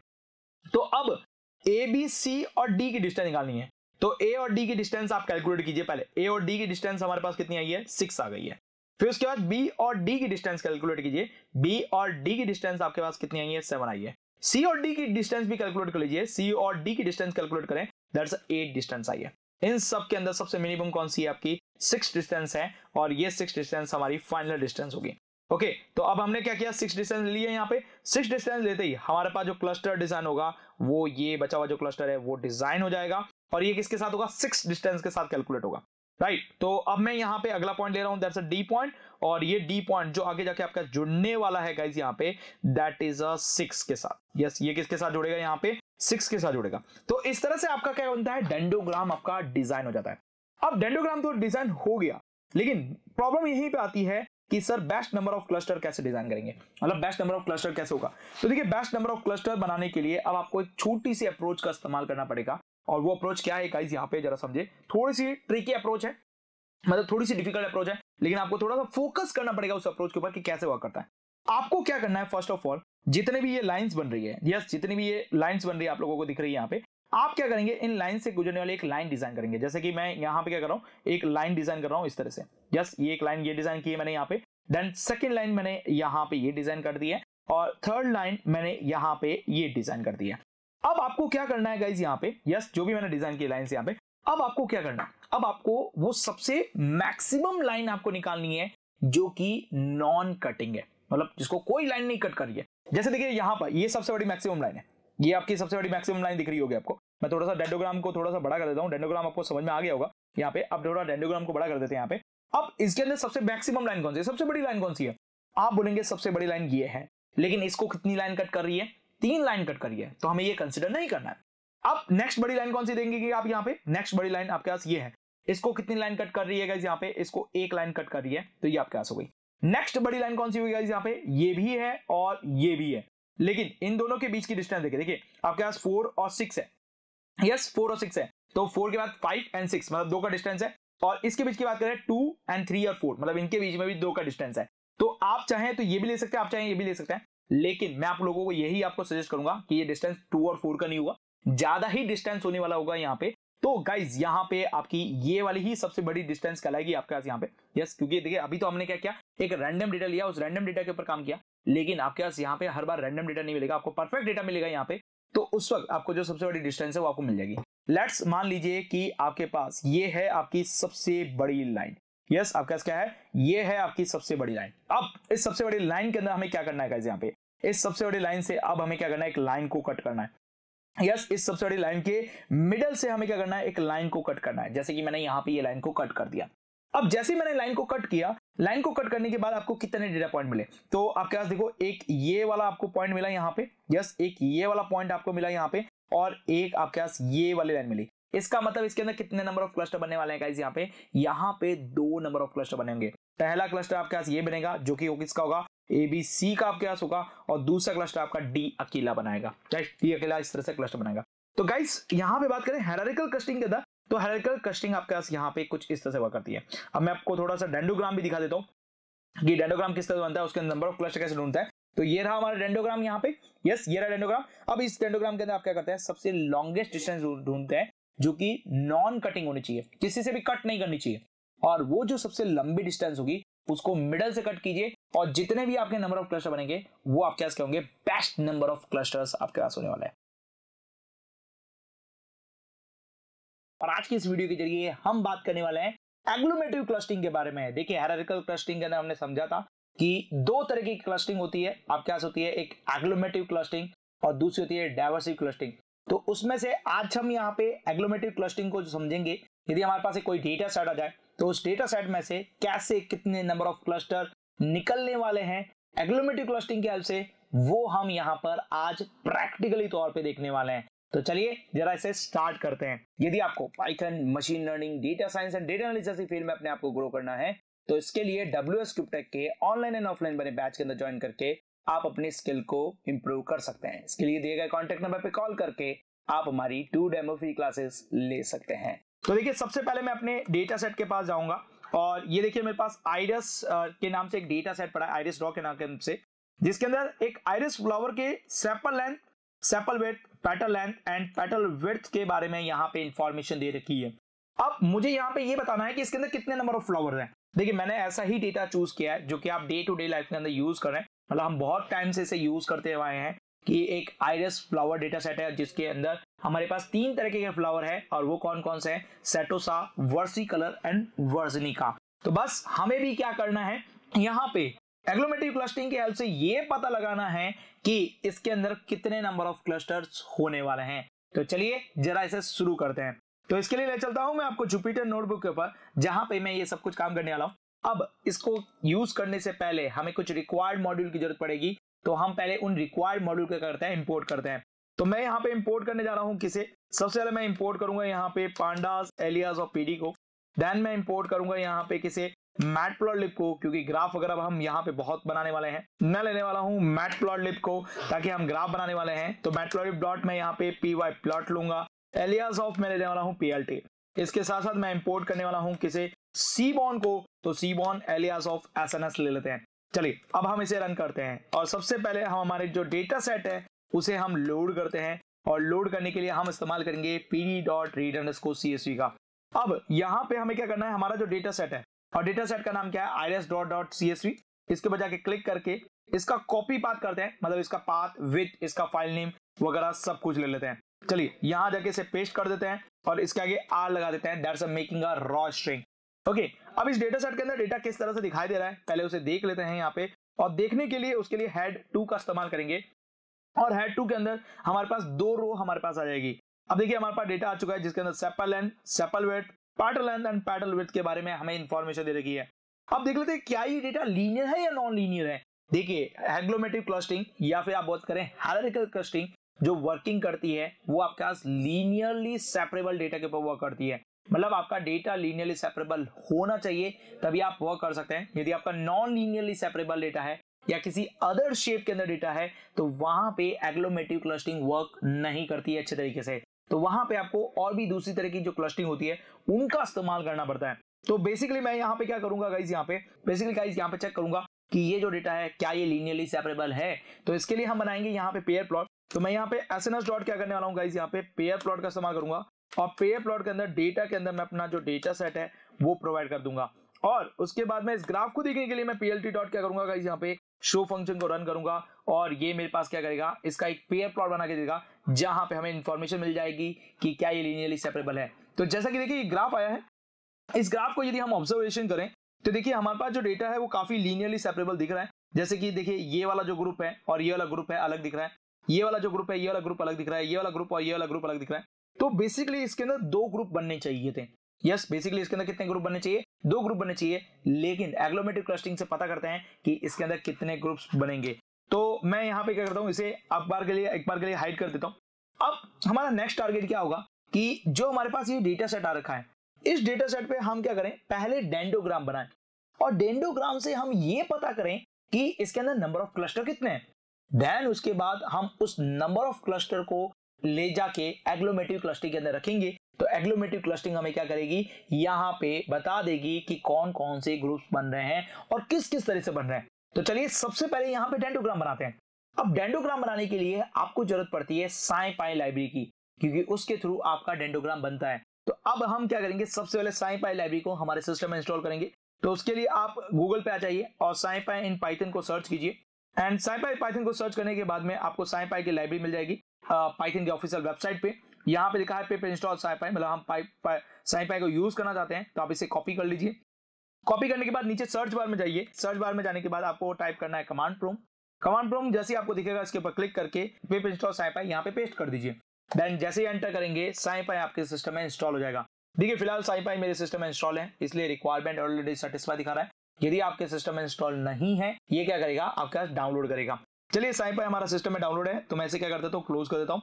अब मैं बैक टू द वापस टॉपिक पे आ जाता हूँ। तो चलिए, साई पाई के थ्रू हम क्या करते हैं? डेंडोग्राम बनाते हैं। डेंडोग्राम बनाने के लिए मैं यहाँ पे करने वाला हूँ? इम्पोर्ट करने वाला हूँ और इम्पोर्ट किसे करूँगा यहाँ पे? सबसे पहले साई पाई को करूँगा और साई पाई के अंदर जाने के बाद मैं क्लस्टर को लेके जाऊँगा। एंड क्लस्टर के अंदर आपको मिलेगा हेरारकी यस इस हेरारकी के थ्रू ही हम हमारा डेंडोग्राम बना पाएँगे। इसका एक एलियास रख देते हैं और इस एलियास को हम बना देते हैं एससी के नाम से।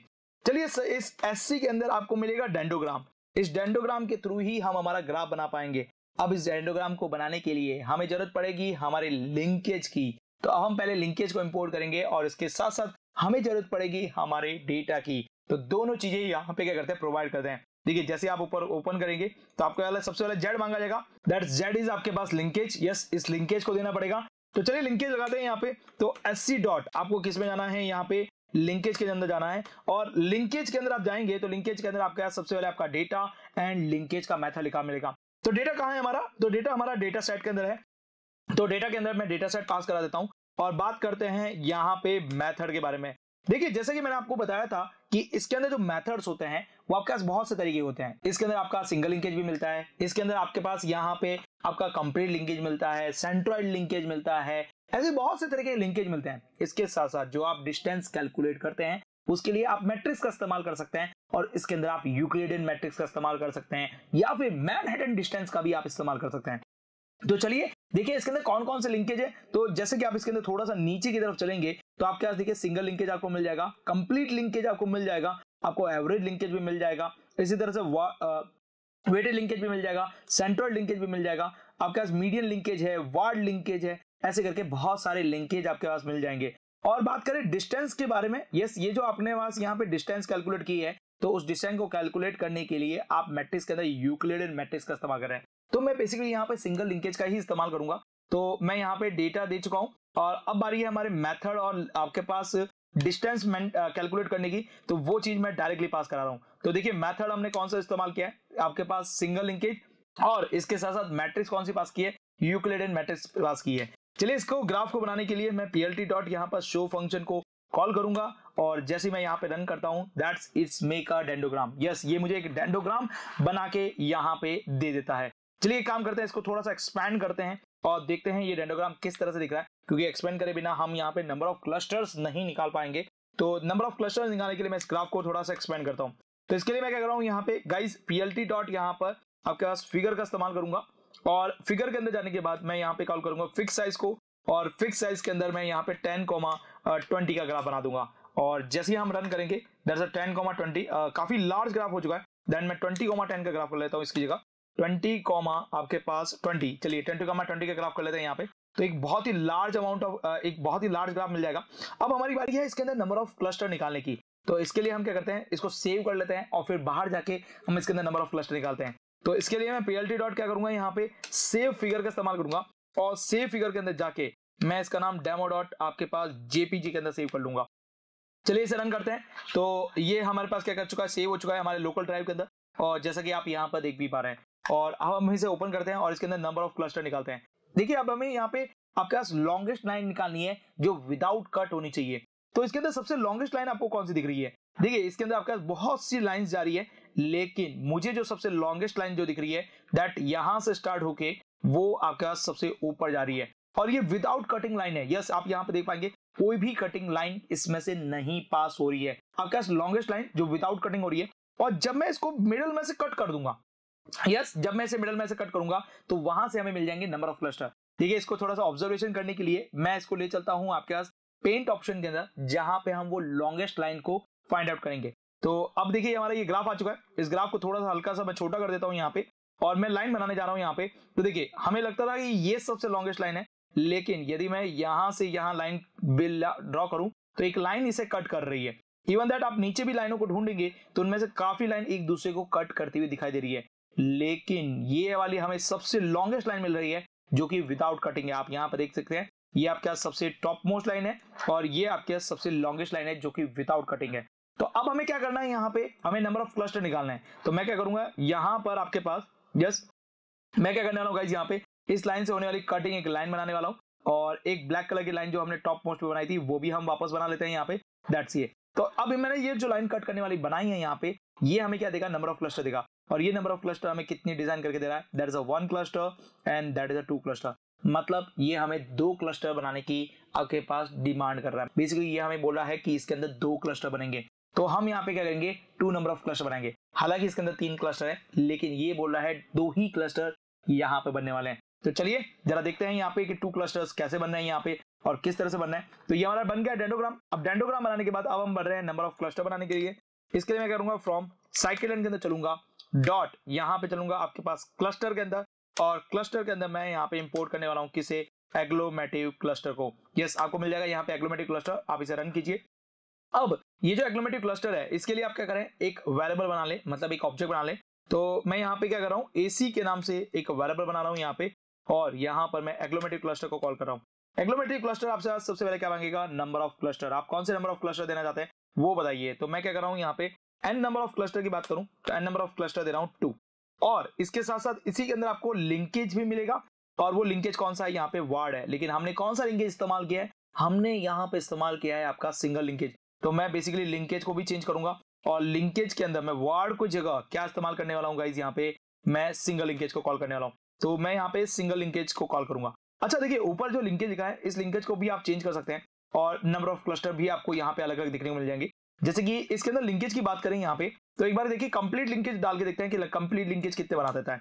तो मैंने कंप्लीट लिंकेज डाला है यहाँ पे और कंप्लीट लिंकेज से चेक कर लेते हैं कंप्लीट लिंकेज कितने बना के दे रहा है। तो यदि आप कंप्लीट लिंकेज भी देखेंगे ऑब्जर्वेशन देंगे तो यहाँ से भी आपके पास दो ही क्लस्टर बनेंगे, क्योंकि सबसे लॉन्गेस्ट लाइन यही दिखाई दे रही है। इसी तरह से यदि आप वार्ड लिंकेज को लेते हैं यस इसी तरह से आप यहाँ पे वार्ड लिंकेज को लेते हैं, या फिर मैं बात करूँ यहाँ पे वेटेड लिंकेज को लेते हैं सेंट्रल लिंकेज को लेते हैं मीडियम लिंकेज को लेते हैं तो ये भी आपके पास कितनी बनाते हैं, वो भी आप यहाँ पे चेक कर सकते हैं। दैट इज़ हाइपर पैरामीटर ये आपके पास क्या कहलाता है? हाइपर पैरामीटर कहलाता है। तो आप यहाँ पे वार्ड देखे, देखिए यस वार्ड से आपके पास क्या होगा? चेंजेस हो सकता है। तो देखिए वार्ड के अंदर भी देखिए तो आपके पास ये भी आपके पास क्या कर रहा है? दो नंबर ऑफ़ क्लस्टर बता रहा है। और इसके पीछे रीजन यदि आप जानना चाहें कि ये दो ही क्यूब क्लस्टर बता रहे हैं, और इसके पीछे रीजन बहुत ही क्लियर है सिंपल सा है, ये आप पेयर प्लॉट से देख सकते हैं। जब मैं यहाँ पे पेयर प्लॉट बना रहा हूँ यहाँ पे तो पेयर प्लॉट बनाने के बाद आप ऑब्जर्वेशन देख पा रहे हैं कि पहला तो ग्रुप आपका ये बन रहा है और दूसरा ये टोटल ग्रुप बन रहा है यहाँ पे। तो यहाँ पर जो डिफ्रेंशिएट है, वो इतना अच्छी तरीके से नहीं हो पा रहा है, जिसकी वजह से आपको यहाँ पर अच्छी तरीके से क्लस्टर नहीं मिल पा रहे हैं। राइट, चलिए इसने बोला है दो क्लस्टर बनाने का है तो इसने बोला है यहाँ पे दो क्लस्टर हमें बनाने तो वो दो क्लस्टर बना लेते हैं। अब एसी डॉट हम क्या करते हैं? फिट प्रिडिक्ट कर देते हैं। फिट प्रिडिक्ट के थ्रू हम क्या कर रहे हैं? प्रिडिक्शन कर रहे हैं कि कितने नंबर ऑफ़ क्लस्टर यहाँ पे बनने वाले हैं। तो इसके लिए हम क्या कर रहे हैं? हमारा जो डेटा सेट है वो यहाँ पे डाल देते हैं और रन करते हैं। तो ये देखिए, दो क्लस्टर हमारे पास डिज़ाइन हो चुके हैं। अब मैं काम करता हूँ, मेरे डेटा सेट के अंदर क्या कर रहा हूँ गाइज़ यहाँ पे? इस डेटा को अपलोड कर देता हूँ। मतलब ये जो क्लस्टर पर क्या है, जो डेटा अपलोड कर देते हैं। और फिर देखते हैं कि किस तरह से क्लस्टर बनाए तो इसके लिए मैं कर रहा हूँ डेटा सेट के अंदर जाऊँगा यहाँ पे, और डेटा सेट के अंदर जाने के बाद मैं यहाँ पे करने वाला हूँ प्रिडिक्ट के नाम से एक कॉलम बनाने वाला हूँ। तो जिसके अंदर हम ये प्रिडिक्शन वाला जो डेटा है वो पास कर देंगे।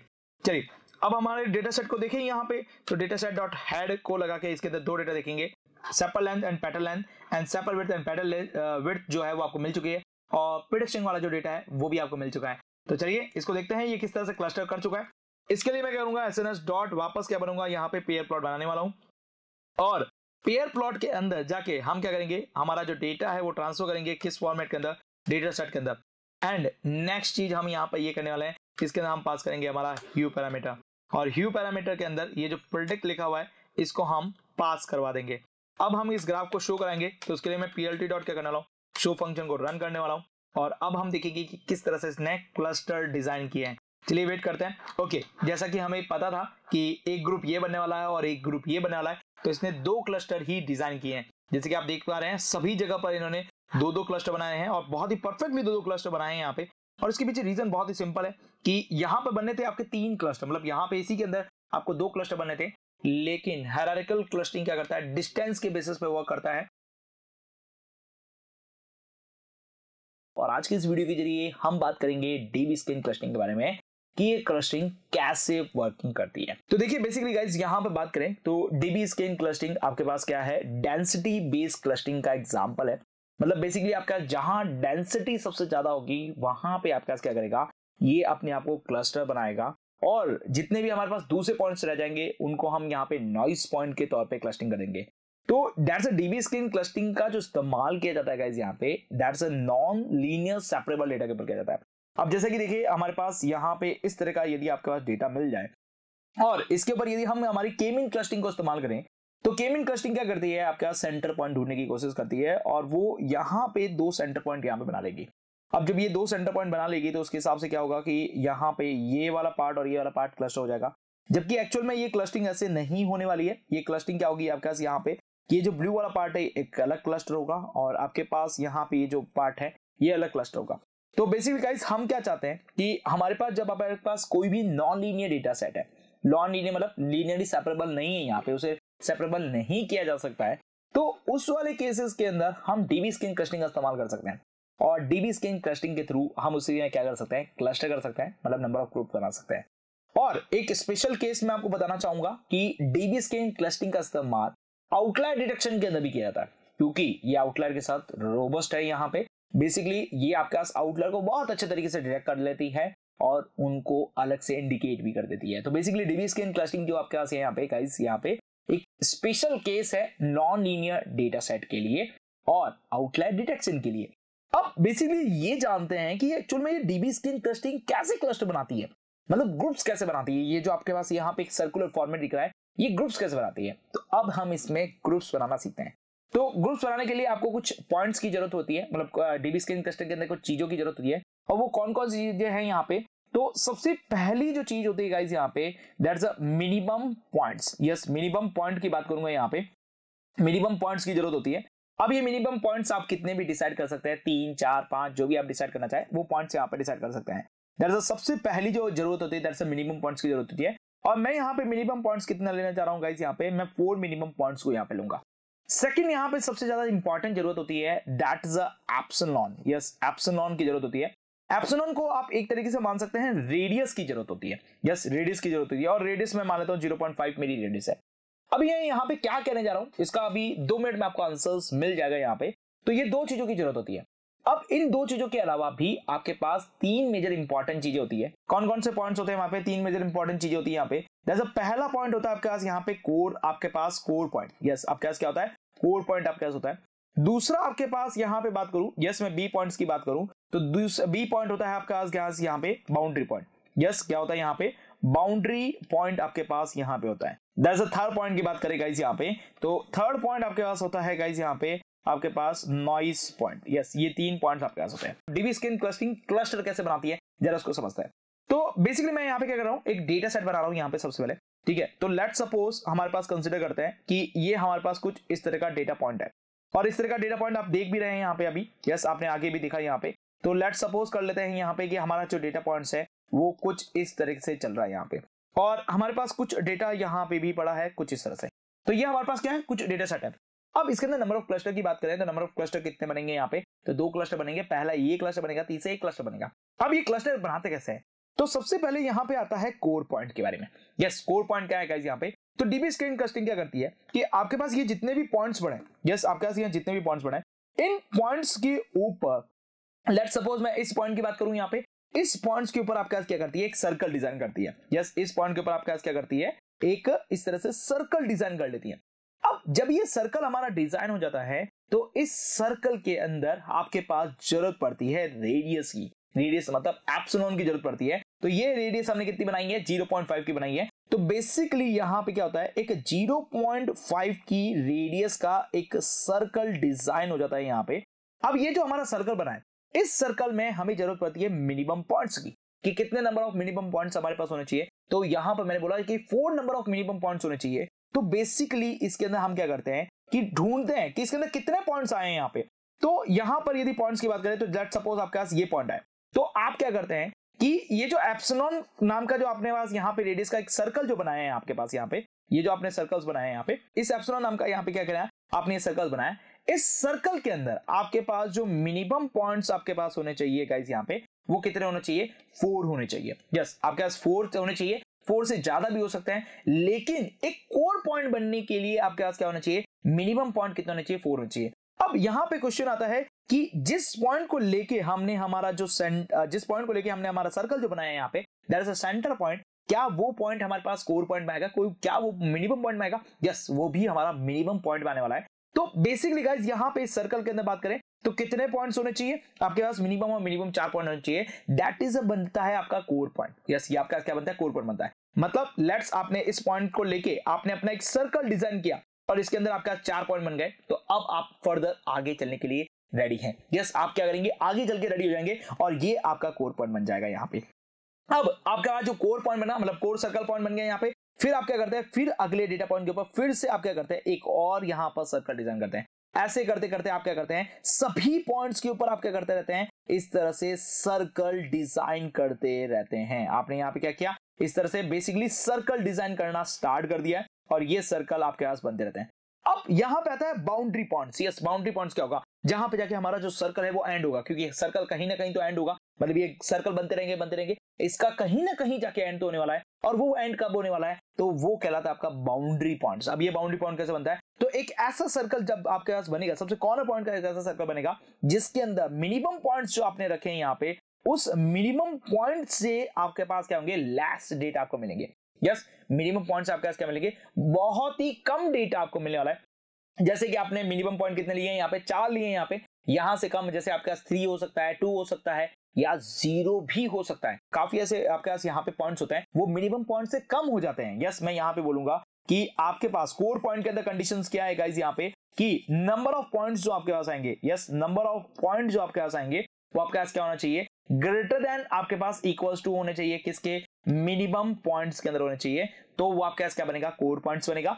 यदि आपके पास नंबर ऑफ़ पॉइंट जो आप यहाँ पर ले रहे हैं एक सर्कल के अंदर, वो आपके पास क्या लेस देन है? किसके लेस देन है गाइज़ यहाँ पे? मिनिमम पॉइंट के लेस देन है तो वो आपके पास क्या बनेगा? एक बाउंड्री पॉइंट बनेगा। मतलब यहाँ पे आके जाके आपका जो सर्कल है, वो रुक जाएगा। मतलब आपका क्लस्टर जो है, रुक जाएगा। अब नॉस पॉइंट क्या होता है यहाँ पे? ऐसे पॉइंट्स जहाँ पे आपके पास सर्कल बनेंगे और आपके पास उसके अंदर कोई भी और पॉइंट नहीं आने वाले। मतलब आपके पास इस सर्कल से आगे वाले अब ऐसे पॉइंट बन गए, आपके पास यहाँ पे जैसे कि एक पॉइंट यहाँ बन गया, एक पॉइंट यहाँ बन गया, एक पॉइंट यहाँ पे आ गया। अब यहाँ पे आप यदि सर्कल बनाएँगे तो कोई भी पॉइंट आपके पास एक्स्ट्रा पॉइंट नहीं आने वाला। मतलब मिनिमम पॉइंट आपके पास क्या है? एक ही पॉइंट आपके पास आएगा, जो कि इसका नेचुरल पॉइंट है आपके पास यहाँ पे, वही आने वाला है यहाँ पे। तो बस गाइज़ यहाँ पे वही नेचुरल पॉइंट्स आते हैं तो उनको बोलते हैं नॉइस पॉइंट और इस नॉइस पॉइंट को हम क्या बोलते हैं गाइज़ यहाँ पे? आउटलायर भी बोला जाता है। यस गाइज़ ये आउटलायर के तरह काम करते हैं।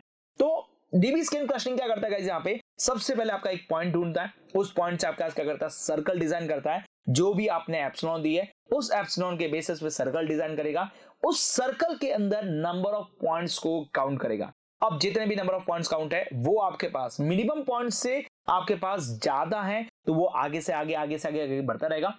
यदि जिस सर्कल पॉइंट के अंदर आपके पास मिनिमम पॉइंट से कम पॉइंट्स आपके पास आने लग जाएँगे, वहाँ पे वो सर्कल स्टॉप हो जाएगा। मतलब डीबी स्कैन क्लस्टरिंग वहाँ पे अपने आप को क्लस्टर बनाना स्टॉप कर देगी और ये क्लस्टर वहाँ जाके रुक जाएगा। और यदि आपके पास नंबर ऑफ़ पॉइंट्स जो है, एक ही आता है और उसके आसपास कोई सर्कल पॉइंट्स नहीं आते और भी कोई पॉइंट्स नहीं आते तो वो हमारा क्या बन जाएगा? नॉइस पॉइंट बन जाएगा, जिसे हम यहाँ पे आउटलायर भी बोलते हैं। तो बेसिकली इस तरह से आपका डीबी स्क्रीन कस्टिंग काम करता है। एक छोटा सा विजुअलाइजेशन आपको दिखाना चाहूँगा, जिसके थ्रू आप डीबी स्क्रीन कस्टिंग को और अच्छे से समझ पाएँगे। तो देखिए, ये हमारे पास यहाँ पे डेटा पॉइंट है। यस इसके ऊपर हम यहाँ पे देखिए सर्कल्स बनाते जा रहे हैं। राइट इस तरह से हमारा सर्कल्स बनता जा रहा है और ये नंबर ऑफ़ क्लस्टर जो है वो डिज़ाइन होते जा रहे हैं। अब देखिए, ये सर्कल्स बनाना वहाँ स्टॉप कर दिया क्योंकि उसके अंदर मिनिमम पॉइंट्स आपके पास नहीं आए मतलब मिनिमम जो फोर पॉइंट्स है वो नहीं आए। अब देखिए, ये क्लस्टर करता करता करता वहाँ पे पहुंचेगा। अब देखिए, अंदर भी आपके क्लस्टर्स होने स्टार्ट हो रहे हैं। जैसा कि आप यहाँ देख पाएँगे, अंदर भी क्लस्टर होना स्टार्ट हो रहे हैं और यहाँ देखेंगे क्लस्टर हो रहे हैं। और बाकी जितने भी बढ़ गए वो आपके पास क्या कर रहे हैं? आपके आउटलायर पॉइंट्स यहाँ पे कराते हैं। तो बेसिकली डीबी स्कैन क्लस्टिंग कब काम आती है? जब भी आपके पास नॉन लीनियर सेपरेबल डेटा आपके पास हो मतलब आपके पास इस तरह के शेप्स वगैरह यहाँ पे हो तो उस वक्त आपके पास क्लस्टर्स बनाने के लिए काम में ली जाती है आपकी डीबी स्कैन क्लस्टिंग और आज के इस वीडियो के ज़रिए हम डीबी स्कैन क्लस्टिंग के बारे में समझ आ रहे हैं। यदि आपके पास लीनियर सेपरेबल डेटा है तो इसके अंदर आप के मीन क्लस्टिंग का इस्तेमाल कर सकते हैं हेरिकल क्लस्टिंग का इस्तेमाल कर सकते हैं। लेकिन यदि नॉन लीनियर डेटा सेट आ जाए तो उस वक्त आपको क्या करना है that's use a DBSCAN clustering तो आज की इस वीडियो के ज़रिए हम उसे डिटेल के साथ देखने वाले हैं। तो चलते हैं हमारे जुपिटर नोटबुक के अंदर, और वहाँ पर हम डीबी स्कैन क्लस्टिंग को डिटेल के साथ समझते हैं। तो इसके लिए हमें रिक्वायर्ड डेटा सेट की ज़रूरत पड़ेगी तो इसके लिए हमें नॉन लीनियर डेटा सेट चाहिए। तो मैं क्या करूँगा साइकेट लाइन के अंदर हमारे पास डेटा सेट बहुत सारे अवेलेबल्स हैं। तो उसी के अंदर से मेक मून नाम से हमारे पास डेटा सेट है। वहीं से मैं डेटा सेट लूँगा और वहीं से मैं एक non linear data set create करने वाला हूँ। कैसे जरा समझे यहाँ पे। तो इसके लिए मुझे रिक्वायर्ड लाइब्रेरी है तो पहले मैं उनको इम्पोर्ट कर लेता हूँ। मैं यहाँ पे इम्पोर्ट करूँगा यहाँ पे सबसे पहले आपके पास मैटप्लॉलिप को, क्योंकि मुझे ग्राफ बनाने की ज़रूरत पड़ेगी। तो मैं मैटप्लॉलिप डॉट यहाँ पर क्या करने वाला हूँ? P Y plot alias of यहाँ पर हम पीएलटी लेंगे। उसके साथ साथ हम यहाँ पे इम्पोर्ट करेंगे और इम्पोर्ट कैसे करने वाले गाइज़ यहाँ पे सी बॉन्ड को करने वाले हैं एलियाज ऑफ़ एस लेने वाले हैं यहाँ पे। और इसके साथ साथ, अब हम मैं चलूँगा यहाँ पे फ्रॉम साइकिलन के अंदर चलूँगा और साइकिलन के अंदर जाने के बाद मेरे पास है यहाँ पे डेटा सेट्स के अंदर, मैं जाके इंपोर्ट करने वाला हूँ यहाँ पे और वो है आपका मेक मून यस मुझे यहाँ पर मेक मून डेटा सेट चाहिए तो मैं मैं मेक मून डेटा सेट को लेने वाला हूँ। अब मेक मून डेटा सेट के थ्रू हम क्या करें? हमारा डेटा सेट क्रिएट करें और मेक मून जो हमें आउटपुट देता है, वो दो डेटा देता है। एक तो एक्स एक्सेस का डेटा और दूसरा होता है वाई एक्सेस का डेटा तो मैं यहाँ पे एक्स को वाई के नाम से एक वेरिएबल बना रहा हूँ। मेक मून जो डेटा सेट है, इसे मैं कॉल करने वाला हूँ। जब हम इसे कॉल करते हैं तो ये नंबर ऑफ़ सैंपल्स आपसे पूछता है यहाँ पे, और ये आपके नॉइस की वैल्यू भी पूछता है, सफल चाहिए या नहीं चाहिए रैंडम स्टेट भी आपसे पूछता है। तो चलिए एन नंबर ऑफ़ सैंपल्स दे देते हैं पहले तो। एन नंबर ऑफ़ सैंपल्स के अंदर मैं यहाँ पे 250 सैंपल्स में यहाँ पे लेने वाला हूँ, और इसके साथ साथ मैं यहाँ पे कुछ नॉइस भी लूँगा, और नॉइस में लूँगा 0.5 परसेंट यस आपका 0.5 परसेंट मैं यहाँ पे नॉइस लेने वाला हूँ। चलिए हमारा डेटा सेट रेडी है। चलिए इसको देख लेते हैं कि डेटा सेट दिख कैसा रहा है। तो यदि मैं एक्स एक्सेस का डेटा देखूँ तो मुझे इस तरह का डेटा दिख रहा है, जहाँ पे आपके पास, ये आपका एक्स एक्सेस है और एक्स एक्सेस के अंदर आपके पास दो कॉलम तैयार किए इसने। और यदि मैं वाई एक्सेस का डेटा देखूँ तो ये वाई एक्सेस का डेटा है जहाँ पे ज़ीरो वन प्रोडक्शन दिया है हमें। अब हमें क्या करना है? इसका ग्राफ बनाना है बेसिकली कि ये ग्राफ कैसा दिखाई देता है? एक्स और वाई एक्सेस का ग्राफ कैसा दिखाई देगा? ये हमें ज़रूरत है। तो देखिए, इस एक्स एक्सेस के अंदर दो कॉलम है आपके पास यहाँ पे। तो क्यों ना हम इसका एक डेटा फ्रेम तैयार कर लें और डेटा फ्रेम तैयार करने से हमें और ज़्यादा अच्छे तरीके से काम हो पाएगा। तो मैं इंपोर्ट कर लेता हूँ किसे यहाँ पे? पांडाज एलियाज ऑफ़ यहाँ पर मैं करूँगा, यहाँ पे पीडी के तौर पे। और मैं क्या करने वाला हूँ, इस डेटा सेट के अंदर ये दो डेटा मैं यहाँ पे देने वाला हूँ। मेरे पास यहाँ पे दो डेटा किस किस फॉर्मेट के अंदर है? एक तो एक्स के अंदर है, दूसरा वाई के अंदर है। क्यों ना हम एक डेटा सेट तैयार कर ले तो इसके लिए मैं डीएफ नाम से एक डिक्शनरी क्रिएट करने वाला हूँ। और इसके अंदर डेटा वन मतलब डेटा वन मतलब हमारा पहला कॉलम है, उसको लेते हैं यहाँ पे। इसके लिए मैं क्या करने वाला हूँ, देखिए, हमारा जो एक्स एक्सेस है, इसके अंदर मुझे फ़र्स्ट कॉलम चाहिए। तो मैं एक्स एक्सेस के अंदर जाके क्या करूँगा, यहाँ पे ज़ीरो रखूँगा। तो दैट्स मेरा पहला कॉलम इस तरह से आएगा। लेकिन मुझे पहला कॉलम इस तरह से नहीं चाहिए, मुझे तो पहला पहला सारा डेटा चाहिएगा यहाँ पे। तो इसके लिए मुझे क्या करना पड़ेगा? मुझे मेरी सारी रोज चाहिए। देन कॉलम के अंदर बात करें तो हमें ज़ीरो कॉलम चाहिए। देन रन करूँगा तो दैट्स माई ज़ीरो कॉलम अच्छा इसको चेक कर लेते हैं कि क्या ये ज़ीरो कॉलम है या नहीं है। तो मैं एक्सेस का डेटा लूँगा यहाँ पे। एक्सेस के अंदर देखिए, पहला क्या है यहाँ पे? 0.8 है। यस यहाँ पे भी आपका 0.8 आया है यहाँ पे। उसके बाद है आपका यहाँ पे 0.65 है यहाँ पे। यस 0.65 आ चुका है। उसके बाद आप देखिए 0.08 है यहाँ पे। तो यस 0.8 आ चुका है। तो 0.879 यस ये भी आ रखा है। उसके बाद देखिए 679 है 679 है। इसका मतलब हमारा एक्स एक्सेस का डेटा आ चुका है यहाँ पे। यस तो इस तरह से हम यहाँ पे अपने एक्स एक्सेस का डेटा गेट कर सकते हैं। फ़र्स्ट कॉलम ठीक है? तो मैं यहाँ पे ये रख रहा हूँ। एंड उसके बाद में हम क्या कर रहे हैं? एक दूसरा और कॉलम बना रहे हैं। That is a data two के नाम से। और इसके अंदर क्या कर रहे हैं? X then column and square मुझे सारा डेटा चाहिए और फ़र्स्ट कॉलम का डेटा चाहिएगा। और उसके बाद हमारा जो आउटपुट है वो रेडी करेंगे। तो मैं यहाँ पे आउटपुट लेने वाला आउटपुट के नाम से एक की बनाई है यहाँ पे। और इसके अंदर मैं अपना वाई पास करूँगा। That's my D F is ready अब डीएफ रेडी होने के बाद में मैं अपना डेटा सेट तैयार करूँगा यहाँ पे। तो मैं क्या कर रहा हूँ यहाँ पे? डेटा सेट के नाम से एक वेरिएबल बना लेता हूँ। और पीडी डॉट हम क्या करेंगे? डेटा फ्रेम बना लेंगे। और डेटा फ्रेम के अंदर इस डीएफ को पास कर देते हैं और रन करते हैं। That's your data set is ready yes data set हमारा रेडी हो चुका है। डॉट हेड लगाते हुए इसके तीन डेटा को आप देख सकते हैं और ये आपका डेटा आ चुका है। अब हम क्या करते हैं? इसका ग्राफ बनाते हैं और चेक करते हैं कि इसका ग्राफ कैसे आ रहा है। क्या ये नॉन लीनियर है या लीनियर है?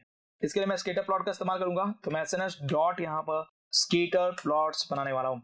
और स्केटर प्लॉट के अंदर एक्स एक्सेस के अंदर यस एक्स एक्सेस के अंदर मैं हमारा जो डेटा वन है वो पास करूँगा।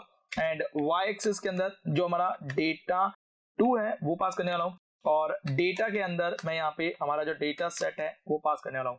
इस ग्राफ को देखने के लिए मैं पीएलटी डॉट शो फ़ंक्शन का इस्तेमाल करूँगा और रन करूँगा। देखिए, हमारे पास एक नॉन लीनियर डेटा आया है और जैसे कि आपको दिख भी रहा है। अब इसे लीनियरली सेपरेबल करें। यदि मैं केबिन कस्टिंग के थ्रू करूँ तो ये हमें रॉन्ग प्रोडिक्शन करके देने वाला है। इसकी जगह यदि मैं डीबी स्कैन कस्टिंग करूँ तो ये मैं ये हमें एक बेटर रिज़ल्ट यहाँ पे देगा। तो चलिए हम डीबी स्कैन कस्टिंग का यहाँ पे इस्तेमाल करते हैं और यहाँ पे प्रोडिक्शन करते हैं। चलिए कैसे करेंगे आप यहाँ पे डीबी स्कैन कस्टिंग को? तो फ्रॉम आप जाएँगे साइकिल के अंदर। वहाँ जाने के बाद में आप क्या करेंगे? यहाँ पे क्लस्टर के अंदर चलेंगे। और क्लस्टर के अंदर जाने के बाद दैट आप इंपोर्ट करने वाले हैं। किसे इंपोर्ट करने वाले हैं गाइस यहाँ पे? आप इंपोर्ट करेंगे डीबी स्कैन क्लस्टिंग को। यस डीबी स्कैन के नाम से आप कैसे? डीबी स्कैन कस्टिंग के लिए आपको एक वेरिएबल की ज़रूरत पड़ेगी मतलब एक क्लास की ज़रूरत पड़ेगी। तो मैं यहाँ पे डीबी के नाम से एक वेरिएबल बना रहा हूँ यहाँ पे, और डीबी स्कैन कस्टिंग को कॉल कर रहा हूँ। अब डीबी स्कैन कस्टिंग के अंदर सबसे पहले आपके पास मिलता है एप्सलॉन एप्सलॉन का मतलब है आप कितने रेडियस का सर्कल लेने वाले हैं, और उसके बाद आपको मिलता है मिनिमम सैंपल कितने मिनिमम सैंपल का लेने वाले हैं? और यहाँ पे मैट्रिक्स के तौर पे यूक्लिडेड मैट्रिक्स इस्तेमाल की जा रही है। मैट्रिक्स किस लिए? क्योंकि जो आप डिस्टेंस देने वाले हैं मतलब आप जो सर्कल की रेडियस लेंगे तो उसके लिए भी तो आपको डिस्टेंस की ज़रूरत पड़ेगी। तो उसके लिए आपकी ज़रूरत पड़ेगी यूक्लियर डिस्टेंस की। तो चलिए, ये दोनों देते हैं। तो मैं एप्सनॉन की जो वैल्यू है यहाँ पे, यस एप्सनॉन की वैल्यू है, वो 0.5 रख रहा हूँ यहाँ पे। और आपके पास यहाँ पे टोटल यस मिनिमम सैंपल्स की बात करें यहाँ पे तो मिनिमम सैंपल्स को मैं यहाँ पे अभी फाइव कर रहा हूँ यहाँ पे। चलिए, अब उसके बाद में मैं क्या करूँगा डीबी डॉट यहाँ पर क्या करूँगा फिट और प्रोडिक्ट करने वाला हूँ। और फिट प्रोडिक्ट के अंदर जो हमारा डेटा है यस जो हमारा डेटा सेट है, उसको पास करेंगे। लेकिन एक चीज़ का ध्यान रखिएगा डेटा सेट के अंदर आपके पास यहाँ पे ज़ीरो और वन भी आपको मिल रहा है तो उसको हमें हटाना पड़ेगा। तो मैं एक बार के लिए क्या कर रहा हूँ, इस वाई आउटपुट को एक बार के लिए हटा देता हूँ ना? क्योंकि ये वाई आउटपुट हमें आगे चलते प्रॉब्लम क्रिएट करेगा। तो मैं इसे रन करता हूँ यहाँ पे, और इसे रन करता हूँ, इसे रन करता हूँ, और इसे रन करता हूँ। ओके अब देखिए मैं एक बार डेटा सेट के अंदर देख लेता हूँ कि कौन कौन से कॉलम्स हमारे पास बचे हैं। तो डेटा सेट को देखने के लिए मैं यहाँ पे क्या करूँगा डेटा सेट डॉट यहाँ पर मैं हेड का इस्तेमाल करूँगा और उसके अंदर टू डेटा रखूँगा। तो यस हमारे पास दो ही डेटा रहे हैं यहाँ पे। और अब हम क्या करेंगे इस डेटा सेट को देंगे। लेकिन मुझे लगता है यहाँ पर हमने जो रेडियस है वो काफ़ी ज़्यादा ले ली है। तो इसके लिए मुझे क्या करना पड़ेगा, इसकी रेडियस को थोड़ा सा कम करना पड़ेगा। और रेडियस को कम करके हम क्या कर रहे हैं, इसकी 0.2 रेडियस दे रहे हैं। और 0.2 रेडियस लेने के बाद में देखिए, इसने काफ़ी ज़ीरो वन टू थ्री के नाम से यहाँ पे नंबर्स बनाए हैं। मतलब हमारे पास यहाँ पे इन्होंने क्लस्टिंग कर दी है। अब इस क्लस्टिंग को चेक करते हैं कि क्या ये क्लस्टिंग इसके पास सुटेबल है या नहीं है।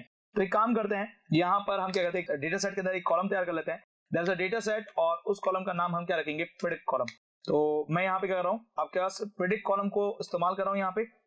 राइट और प्रिडिक्ट कॉलम बना रहा हूँ यहाँ पे, जिसके थ्रू जो प्रोडिक्शन का आउटपुट है वो हमें यहाँ पर देखने को मिल जाएगा। चलिए, अब हम क्या करने वाले गाइस यहाँ पे ग्राफ बना के चेक करेंगे कि किस तरह से प्रोडिक्शन हुआ है। इसके लिए मुझे यही स्केटर प्लॉट की ज़रूरत पड़ेगी दोबारा।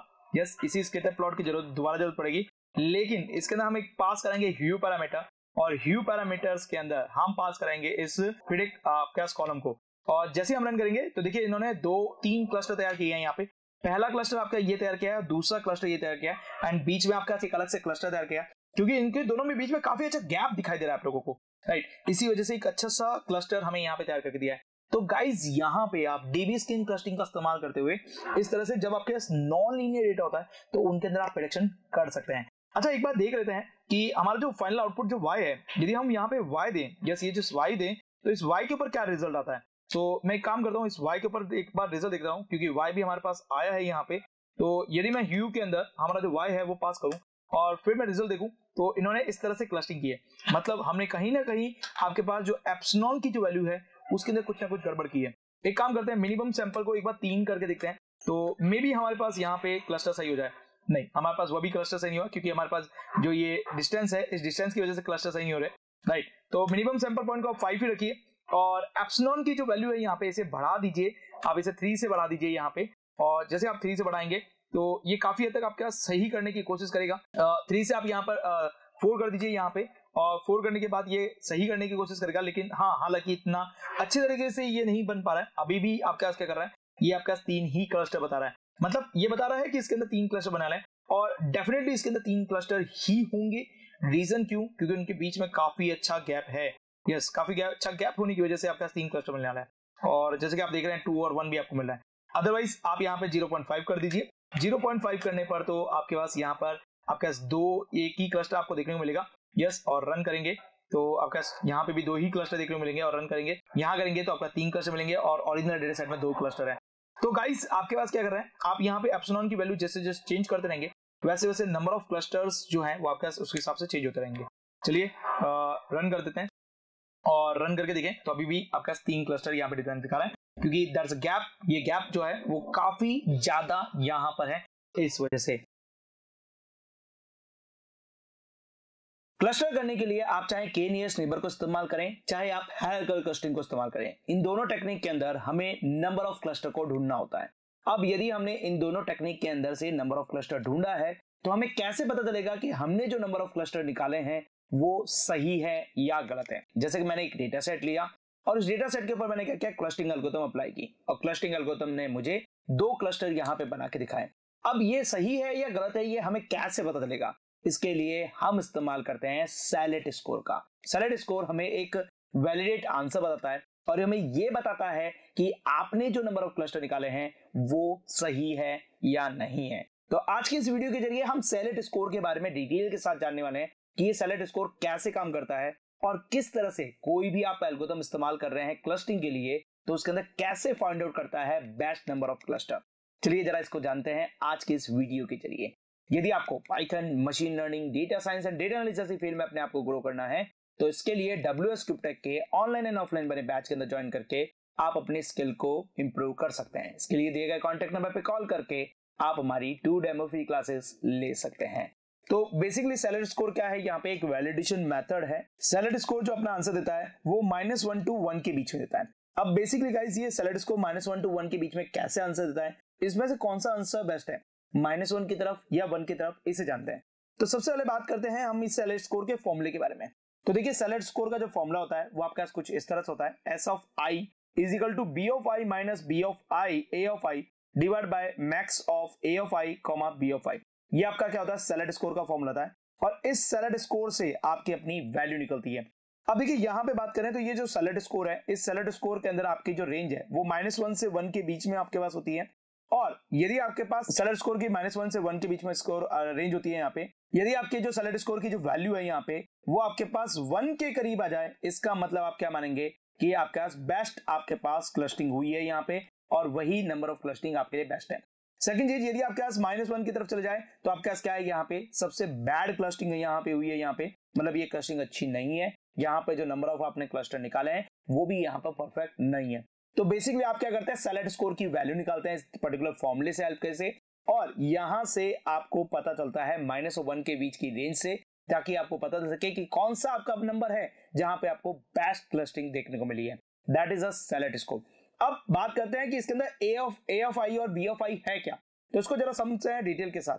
सबसे पहले मैं बात करूँगा यहाँ पे ए ऑफ़ आई के बारे में कि ये ए ऑफ़ आई है क्या? लेट सपोज़ यहाँ पर हम मानते हैं कि हमारे पास एक डेटा सेट है।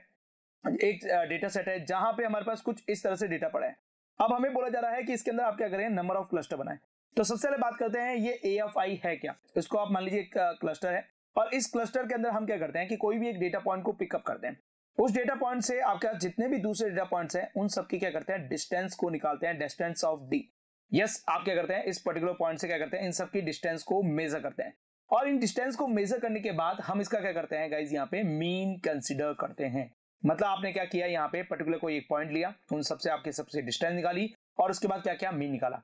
अब ये आपके पास एक बार ऐसा नहीं होता है। आपके पास जितने भी डेटा पॉइंट है, उन सबके क्या निकाले जाते हैं? मीन निकाले जाते हैं।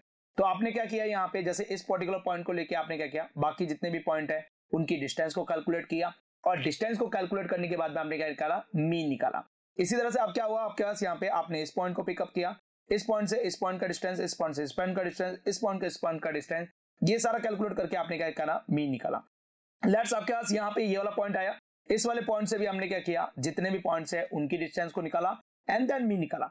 ऐसे करके आपने क्या किया? सभी को यहाँ पे ऐड कर दिया। या फिर आप एक काम कर सकते हैं, देखिए नंबर ऑफ़ नंबर पॉइंट्स आपके पास सेम होंगे यहाँ पे। तो आप क्या करेंगे? सबसे पहले जितने भी डिस्टेंस है, उस डिस्टेंस का आप क्या करेंगे? सम निकालेंगे। सम निकालने के बाद में आप क्या करेंगे? यहाँ पे मीन कर देंगे। अब देखिए मीन के अंदर हमने माइनस वन क्यों किया है? यस ये C of I minus one क्यों किया है यहाँ पे? क्योंकि देखिए, जब आप यहाँ पे मीन निकालने जा रहे हैं मतलब आप डिस्टेंस कैलकुलेट करने जा रहे हैं तो देखिए, इस पर्टिकुलर पॉइंट से आप इन सब की ये डिस्टेंस कैलकुलेट कर रहे हैं। तो बेसिकली ये पर्टिकुलर पॉइंट तो आपके पास कंसिडर होगा ही नहीं, क्योंकि ये ऑलरेडी आपके पास क्या है मीन का पॉइंट रह चुका है। तो ये पर्टिकुलर पॉइंट आपके पास कंसिडर होने वाला है नहीं तो बेसिकली आपके पास इसलिए यहाँ पे माइनस वन को कंसिडर किया गया है। That is of I yes ये क्या कहलाता है? आपका ए ऑफ़ आई कहलाता है। अब आती है बी ऑफ़ आई की वैल्यू कि ये बी ऑफ़ आई की वैल्यू कैसे फाइंड आउट करते हैं? तो देखिए, आपके पास ये जो डेटा पॉइंट्स हैं, इन डेटा पॉइंट से आपका जो दूसरा क्लस्टर है लेट सपोज़ ये आपके पास क्या है, आपका दूसरा क्लस्टर यहाँ पे, इस दूसरे क्लस्टर से सबसे मिनिमम डिस्टेंस के वाला आपका डेटा पॉइंट कौन सा है, वो आप फाइंड आउट करते हैं। तो लेट्स मान लेते हैं कि ये आपका पॉइंट है जो सबसे मिनिमम हमें दिख रहा है यहाँ पे। फिर क्या किया जाता है, इस पर्टिकुलर पॉइंट से, इसके बीच की जितनी भी डिस्टेंस है, ये डिस्टेंस आपके पास कैलकुलेट की जाती है। ये जो आप डिस्टेंस देख रहे हैं, ये डिस्टेंस आपके पास कैलकुलेट की जाती है। और डिस्टेंस को कैलकुलेट करने के बाद में, वही आपके पास क्या किया जाता है सम किया जाता है और सम करके क्या किया जाता है यहाँ पे मीन निकाला जाता है। तो देखिए, यहाँ पे इस फॉर्मुले में आप देखेंगे तो देखिए मिनिमम ऑफ़ डिस्टेंस आपके पास है यहाँ पे? आपने क्या किया इस पर्टिकुलर पॉइंट से, जितने भी हमारे डेटा पॉइंट है, उन डेटा पॉइंट के आपने क्या कर? रही डिस्टेंस निकाली। डिस्टेंस निकालने के बाद में आपने क्या किया? उनका मीन निकाल लिया। That is call of B of I इस तरह से आप यहाँ पे क्या करते हैं? ए ऑफ़ आई और बी ऑफ़ आई की वैल्यू निकालते हैं। अब देखिए ए ऑफ़ आई और बी ऑफ़ आई की जो वैल्यू आपके पास निकली है यहाँ पे, आप क्या करते हैं? सिंपल सा इसमें डिवाइड करते हैं। देखिए, मैं यहाँ पे क्या कर रहा हूँ? डिवाइड कर रहा हूँ। तो मैंने क्या किया गाइस यहाँ पे देखिए A of I yes A of I divide by B of I मैंने यहाँ पे रखा है। अब देखिए, यहाँ पे सबसे बेस्ट क्लस्टर कब होगा? यस सबसे बेस्ट क्लस्टर आपके पास कब कहलाएगा? जब देखिए, आपके पास ये डिस्टेंस आपके पास यहाँ पे ज़्यादा होगी या ए एफ़ आई की वैल्यू ज़्यादा होगी? तो ऑब्वियसली बात है यहाँ पे कि आपका जो ए एफ़ आई की जो वैल्यू है, वो ग्रेटर देन हो जाएगी बी ऑफ़ आई से। यस आपके पास क्या होगी गाइस यहाँ पे मैं बात करूँ। तो देखिए, आपने जो ये, आपने जो ये पास रेशियो निकाला है, इस रेशियो के अंदर आपका जो ए एफ़ आई की जो वैल्यू है यहाँ पे ये आपके पास क्या होगी? ग्रेटर देन हो जाएगी बी ऑफ़ आई से, तब आपके पास क्या होगा? बेस्ट क्लस्टर होगा। क्यों बेस्ट क्लस्टर होगा? देखिए ए एफ़ आई है क्या? ए एफ़ आई आपके पास है, एक पर्टिकुलर क्लस्टर के अंदर आपके पास जितनी भी डिस्टेंस है, वो आपके पास कहलाती है। और बी एफ़ आई क्या है यहाँ पे? एक पर्टिकुलर क्लस्टर से जो बाकी बचे हुए जितने भी पॉइंट्स हैं, उनकी डिस्टेंस को कैलकुलेट करता है। तो यदि देखिए आपके पास ये वाली जो डिस्टेंस है, ये ज़्यादा आपके पास हो गई मतलब ये वाली जो वैल्यू है, ये आपके पास ज़्यादा हो गई तो इसका मतलब आपका जो क्लस्टर है वो बेस्ट नहीं है। जबकि ये वाली जो डिस्टेंस है, ये ज़्यादा आपके पास आई है, इसका मतलब इसने बेस्ट नंबर ऑफ़ क्लस्टिंग यहाँ पे की है। तो बेसिकली हम क्या करते हैं? ए एफ़ आई को ग्रेटर देन करते हैं। अब ए एफ़ आई का ग्रेटर देन होने का मतलब क्या है गाइस यहाँ पे? कि आपकी जो वैल्यू है, वो आपके पास क्या आती है? वन के करीब चली जाती है। वन के करीब जाने का मतलब क्या है? आपने वहाँ पे बेस्ट नंबर ऑफ़ क्लस्टर यहाँ पे निकाले हैं। तो सेलेक्ट स्कोर क्या करता है गाइस यहाँ पे? आपको एक वैलिडेट आंसर निकाल के देता है, जिसके थ्रू आप क्या करते हैं? बेस्ट नंबर ऑफ़ क्लस्टर यहाँ पे फाइंड आउट करते हैं। अब ये निकालते कैसे हैं? इसको थोड़ा प्रैक्टिकली जरा समझते हैं यहाँ पे। मैं ले चलता हूँ आपको प्रैक्टिकल के ऊपर। देखिए, मैंने यहाँ पे पहले से क्या कर रखा है? एक आयरिस डेटा सेट फ्लावर का जो डेटा सेट है, उसके ऊपर नंबर ऑफ़ क्लस्टर्स यहाँ पे फाइंड आउट करके और यूजिंग आपके पास के मीन क्लस्टिंग के ऊपर। यदि आप लोगों ने मेरी के मीन क्लस्टिंग की वीडियो देखी होगी तो वहाँ पे आप लोगों को पता होगा कि ये नंबर ऑफ़ क्लस्टर्स मैंने कैसे निकाले थे और ये प्रोग्राम मैंने कैसे बनाया था। एक बार मैं फिर से ये प्रोग्राम फिर से बना लेता हूँ। देखिए, सबसे पहले मैं क्या कर रहा हूँ, अपनी जो रिक्वायर्ड लाइब्रेरी है, इनको मैं इंपोर्ट कर रहा हूँ। एंड देन उसके बाद में मैं क्या कर रहा हूँ यहाँ पे अपने डेटा सेट को लोड कर रहा हूँ। उसके बाद ये मेरा डेटा सेट यहाँ पर लोड हो चुका है। उसके बाद मैं अपने डेटा सेट को देख रहा हूँ कि किसके अंदर कितने नंबर ऑफ़ क्लस्टर्स यहाँ पे डिज़ाइन हो सकते हैं। तो इस डेटा सेट को देखने पर हमें ये पता चला कि इसके अंदर दो ही क्लस्टर डिज़ाइन हो सकते हैं। लेकिन हम देखेंगे कि यहाँ पे कितने नंबर ऑफ़ क्लस्टर्स हमें के मीन बताता है। तो चलिए चेक करते हैं यहाँ पे। तो इसके लिए मैंने के मीन क्लस्टरिंग का इस्तेमाल किया। फिर मैंने डब्ल्यू का इस्तेमाल किया। मतलब within cluster sum square का मैं यहाँ पे वैल्यू कैलकुलेट कर रहा हूँ। जिसके थ्रू हमें क्या मिलने वाला है यहाँ पे? हमें नंबर ऑफ़ क्लस्टर मिलने वाला है। मतलब गाइज़ यहाँ पे हमें बेस्ट स्कोर मिलने वाला है नंबर ऑफ़ क्लस्टर का। चलिए रन करते हैं यहाँ पे इसे। तो ये डब्ल्यूसीएसएस की वैल्यू कैलकुलेट हुई है। और डब्ल्यू की वैल्यू कैलकुलेट करने के बाद में मैंने यहाँ पे नंबर ऑफ़ क्लस्टर ढूंढे यहाँ पे। अब देखिए नंबर ऑफ़ क्लस्टर में कंफ्यूजन है कि थ्री आएगा या फोर आएगा। तीन क्लस्टर के हिसाब से मैंने क्या किया? हमारे डेटा सेट को क्लस्टर किया है। और मैंने जब क्लस्टर का रिज़ल्ट दिखा है तो क्लस्टर का जो रिज़ल्ट हुआ है यहाँ पे वो हमें कुछ प्रोडक्ट होकर दिखा है और जब हमने इसे ऑर्डिनरी डेटा सेट से कंपेयर किया है तो ये काफ़ी अच्छा क्लस्टर निकला है। लेकिन मुझे यहाँ पे एक श्योरिटी निकालनी पड़ेगी कि बेस्ट नंबर ऑफ़ क्लस्टर कितने होने चाहिए। बिकॉज़ देखिए, हर बार हमारे पास हमारा रिज़ल्ट नहीं होता है तो हम यहाँ पर नहीं चेक कर सकते कि इसके अंदर कितने नंबर ऑफ़ क्लस्टर बनने वाले हैं। तो इसके लिए मुझे यहाँ पे क्या करना पड़ेगा? हमारे डेटा सेट के ऊपर एक श्योरिटी लानी पड़ेगी। इसके लिए हम क्या करते हैं? स्कोर का यहाँ पे इस्तेमाल करते हैं। अब ये सेटल स्कोर निकालते कैसे हैं यहाँ पे? जरा समझते हैं यहाँ पे। तो इसके लिए आपको कहा जाना है? फ्रॉम सबसे पहले आपको जाना है साइकिल के अंदर। साइकिल के अंदर जाने के बाद आप कहा जाएँगे? मेट्रेसेस के अंदर, क्योंकि मेट्रेसेस के अंदर हमें सारी एक्यूरेसी मैट्रिक्स देखने को मिलती है। इसके लिए हम यहाँ पे जाकर करेंगे? इंपोर्ट करेंगे सिलोट स्कोर को यहाँ पे। तो मैंने यहाँ पे सिलोट स्कोर को इंपोर्ट कर दिया। अब सिलोट स्कोर हमसे क्या क्या डिमांड करता है? चले उसको देखते हैं यहाँ पे। देखिए सिलोट स्कोर को ओपन करने बाद सबसे पहले हमारे पास एक्स एक्सेस का डेटा माँगता है। फिर उसके बाद यहाँ पे लेबल्स माँगता है। लेबल्स का मतलब यहाँ पे है कि आपका आउटपुट्स क्या निकल के आए यहाँ पे। वो आपसे डिमांड करता है उसके बाद यहाँ पे देखिए डिस्टेंस के लिए इन्होंने यूक्लिड मैट्रिक्स का इस्तेमाल किया है। सैंपल साइज़ भी आप दे सकते हैं रैंडम स्टेट भी आप दे सकते हैं। तो अब देखिए, सबसे पहले आपसे क्या मांगा जा रहा है? आपका डेटा मांगा जा रहा है। अब डेटा कहाँ है आपके पास यहाँ पे? तो डेटा आपके पास यहाँ पे डेटा सेट के अंदर है। That's your data set where is your data set तो ये रहा आपका डेटा सेट जहाँ पे आपका डेटा सेट पड़ा है। लेकिन प्रोडक्शन का जो रिज़ल्ट है, वो हमें चेक करना है। तो प्रोडक्शन का रिज़ल्ट यहाँ पर चेक करने के लिए मैं क्या करने वाला हूँ गाइज़ यहाँ पे? कि आपके पास ये जो हमने क्लस्टर बनाया था, कहाँ पे? केमिंग क्लस्टर बनाया था। बस यहीं पे हमें हमारा लेबल्स भी मिलने वाला है। कैसे मिलेगा यहाँ पे? तो देखिए, ये जो के मैंने यहाँ पे लिखा है यहाँ पे डॉट यहाँ पे हमें क्या करेंगे? डॉट करके यहाँ पे लेबल्स निकालेंगे। तो देखिए, यहाँ पे मुझे लेबल्स मिल जाएँगे। लेबल्स का मतलब है यहाँ पे कि इसने इस डेटा सेट के साथ किस तरह से प्रोडिक्शन किया है। प्रोडिक्शन करने का मतलब क्या है? ज़ीरो वन क्या आंसर लिखा है? That is a prediction answer तो यहाँ पे आपको लेबल्स भी आपको मिल जाएगा। चलिए सेलेक्ट स्कोर को यहाँ पे लगाते हैं मतलब इसके नीचे लगाते हैं और चेक करते हैं कि हमने जो नंबर ऑफ़ क्लस्टर बनाए, वो सही है या नहीं है। मतलब इस पे सेलेक्ट स्कोर सही आंसर दे रहा है या नहीं दे रहा है। चलिए तो मैं यहाँ पे फिर से वापस इंपोर्ट कर लेता हूँ, क्योंकि मैंने यहाँ पे गलती से उसे हटा दिया यहाँ पे। तो मैं यहाँ पे सेकेंड के अंदर चलता हूँ। सेकेंड के अंदर जाने के बाद दैट मैं मेट्रेसेस पे जाता हूँ। मेट्रेसेस पे जाने के बाद दैट मैं इंपोर्ट करूँगा यहाँ पे, और किसे इंपोर्ट कर रहा हूँ? यहाँ पे सेलेट स्कोर को। तो ये हमारा आ गया सेलेट स्कोर चलिए सेलेट स्कोर को लगाते हैं यहाँ पे। तो मैंने यहाँ पे लगाया सेलेट स्कोर सेलेट स्कोर के बाद में मेरा जो डेटा है वो हमारे पास क्या है? डेटा सेट के तौर पर है यहाँ पे। सेकंड चीज़ यहाँ पे क्या मांगी गई है यहाँ पे? लेबल्स मांगी गई है। और लेबल्स के अंदर हमने क्या है, यहाँ पे लेबल्स करके that is K M N yes K M N dot यहाँ पर लेबल्स को मैंने कॉल कर दिया यहाँ पे। राइट तो ये हमारा लेबल्स आ गया। रन करते हैं यहाँ पे। तो यहाँ पे जो लेबल आया दैट इज़ सिक्सटी वन अब ये सिक्सटी वन सही है या गलत है, हमें कोई आइडिया नहीं लग रहा है। तो हम क्या करेंगे गाइस यहाँ पे? सेलेक्ट स्कोर डायरेक्टली नहीं निकालने वाले देखिए, ये 61 आया दैट्स अ पॉजिटिव स्कोर ये वन के करीब है। इसका मतलब क्या हुआ कि यहाँ पे नंबर ऑफ़ क्लस्टर जो हमने चूज़ किए three that's a perfect cluster लेकिन हम यहाँ पे क्या करेंगे? चेक करेंगे कि कौन सा नंबर ऑफ़ क्लस्टर यहाँ पे बेस्ट होने वाला है?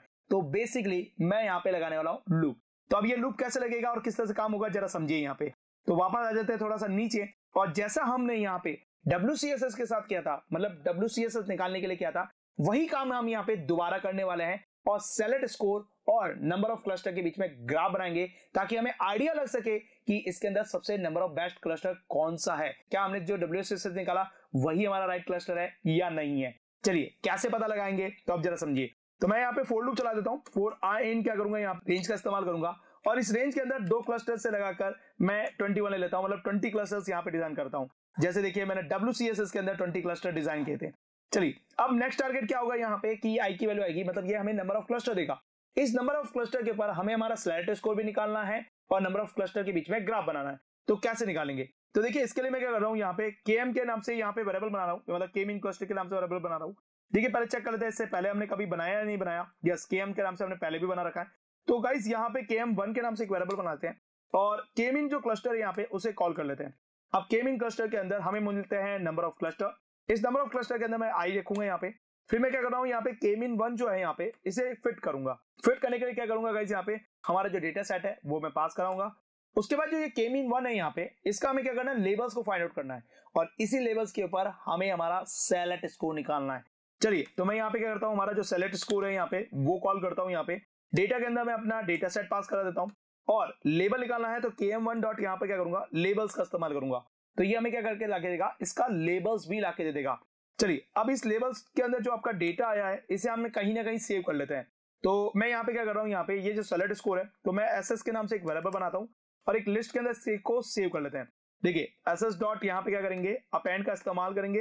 राइट और अपेंड के थ्रू ये जो सेलेक्ट स्कोर की वैल्यू आई है, इसे हम यहाँ पे क्या करेंगे? सेव कर लेंगे। चलिए इसे रन करते हैं। तो ये हमें हमारे सेलेक्ट स्कोर सब आके लगे दे दिया है यहाँ पे।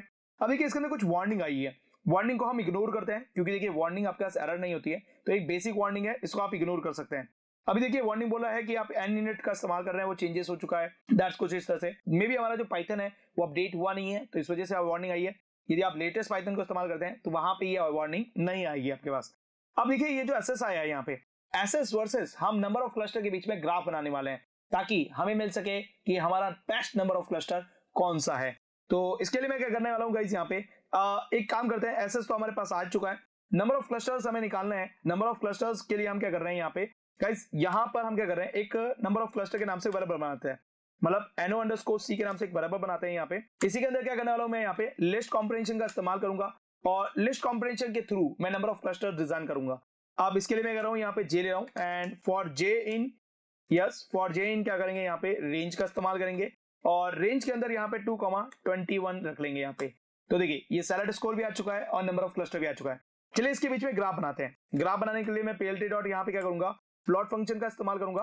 पीएलटी डॉट में करने वाला यहाँ पे गाइस प्लॉट फ़ंक्शन का इस्तेमाल कर रहा हूँ। प्लॉट फ़ंक्शन के अंदर एक्स एक्सिस के अंदर मैं क्या दूँगा? नंबर ऑफ़ क्लस्टर दूँगा। तो ये हो गया number of cluster and Y axis के अंदर मैं क्या दूँगा? सैलड स्कोर दूँगा यहाँ पे। और इस ग्राफ को शो देखने के लिए मैं पीएलटी डॉट यहाँ पर शो ग्राफ शो का फ़ंक्शन का इस्तेमाल करूँगा। और गाइस हम इसे रन करते हैं। तो देखिए, हमें यहाँ पर नंबर ऑफ़ क्लस्टर्स वगैरह सब कुछ मिल चुके हैं यहाँ पे, और सैलेट स्कोर के बारे में भी इंफॉर्मेशन मिल चुकी है। अब हम क्या करते हैं गाइस यहाँ पे इस ग्राफ के अंदर जो एक्स लेवल है वो सही नहीं आया है। पहले तो उसको सही करते हैं। और ये एक्स एक्सिस में क्या है और वाई एक्सिस में क्या है तो उसको भी हम शो करते, सही करते हैं यहाँ पे। पीएलटी डॉट में क्या करना हूँ गाइस यहाँ पे एक्स लेवल को यहाँ पे इस्तेमाल कर रहा हूँ। और एक्स लेवल के अंदर हम क्या कर रहे हैं, यहाँ पे नंबर ऑफ़ क्लस्टर का इस्तेमाल कर रहे हैं। नंबर ऑफ़ क्लस्टर लिखने वाला हूँ यहाँ पे। और वाई एक्सिस के अंदर हम क्या कर रहे हैं गाइज़ यहाँ पे पीएलटी डॉट यहाँ पर वाई लेवल लेंगे यहाँ पे और वाई लेवल के अंदर हम इस्तेमाल कर रहे हैं हमारे सेलेट स्कोर का। तो मैं यहाँ पे लिख देता हूँ सेलेट स्कोर तो ये देखिए, मैं यहाँ पे सेलेट स्कोर लिख देता हूँ।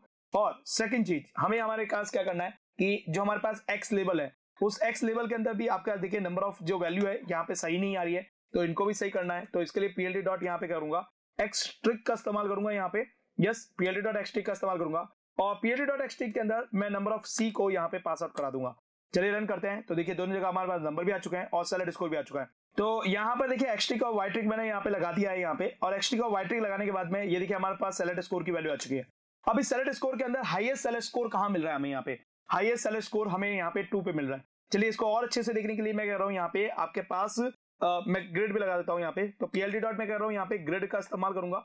और ग्रिड के अंदर मैं क्या कर रहा हूँ यहाँ पे गाइस एक्स एक्सेस की वाली ग्रिड देने वाला हूँ। तो मैं यहाँ पे एक्सेस का इस्तेमाल करूँगा और एक्सेस के अंदर एक्स एक्सेस डालूँगा यहाँ पे और हम रन करेंगे। तो देखिए सबसे बेस्ट जो सैलरी स्कोर मिल रहा है यहाँ पे वो टू पे मिल रहा है। इसका मतलब क्या हुआ? इसका मतलब सिंपल सा है गाइस यहाँ पे। कि यहाँ पे नंबर ऑफ़ क्लस्टर्स कितने बने चाहिए? केवल और केवल टू क्लस्टर बने चाहिए। क्योंकि देखिए, उसके बाद आपका जो देखिए सेलेक्ट स्कोर की जो वैल्यू है, वो लगातार घटती जा रही है। इसका मतलब ये जो बेस्ट सेलर स्कोर आपको बता रहा है that is a two yes आपके लिए बेस्ट सेलर स्कोर कौन सा है आपके पास गाइज़ यहाँ पे टू है। इसका मतलब इस पर्टिकुलर डेटा सेट के ऊपर टू ही क्लस्टर बनने चाहिए। जबकि हम यहाँ पे बात करें कि हमारे पास ये जो कर्वेचर है मतलब हमारे पास ये जो एल्बो कर्वेचर हमने बनाया यहाँ पे डब्ल्यूसीएसएस का कर्वेचर बनाया ये डब्ल्यूसीएस का कर्वेचर हमें क्या बता रहा है? थ्री बता रहा है। इसका मतलब क्या हुआ गाइज़ यहाँ पे? बेसिकली सेलेट स्कोर हमें टू बता रहा है तो यहाँ पे दो ही क्लस्टर बने चाहिए। और इसका पीछे रीजन भी बहुत सिंपल सा है। रीजन बहुत ही सिंपल सा है गाइज़ यहाँ पे। क्या है रीजन कि आपके पास यहाँ पे देखिए क्लस्टर ढूँढने निकलेंगे ना, यहाँ पे तो आपको दो ही ग्रुप मिलेंगे। आपको तीन ग्रुप नहीं मिलने वाले।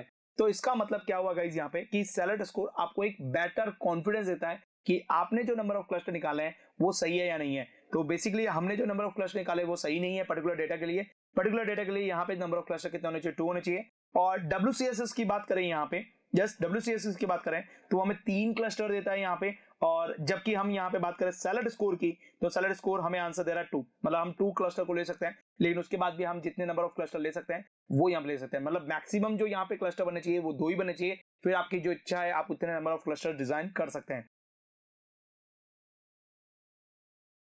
और आज की इस वीडियो के ज़रिए हम बात करने वाले हैं एसोसिएशन लर्निंग के बारे में। देखिए, हमने अनसुपरवाइज मशीन लर्निंग को स्टार्ट किया था और अनसुपरवाइज मशीन लर्निंग के अंदर दो टाइप की कैटेगरी होती है। पहली होती है आपके पास क्लस्टरिंग और दूसरी होती है एसोसिएशन देखिए क्लस्टरिंग के अंदर हम क्या करते हैं? ग्रुप्स बनाते हैं मतलब हमारा जो डेटा होता है, उसके अंदर छोटे छोटे ग्रुप्स बनाते हैं कि जो जिससे रिलेटेड करता है, उसको उस ग्रुप के अंदर ट्रांसफ़र कर देते हैं। एसोसिएशन लर्निंग के अंदर हम ये समझते हैं कि सबसे ज़्यादा फ्रिक्वेंटली जो प्रोडक्ट है, वो कौन सा सेल हो रहा है, उसके बाद में, उसके बाद नेक्स्ट प्रोडक्ट कौन सा सेल हो रहा है, क्या वो एक दूसरे के साथ रिलेट कर रहे हैं क्या वो एक दूसरे के साथ रिलेशन नहीं रख रहे हैं? मतलब बेसिकली मॉल के अंदर किसी प्रोडक्ट को अरेंज किया जाता है तो वो किस तरह से अरेंज किया जाता है? कोई भी प्रोडक्ट को आप किस तरीके से अपनी शॉप के अंदर, अपने मॉल के अंदर, या फिर कहीं पे भी आप यहाँ पे अरेंज कर सकते हैं, वो चीज़ आपको कौन बताता है? एसोसिएशन लर्निंग बताता है। तो एसोसिएशन लर्निंग आपके पास क्या कर पाती है? एसोसिएशन लर्निंग आपके पास किसी भी चीज़ के प्रोडक्ट के अंदर किस तरह से उसको सिस्टमेटिक वे के अंदर अरेंज करना है दैट्स ये आपको एसोसिएशन लर्निंग के थ्रू फाइंड आउट किया जाता है। अब ये किस तरह से फाइंड आउट होता है? क्या इसकी टेक्निक है? इसको हम डिटेल के साथ समझते हैं। देखिए एसोसिएशन लर्निंग आपके पास क्या है? एक मशीन लर्निंग की टेक्निक है, जिसके थ्रू हम क्या करते हैं कि जो भी हमारा डेटा सेट है, उस डेटा सेट के अंदर हम पैटर्न ढूंढते हैं कि कौन सा डेटा किस डेटा के साथ रिलेशन रखता है। मतलब आप इस तरह से मान लीजिए कि आपके पास कोई कॉलम्स रखे हुए हैं X Y X one X two X three X two इस तरह से आपके पास कॉलम है यहाँ पे।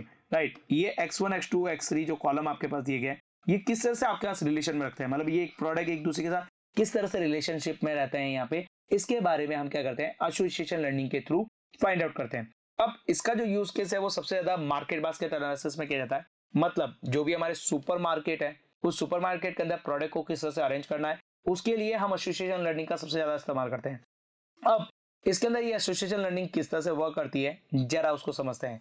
देखिए मार्केट बास्केट एनालिसिस के अंदर या फिर इन सुपर मार्केट के अंदर सबसे पहला काम किया गया जाता है कि आपके पास उस सुपर मार्केट के अंदर जो प्रोडक्ट परचेज किए जा रहे हैं, उन परचेस की, उन प्रोडक्ट जो परचेस प्रोडक्ट के, जो प्रोडक्ट परचेस किए जा रहे हैं, उन प्रोडक्ट की आपके पास क्या करती है? एक लिस्ट बना ली जाती है। मतलब बेसिकली उनको एक रिकॉर्ड कर लिया जाता है। रिकॉर्ड करने के बाद में एसोसिएशन लर्निंग आपके पास क्या करती है? सबसे पहले, जो सबसे फ्रिक्वेंटली बाय प्रोडक्ट है उनको फाइंड आउट करती है। देन उसके बाद क्या करती है यहाँ पे? उसका जो सेकंड प्रोडक्ट है, जो उसके बाद बाय हुआ है, या फिर उसके साथ बाय हुआ है यहाँ पे, उनको फाइंड आउट करती है। देन हमें यहाँ पे ये सजेशन देती है कि आपको इस प्रोडक्ट के बाद में दूसरा प्रोडक्ट रखना चाहिए। लेट सपोज़ कोई ए प्रोडक्ट है, जो कि सबसे ज़्यादा सेलिंग प्रोडक्ट है। उसके बाद यहाँ पे ए के साथ कौन सा प्रोडक्ट सबसे ज़्यादा सेल हो रहा है, वो निकाला जाता है। Just like a C product B product की मैं बात नहीं कर बी प्रोडक्ट एक इंडिविजुअल प्रोडक्ट हो सकता है यहाँ पे। मे बी वो इंडिविजुअल सेलिंग हो रहा है यहाँ पे।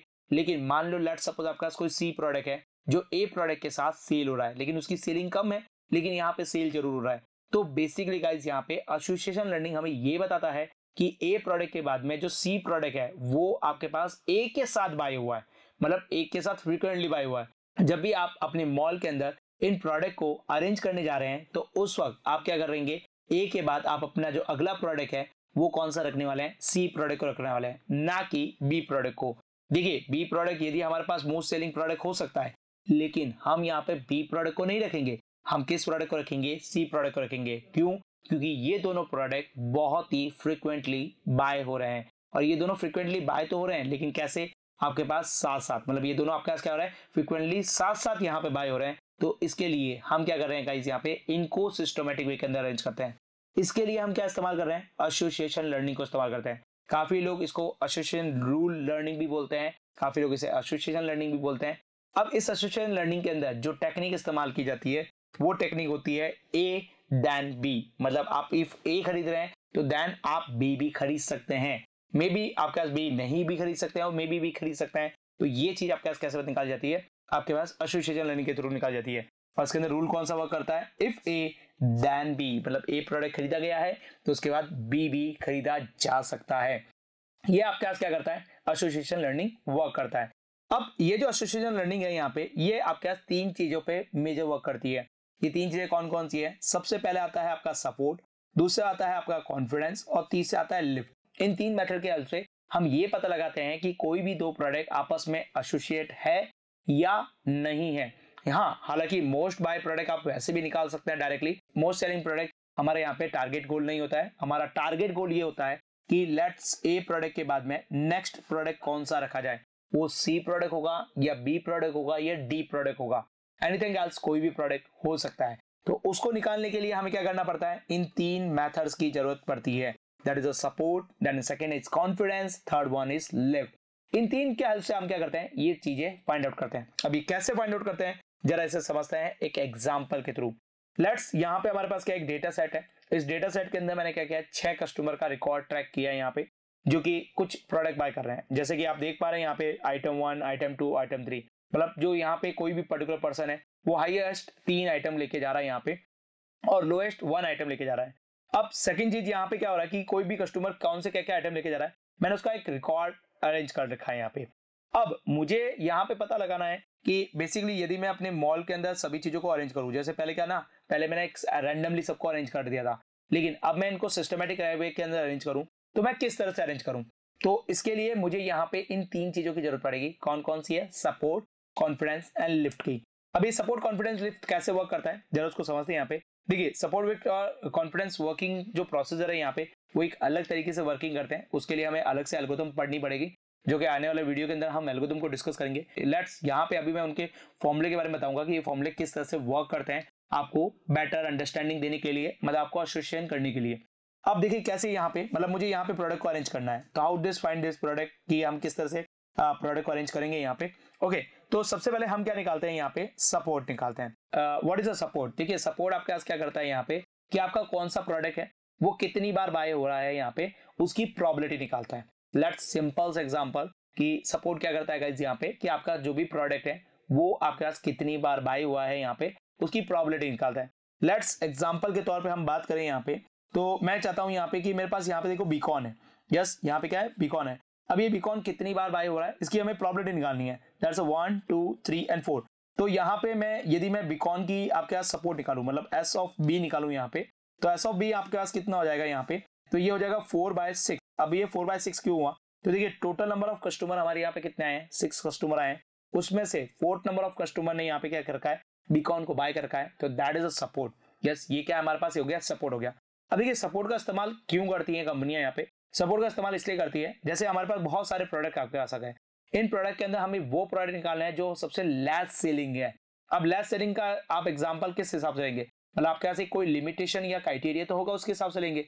तो बेसिकली यहाँ पे कंपनियाँ क्या करती है, आपके पास जो सपोर्ट है यहाँ पे, वो सपोर्ट मान लेती है कि 50 परसेंट से ऊपर जो आपके पास सेलिंग है, वो हमारे पास क्या है, आपके पास बेटर सेलिंग है यहाँ पे, लेकिन 50 परसेंट से नीचे सेलिंग है यहाँ पे तो वो हमारे पास क्या है लेस सेलिंग प्रोडक्ट है। और कंपनियाँ जो लेस सेलिंग प्रोडक्ट होती है, उन्हें अपने स्टोर से बाहर निकाल देती है। बेसिकली उनको यहाँ पे अरेंज नहीं करती है, उनकी जो आपके पास सेलिंग होती है, वो कम हो रही है तो हम उनको क्या करते हैं, बाहर कर देते हैं।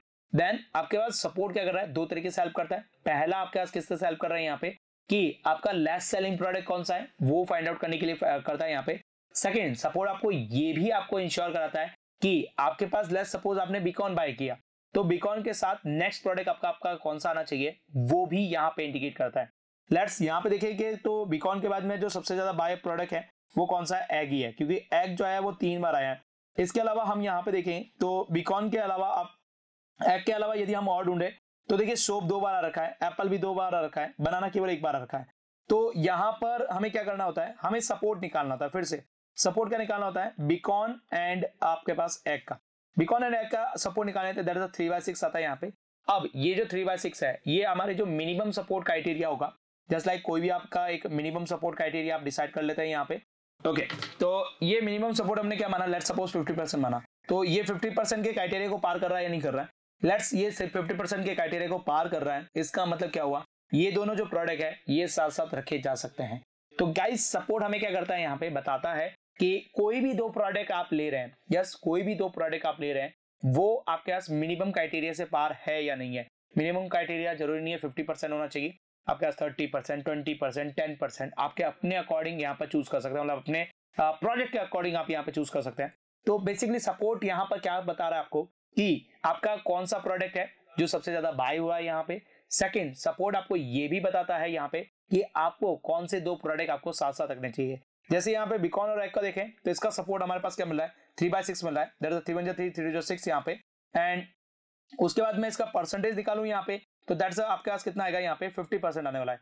इसका मतलब बिकॉन और एक को एक साथ रखा जा सकता है राइट क्योंकि ये आपके पास यहाँ पे साथ साथ बाय हो रहे हैं यहाँ पे। अब सेकंड चीज़ यहाँ पे देखिए, आप किसी और का भी सपोर्ट निकाल सकते हैं। जैसे बिकॉन वर्सेज एप्पल का यहाँ पे सपोर्ट निकालू मैं यहाँ पे। तो ये क्या रहा है? टू बाय आपके पास यहाँ पे सिक्स आ रहा है। And two by six into hundred निकालेंगे यहाँ पे। मतलब सपोर्ट मैं किसका निकाला हूँ? बिकॉन एंड एप्पल का निकाल यहाँ पे। तो देखिए बिकॉन और का निकाले तो टू वन जा टू टू जा सिक्स आ रहा है। और यदि मैं इसको डिवाइड करूँ यहाँ पे तो थ्री थ्री जा नाइन और थ्री थ्री जा नाइन मतलब thirty three percent almost thirty three percent आपके पास आ रहा है यहाँ पे। यस थर्टी थ्री परसेंट आ रहा है यहाँ पे। तो thirty three percent minimum support से कम है। इसका मतलब हम बिकॉन और एप्पल को एक साथ नहीं रख सकते पर्टिकुलर ट्रांजेक्शन के अंदर।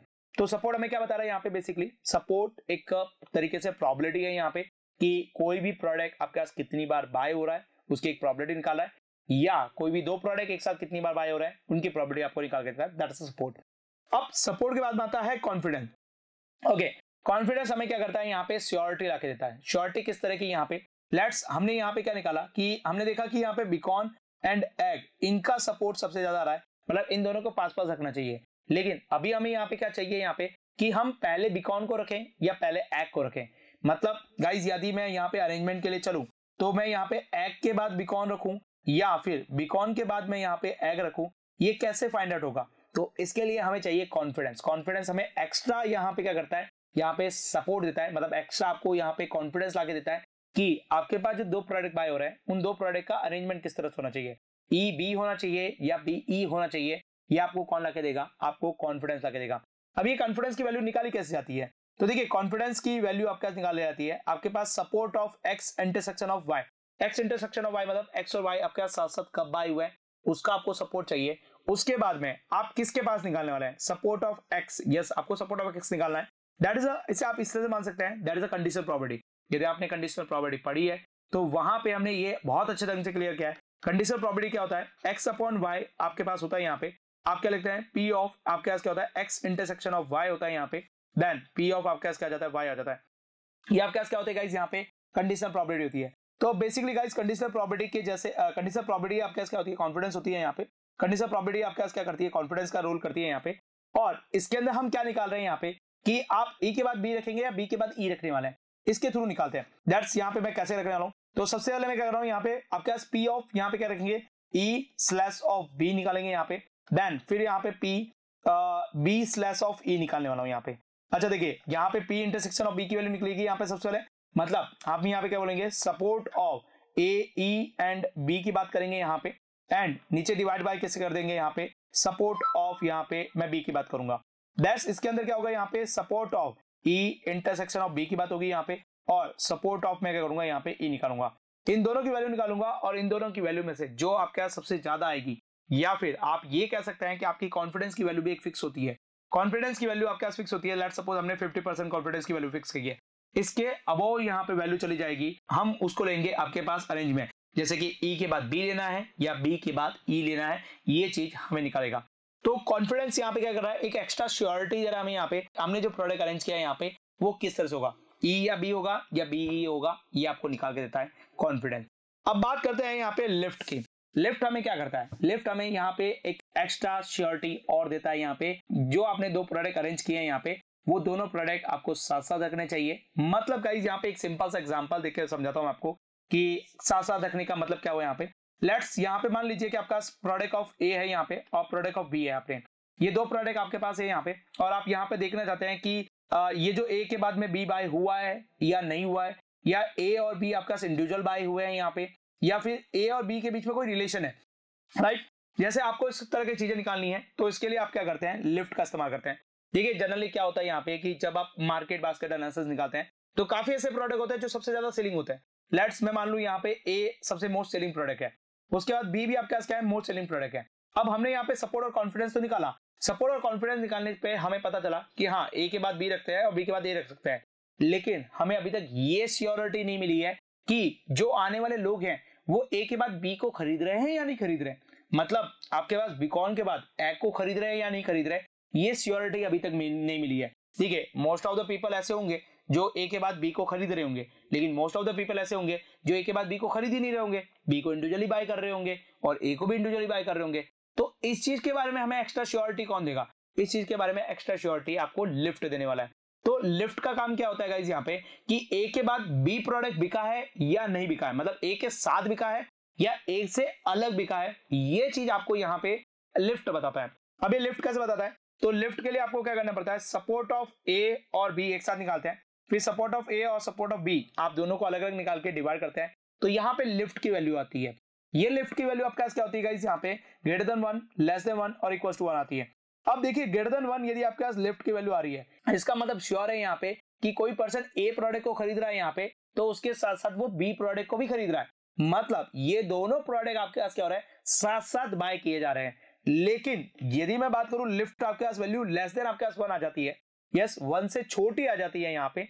तो इसका मतलब क्या हो रहा है यहाँ पे? कि ये दोनों मोस्ट सेलिंग प्रोडक्ट तो है, लेकिन ये दोनों साथ साथ नहीं बाय हो रहे हैं। मतलब ए इंडिविजुअल बाय हो रहा है और बी इंडिविजुअल बाय हो रहा है, लेकिन मोस्ट सेलिंग प्रोडक्ट है यहाँ पे। तो आप इनको साथ साथ नहीं रखेंगे। Basically lift equal to one का मतलब है यहाँ पे कि यहाँ पर कोई एसोसिएशन नहीं है। मतलब आपके पास यहाँ पे इन दोनों की जगह कोई ऐसा तीसरा प्रोडक्ट हो सकता है, जो कि इसको रिप्लेसमेंट कर सकता है। मतलब आपके पास ए और बी को आप पास पास रखेंगे तो उससे कोई इतना दिक्कत नहीं होगी यहाँ पे। लेकिन ये आपके पास यहाँ पे सेपरेटली यहाँ पे बात करें, कि यहाँ पे कोई एसोसिएशन नहीं है मतलब यहाँ पे इसकी जगह दूसरा प्रोडक्ट रिप्लेसमेंट किया जा सकता है। तो गाइस लिफ्ट हमें क्या करता है? एक एक्स्ट्रा इंश्योरिटी देता है यहाँ पे, कि आपके पास जो दो प्रोडक्ट है साथ बाय हो रहे हैं या नहीं हो रहे हैं, ये आपको इंश्योर करता है। तो आई थिंक आई होप सो समझ में आया होगा कि आपके पास लिफ्ट सपोर्ट एंड कॉन्फिडेंस कैसे वर्क करते हैं। अब इन तीनों के ऊपर हमारे पास क्या करती है? हमारी एल्गोदम्स वर्क करती है। ये एल्गोदम्स अलग अलग तरीके से वर्क करती है। तो इसके लिए कौन कौन से एल्गोदम्स है? यहाँ पे हम जो एल्गोदम्स यूज़ करते हैं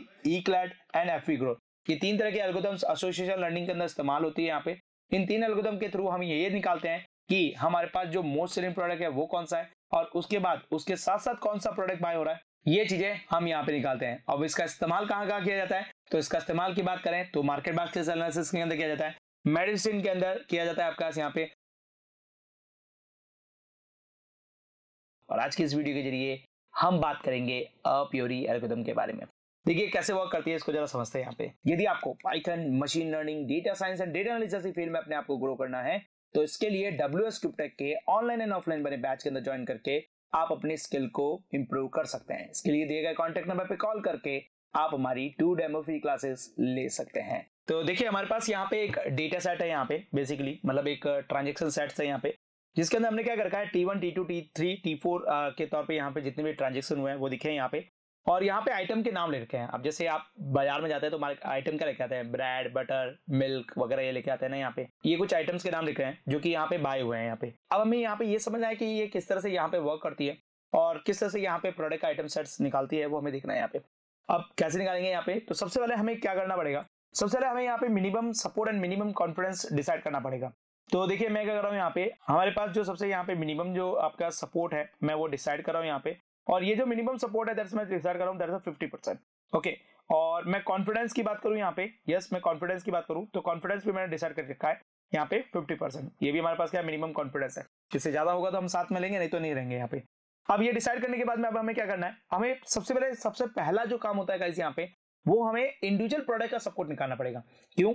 हमें यहाँ पे जो लेस बाय प्रोडक्ट है, उनको बाहर निकालना पड़ेगा और जो सबसे फ्रिक्वेंटली बाय प्रोडक्ट है, उनको ही लेना पड़ेगा। तो सबसे पहले हम क्या करेंगे? यहाँ पे एक तरीके से एक टेबल डिज़ाइन करेंगे, जिसके अंदर जो प्रोडक्ट हमारे पास बाय हो रहा है, उनके हम सपोर्ट निकालेंगे इंडिविजुअली तौर पे।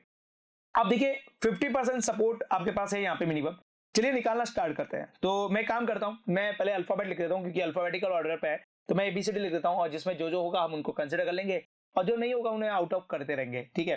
तो मैं यहाँ पे एबीसी लिख देता हूँ। Just A C D E F G H I J K L M N O P Q R S T U V W X Y and Z okay तो मैंने यहाँ पे अल्फाबेटिक ऑर्डर पे लिख दिया क्योंकि बहुत सारे अल्फाबेट्स हैं यहाँ पे।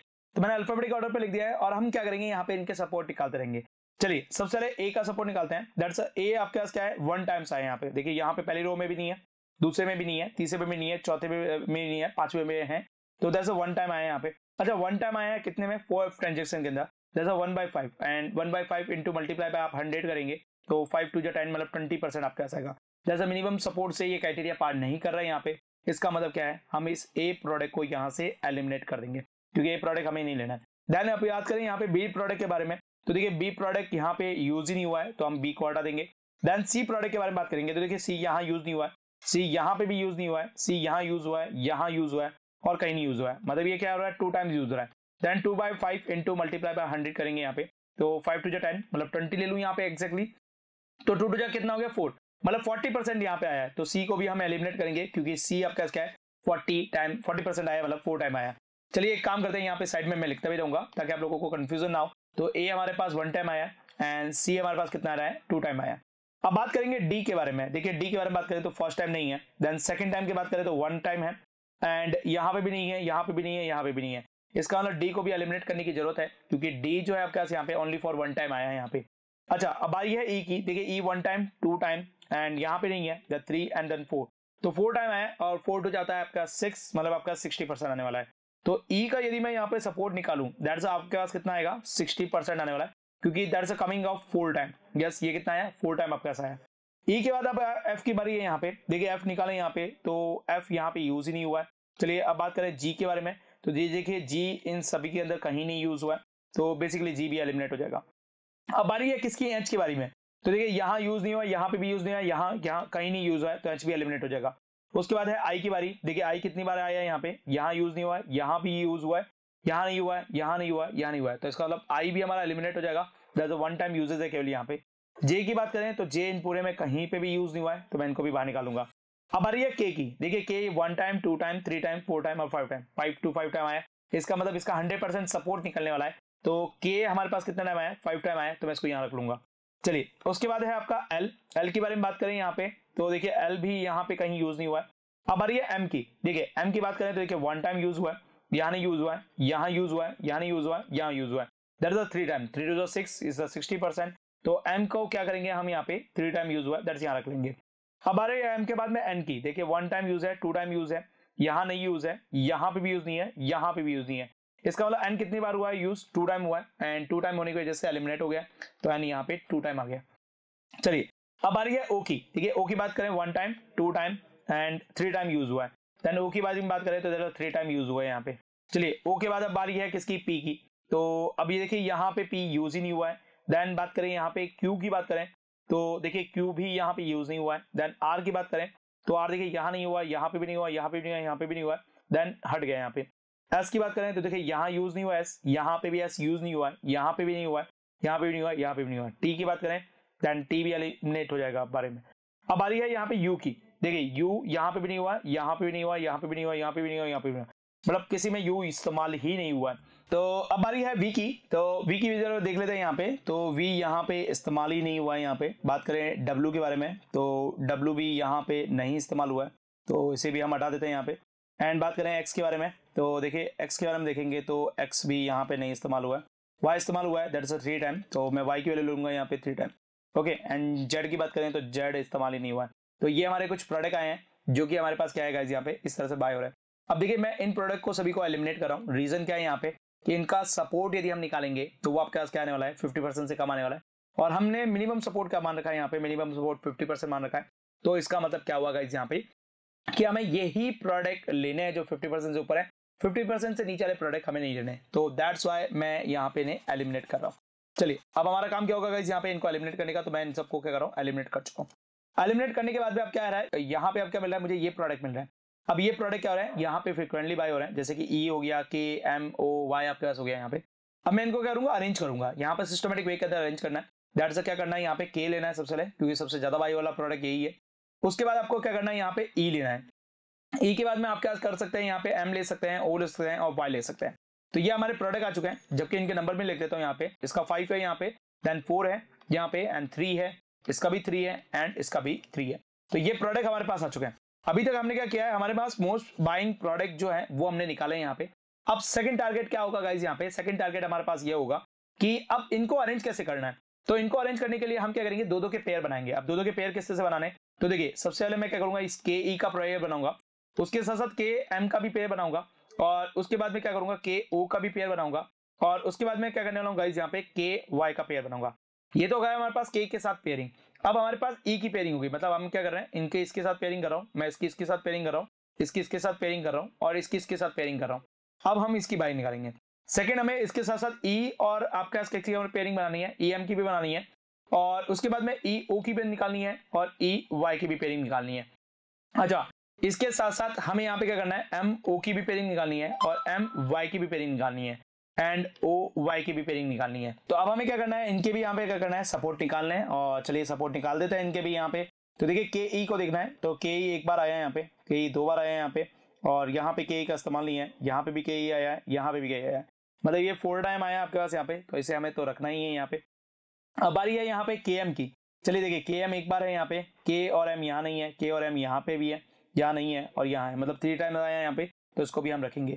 अब बारी है यहाँ पे के ओ की। देखिए के ओ यहाँ पे भी है के ओ यहाँ पे भी है के ओ नहीं है और के ओ यहाँ पे भी है। मतलब ये भी है थ्री टाइम्स की तो इसे रखेंगे। उसके बाद हमारे पास क्या है गाइज़ यहाँ पे? उसके बाद है के वाई यस अब हमारे पास है के वाई देखिए के वाई एक बार है के वाई दूसरी बार है के वाई हमारे पास तीसरी बार है। यहाँ पे के वाई और के वाई ने इस्तेमाल किया मतलब थ्री टाइम यूज़ किया। तो बोला हमें इन सबको रखना पड़ेगा क्योंकि मिनिमम सपोर्ट के क्राइटेरिया से ये अबव है। मिनिमम सपोर्ट का क्राइटेरिया मान लीजिए लगभग तीन है। मतलब थ्री के आसपास है यहाँ पे, ये मान लीजिए आप। राइट चलिए, अब बात करते हैं यहाँ पे ई e के बारे में। यस ई e की बात करें यहाँ पे तो देखिए ई e और एम की बात करें तो दरअसल ई एक बार है यहाँ पे।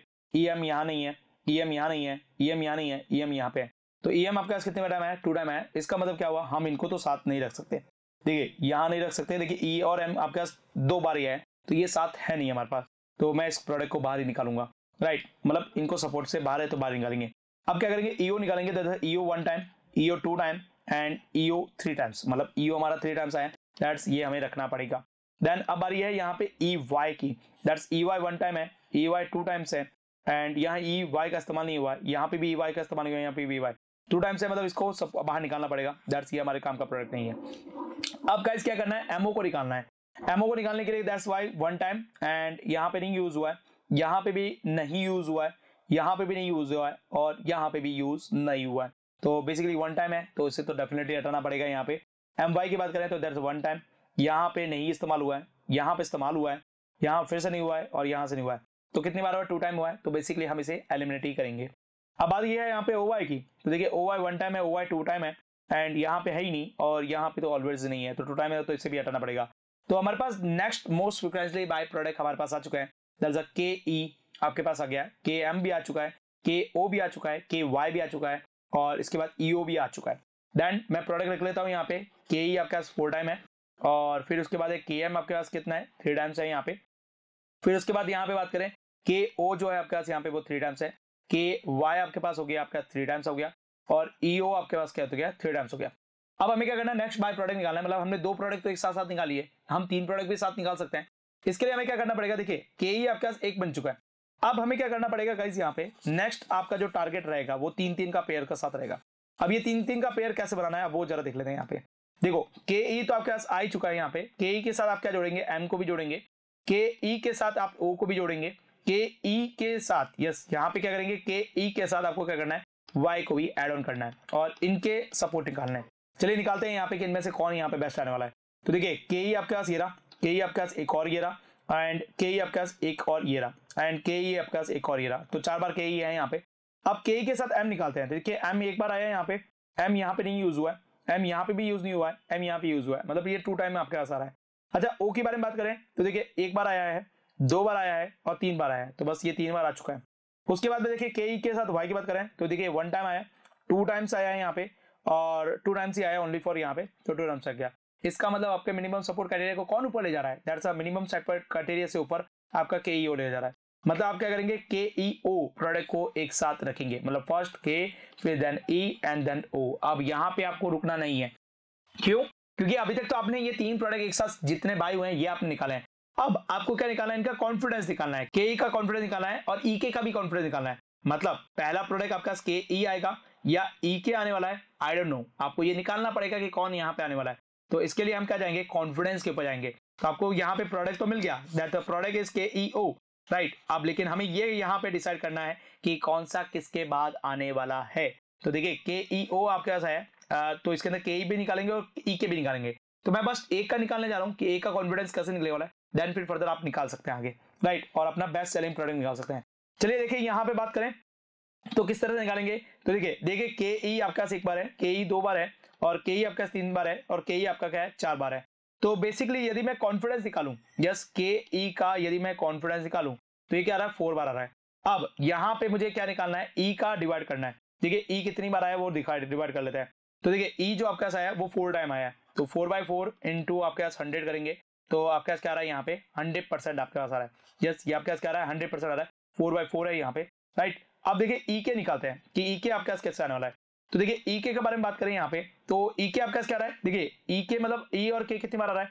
One time two time and three time and four time ये आ रहा है। देखिए, हमने यहाँ पे लेट डाउन भी कर रखा है। दैट फोर आ गया। अब डिवाइड बाय क्या करना है? के निकालना है। मतलब हम बेसिकली क्या निकाल रहे हैं?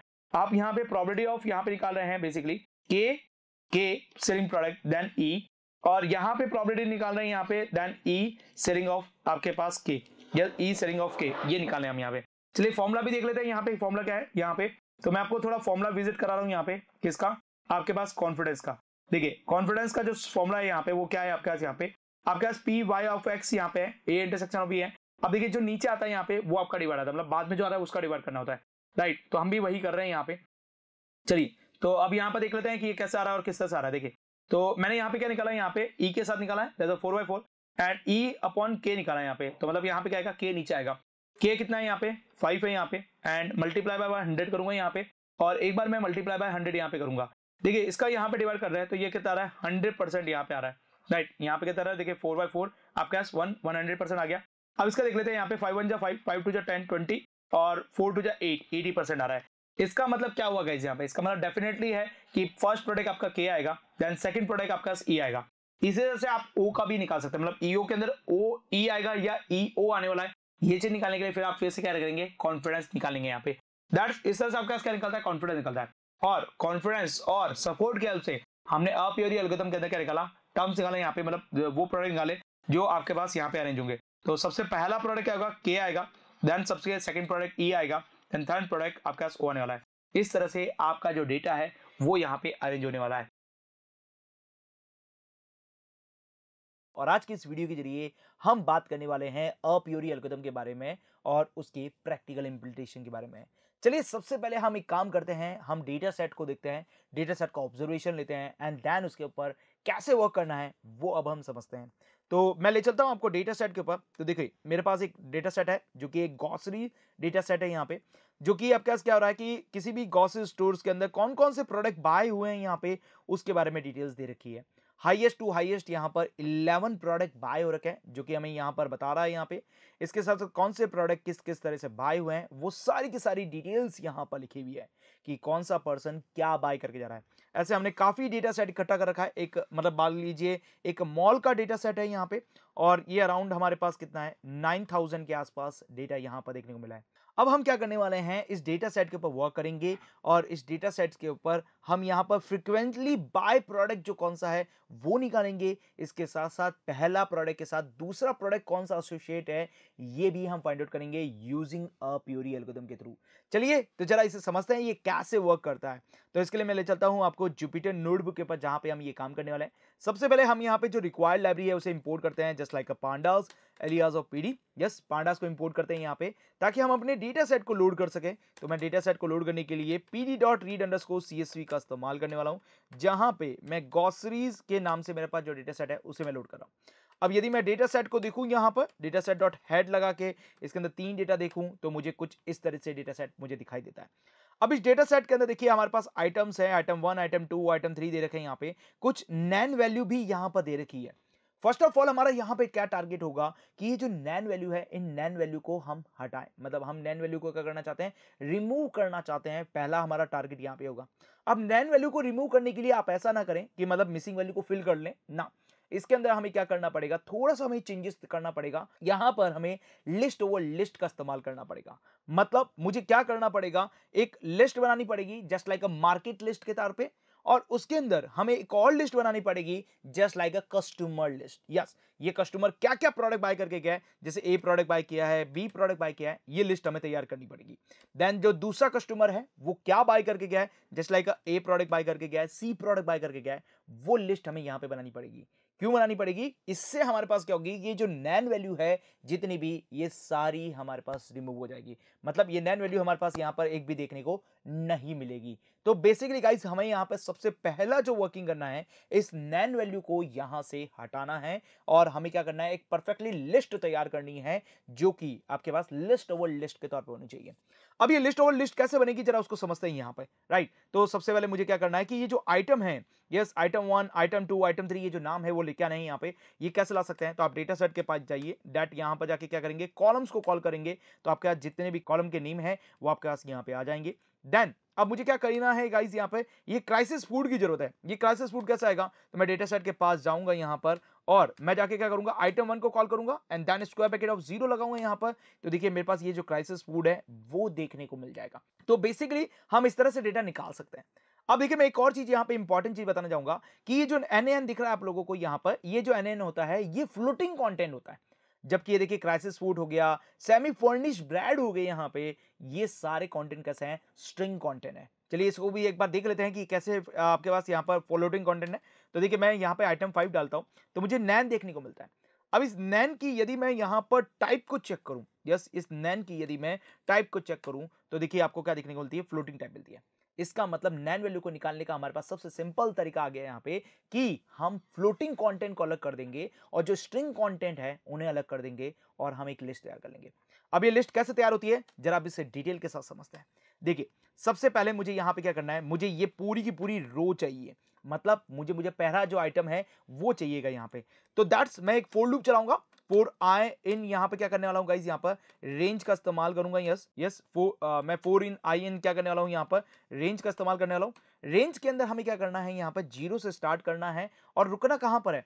तो रुकना हमें यहाँ पर जो डेटा सेट देख रहा है आपको यहाँ पर यस डेटा सेट डॉट यहाँ पर हम क्या करेंगे गाइज़ शेप का इस्तेमाल करेंगे। तो शेप के अंदर हमें यहाँ पर नंबर ऑफ़ रोज मिल जाएगी। बस यहीं पे हमें रुकना है। तो मैं क्या करूँगा, यहाँ पर रुकना कहाँ पर है? तो रुकना मुझे क्या करना है? डेटा सेट्स के पास जाना है एंड डॉट यहाँ पर क्या करूँगा? मैं शेप का इस्तेमाल करूँगा and then square bracket of zero का इस्तेमाल करूँगा। यहाँ पर जाके रुकना है।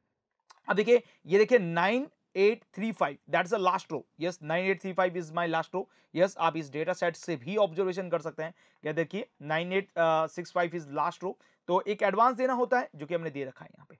राइट तो आप एक बार चेक भी कर सकते हैं कि क्या लास्ट रो में आपका डेटा है। तो देखिए डेटा सेट के पास जाएँगे। जस्ट मैं यहाँ पे आइटम के पास जाता हूँ। यस मैं किसके पास जाता हूँ? आइटम वन के पास जाता हूँ। And then square bracket nine eight three five को एंटर करेंगे यहाँ पे एंड रन करेंगे। तो बेसिकली यहाँ पे की एर आ चुकी है। Right? Nine eight three five पे आपके पास क्या गई? की एरर आ गई है और यदि मैं यहाँ पर फोर एंटर करता हूँ तो देखिए मेरे पास चिकन देखने को मिलता है। That's last row is nine eight three five four. Okay तो यहाँ पर शेप ज़ीरो इसलिए लगा रखी है क्योंकि रेंज फ़ंक्शन हमें एक एडवांस देता है तो एडवांस की वैल्यू हमें यहाँ पर मिल चुकी है। चलिए दैट्स माई फ़र्स्ट आपके पास यहाँ पे लूप उसके बाद मुझे एक और फुल लूप लगाना है तो फोर जे इन क्या करने वाले हैं यहाँ पर? अब मैं इस्तेमाल करूँगा मेरा जो डेटा सेट है, इसके अंदर जाऊँगा एंड दैट कॉलम को इस्तेमाल करूँगा। राइट यहाँ से मेरे जितने भी कॉलम्स हैं, वो मुझे यहाँ पर मिल जाएँगे। अब मिलने के बाद में मुझे क्या करना है, मुझे मेरा डेटा दिखाना है कि डेटा कैसा दिखाई देता है। तो देखिए डेटा को पहले मैं हम देख लेते हैं। यस डेटा को देख लेते हैं कि क्या मेरा डेटा आता है या नहीं आता है। तो उसके लिए मैं कह रहा हूँ, यहाँ पर डेटा सेट के पास जाऊँगा। Then square bracket of J डालूँगा यहाँ पर। Then square bracket of I डालूँगा और रन करूँगा। तो देखिए, मेरे पास जितने भी डेटा है, वो सारे के सारे आ चुके हैं यहाँ पर। अब देखिए, आपके पास यहाँ पर सारे डेटा मिल जाएँगे। अब मुझे इसमें से फ़िल्टर करना है हमारे नैन वैल्यू को विदाउट नैन वैल्यू को। देन सेकंड चीज़, हमें यहाँ पर एक मार्केट की लिस्ट बनानी है, जिसके अंदर हर एक कस्टमर की लिस्ट हमें तैयार करनी है। तो चलिए, बनाते हैं यहाँ पे। तो मैं क्या कर रहा हूँ यहाँ पे एम ए आर के ई टी मार्केट के नाम से एक वेरिएबल बना लेते हैं। मतलब एक लिस्ट बना लेते हैं, जो कि एक फाइनल लिस्ट हमारे पास होगी यहाँ पे। उसके बाद में हमें क्या चाहिए? उसके बाद में हमें कस्टमर की लिस्ट चाहिए। तो मैं यहाँ पे सी यू एस कस के नाम से एक वेरिएबल बना लेता हूँ यहाँ पे, और ये मेरी बन गई कस्टमर की लिस्ट अब मुझे क्या करना है? ये जो मेरा डेटा आ रहा है, इस डेटा की टाइप के ऊपर हमें चेक करना है, और उसके हिसाब से हमें डेटा ट्रांसफ़र करना है। कैसे करेंगे? इफ़ यस यहाँ पर मैं कंडीशनल स्टेटमेंट लगाऊँगा यहाँ पे इफ़ लगाऊँगा एंड देन लिखूँगा यहाँ पर मेरा जो डेटा सेट है इसके अंदर जो जे है एंड जो हमारे पास आई है यस yes, इसकी जो टाइप यदि हम कंसिडर करें यस yes, क्या कंसिडर करें यहाँ पे? टाइप कंसिडर करें ये जो टाइप आपके पास क्या होनी चाहिए? इक्वल्स टू इक्वल्स टू यहाँ पर यदि ये एसटीआर हो जाती है स्ट्रिंग हो जाती है तो हमें क्या करना है? कस्टमर के अंदर डेटा ट्रांसफ़र करना है। और ये कैसे करेंगे? सी यू एस डॉट यहाँ पर क्या करने वाला हूँ गाइज़ यहाँ पर अपेंड का इस्तेमाल करूँगा। और अपेंड के अंदर क्या टाइप क्या भेजना है मुझे यहाँ पर? Data set then square bracket of J and then square bracket of I yes ये मुझे ट्रांसफ़र करना है। अच्छा कोई और हो तो? नहीं, मुझे कोई ट्रांसफ़र नहीं करना यहाँ पर। अच्छा ये एक बार में अपना काम पूरा कर दे, उसके बाद क्या करना है? उसके बाद जो यहाँ पे ये जो सी कस वाला जो डेटा है, ये कहाँ डालना है मुझे? मार्केट में डालना है। तो मार्केट डॉट में क्या करने वाला हूँ? यहाँ पर अपेंड का इस्तेमाल करूँगा और इसमें सी का इस्तेमाल करूँगा। चलिए रन करते हैं इसे। तो ये मार्केट की जो लिस्ट है वो तैयार हो गई है विदाउट नैन वैल्यू के साथ। यस तो मैं मार्केट के अंदर दिखाऊँगा आप लोगों को। तो देखिए मार्केट की एक लिस्ट तैयार हो चुकी है। यस जिसके अंदर हमारे पास हर पर्टिकुलर पर्सन की जो जो उसने बाय किया है, उसकी डेटा हमें दिख गया है। जैसे देखिए क्रैसेस food semi finish bread margarine ready to soups आ गया आपके पास यहाँ पे। ट्रेपिकल्स फूड्स आ गया योगेस्ट आ गया कॉफ़ी आ गया होल विल्क आ गया। ऐसे करते हुए मेरे पास जितने भी डेटा हैं, वो सारे डेटाज हमें देखने को मिल गए हैं यहाँ पे। Right right. तो इस तरह से हमें यहाँ पर सारे डेटा हमें देखने को मिल चुका है। अब हम यहाँ पर जो चाहे वो एनालिसिस कर सकते हैं, क्योंकि अब हमारी नैन वैल्यू जो है, वो यहाँ से गायब हो चुकी है। चलिए, अब हमारा नेक्स्ट टारगेट क्या होगा? नेक्स्ट टारगेट मैं यहाँ पर ये फाइंड आउट करूँगा कि यहाँ पर सबसे ज़्यादा मोस्ट फ्रीक्वेंटली बाय प्रोडक्ट कौन सा है? मतलब यहाँ पर सबसे ज़्यादा जो हमारा सेलिंग प्रोडक्ट है, वो कौन सा है? ये हमें निकालना है।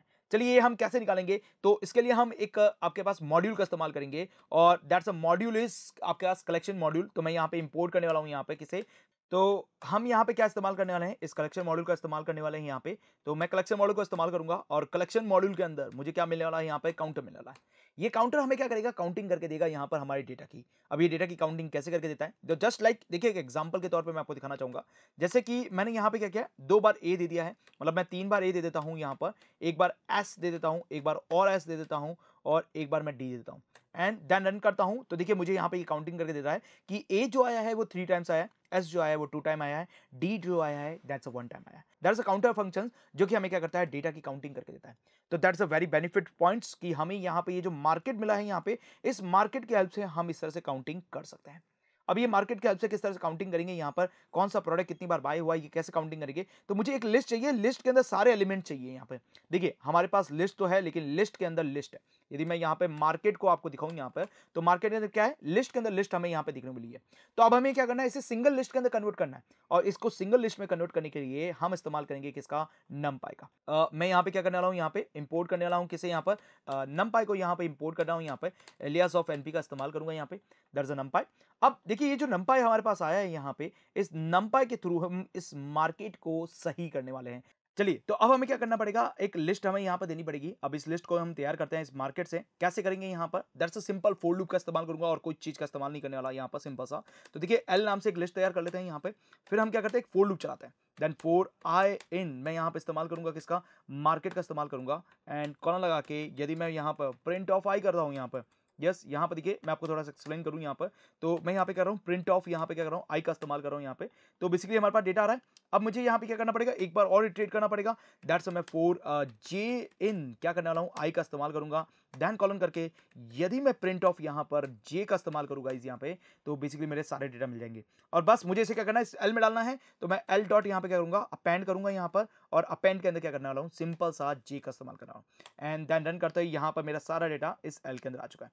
अब यदि आप इस एल को ऑब्ज़र्व करेंगे यहाँ पे तो आपको एक ही लिस्ट के अंदर सारे डेटा देखने को मिल जाएँगे। बस हमें यही चाहिए था हमारे इस कलेक्शन मॉड्यूल के लिए और इस काउंटर के अंदर ले जाके मैं इस एल को ट्रांसफ़र कर दूँगा।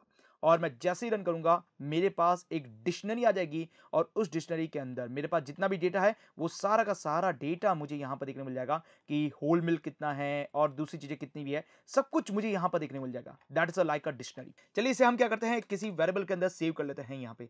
चलिए, मैं इसे पी नाम के एक वेरिएबल में सेव कर लेता हूँ।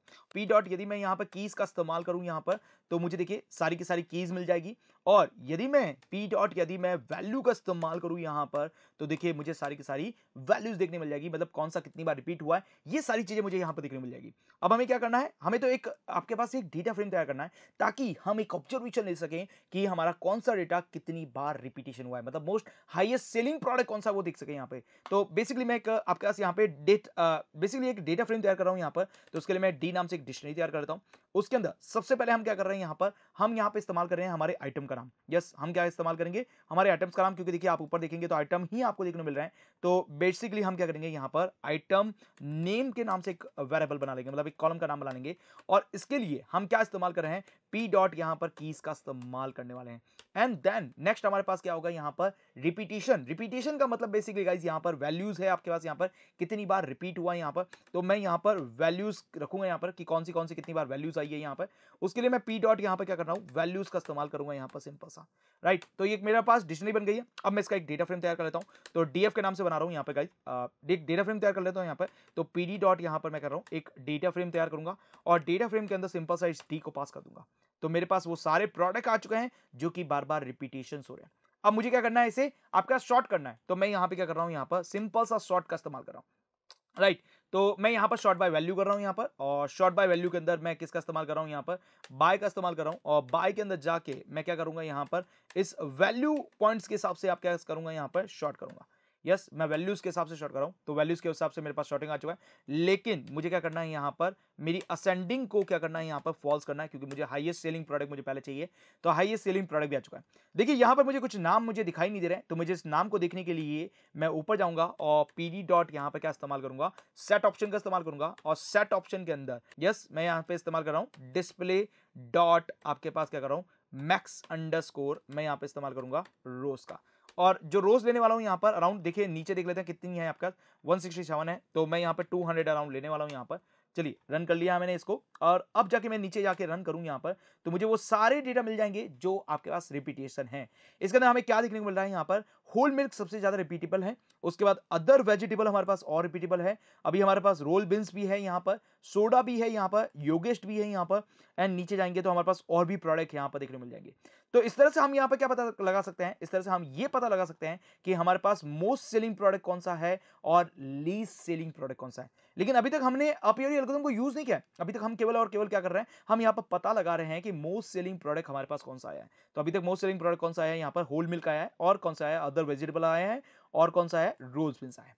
अब हमें क्या करना है गाइस यहाँ पे? अब हमें यहाँ पर ये पता लगाना है कि पहला जो प्रोडक्ट बाय हो रहा है, उसके साथ हमारे पास एसोसिएट प्रोडक्ट कौन सा है? और वो भी किसके हेल्प से? अप्यूरी एल्गोरिथम की हेल्प से। तो अब ये अप्योरी एल्गोरिथम लगाएँगे कैसे? तो उसके लिए मुझे ज़रूरत पड़ेगी एमएल एक्शन मॉडल की यहाँ पे।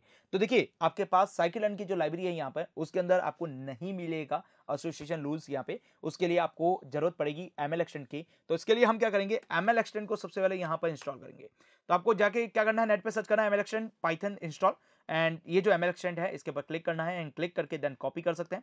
नीचे जाके सर्च ऑप्शन में जाएँगे और यहाँ पर सीएमडी को रन करना है मतलब कमांड प्रोम को ओपन करना है और उसके बाद ये पेपर इंस्टॉल एमएल एक्सटेंड लिख देना है और ये एमएल एक्सटेंड आपके सिस्टम में डाउनलोड हो जाएगा। देखिए, फ़िलहाल अभी मेरे सिस्टम में इंस्टॉल है, इसलिए रिक्वायरमेंट ऑलरेडी सेटिस्फाई दिखा रहा है। यदि आपके सिस्टम में इंस्टॉल नहीं है तो ये इंस्टॉलेशन प्रोसेस फॉलो करेगा।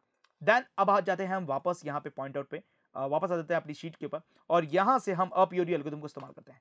देखिए, यहाँ पर जो अल्पोरियो एल्गोरिथम इस्तेमाल की जा रही है, उसके लिए हमें एक स्पेसिफिक मैट्रिक्स तैयार करनी पड़ती है। अब ये स्पेसिफिक मैट्रिक्स कैसी होती है यहाँ पर? जरा समझिए यहाँ पर। देखिए, आपका जितने भी प्रोडक्ट है यहाँ पे, उस प्रोडक्ट की एक स्पेसिफिक मैट्रिक्स यहाँ पे बनती है और वो मैट्रिक्स कुछ इस तरह से बनती है। जस्ट लाइक like मैं आप लोगों को छोटे से एग्जांपल के तौर पे बताऊँ यहाँ पर तो आप कुछ इस तरह से मान सकते हैं कि लेट्स सपोज़ आपके पास कोई ए पर्सन है यहाँ पे, वो ए पर्सन आपके पास क्या कर रहा है? ए प्रोडक्ट ले रहा है बी प्रोडक्ट ले रहा है और सी ले रहा है। Right right? कोई बी पर्सन है यहाँ पे, वो ए ले रहा है एंड सी ही ले रहा है यहाँ पर बी नहीं ले रहा है यहाँ पर और कोई आपके पास सी पर्सन है यहाँ पर, वो क्या कर रहा है? ए ले रहा है एंड आपके पास यहाँ पर बी ही ले रहा है सी नहीं ले रहा है। अब हम यहाँ पे क्या करेंगे? एक मैट्रिक्स तैयार करेंगे और वो मैट्रिक्स कौन सी होने वाली है गाइस यहाँ पे? वो मैट्रिक्स कुछ इस तरह से होगी। ए हो जाएगा बी हो जाएगा देन आपके पास सी हो जाएगा। मतलब ये आपके पास क्या बनने वाले हैं? आपके कॉलम के नेम बनने वाले हैं।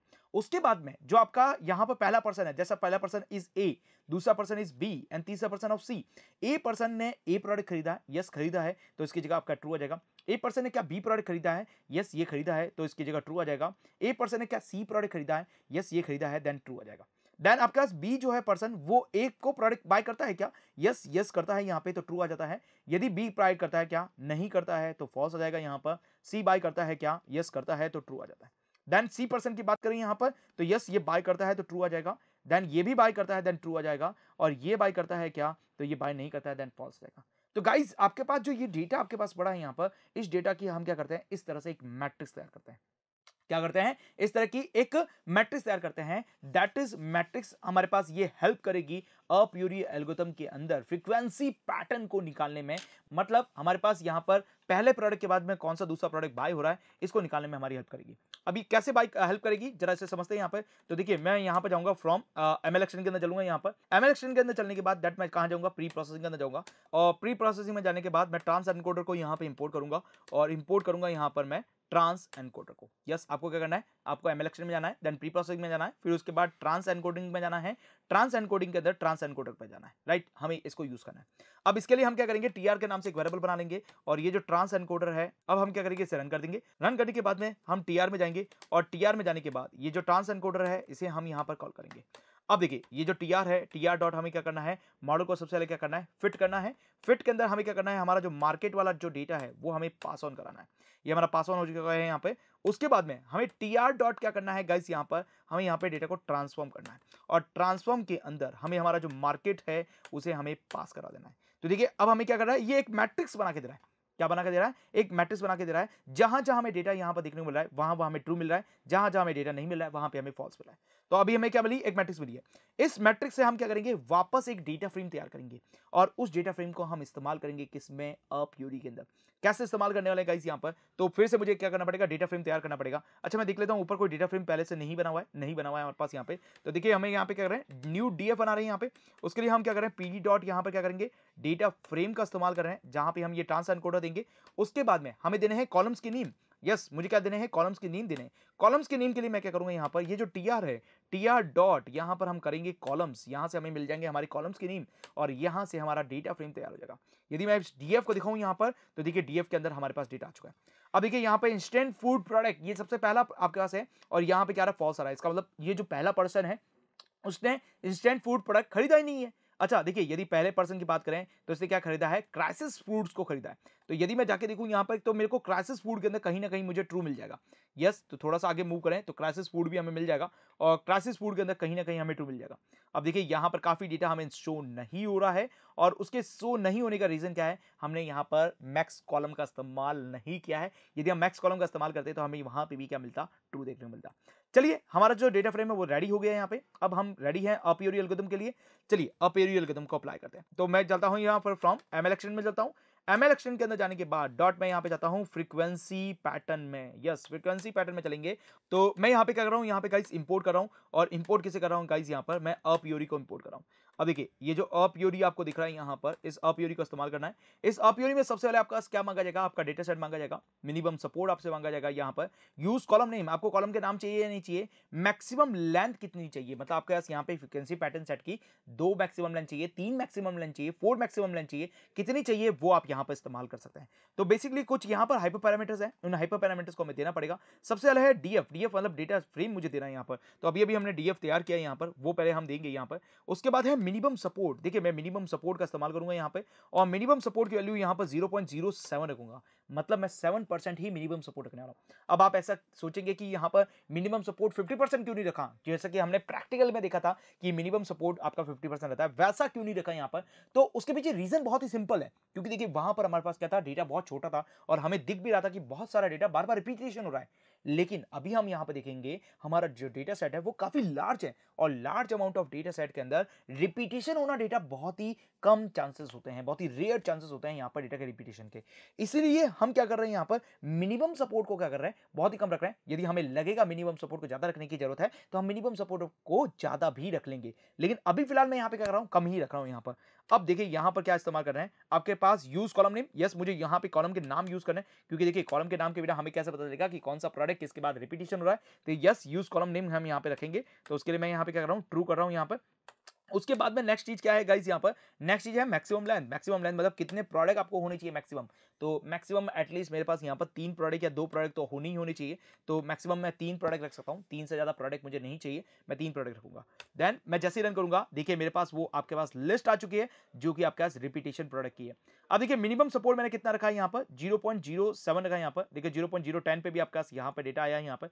ज़ीरो पॉइंट ज़ीरो सेवन का भी आया है यहाँ पर डेटा और आप थोड़ा नीचे चलेंगे तो आपके पास यहाँ पे प्रोडक्ट भी आ चुका है। अभी देखिए आपके पास जो सबसे रिपीटेशन प्रोडक्ट आप देखेंगे तो वो कौन सा है? अदर वेजिटेबल्स और होल मिल्स आपको दिख रहा है यहाँ पर। दैट्स अ रिपीटेशन प्रोडक्ट है वो कितना है? 0.07 पे। अच्छा ये देखिए, ये जो डेटा सेट आप देख रहे हैं यहाँ पर यस ये डेटा सेट अभी तक आपके पास असेंडिंग और डिसेंडिंग ऑर्डर में नहीं है, क्योंकि कोई भी कुछ भी चल रहा है यहाँ पर तो मैं इसे यहाँ पर क्या करूँगा? असेंडिंग एंड डिसेंडिंग करूँगा। मतलब मैं यहाँ पे कर रहा हूँ? इसे शॉर्ट कर रहा हूँ। यस मैं यहाँ पे क्या करूँगा? इसे शॉर्ट करूँगा। मतलब मैं इसे क्या करूँगा गाइज़ यहाँ पर शॉर्ट करूँगा। तो चलिए पहले इसका टाइप देख लेते हैं कि ये टाइप कौन सा है यहाँ पर। तो इसका टाइप में यदि मैं चेक करूँ यहाँ पर तो पांडास कोड डेटा फ्रेम हमें दिख रहा है यहाँ पर बेसिकली इसका टाइप हमें क्या दिख रहा है? पांडा कोड डेटा फ्रेम है यहाँ पर। तो डॉट यहाँ पर मैं क्या कर सकता हूँ? शॉर्ट का इस्तेमाल कर सकता हूँ। और मैं यहाँ पर शॉर्ट क्या करूँगा? शॉर्ट बाय वैल्यू का इस्तेमाल करूँगा यहाँ पर। और शॉर्ट बाय वैल्यू किसके हिसाब से करना है यहाँ पर? यस तो पहले मुझे यहाँ पर अपना इसे मैं एक बार के लिए हटा दूँगा यहाँ पर रन करूँगा। तो मुझे क्या करना है? बेसिकली सपोर्ट के बेसिस पे करना है यहाँ पर। यस किसके बेसिस पे करना है? तो मैं यहाँ पर क्या कर रहा हूँ? शॉर्ट बाय आपके पास यहाँ पर इस्तेमाल करूँगा। यस मैं यहाँ पे कर रहा हूँ। यहाँ पे इसे शॉर्ट कर रहा हूँ यहाँ पे basically yes sort by value और शॉर्ट बाय वैल्यू के अंदर मैं इस्तेमाल करूँगा किसका? बाय का इस्तेमाल करूँगा और बाय के अंदर जाके मैं किसका इस्तेमाल कर रहा हूँ गाइज़ यहाँ पर? सपोर्ट का इस्तेमाल कर रहा हूँ कि भाई मुझे सपोर्ट के हिसाब से इसे शॉर्टिंग करके दे दी जाए। एंड रन करेंगे तो देखिए सपोर्ट के अंदर जो सबसे मिनिमम सपोर्ट है ज़ीरो वो हमें मिल चुका है और इसके अंदर देखिए दो प्रोडक्ट एक साथ आ चुके हैं। और वो कौन से हैं? अदर वेजिटेबल और होल मिल्स आप इनको ले सकते हैं यहाँ पर राइट और नीचे देखेंगे यहाँ पर तो आपका देखिए यहाँ पर वैल्यू जो है वो लगातार बढ़ती जा रही है और ये टू तक चल रहा है। अब टू मतलब ट्वेंटी है आपके पास यहाँ पर। देखिए ट्वेंटी में जैसा कि मैंने आप लोगों को बोला था कि ट्वेंटी यदि आप लेते हैं फिफ्टी यदि आप लेते हैं तो उसके अंदर आपको बाय प्रोडक्ट एक साथ दो नहीं मिलेंगे, बहुत कम मिलेंगे यहाँ पर। 0.7 के ऊपर भी मुझे क्या मिला? एक ही मिला यहाँ पर, कोई और दूसरा मिला ही नहीं यहाँ पर। तो बेसिकली मुझे और कम करना पड़ेगा, मैं 0.05 करके यहाँ पर देखूँगा यहाँ पर। मैं जैसे रन कर रहा हूँ यहाँ पर तो देखिए 0.05 के हिसाब से मुझे मिल चुका है। अब देखिए यहाँ पर देखिए 0.05 के अंदर देखिए यहाँ पर तो देखिए रोल बिल्स और होल मिल्क को हम रख सकते हैं यहाँ पर जो कि 0.05 सपोर्ट है यहाँ पर। उसके बाद देखिए योगेस्ट एंड होल मिल्क भी आपके पास यहाँ पे। तो इसको भी हम यहाँ पर कंसिडरेशन कर सकते हैं यहाँ पर। और उसके बाद में हम चले देखिए other vegetable and whole milk भी है यहाँ पर। ये भी देखने को मिला है यहाँ पर। और भी बहुत सारी चीज़ें देखने को मिली है। राइट तो मैं काम करता हूँ यहाँ पर कि ये जो मैक्सिमम लेंथ है, एक बार के लिए इसे यहाँ पर रिमूव करके देख लेते हैं। शायद इससे कुछ प्रोडक्ट के अंदर कुछ चेंजेस आए, राइट? तो देखिए, कोई ज़्यादा चेंजेस नहीं आए यहाँ पर, क्योंकि roll buns and whole milk ही अभी यहाँ पर देखने को मिला है। यूगेस्ट एंड होल मिल्क है यहाँ पर, और थोड़ा नीचे चले यहाँ पर, थोड़ा सा और नीचे चले तो देखिए other vegetable and whole milk है, वो भी ज़ीरो पॉइंट ज़ीरो सेवन पे है। और इससे पहले यदि डेटा को देखेंगे तो वहाँ पे दो दो के सपोर्ट के तो अभी तक कोई डेटा मुझे नहीं देखने को मिला है, राइट? तो बेसिकली गाइस हमें क्या क्या मिला है यहाँ पर? अदर वेजिटेबल के साथ हम होल मिल्क रख सकते हैं पहला फ्रिक्वेंसी पैटर्न यहाँ पे मिला है। दूसरा है योगेश के साथ हम होल मिल रख सकते हैं यहाँ पर और तीसरा रोल बिल्स के साथ होल मिल रख सकते हैं। लेकिन इन सब के अंदर जो सबसे ज़्यादा हमें देखने को मिला है दैट्स अदर वेजिटेबल के साथ होल मिल्स मिला है। तो बेसिकली हम इसी का ही इस्तेमाल करने वाले हैं राइट तो इस तरह से हम यहाँ पे पता लगा सकते हैं। अब आप चाहें तो सपोर्ट की वैल्यू को और कम कर सकते हैं, जैसे 0.01 ही मैं सपोर्ट की वैल्यू रखूँ यहाँ पर। तो 0.07 के हिसाब से भी हमारे पास सपोर्ट की वैल्यू रखी लेकिन नंबर ऑफ़ रो आपका क्या है? 282 आने की वजह से हमें दिख नहीं रही है। तो बेसिकली मैं यहाँ पर फाइव कर लेता हूँ, ताकि हमें यहाँ पर सारे डेटा आराम से देखने को मिले। और मैं जैसे ही रन करूँगा यहाँ पर गाइस तो मेरे पास डेटा आ चुका है। अब देखिए ज़ीरो पॉइंट ज़ीरो मैंने क्या किया? वन पे इस्तेमाल किया है तो सॉल्ट मिला है। देखिए, अभी अब तो मेरे पास दो दो के प्रोडक्ट तो काफ़ी आ चुके हैं। जस्ट दो दो के प्रोडक्ट मेरे पास देखेंगे तो काफ़ी आ चुका है। अब तो मुझे यहाँ पर काफ़ी बहुत सारे प्रोडक्ट मिल चुके हैं जो कि रिपीटिशन हो रहे हैं, वो काफ़ी देखने को मिल रहे हैं यहाँ पर, क्योंकि हमने यहाँ पर मिनिमम सपोर्ट को एक परसेंट रख दिया है। मतलब एक परसेंट जो आपके पास है, वो डेटा हमारे पास है।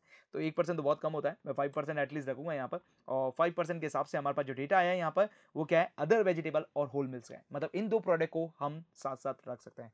मतलब जो पर्सन होल मिल्क खरीदने आ रहा है यहाँ पर, वो पर्सन अदर वेजिटेबल्स भी खरीद के जा रहा है। अदर वेजिटेबल्स का मतलब यहाँ पे बेसिकली वेजिटेबल्स से ही है यहाँ पर तो वो वेजिटेबल्स भी खरीद के जा रहा है। या फिर जो पर्सन वेजिटेबल खरीद के जा रहा है, वो होल मिल्क भी खरीद के जा रहा है।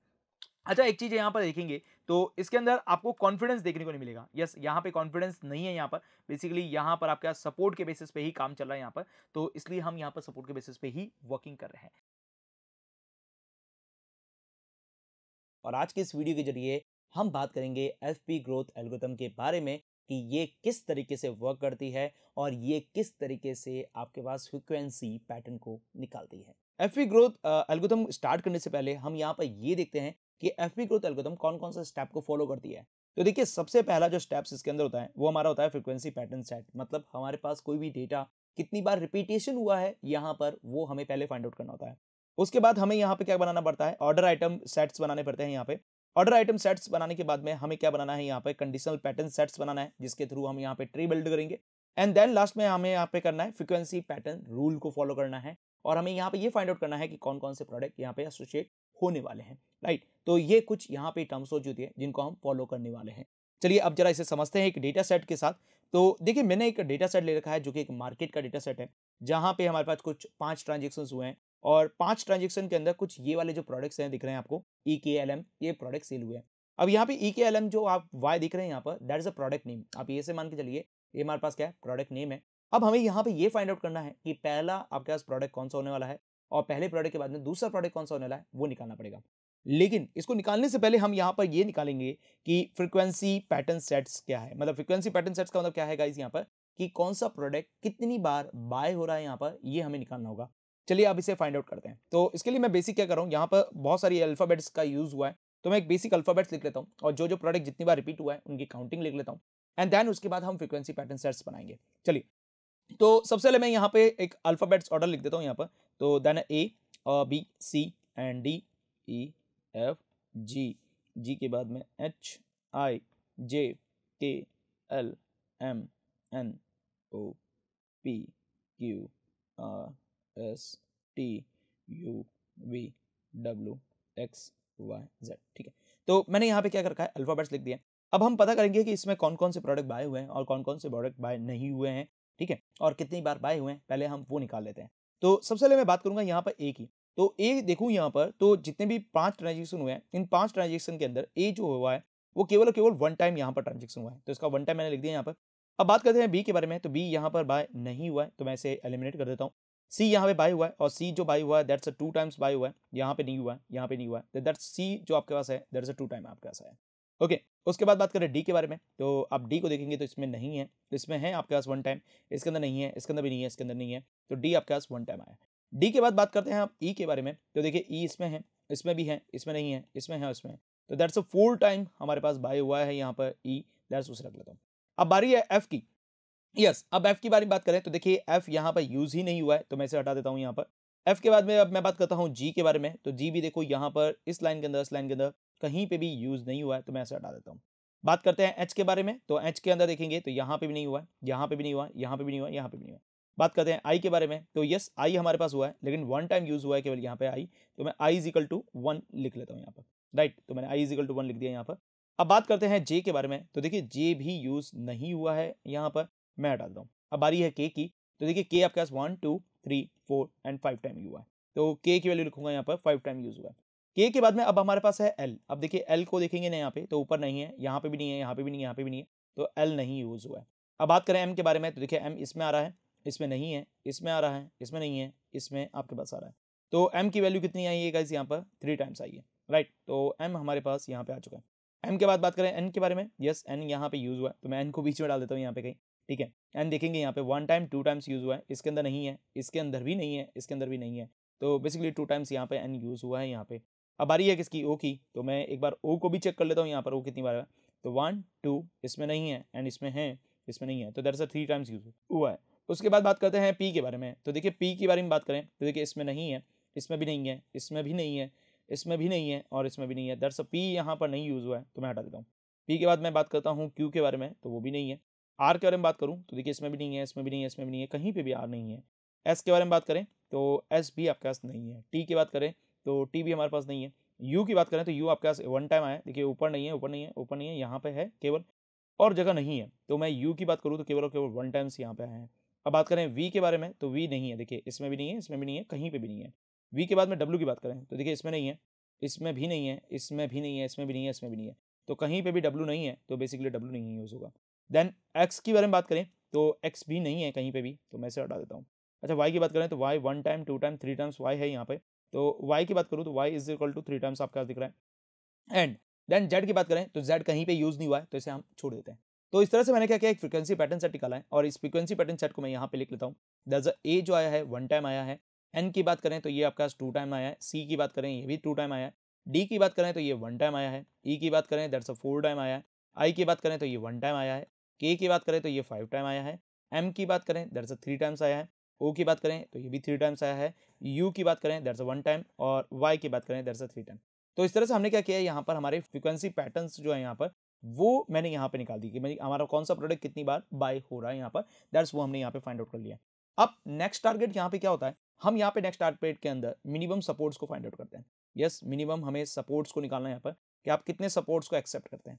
तो बेसिकली मिनिमम सपोर्ट की वैल्यू जो है मैं डिसाइड कर रहा हूँ दर थ्री यस मैं थ्री डिसाइड कर रहा हूँ यहाँ पर। कि इसके नीचे वाला हुआ, उनको हम कंसिडरेशन नहीं करेंगे और इसके ऊपर वाला हुआ, उन्हें हम कंसिडरेशन करेंगे।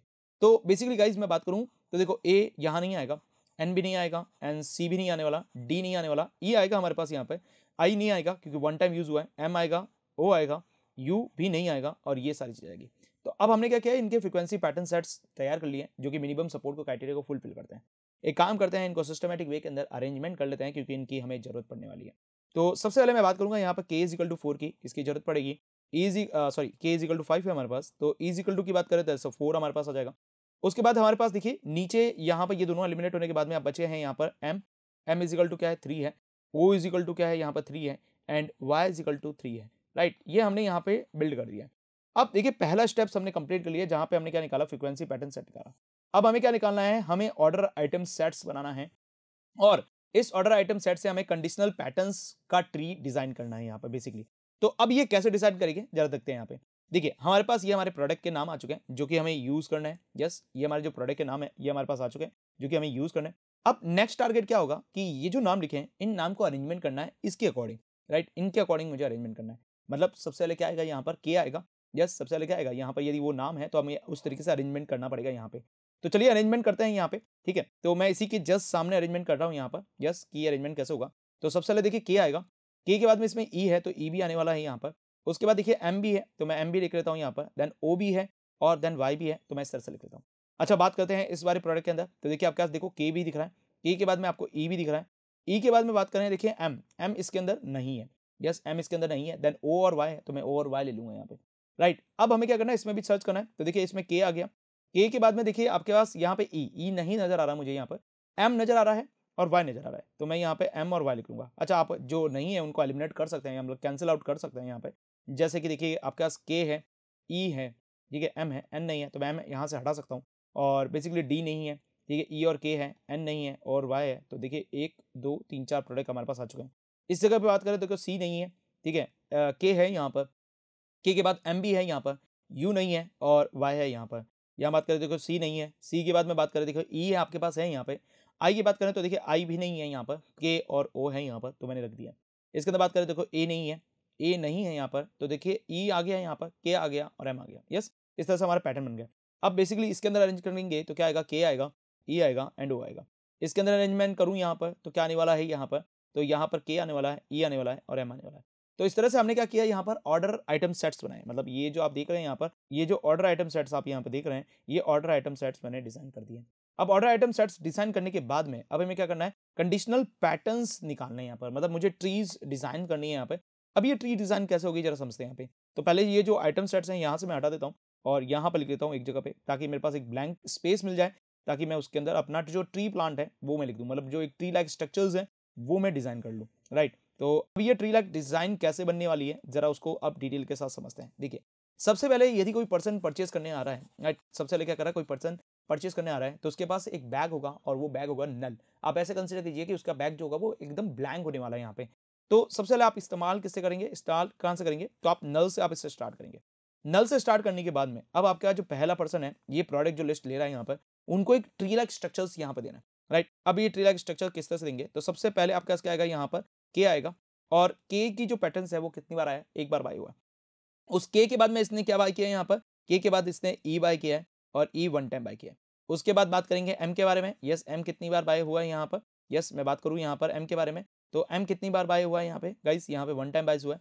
देन बात करें ओ की तो यस ओ कितनी बार बाय हुआ है यहाँ पर? That's a one time and उसके बाद लास्ट में जो आया है यहाँ पे दैट्स अ वाई तो वाई आपके पास आ गया वन टाइम मतलब एक ट्री बन गया आपके पास यहाँ पे एक कस्टमर का। अब हमें क्या करना है? सेकंड ट्रांजेक्शन का बनाना है, या सेकंड कस्टमर का बनाना है। तो देखिए के की वैल्यू आपके दोबारा आई है तो मैं यहाँ पे टू लिख दूँगा।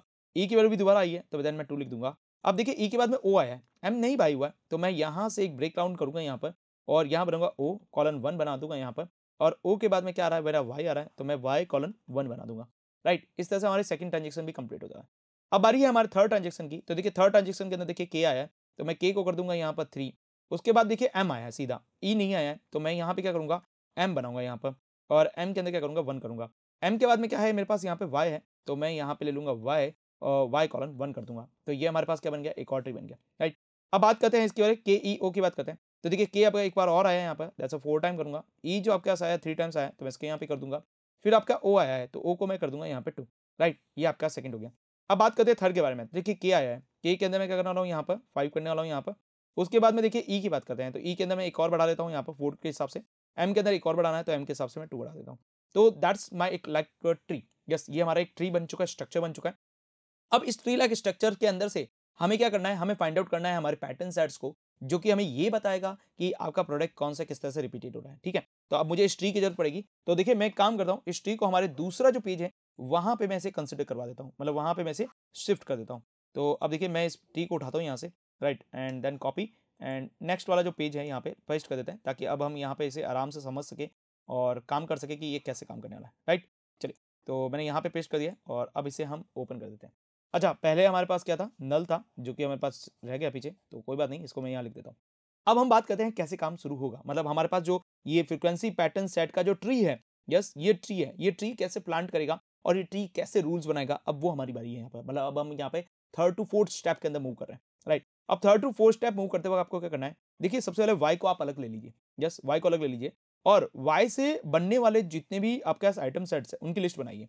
तो देखिए, पहले क्या बन रहा है यहाँ पर? ओ एम ई के बन रहा है यहाँ पर। राइट एक ये पैटर्न बन रहा है यहाँ पे। अच्छा वाई से देखेंगे यहाँ पे तो ओ ई के बन रहा है यहाँ पर।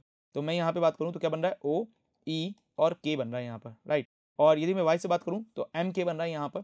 तो मैं यहाँ पर रहूँगा एम और के बना लूँगा यहाँ पर। राइट तो ये देखिए, कैसे कर रहा हूँ यहाँ पर वापस समझिएगा यहाँ पर क्या कर रहे हैं हम यहाँ पर देखिए, इस वाई से मैं कहाँ जा रहा हूँ? ऊपर की तरफ़ जा रहा हूँ मूव कर रहा हूँ। तो ये वाला बन रहा है O E M K yes O M E K बन रहा है। इस वाई से बात करूँ तो देखिए, यहाँ से इस तरह से मूव कर रहा है, राइट? तो ये जिस तरह से मूव कर रहा है, मैंने वही लिखा है यहाँ पर बेसिकली ठीक है?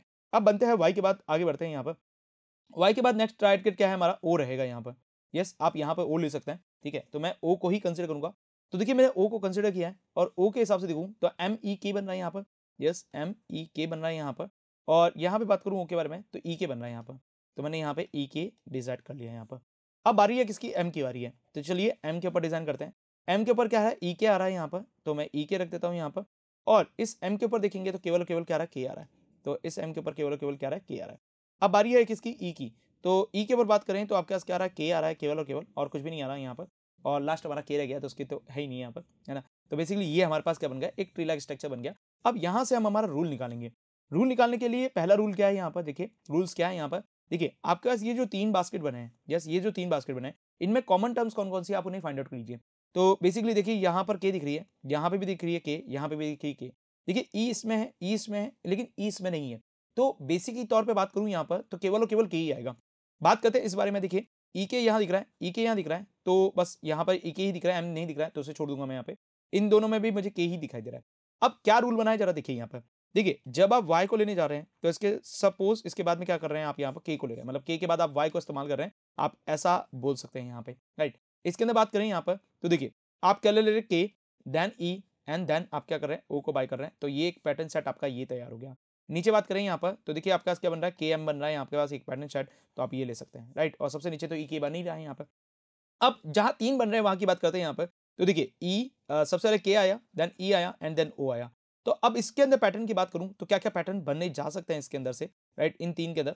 तो सबसे पहले देखिए ई के बनेगा अ क्लियर है यहाँ पे। फिर देखिए यहाँ पे के ओ भी बना सकते हैं आप यहाँ पर यस और फिर क्या बना सकते हैं? के ई ओ भी बना सकते हैं यहाँ पे। तो ये पैटर्न सेट तीन तैयार हो रहा है मतलब आप इन दोनों को कंबाइन ले सकते हैं इन दोनों को कंबाइन ले सकते हैं या इन तीनों को कंबाइन के तौर पर ले सकते हैं। तो इस तरह से आपके पास क्या होगा यहाँ पर आपके पैटर्न सेट बन जाएँगे। तो एफ़ पी ग्रोथ एल्गोरिथम आपके पास किस तरह से फाइंड आउट करता है? पहले आप ट्रीलैक स्ट्रक्चर्स बनाते हैं देन उसके बाद यहाँ पे वर्क करता है। तो ये किस तरह से कर रहा है? तो देखिए, इसके अंदर से रिज़ल्ट क्या निकला? के ई के ई ओ और के ई ओ निकला है यहाँ पर। तो ये तीन पैटर्न यहाँ पे निकले हैं जो कि इसके अंदर वर्क करते हैं। तो इस तरह से क्या करता है? आप भी एफ़ पी ग्रोथ एल्गोरिथम आपके पास ये जो चार रूल्स आप देख रहे हैं, इन चार रूल्स की हेल्प से क्या करता है? फाइंड आउट करके देता है यहाँ पर आपके पास जो भी फ्रिक्वेंसी पैटर्न्स हैं। मतलब आपके पास पहले के बाद में दूसरा कौन सा रिपीटेशन हुआ है और आज के इस वीडियो के ज़रिए हम बात करेंगे एफ़ पी ग्रोथ एल्गोदम के बारे में। देखिए लास्ट वाले वीडियो के अंदर हमने एफ़ पी ग्रोथ एल्गोदम को बहुत डिटेल के साथ समझा था और आज की इस वीडियो के ज़रिए हम इसके प्रैक्टिकल इम्प्लीटेशन को समझने वाले हैं। देखिए, मैं आप लोगों को सजेस्ट करूँगा यहाँ पर कि आप एफ़ पी ग्रोथ एल्गोदम के प्रैक्टिकल को देखने से पहले अप्यूरी वाला जो एल्गोरिथम का जो प्रैक्टिकल है, उसे देख लीजिए, क्योंकि वहाँ पर मैंने काफ़ी चीज़ें बहुत डिटेल के साथ समझाई है और वही पार्ट यहाँ पर कुछ रिपीट होने वाला है यहाँ पर। बस एक एल्गोरिथम को छोड़ के एल्गोरिथम मैं यहाँ पर वापस नहीं लगाने वाला हूँ यहाँ पर। बाकी काफ़ी पार्ट यहाँ पर रिपीटिशन होने वाला है। पहले इस वीडियो को अच्छे तरीके से देख लीजिए देन इसके ऊपर आइएगा यहाँ पर। और यदि आपने वो वीडियो देख ली है तो देन वेल एंड गुड है। और नहीं देखी है तो प्लीज़ आप उसे देख लीजिए। और इस वीडियो के ऊपर फिर बाद में वापस रिटर्न कीजिए। अब मैं बात करूँगा यहाँ पर अपी ग्रोथ एल्गोरिथम कैसे वर्क करती है, यहाँ पर इसका प्रैक्टिकल इम्प्लीमेंटेशन क्या है यहाँ पर तो उसको जरा समझते हैं यहाँ पर। तो देखिए AP growth algorithm market basket analysis के लिए इस्तेमाल की जाती है। तो पहले मैं आपको थोड़ा मार्केट का एनालिसिस का डेटा दिखा देता हूँ यहाँ पर। तो देखिए, ये रहा हमारा डेटा यहाँ पर, जो कि एक मार्केट का डेटा है। जैसा कि हमने लास्ट टाइम भी यूज़ किया था अप्यूरी के अंदर, वही डेटा मैं दोबारा यहाँ पर यूज़ कर रहा हूँ यहाँ पर।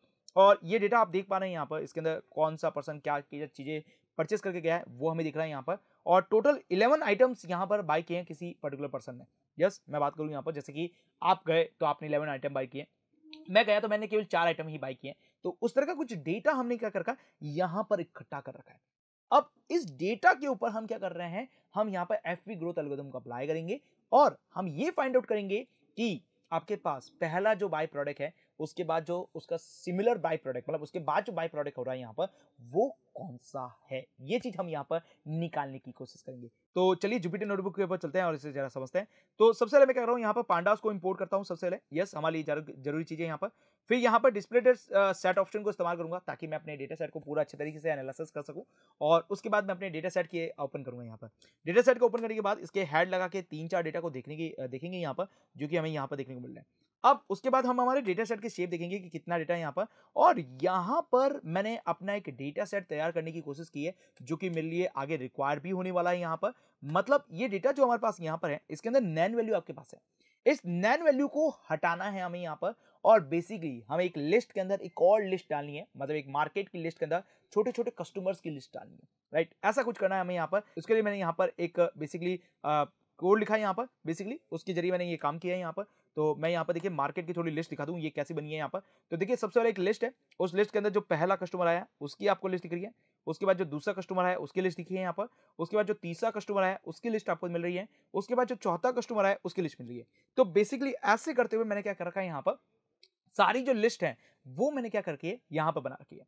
तो बेसिकली एक डेटा तैयार किया है यहाँ पर। अब ये डेटा कैसे तैयार किया है? ये डेटा तैयार करने के लिए आपको थोड़ा सा यहाँ पे अपयूरी अलगदम काली जो वीडियो है वो देखनी पड़ेगी राइट उसके बाद में देखिए मैंने यहाँ पे क्या कर रखा है? यहाँ पर मैं अपने देखना चाहता हूँ प्रोडक्ट को कि कौन सा सबसे ज़्यादा बाइंग प्रोडक्ट है, वो चीज़ देखना चाहता हूँ। तो उसके लिए मैंने क्या किया है? यहाँ पर एक लिस्ट तैयार की है, उस लिस्ट के अंदर सारा डेटा एक साथ डाल दिया क्योंकि हम यहाँ पर इस्तेमाल कर रहे हैं कलेक्शन मॉड्यूल का और कलेक्शन मॉड्यूल हमें क्या करता है? काउंटिंग करके देता है कि कौन सा डेटा कितनी बार रिपीटिशन यहाँ पर हुआ है।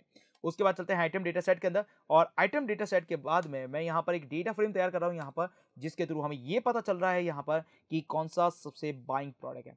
तो सबसे ज़्यादा बाइंग प्रोडक्ट कौन सा है? होल मिल्क है। उसके बाद हमारा अदर वेजिटेबल्स है। उसके बाद हमारा रोज बिन्स है। उसके बाद हमारा सोडा है। फिर योगेस्ट है। एंड देन यहाँ पर रूट वेजिटेबल्स है।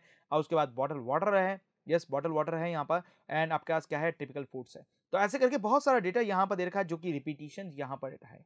राइट अब हमें क्या करना है? हमें वो डेटा निकालना है जो सबसे ज़्यादा फ्रिक्वेंटली है। लेकिन उससे पहले हमें क्या करना है? हमारे डेटा को एनकोडिंग करनी पड़ेगी। एनकोडिंग किस तरह से करनी है? तो बेसिकली इसके बारे में थोड़ा सा हम जान लेते हैं कि ये एनकोडिंग होगी कैसे। तो ये एनकोडिंग जानना बहुत ज़्यादा ज़रूरी है। यदि आपने लास्ट वाले वीडियो के अंदर भी नहीं देखा तो कोई बात नहीं इसमें देख लीजिए। आपके पास जैसे आ, कोई पर्सन ए है राइट ए प्रोडक्ट ए को बाय करता है बी को बाय करता है सी को बाय करता है। बी जो पर्सन है यहाँ पर वो ए और केवल बी को ही बाय करता है। सी जो पर्सन है वो ए और आपका सी को ही बाय करता है यहाँ पर। तो कुछ इस तरह से। अब हमें क्या करना है? यहाँ पर एनकोडिंग करनी है बेसिकली हमें यहाँ पर एक डेटा सेट तैयार करना है, जिसके अंदर ऊपर जो कॉलम के नाम आपके पास बनेंगे यहाँ पर, वो क्या बनेंगे? वो आपके पास आइटम के नाम बनेंगे, जैसे ए बी और सी यहाँ पर आपके कस्टमर के नाम आ जाएँगे, जैसे कि ए हो गया यहाँ पर दैट इज़ कैपिटल पी हो गया सी हो गया। अब इसके अंदर जो आपका डेटा आ रहा है, जैसे ए आ रहा है तो ए की जगह आपके पास क्या मिलेगा? ट्रू मिलेगा। बी की जगह भी आपको ट्रू मिलेगा। सी उसने बाय किया है तो ट्रू मिलेगा। अच्छा बी बाय किया है यस बी के अंदर ए ने बाय किया है यस बाय किया है तो ट्रू मिल जाएगा। यहाँ पे भी ट्रू मिल जाएगा। सी बाय नहीं किया है तो उसकी जगह फॉल्स मिल जाएगा। सी की बात करें तो यहाँ पर आपको ट्रू मिल जाएगा। यस ए बाय किया है इसलिए, और बी बाय नहीं किया है तो बी बाय नहीं किया है तो इसकी जगह फॉल्स मिल जाएगा। सी बाय किया है तो सी बाय करने की जगह ट्रू मिल जाएगा। तो बेसिकली हमारे पास क्या होगा? इस तरह का एक डेटा सेट तैयार हमें हो जाएगा, जो कि आगे चलते हुए हमारी एफ़ ग्रोथ एल्गोरिथम के लिए ज़रूरी है। Right right. तो हमने क्या किया? बेसिकली इस ट्रांस एनकोडर की हेल्प से यस, ये जो हमने यहाँ पर जो ट्रांस एनकोडर यहाँ पर इस्तेमाल किया है, इस ट्रांस एनकोडर की हेल्प से हमने इस तरह का एक डेटा सेट तैयार किया है। चलिए मैं इसे रन कर देता हूँ और यहाँ पर रन कर लेता हूँ और ये भी रन कर लेता हूँ राइट तो ये हमने यहाँ पे क्या किया है? सबसे पहले ट्रांस एनकोडर का इस्तेमाल किया है, फिर मॉडल डॉट फिट किया है। फिट करने के बाद में हमने क्या किया यहाँ पे ट्रांसफॉर्म किया है और ट्रांसफॉर्म का एक डेटा फ्रेम तैयार कर लिया है और डेटा फ्रेम यदि मैं आपको दिखाऊँ तो ये कुछ इस तरह का आपको दिखेगा राइट सब हमारे पास ऊपर जो है वो प्रोडक्ट के नाम हो जाएँगे और उसके बाद ये हमारे सारे क्या हो जाएँगे? कस्टमर्स हो जाएँगे। और उन्होंने जो जो प्रोडक्ट बाय किया है, उसकी जगह ट्रू फॉल्स ट्रू फॉल्स आपको देखने को मिल जाएगा। राइट तो इस तरह से हमारा जो डेटा सेट है, वो तैयार हो जाएगा। अब हमारी बारी है यहाँ पर एफपी ग्रोथ एल्गोरिथम अप्लाई करने की। तो देखिए एफ़ ग्रोथ एल्गोरिथम कैसे अप्लाई होगी? तो मैं चलूँगा यहाँ पर फ्रॉम एमएल एक्सटेंड के पास चलूँगा यहाँ पर। एमएल एक्सटेंड के अंदर जाने के बाद में मैं इस्तेमाल करूँगा यहाँ पर किसका? फ्रिक्वेंसी पैटर्न का। यस इसका इस्तेमाल करने वाला हूँ। और फ्रिक्वेंसी पैटर्न सेट के अंदर आपको मिलेगी एफ़ ग्रोथ यस इस एफ़ ग्रोथ का आपको इस्तेमाल करना है। चलिए, ये जो एफवी ग्रोथ आपके पास आई है यहाँ पर, इसका हम इस्तेमाल करेंगे फ्रिक्वेंसी डेटा सेट को निकालने के लिए। और इसके अंदर सबसे पहले हमें क्या चाहिए? डीएफ चाहिए। डीएफ का मतलब क्या है गाइस यहाँ पे हमारा डेटा फ्रेम चाहिए। मिनिमम हमें सपोर्ट चाहिएगा। यूज़ कॉलम नेम मतलब हमें कॉलम नेम का यूज़ करना है। मैक्सिमम लेंथ कितनी है? ये सब चीज़ें हमें ज़रूरत चाहिए। अच्छा वेयर बॉस का मतलब क्या होता है? वेयर बॉस का मतलब होता है बेसिकली सिंपल सा कि यदि आपके अपने प्रोसेसर को साथ साथ देखना है कि ये प्रोसेसर कैसे वर्क कर रहा है तो इसके लिए आप इस तरह का इस्तेमाल कर सकते हैं अदरवाइज़ इसे छोड़ दीजिए। चलिए, सबसे पहले हमें डेटा फ्रेम देना है तो मैं यहाँ पे डेटा फ्रेम दे देता हूँ यहाँ पर कॉमा लगा के।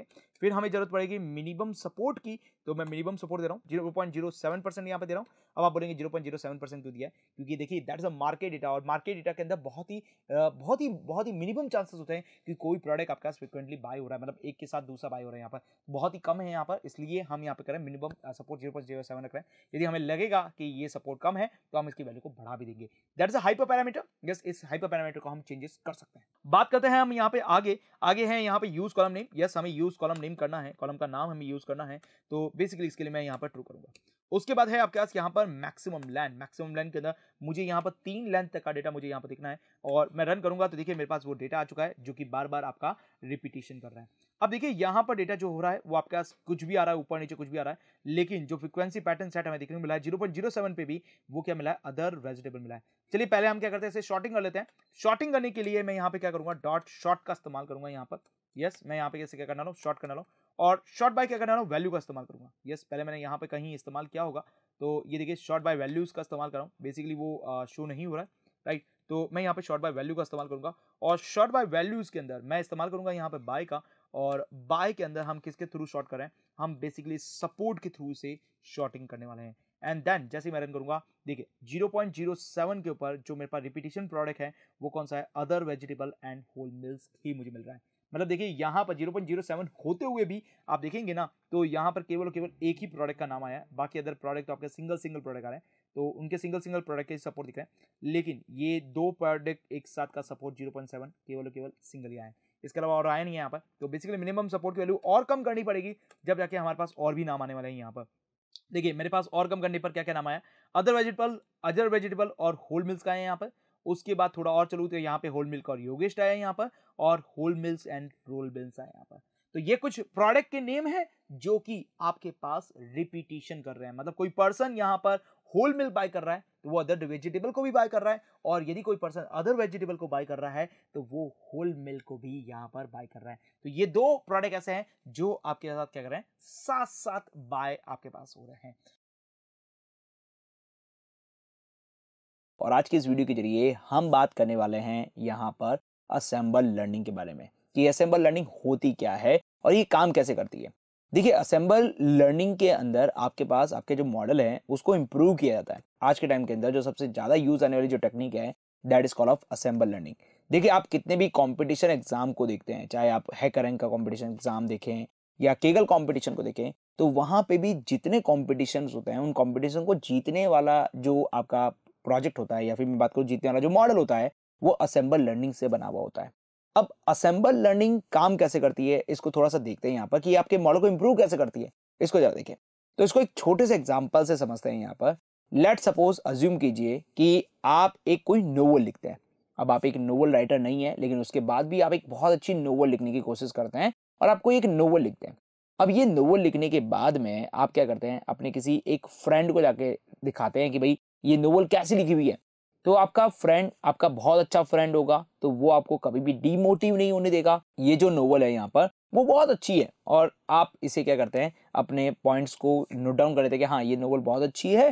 देन आप उसे क्या कर देते हैं पब्लिश करवा देते हैं। और पब्लिश करा के आप उसकी कॉपी मार्केट के अंदर सेल कर लेते हैं।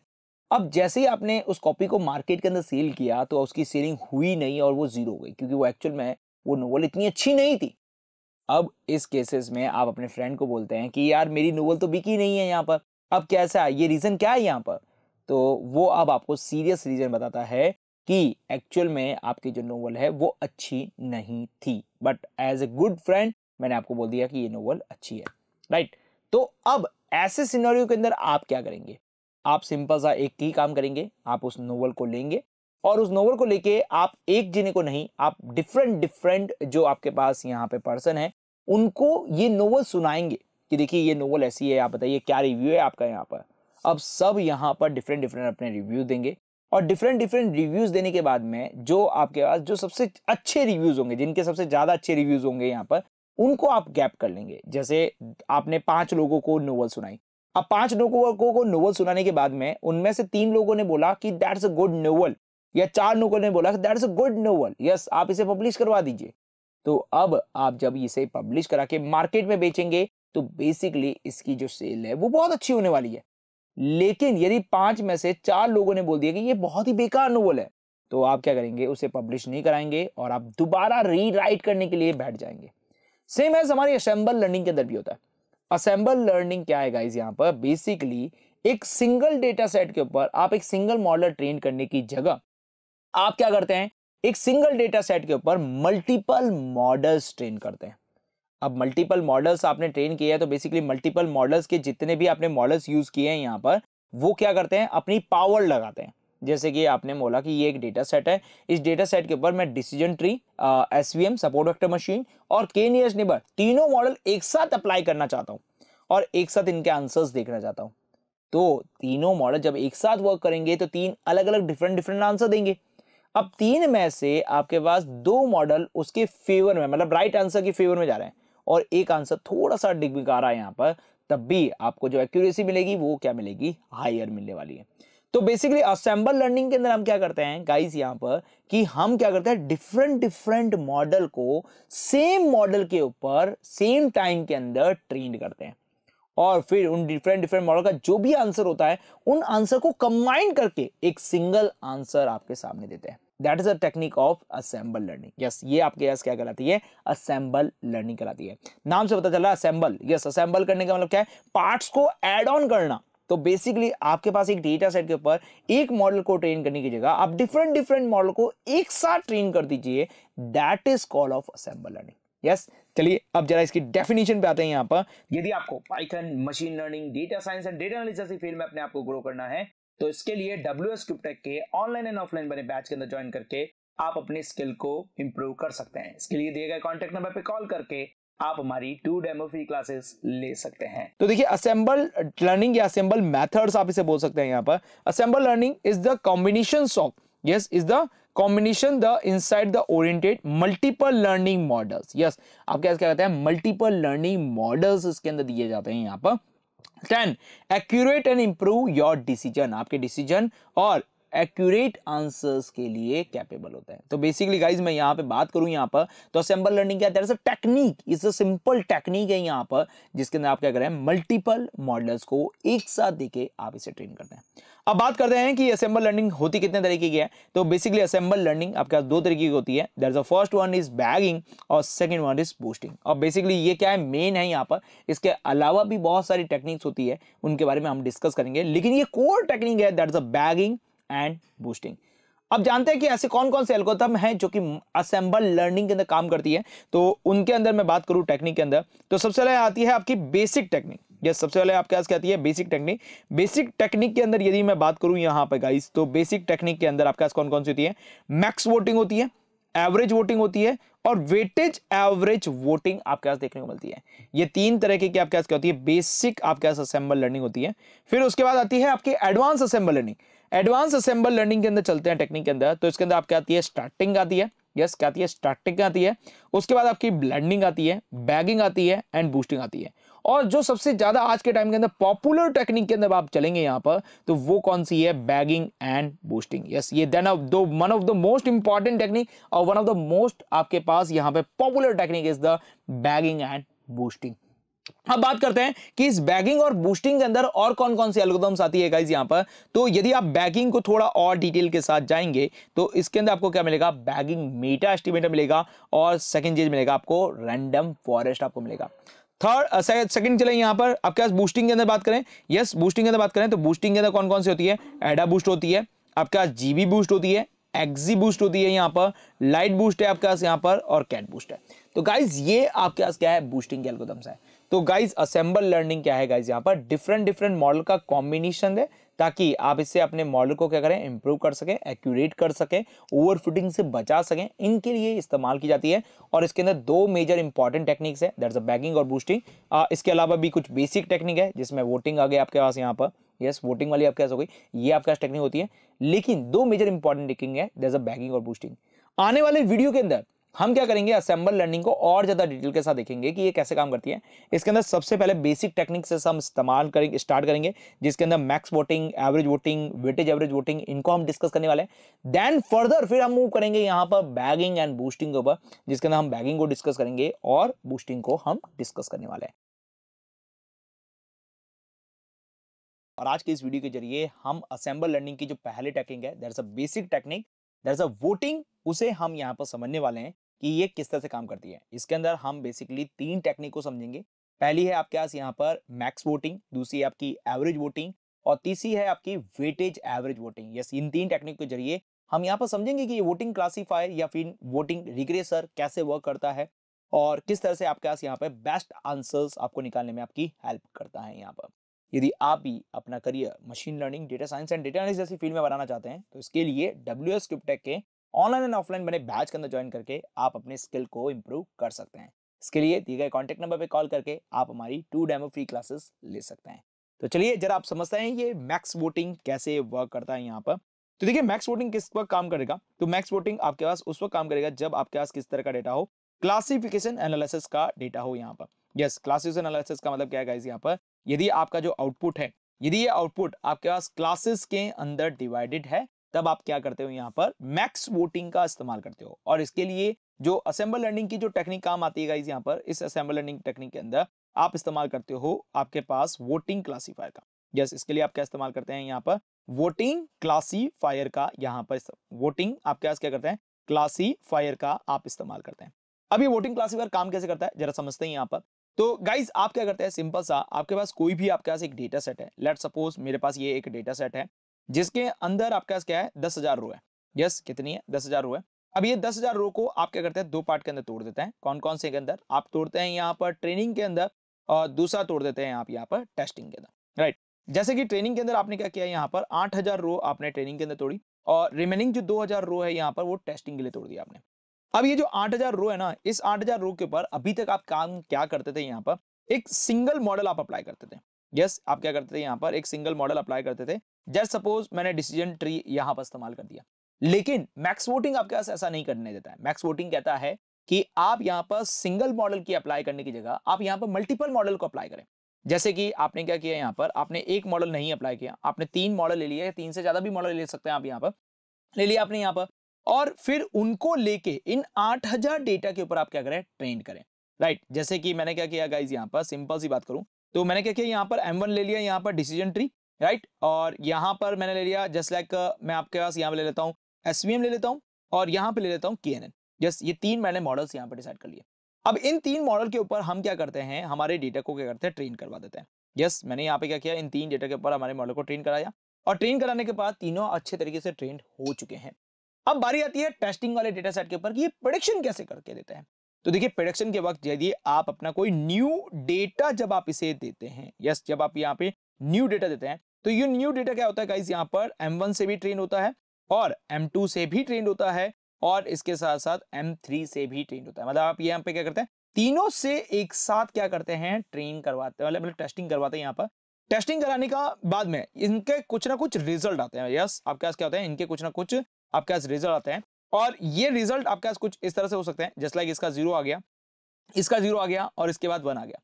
अब आपके पास जो आपका फाइनल आंसर होता है, उस फाइनल आंसर के अंदर आप क्या करते हैं? मॉड ले लेते हैं। मॉड मतलब आप यहाँ पे वोटिंग करते हैं वोटिंग करके जो सबसे ज़्यादा मैक्सिमम डेटा है यहाँ पर, वो आप कंसिडर कर लेते हैं। अब जैसे मैक्सिमम की बात करें तो मैक्सिमम कौन है यहाँ पर? ज़ीरो सबसे ज़्यादा मैक्सिमम है। तो आप मॉड के अंदर क्या बोलेंगे? यहाँ पर ज़ीरो है। तो मतलब आपके पास इस नए वाले जो डेटा आया है यहाँ पर, इसके ऊपर आप क्या कर देते हैं? बोल देते हैं कि that is a zero yes ये आपका क्या आ रहा है? ज़ीरो आ रहा है। इसको एक बार फिर से समझ लेते हैं कि हम करते क्या है यहाँ पर। यस मैं यहाँ पर एक बार फिर से आप लोगों को समझा देता हूँ। यस उसके लिए हम क्या करें? बेसिकली मैं एक बार फिर से दिखा देता हूँ कि ये मैक्स वोटिंग काम कैसे करती है यहाँ पर। ठीक है? तो इसके लिए मैं क्या कर रहा हूँ गाइज़ यहाँ पर ये जो मेरे पास ग्राफ है, इस ग्राफ को मैं थोड़ा सा हटाऊँगा यहाँ पर ताकि आप लोगों को थोड़ा समझ में आ सके कि ये मैक्स वोटिंग काम कैसे कर रही है। राइट तो अब जरा समझिए यहाँ पर वापस दोबारा कि हमने क्या किया? हमारा डेटा सेट लिया यहाँ पर और डेटा सेट जो भी था हमारे पास यहाँ पर यस डेटा सेट था, जिसके अंदर हमारे पास क्या थी? टेन थाउज़ेंड रो थी। इस टेन थाउज़ेंड रो को हमने दो बार पार्ट में तोड़ा। एक में क्या तोड़ा मैंने? आठ हज़ार में तोड़ा। और एक क्या किया मैंने? यहाँ पर दो हज़ार में तोड़ा। आठ हज़ार वाले को मैंने क्या किया गाइस यहाँ पर बोल दिया कि ये हमारे पास कैसा है? ट्रेनिंग डेटा सेट है यहाँ पर। और ये जो दो हज़ार वाला है, इसको हमने क्या कर दिया यहाँ पर? टेस्ट में कन्वर्ट कर लिया। अब ट्रेनिंग डेटा सेट के अंदर हम पहले क्या करते थे? एक मॉडल लेते थे। अब मैंने ट्रेनिंग के अंदर क्या किया? पाँच मॉडल या तीन मॉडल ट्रेन किया जैसे एम वन एक मॉडल ट्रेन किया एम टू एक मॉडल ट्रेन किया और एम थ्री एक मॉडल ट्रेन किया। यस किसके ऊपर? इसके ऊपर आठ हज़ार डेटा के ऊपर मैंने ये तीनों के ऊपर ट्रेन कर दिया यहाँ पर। तीनों को ट्रेन करने के बाद में मेरे पास क्या बना? एक फाइनल मॉडल्स यहाँ पे निकल के आ गया। दैट्स ये मेरा फाइनल मॉडल हमारे पास निकल के आया। That's a model of M कह देता हूँ यहाँ पर। अब यहाँ पे मैं करूँगा? अपना टेस्टिंग डेटा दूँगा। यस क्या दूँगा यहाँ पर? अपना टेस्टिंग डेटा दूँगा। तो ये जितना भी टेस्टिंग डेटा है, ये क्या करता है यहाँ पर? ये M1 के ऊपर भी ट्रेंड होता है, ये M2 के ऊपर भी ट्रेंड होता है और ये M3 के ऊपर भी ट्रेंड करता है। और ट्रेन करने के बाद में ये आपको तीन रिज़ल्ट निकाल के देता है। वैसे तो फाइनली आपको एक ही रिज़ल्ट मिलेगा, लेकिन यहाँ से तीन रिज़ल्ट निकलते हैं और ये तीनों अलग अलग हो सकते हैं। जैसे कि M1 मॉडल आपके पास किसका है? Dt का है यहाँ पर। ये किसका है यहाँ पर? SVM का है यहाँ पर। और ये किसका है गाइज़ यहाँ पर? ये हो सकता है आपके पास यहाँ पर के का हो। यस किसका हो? के का हो। तो यहाँ से आपके पास क्या निकले? तीन आंसर निकले और तीनों आंसर का आंसर मान लीजिए ज़ीरो ज़ीरो और वन निकला। अब आप क्या करते हो? यहाँ पर इस्तेमाल करते हो मैक्स का। यस किसका इस्तेमाल करते हो? मैक्स का। या फिर आप बोल सकते हो मॉड का, या फिर आप बोल सकते हो वोटिंग का। यस आप इसे इस्तेमाल करते हो। और इस्तेमाल करने के बाद में गाइस क्या होता है? एक फाइनल आंसर निकल जाता है। अ मैक्स कितना है? यहाँ पर ज़ीरो है तो ज़ीरो आंसर निकल जाता है। मतलब इस ट्रेनिंग डेटा सेट के अंदर जो आपने डेटा दिया है यहाँ पर, इसका आंसर क्या निकल जाएगा गाइस यहाँ पर ज़ीरो निकल जाएगा। इस तरह से हमारी ये जो मैक्स वोटिंग है, वो काम करती है। तो गाइज़ यहाँ पर देखिए ऑटोमेटिकली आपके मॉडल की एक्यूरेसी एकदम बढ़ गई है। क्यों? पहले आपके पास एक मॉडल एक ही आंसर देता था यहाँ पर। अब आपके पास यहाँ पर तीन मॉडल मिलकर एक आंसर आपको दिख रहे हैं। तो बेसिकली गाइज़ आपके मॉडल की एक्यूरेसी बढ़ जाती है। ये तो बात हो गई हमारे पास क्लासिफिकेशन की, लेकिन जब हम रिग्रेशन की बात करते हैं, तब हमारे पास क्या होगा? तो वहाँ पे हम इस्तेमाल करते हैं एवरेज वोटिंग का, या फिर हम यहाँ पे इस्तेमाल करते हैं वेटेज एवरेज वोटिंग का। अब ये एवरेज वोटिंग और वेटेज एवरेज वोटिंग क्या काम करती है यहाँ पर? तो सेम है जैसे पहला था यहाँ पर, वैसे ही करती है यहाँ पर। लेकिन अभी हम यहाँ पे क्या करेंगे कि आपका आंसर क्या है? यहाँ पर रिग्रेशन का अब रिग्रेशन के अंदर हम बात करें यहाँ पर तो रिग्रेशन के अंदर हमारे पास क्या होता है? आंसर ज़ीरो वन के अंदर नहीं देखने को मिलते। तो हमें यहाँ पर आंसर्स क्या मिलेंगे? तीन अलग अलग आंसर्स मिलेंगे। यस यहाँ पर हमें क्या मिलेंगे? तीन अलग अलग आंसर मिलेंगे जैसे डेफिनेटली मैं इसकी जो डायग्राम ऐसे एक बार रिमूव करके आपको थोड़ा सा और अच्छे से बताऊँ यहाँ पर। तो बेसिकली हमें यहाँ पर क्या मिलने वाला है यहाँ पर तीन अलग अलग आंसर्स मिलने वाले हैं। राइट जैसे कि मैं बात करूँ, हमारा रिग्रेशन का आंसर है। तो ये हमारा पहला मॉडल एम हो गया यहाँ पर ट्रेन उसके बाद ये एम टू ट्रेंड हो गया यहाँ पर। और ये एम थ्री आपके पास यहाँ पर ट्रेंड हो गया। और तीनों ने मिलकर यस तीनों ने मिलकर आपके पास क्या किया? एक मॉडल यहाँ पे बना दिया। राइट अब ये मॉडल बनाया और इसको आपने क्या किया? नया डेटा दिया। यस न्यू डेटा जब आपने दिया यहाँ पर तो जब आपने न्यू डेटा दिया यहाँ पर तो न्यू डेटा देने के बाद में इसने क्या किया? तीन आंसर्स आपके पास निकल गए। और तीन आंसर जैसे मान लो ये ट्वेंटी आया, ये ट्वेंटी वन आया और ये नाइनटीन आ गया। अब आप क्या करेंगे यहाँ पर? इस सिचुएशन के अंदर, इस सिचुएशन के अंदर आप इस्तेमाल करेंगे एवरेज का। यस किसका इस्तेमाल करेंगे? एवरेज का इस्तेमाल करेंगे और एवरेज आंसर्स यहाँ पे निकालेंगे। और एवरेज आंसर क्या होने वाला है यहाँ पर? 20 प्लस 21 प्लस यहाँ पर 19 डिवाइड बाय 3 होने वाला है। और ये आंसर आपके पास कितना आएगा गाइज़ यहाँ पर? 21 आपके पास आने वाला है। यस yes, तो आपका जो एवरेज आंसर होगा वो आपका क्या होगा? फाइनल आंसर होगा किसका? इस न्यू डेटा सेट का। ये आपके पास किसके अंदर होता है? एवरेज वोटिंग होता है तो है और ये एवरेज वोटिंग के अंदर इसलिए है यहाँ पर रीजन क्योंकि यहाँ पर जो आंसर है वो कैसा है? रिग्रेशन एनालिसिस का है। तो बेसिकली रिग्रेशन के अंदर आप क्या करते हैं? एवरेज को फाइंड आउट करते हैं। अब एक और चीज़ यहाँ पे बात करना चाहूँगा कि इसके लिए जो आप मॉडल इस्तेमाल करते हैं यहाँ पर वो क्या करते हैं यहाँ पर? वोटिंग रिग्रेसर का इस्तेमाल करते हैं। यस yes, उसका क्या करते थे यहाँ पर? वोटिंग क्लासिफायर का इस्तेमाल करते थे और इसके अंदर हम जो इस्तेमाल करते हैं वोटिंग रिग्रेसर का इस्तेमाल करते हैं। अब यहाँ पर ये वेटेज एवरेज वोटिंग का मतलब क्या हुआ? ये वेटेज का मतलब क्या है यहाँ पर? वेटेज का सिंपल सा मैं आपको मतलब बताऊँ यहाँ पे गाइस तो आप क्या कर रहे हैं, ये मॉडल ले रहे हैं। इस मॉडल के जो वेटेज होते हैं वेटेज मतलब इनके जो आप पास ये मान लीजिए, इनके जो मैग्नीट्यूड है मतलब ये कितने टर्म्स के साथ काम करेंगे। वो क्या है अभी? वन वन है। क्या है आप यहाँ पर सिंपल सा मान लीजिए वन वन है यहाँ पर आप, आपके पास यहाँ पर। अब आपको लगता है कि यहाँ पर आपने डी इस्तेमाल किया, यहाँ पर आपने के इस्तेमाल किया यहाँ पर यस यहाँ पे आपने एस इस्तेमाल किया। अब आपको लगता है कि यहाँ पे के की जो टर्म्स है, वो बहुत ही कम है। यस के जो है यहाँ पर बहुत ही कम तरीके से काम कर रहा है तो क्यों ना इस काम को बढ़ा दिया जाए? या फिर आपको लगता है कि डीटी यहाँ पर ज़्यादा काम कर रहा है, इसको और ज़्यादा कर दिया जाए? तो आप क्या करते हैं, इनके वेटेज की वैल्यू को चेंज कर देते हैं। क्या करते हैं यहाँ पर? इनके वेटेज की वैल्यू को चेंज करते हैं और वेटेज की जो न्यू वैल्यू जो निकल के आती है, जस्ट वो आप अपने हिसाब से रख सकते हैं। यस, जैसे कि मैंने यहाँ पे टू कर दिया, यहाँ पे ज़ीरो पॉइंट फाइव कर दिया, यहाँ पे मैंने फोर कर दिया। तो अब क्या हो गया कि आपका जो मॉडल है जितना आपने वेटेज दिया है, उतने टाइम से ज़्यादा वर्किंग करना स्टार्ट कर देगा। राइट उतने टाइम से क्या करेगा? ज़्यादा वर्किंग करना स्टार्ट करेगा क्योंकि आपने वेटेज की वैल्यू को बढ़ा दिया अब यदि आपने यहाँ पर 0.5 दिया तो बेसिकली कम काम करेगा और यहाँ पर आपने फोर दिया तो बेसिकली ये ज़्यादा काम करेगा। तो बेसिकली गाइज़ यहाँ पर क्या करते हैं? वेटेज की वैल्यू को चेंज करके हम हमारे मॉडल की जो एक्यूरेसी है, उसे और ज़्यादा अच्छे तरीके से क्या करते हैं? इंप्रूव करते हैं यहाँ पर। तो बेसिकली वेटेज एवरेज वोटिंग के अंदर आप क्या करते हैं? या वेटेज आप यहाँ पे भी इस्तेमाल कर सकते हैं। आप क्लासिफिकेशन में भी इस्तेमाल कर सकते हैं और आप चाहें तो रिग्रेशन में भी इस्तेमाल कर सकते हैं। वेटेज बस आपके पास क्या होता है कि कोई आपका मॉडल बहुत ही लो परफॉर्मेंस कर रहा होता है तो उसको हाई परफॉर्मेंस करने में आपकी हेल्प यहाँ पर करता है। और आज के इस वीडियो के ज़रिए हम बात करने वाले हैं वोटिंग क्लासीफायर के बारे में कि वोटिंग क्लासीफायर कैसे इस्तेमाल किया जाता है असेंबल लर्निंग के अंदर। तो चलिए जरा इसे समझते हैं यहाँ पर। अब देखिए, मैं चलता हूँ जुपिटर नोटबुक के ऊपर, जहाँ पे मैं डेटा सेट को लोड कराऊँगा और उसके बाद उसके ऊपर वर्किंग करेंगे। अब इसके लिए जो रिक्वायर्ड लाइब्रेरी है, पहले मैं इसे इम्पोर्ट कर लेता हूँ। इंपोर्ट मैं कर रहा हूँ यहाँ पे पांडास एलियास ऑफ़ पीडी को। मुझे ग्राफ भी देखना पड़ेगा तो उसके लिए मैं यहाँ पे इम्पोर्ट कर रहा हूँ किसे? मैट प्लॉट लिप को इम्पोर्ट कर रहा हूँ और मैट प्लॉट लिप के अंदर जाके मैं यहाँ पे क्या कर रहा हूँ? पी वाई प्लॉट जो हमारे पास है, उसे मैं कॉल कर रहा हूँ। एलियास ऑफ़ पीएलटी का इस्तेमाल करूँगा। इसके साथ साथ देखिए डेटा सेट जो है यहाँ पर, मैं साइकिल के अंदर पहले से बहुत सारे डेटा सेट पढ़े उसी डेटा सेट में से मैं एक डेटा सेट ले रहा हूँ और वो डेटा सेट ले रहा हूँ मून डेटा सेट यस मैं उसका इस्तेमाल करूँगा और उसके थ्रू मैं क्लासिफिकेशन के ऊपर काम करने वाला हूँ। तो मैं यहाँ पे फ्रॉम क्या करूँगा? यहाँ पर साइकिलन के अंदर चलूँगा। साइकिलन के अंदर मैं जाऊँगा किसके पास? यहाँ पर डेटा सेट के पास जाऊँगा और डेटा सेट के अंदर जाने के बाद डेट मैं इंपोर्ट करने वाला हूँ यहाँ पर मेक मून डेटा सेट के ऊपर। यस मैं यहाँ पे क्या करने वाला हूँ? मेक अंडर जो हमारा मून डेटा सेट है, उसे मैं लेने वाला हूँ। अब देखिए मेक मून डेटा सेट के थ्रू मैं अपना एक डेटा सेट क्रिएट करूँगा एंड देन उसके ऊपर फिर वर्किंग करने वाला है। तो चलिए, कैसे करने वाला है? तो मैं यहाँ पे सबसे क्या करूँगा, जो मेरा मेक मून है यहाँ पर, उसे मैं कॉल करूँगा। और मेक मून को कॉल करूँगा यहाँ पर। और मेक मून के अंदर देखिए, सबसे पहले पूछा जा रहा है नंबर ऑफ़ सैंपल्स आपको कितने नंबर ऑफ़ सैंपल चाहिए? ठीक है, उसके बाद आपको सफल चाहिए या नहीं चाहिए? नॉइस कितना चाहिए यहाँ पर? और रैंडम स्टेट की वैल्यू क्या होनी चाहिए? तो देखिए, मेरे पास नंबर ऑफ़ जो सैंपल्स है यहाँ पर, उसकी वैल्यू बढ़ाऊँगा और नंबर ऑफ़ सैंपल्स की वैल्यू मैं करूँगा यहाँ पर लगभग लगभग 400 एंड उसके बाद मैं गाइज़ यहाँ पर क्या करने रहा हूँ? नंबर ऑफ़ सैंपल की जो वैल्यू है, लगभग लगभग करूँगा यहाँ पर 500 मतलब मुझे 500 डेटा चाहिए यहाँ पर। उसके बाद में मुझे नॉइस भी चाहिए अच्छी खासी तो नॉइस की वैल्यू मैं ज़ीरो पॉइंट ज़ीरो आपके पास फाइव में अभी रखने वाला हूँ ओके और ये मेक मून जो है यहाँ पर, ये दो डेटा देगा एक्स और वाई आपके पास दो डेटा देने वाला है, और मैं इसे रन करूँगा। अच्छा यदि एक्स को देखेंगे तो एक्स के अंदर हमारे पास दो आपके पास यहाँ पे फीचर आएँगे। एक आएगा एक्स वन फीचर और दूसरा होगा एक्स टू फीचर तो मैं इन दोनों फीचर्स को अलग अलग कर लेता हूँ, और एक प्रॉपर डेटा सेट के अंदर कन्वर्ट कर लेता हूँ, ताकि हम इसका ग्राफ भी बना सकें, और इसकी अच्छे तरीके से एनालिसिस भी कर सकें। तो मैं काम कर रहा हूँ, मैं इसका डेटा फ्रेम तैयार कर रहा हूँ यहाँ पर, ठीक है? तो डेटा फ्रेम तैयार करने के लिए मैं डीएफ का इस्तेमाल करूँगा। और पहले एक डिक्शनरी तैयार करूँगा यहाँ पर। और डिक्शनरी के अंदर देखिए, मेरे पास x1 फीचर बनेगा और ये x1 फीचर किससे बनेगा? X एंड देन मैं कॉलम सारे रो लूँगा यहाँ पर इसकी एंड देन कॉमा लगा के इसका ज़ीरो इंडेक्स नंबर वाला सारा डेटा चाहिए। इसी तरह से मैं यहाँ पर x2 फीचर लेने वाला हूँ यहाँ पर, जो कि मेरे पास क्या आएगा? एक्स देन कॉलन यहाँ पर सारी रोज चाहिए एंड उसके बाद में वन एथ कॉलम चाहिए।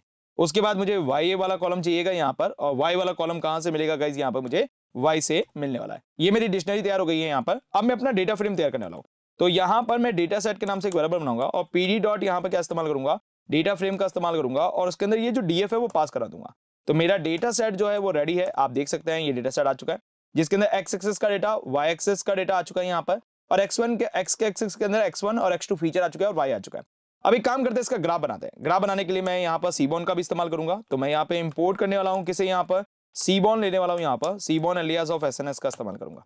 ओके, चलिए, अब मैं ग्राफ बना लेता हूँ कि ग्राफ कैसे दिखेगा यहाँ पर। तो एस एन एस डॉट में यहाँ पे बनाऊँगा स्केटर प्लॉट। यस, यहाँ पे स्केटर प्लॉट बनाते हैं। स्केटर प्लॉट के अंदर जो हमारा एक्स एक्सेस है यहाँ पर, उसके अंदर हम क्या करेंगे? एक्स वन फीचर को डालेंगे और जो मेरा वाई एक्सेस है यहाँ पर, उसके अंदर हम क्या करेंगे? एक्स टू फीचर को डालेंगे। और डेटा के अंदर मैं क्या करूँगा गाइज़ यहाँ पर? अपना डेटा सेट डालूँगा। और इसके साथ साथ मैं यहाँ पे ह्यू पैरामीटर डालूँगा और ह्यू पैरामीटर्स के अंदर मैं वाई को डाल दूँगा। एंड रन करेंगे इस ग्राफ को। अच्छा ग्राफ को अच्छे से देखने के लिए मैं पीएलटी डॉट क्या करूँगा? यहाँ पर शो को कॉल कर देता हूँ। ओके तो मेरे पास ग्राफ कुछ इस तरह से दिख रहा है। ये क्या है? क्लासिफिकेशन डेटा सेट है क्योंकि हमें दिख भी रहा है यहाँ पर। अब मुझे क्या करना है? इसको क्लासीफाई करना अच्छे तरीके से। तो इसके लिए हम क्या करेंगे? अलग अलग डिफरेंट डिफरेंट मॉडल बनाएँगे और उसके थ्रू हम यहाँ पे इसके क्या करेंगे? क्लासिफिकेशन करेंगे। अच्छा मैं थोड़ी सी नॉइस को यहाँ पे बढ़ा देता हूँ, क्योंकि नॉइस ज़्यादा अच्छी रहेगी तो नॉइस जितनी ज़्यादा रहेगी उतना फ़ायदा रहने वाला मुझे यहाँ पर। तो मैं नॉइस को थोड़ा चेंजेस करूँगा और नॉइस को चेंजेस करके मैं यहाँ पे क्या कर रहा हूँ ज़ीरो पॉइंट वन कर रहा हूँ यहाँ पर ओके एंड रन करते हैं। और देखिए, मैंने नॉइस को अच्छा नॉइस मेरे को ज़्यादा और बढ़ानी थी यहाँ पर तो ज़ीरो पॉइंट वन की जगह मैं क्या कर रहा हूँ यहाँ पर, आपके पास वन कर देता हूँ यहाँ पर ओके वन परसेंट नॉइस कर देता हूँ। और वन परसेंट में देखिए आपके पास काफ़ी अच्छी आ चुकी है यहाँ पर। अच्छा और ले लेते हैं यहाँ पर थोड़ी सी तो मैं यहाँ पर फाइव कर देता हूँ ओके और मैं फाइव से चेक करता हूँ। या फाइव में तो बहुत ही ज़्यादा आ चुकी है यहाँ पर। तो लगभग लगभग मैं टू कर देता हूँ यहाँ पर ओके तो यहाँ पर टू करके एक बार ट्राई करें यहाँ पर। यस टू में काफ़ी अच्छी नॉइस है यहाँ पर और काफ़ी अच्छा डेटा सेट भी यहाँ पर आ चुका है। अब ये क्या है? क्लासिफिकेशन डेटा सेट है और मुझे यहाँ पर क्लासिफिकेशन एनालिसिस करनी है यहाँ पर, ठीक है? तो इसके लिए हम क्या करेंगे? डिफरेंट डिफरेंट मॉडल्स बनाएँगे और उसके बाद चेक करेंगे। अच्छा सबसे पहले क्या करेंगे? ये जो डेटा सेट आ चुका है, इस डेटा सेट के अंदर हमारे एक्स एक्सेस का डेटा और वाई एक्सेस का डेटा अलग अलग करना था पहले मुझे, लेकिन जो कि मैंने नहीं किया, मैंने डेटा फ्रेम बना लिया यहाँ पर। कोई बात नहीं, हम स्टेप बाय स्टेप चलेंगे। जैसे कि हम पहले करा करते थे, हम पहले क्या करेंगे, हमारा डेटा सेट लेंगे। उस डेटा सेट के अंदर हम एक्स एक्सेस और वाई एक्सेस का डेटा अलग अलग करेंगे देन ट्रेन टेस्ट के अंदर स्प्लिटिंग करेंगे ओके और ये नंबर ऑफ़ सैंपल्स भी थोड़ा बढ़ा लेंगे, ठीक है? नंबर ऑफ़ सैंपल मैं वन थाउज़ेंड कर लेता हूँ यहाँ पर, ताकि थोड़ा अच्छा डेटा मेरे पास आ जाए यहाँ पर ओके तो यहाँ पर नंबर ऑफ़ सैंपल्स भी मैंने काफ़ी अच्छे बढ़ा लिए यहाँ पर, ताकि अच्छा डेटा जाए और हम आगे आराम से काम कर सकें। चलिए तो अब जैसे पहले स्टेप्स करते थे, वैसे ही अब मैं दोबारा वापस स्टेप्स वही लेने वाला हूँ यहाँ पर। मुझे क्या चाहिए? एक्स एक्सेस का डेटा चाहिएगा। तो मेरे पास यहाँ पर डिपेंडेंट एंड इंडिपेंडेंट वेरेबल को मैं अलग अलग कर रहा हूँ यहाँ पर। तो एक्स अंडर ए के नाम से एक वेरेबल बना रहा हूँ यहाँ पर, जो कि क्या करेगा? डेटा सेट के पास जाएगा। डॉट मैं आईलॉग का इस्तेमाल करूँगा यहाँ पर सारी रोज को लूँगा यहाँ पर, और कॉलम के अंदर क्या करूँगा? कहीं यहाँ पर माइनस वन को छोड़ दूँगा। तो एक्स अंडर ए को जब आप यहाँ पर देखेंगे तो आपको एक्स वन और एक्स टू दिख जाएँगे। इसी तरह से मुझे क्या चाहिएगा? वाई एक्सेस का डेटा चाहिएगा तो मैं वाई अंडर ए का इस्तेमाल करूँगा यहाँ पर। ओके और उसके साथ क्या करूँगा? डेटा सेट को कॉल करूँगा, और वहाँ से जाके मैं वाई को गेट कर लूँगा तो मेरा वाई भी आ जाएगा। ओके अब मेरा नेक्स्ट काम क्या होगा? ट्रेन और टेस्ट के अंदर स्प्लिटिंग करना। तो मैं यहाँ पे फ्रॉम साइकिल के अंदर जाऊँगा यहाँ पर। एंड साइकिल के अंदर जाने के बाद दैट मैं जाऊँगा मॉडल सिलेक्शन के अंदर। ओके मॉडल सिलेक्शन के अंदर जाने के बाद दैट मैं इंपोर्ट करने वाला हूँ किसे? ट्रेन टास्क स्प्लिटिंग को, ताकि मेरे डेटा को स्प्लिटिंग कर सके ट्रेनिंग और टेस्टिंग के अंदर, और हम इसे अच्छे से एनालिसिस कर सके। अब देखिए एक्स अंडर स्कोर मुझे क्या करना पड़ेगा? यहाँ पर ट्रेन के नाम से एक वेरिएबल बनाना है। फिर यहाँ पर एक्स अंडर स्कोर टेस्ट के नाम से एक वेरिएबल बनाना है यहाँ पर। फिर मुझे क्या करना है? वाई अंडर स्कोर मुझे क्या करना है? ट्रेन के नाम से एक वेरिएबल बनाना है। एंड वाई अंडर स्कोर मुझे यहाँ पर टेस्ट के नाम से एक वेरिएबल बनाना है। और मैं करूँगा ट्रेन टेस्ट स्प्लिटिंग को कॉल करूँगा। यहाँ पर मेरे पास क्या होगा? एक्स अंडर स्कोर जो ए है, वो देना है। Then comma Y under score जो ए है, वो भी मुझे देना है। अब मैं बात करूँगा यहाँ पर कि मेरी टेस्टिंग साइज़ कितनी देनी है? तो that zero point two ten two percent decide किया मैंने यहाँ पर। एंड इसके साथ साथ मुझे क्या करना है गाइज़ यहाँ पर? रैंडम स्टेट भी देना है। तो रैंडम स्टेट की वैल्यू दे देता हूँ दैट्स फोर्टी टू ओके तो चलिए हमारा डेटा जो है, वो ट्रेन टेस्ट के अंदर स्प्लिटिंग हो चुका है। अब हम क्या करने वाले हैं गाइज़ यहाँ पर? अब हम यहाँ पर इस्तेमाल करेंगे हमारे डिफरेंट डिफरेंट मॉडल का, जिसके थ्रू हम ट्रेनिंग करके देखेंगे। कि हमारी मॉडल की एक्यूरेसी कितनी आती है? यदि हमारी एक मॉडल की एक्यूरेसी अच्छी नहीं आई तो हम यहाँ पर इस्तेमाल करेंगे वोटिंग क्लासीफायर का मतलब असेंबल लर्निंग का, और हमारे मॉडल की एक्यूरेसी को इंप्रूव करेंगे। चलिए तो मॉडल को कॉल करते हैं। तो देखिए, मैं फ्रॉम सेकंड के अंदर चलता हूँ यहाँ पर। सबसे पहले मैं यहाँ पर ट्री बेस मॉडल को लेता हूँ यहाँ पर। और ट्री बेस के अंदर मैं इंपोर्ट करूँगा यहाँ पर किसे? ठीक है डिसीज़न ट्री को कॉल करूँगा, और डिसीज़न ट्री को मैंने कॉल कर दिया यहाँ पर। उसके बाद मैं फ्रॉम यहाँ पर जाऊँगा साइकिल के अंदर, और साइकिल के अंदर जाने के बाद में नेक्स्ट टॉपिक होगा हमारे पास यहाँ पर। कि मैं एसवीएम को कॉल कर लूँ। यस यहाँ पर मैं एसवीएम को कॉल कर लेता हूँ। यस और एस डॉट साइकिल के अंदर जाऊँगा यहाँ पर, और साइकिल के अंदर जाने के बाद डॉट मैं एसवीएम को कॉल करना चाहूँगा। यस मैं एस यूज़ करना चाहूँगा। ओके सपोर्ट वेक्टर मशीन को यूज़ करेंगे। और सपोर्ट वेक्टर मशीन के अंदर हम क्या करेंगे? यहाँ पे गाइस इंपोर्ट करने वाले हैं यहाँ पर। अब सपोर्ट वेक्टर मशीन में क्या करना है? एसवीसी को यहाँ पे इंपोर्ट करना है। चलिए, उसके बाद नेक्स्ट हमारे पास क्या होगा? फ्रॉम मैं यहाँ पे जाऊँगा आपके पास नेव बाइस के पास। यस मैं नेव बाइस ले सकता हूँ। और नेव बाइस के अंदर मैं इंपोर्ट करने वाला हूँ किसे यहाँ पर? आपके पास गाउशियन एनबी को कर लेते हैं, क्योंकि हमारा गाउशियन डेटा है यहाँ पर तो गाउशियन एनबी को कर लेते हैं। ओके तो मैंने तीन मॉडल बना लिए अब तीनों मॉडल को चेक करते हैं कि कितना कितनी एक्यूरेसी दे रहा है। सबसे पहले मैं डीटी को कॉल करता हूँ मतलब डिसीज़न ट्री को कॉल करता हूँ। अच्छा डिसीज़न ट्री क्लासीवर को कॉल करने के बाद में, मैं क्या करता हूँ, यहाँ पे डी डॉट मॉडल को क्या करता हूँ फिट करता हूँ। एंड फिट के अंदर जाके मैं एक्स अंडर स्कोर क्या देता हूँ ट्रेन देता हूँ। एंड क्या देता हूँ यहाँ पर? वाई अंडर स्कोर ट्रेन देता हूँ। उसके बाद में डी टी डॉट यहाँ पर क्या करें? स्कोर चेक करें इसका। या स्कोर चेक कर लेते हैं यहाँ पर कि क्या रहा है यहाँ पर। X underscore train comma Y underscore train का भी चेक करेंगे कि मेडल मेरा ओवरफिटिंग तो नहीं हो गया यहाँ पर कहीं।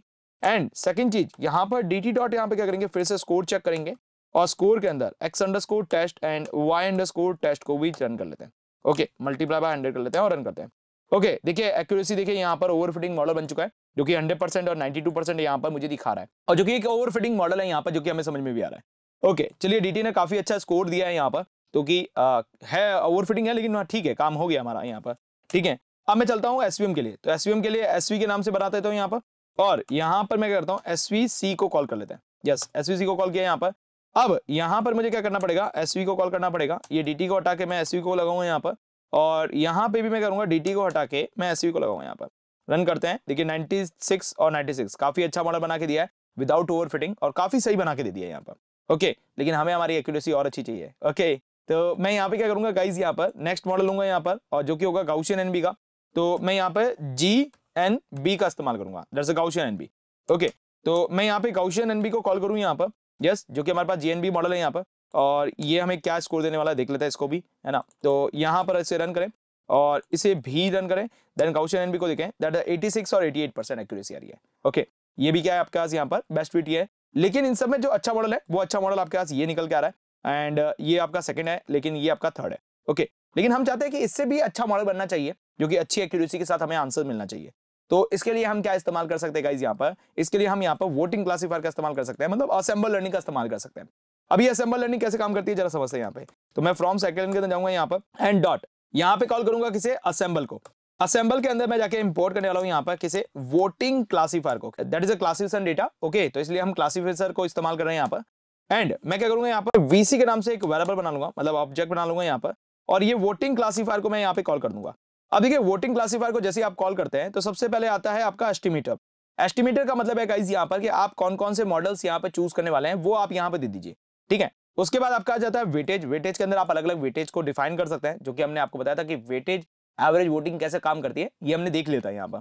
ठीक है? अब ये जो एस्टिमेटर ये एस्टिमेटर आपको कैसे देना है? तो ये एस्टिमेटर देना है आपको लिस्ट ऑफ़ आपको टपल देना है। इस टपल के अंदर आपको क्या लिखना है? सबसे पहले उस मॉडल का नाम लिखना है एंड देन एस्टिमेटर का नाम लिखना है। तो इस तरीके से ये आपको पास कराना है। तो चलिए, मैं यहाँ पर एक लिस्ट बना लेता हूँ।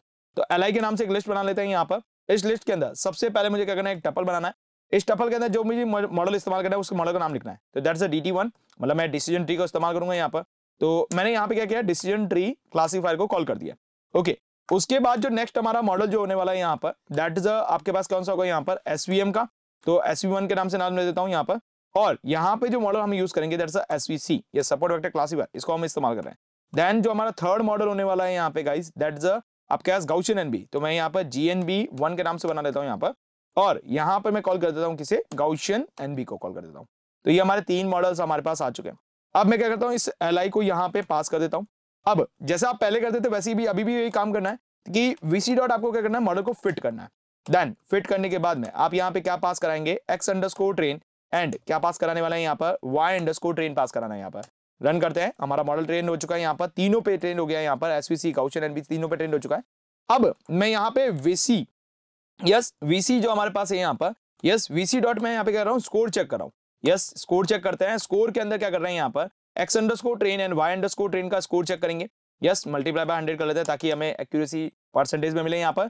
इसके साथ साथ जो वीसी है डॉट में कर रहा हूँ यहाँ पर फिर से स्कोर चेक कर रहा हूँ। जहाँ पे X under test and Y under जो टेस्ट है यहाँ पर वो पास कर देते हैं और मल्टीप्लाई बाय हंड्रेड कर लेते हैं। देखिए एक्यूरेसी जो है 97 और 95 आई है जो कि काफ़ी अच्छी एक्यूरेसी है। देखिए ऊपर वाली कितनी थी? 96 और 96 थी। यहाँ पे देखेंगे तो 100 और uh, 92 है। और यहाँ पे देखेंगे तो 86 और 88 है। लेकिन इन तीनों के कंपेरेटिवली 97 और 95 जो एक्यूरेसी है, वो हमें यहाँ पर देखने को मिली है। तो यहाँ पर बहुत सारे हाइपर पैरामीटर्स हैं, उन हाइपर पैरामीटर को चेंज कर सकते हैं। जैसे कि मैं वेटेज को चेंज कर सकता हूँ यहाँ पर। यस वेटेज को चेंज करके देख लेते हैं यहाँ पर कि वेटेज के अंदर अलग अलग वेटेज डालने पर क्या फ़र्क पड़ता है। तो देखिए वेटेज जो है गाइज़ यहाँ पर, वो आपको लिस्ट के तौर पर देना है। देखिए, यहाँ पर वेटेज देखेंगे यहाँ पर। तो that is a list okay आपको लिस्ट के तौर पर देना है। तो एक काम करते हैं, मैं यहाँ पे ज़ीरो पॉइंट फाइव एक का दे देता हूँ वेटेज और दूसरे का फोर कर देता हूँ और तीसरे का मैं यहाँ पर सेवन कर देता हूँ। ये मैंने अलग अलग डिफरेंट डिफरेंट वेटेज डाले हैं। अच्छा डिफरेंट डिफरेंट वेटेज डालने पर देखिए एक्यूरेसी में काफ़ी फ़र्क आया है यहाँ पर। ओके तो मैं थोड़ा सा वेटेज और चेंज करके देखता हूँ यहाँ पर। ओके एक्यूरेसी में काफ़ी अच्छी है यहाँ पर 97 और 96 आ गया है यहाँ पर। ओके अभी मैं यहाँ पर 100 इसका 10 कर देता हूँ और फिर मैं चेक करता हूँ। अभी भी 96 और 97 आ रहा है मतलब ये आपकी बेस्ट एक्यूरेसी यहाँ पर निकाल के दे रहा है। तो इस तरह से आपका क्या कर रहा है वोटिंग क्लासीफायर काम कर रहा है। अब वोटिंग क्लासीफायर में मैंने जैसा आपको बताया था यहाँ पर कि ये क्या करता है, तीनों का जो आंसर्स होते हैं यस तीनों के जो आंसर्स होते हैं, उस आंसर के बेसिस पे अपना आंसर देता है। अब चेक करते हैं कि क्या ये वाकई में तीनों के आंसर के बेसिस पे अपना आंसर देते हैं। तो इसके लिए मैं चेक करने के लिए क्या कर रहा हूँ गाइज़ यहाँ पर? आपको एक डेटा फ्रेम बना के दिखा रहा हूँ यहाँ पर और उस डेटा फ्रेम में सब कुछ आंसर निकाल के दिखाऊँगा कि ये कैसे वर्क कर रहा है। ठीक है? मैं यहाँ पे क्या कर रहा हूँ, यहाँ पर आंसर आ रहा है यहाँ पर। तो मैं यहाँ पे क्या कर रहा हूँ पीआरडी के नाम से एक वेरेबल बना रहा हूँ और जो कि होगा एक डिक्शनरी होगा यहाँ पर, जो कि अलग अलग आंसर प्रोडिक्शन करके लाके देगा। जैसे कि सबसे पहले डीटी का प्रोडिक्शन लाके देखेंगे, फिर उसके बाद में हम क्या करेंगे, आपके पास यहाँ पर एसपीएम का प्रोडिक्शन लाके देखेंगे, उसी तरह से हम क्या करेंगे गाउचन एनबी का प्रोडिक्शन लाके देखेंगे और फिर वोटिंग क्लासीफायर का लाके देखेंगे। तो यहाँ पर आप चीज़ देखेंगे कि हमारे पास, जैसे कि मैंने आपको थ्योरी में समझाया था कि आपके पास क्या होता है कि जो तीनों मॉडल्स होते हैं, वो तीनों मॉडल ट्रेंड होते हैं और जब आपका टेस्टिंग के लिए जो भी डेटा आता है, वो तीनों के साथ ट्रेंड होता है और तीनों के साथ ट्रेंड होने के बाद में जो भी उनका फाइनल रिज़ल्ट होता है मतलब जो मॉड आपका आंसर होता है, वो मॉड आंसर आपको लाके यहाँ पर दिखाता है। वो मॉड आंसर आपको क्या करता है शोर करके आपको दिखाता है यहाँ पर। दैट इस तरह से आपके यहाँ पे ये वर्क करता है। तो चलिए, इसको को भी हम यहाँ पर ऑब्ज़र्व कर लेते हैं कि क्या ये वाकई में इस तरह से काम करता है या फिर आपकी कोई दूसरी टेक्निक्स है। राइट तो चलिए इसे रन कर लेते हैं। अब देखिए, मैं यहाँ पे क्या कर रहा हूँ, आपको एक डेटा फ्रेम के थ्रू कंपेयर करके आपको शो करेंगे यहाँ पर। ठीक है तो मैं सबसे पहले क्या कर रहा हूँ गाइज़ यहाँ पर, आपके पास यहाँ पर इस्तेमाल कर रहा हूँ डीटी का। यस मैं डीटी का इस्तेमाल कर रहा हूँ और डीटी के लिए क्या करेंगे गाइज़ यहाँ पर कि आपने डीटी के नाम से एक वेरिएबल बना रखा है यहाँ पर। ओके डीटी डॉट यहाँ पर आप क्या करेंगे पिडिक का इस्तेमाल करिए और पिडिक के अंदर क्या करते हैं गाइज़ यहाँ पर एक्स अंडर क्या डालते हैं टेस्ट डाल देते हैं। ओके इसी तरह से मैं क्या करता हूँ यहाँ पर S V M yes S V M support active machine का इस्तेमाल कर रहे हैं यहाँ पर। और सपोर्ट एक्टिव मशीन के लिए आपने शायद एसवी के नाम से अपने वेरेबल बनाए एस के नाम से अपने वेरेबल बनाए यहाँ पर। ठीक है एस वी डॉट यहाँ पे क्या करते हैं? स्कोर निकाल देते हैं। यस एस वी डॉट क्या करता है? स्कोर निकालते हैं। और स्कोर के अंदर भी मैं क्या करता हूँ गाइज़ यहाँ पर? एक्स अंडर स्कोर क्या करता हूँ? टेस्ट ला देता हूँ। इसी तरीके से मैं यहाँ पे क्या करता हूँ? गौशियन एन बी मतलब यहाँ पर जी एन बी नाम लेते हैं यहाँ पर। और जीएनबी के लिए हम क्या कर रहे हैं यहाँ पे गाइस जीएनबी के नाम से हमने वेरिएबल बना रखा है। उसी को कॉल करते हैं। डॉट यहाँ पे क्या करते हैं? उसका आ, मैं क्या करता हूँ यहाँ पर? अच्छा स्कोर नहीं निकालना था दैट्स पिडिक निकालना था। ओके मैं यहाँ पे पिडिक को कॉल कर लेता हूँ। ओके मैं क्या करता हूँ यहाँ पर? पिडिक को कॉल कर लेता हूँ। इसी तरह से मुझे भी यहाँ पे क्या करना है? इसका पिडिक करना है तो मैं यहाँ पे पिडिक को कॉल कर लेता हूँ और पिडिक के अंदर एक्स अंडर को क्या करते हैं? टेस्ट कर देते हैं। ये आपका प्रॉब्लिटी आ चुका है। अब देखिए डेटा फ्रेम बनाते हैं। तो डेटा फ्रेम के लिए पी डी डॉट मैं यहाँ पे करूँगा? डेटा फ्रेम का इस्तेमाल करूँगा और यहाँ पे पी आर डी जो आपके पास है, उसको रन कर देते हैं। चलिए, देखिए आपके पास, आपके तीनों आंसर आ गए। लेकिन अब मुझे क्या करना है? यहाँ पर वीसी का भी कॉल करना था। तो मैं एक बार वीसी मतलब वोटिंग क्लासीफायर का भी आंसर चाहिए। ठीक है? तो मैं यहाँ पे क्या करता हूँ? VC yes V C dot मैं यहाँ पे क्या करता हूँ? पेडिक को कॉल करता हूँ और पिडिक के अंदर एक्स अंडर्स को क्या करते हैं? यहाँ पर टेस्ट डाल देते हैं और रन करते हैं। चलिए तो आप देखिए, यहाँ पर आप आंसर को आराम से देख पाएँगे और ऑब्ज़र्व कर पाएँगे कि देखिए, पहले वाले का वन है, दूसरे वाले का वन है तो वन है आपका आंसर यहाँ पर तो आपको वन मिला यहाँ पर। फिर ज़ीरो ज़ीरो ज़ीरो है तो आपको ज़ीरो मिला मॉड क्योंकि ज़ीरो है यहाँ पर। यहाँ पे भी मॉड क्या है? ज़ीरो तो ज़ीरो मिला आपको यहाँ पर। मॉड क्या है यहाँ पर? वन है तो वन मिला आपका आंसर यहाँ पर। देखिए, यहाँ आंसर आप देखेंगे कि दो का आंसर ज़ीरो है और एक का आंसर क्या आपके पास वन है? तो आंसर क्या मिला आपको यहाँ पर? ज़ीरो मिला, क्योंकि मॉड यहाँ पर क्या है गाइज़ यहाँ पर ज़ीरो मिला आपके पास यहाँ पर।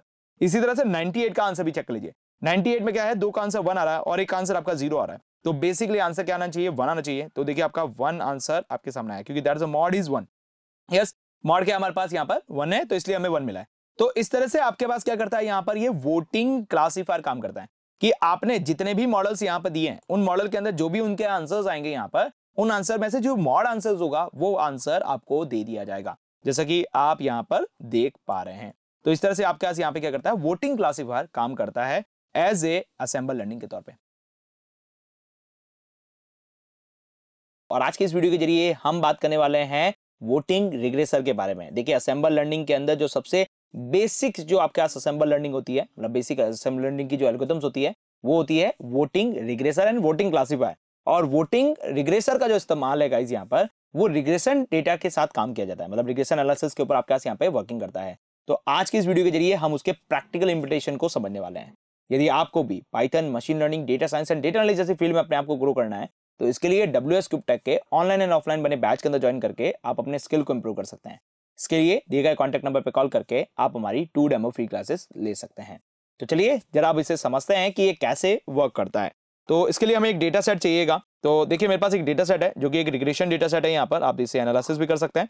देखिए, ये क्या है एक डेटा सेट यहाँ पर? तो ये सी सीजीपीए वर्सेस पैकेज का एक डेटा सेट है, जहाँ पे आप सीजीपी के बेसिस पे आपको क्या करना है? पैकेज जो है, वो प्रेडिक्ट करके निकालना है यहाँ पर। इस डेटा सेट पे मुझे क्या करना है? यहाँ पर एनालिसिस करनी है और बेसिकली यहाँ पर इस डेटा सेट के ऊपर क्या करना है? वर्किंग करना है। तो चलिए, जरा इसे वर्किंग करते हैं। तो मैं ले चलता हूँ आपको जुपिटर नोटबुक के ऊपर, जहाँ पे ये सारा काम होगा।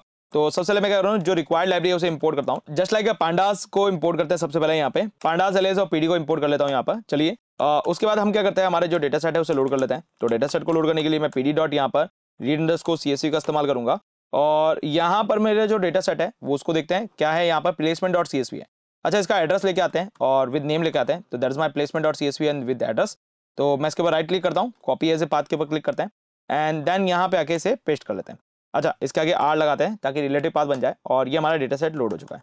अच्छा डेटा सेट के अंदर डेटा को देख लेते हैं। तो डेटा सेट के अंदर हेड लगा के इसके तीन डेटा को देखें तो ये डेटा आ चुका है। अब यहाँ पर आपके पास क्या करते हैं? डिपेंडेंट और इंडिपेंडेंट डेटा को अलग अलग कर लेते हैं। बट मतलब एक्स एक्सेस और वाई एक्सेस के डेटा को अलग अलग कर लेते हैं।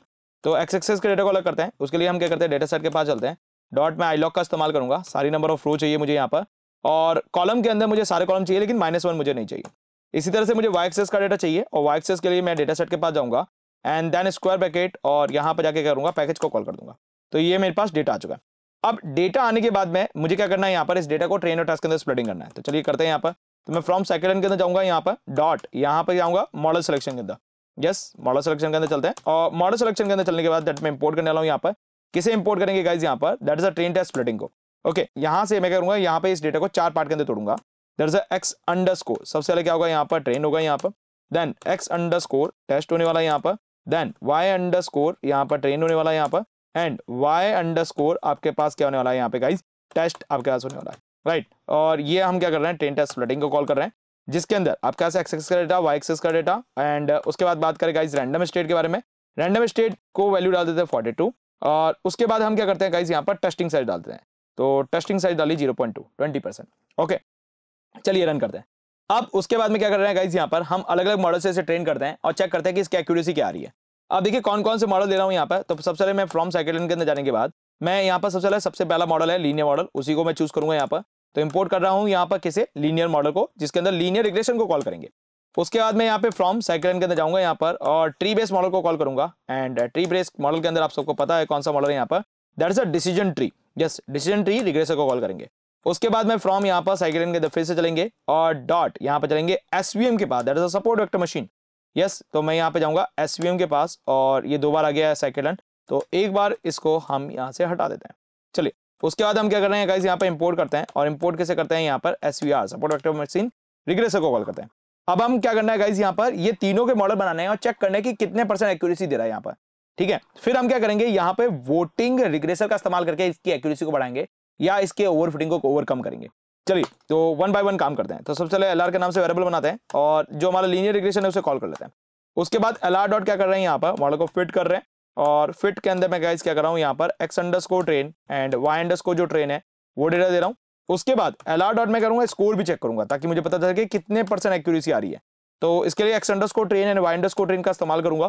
क्यों? ताकि मैं एक्स्ट्रा ये भी देख सकूँगी ओवर फिटिंग तो नहीं होगा हमारा मॉडल उसके साथ साथ एल डॉट मैं कह रहा हूँ, यहाँ पे गाइस स्कोर को चेक करूँगा। स्कोर के अंदर X under score test comma Y under score जो टेस्ट है, वो भी पास करूँगा और मल्टीप्लाई बाय हंड्रेड कर लेते हैं। रन करते हैं। एक्यूरेसी तो बहुत ही कम आ रही है, जैसे सेवेंटी सेवन परसेंट एक्यूरेसी आ रही है। It's a very poor accuracy right अब हम इसकी एक्यूरेसी को बढ़ाएँगे। कैसे? या तो हम यहाँ पे डिसीज़न ट्री को इस्तेमाल करते हैं। चलिए तो मैं डीटी के नाम से वेरेबल बना लेता हूँ और ये जो लीनियर रिग्रेशन है, इसे हटाकर क्या करते हैं?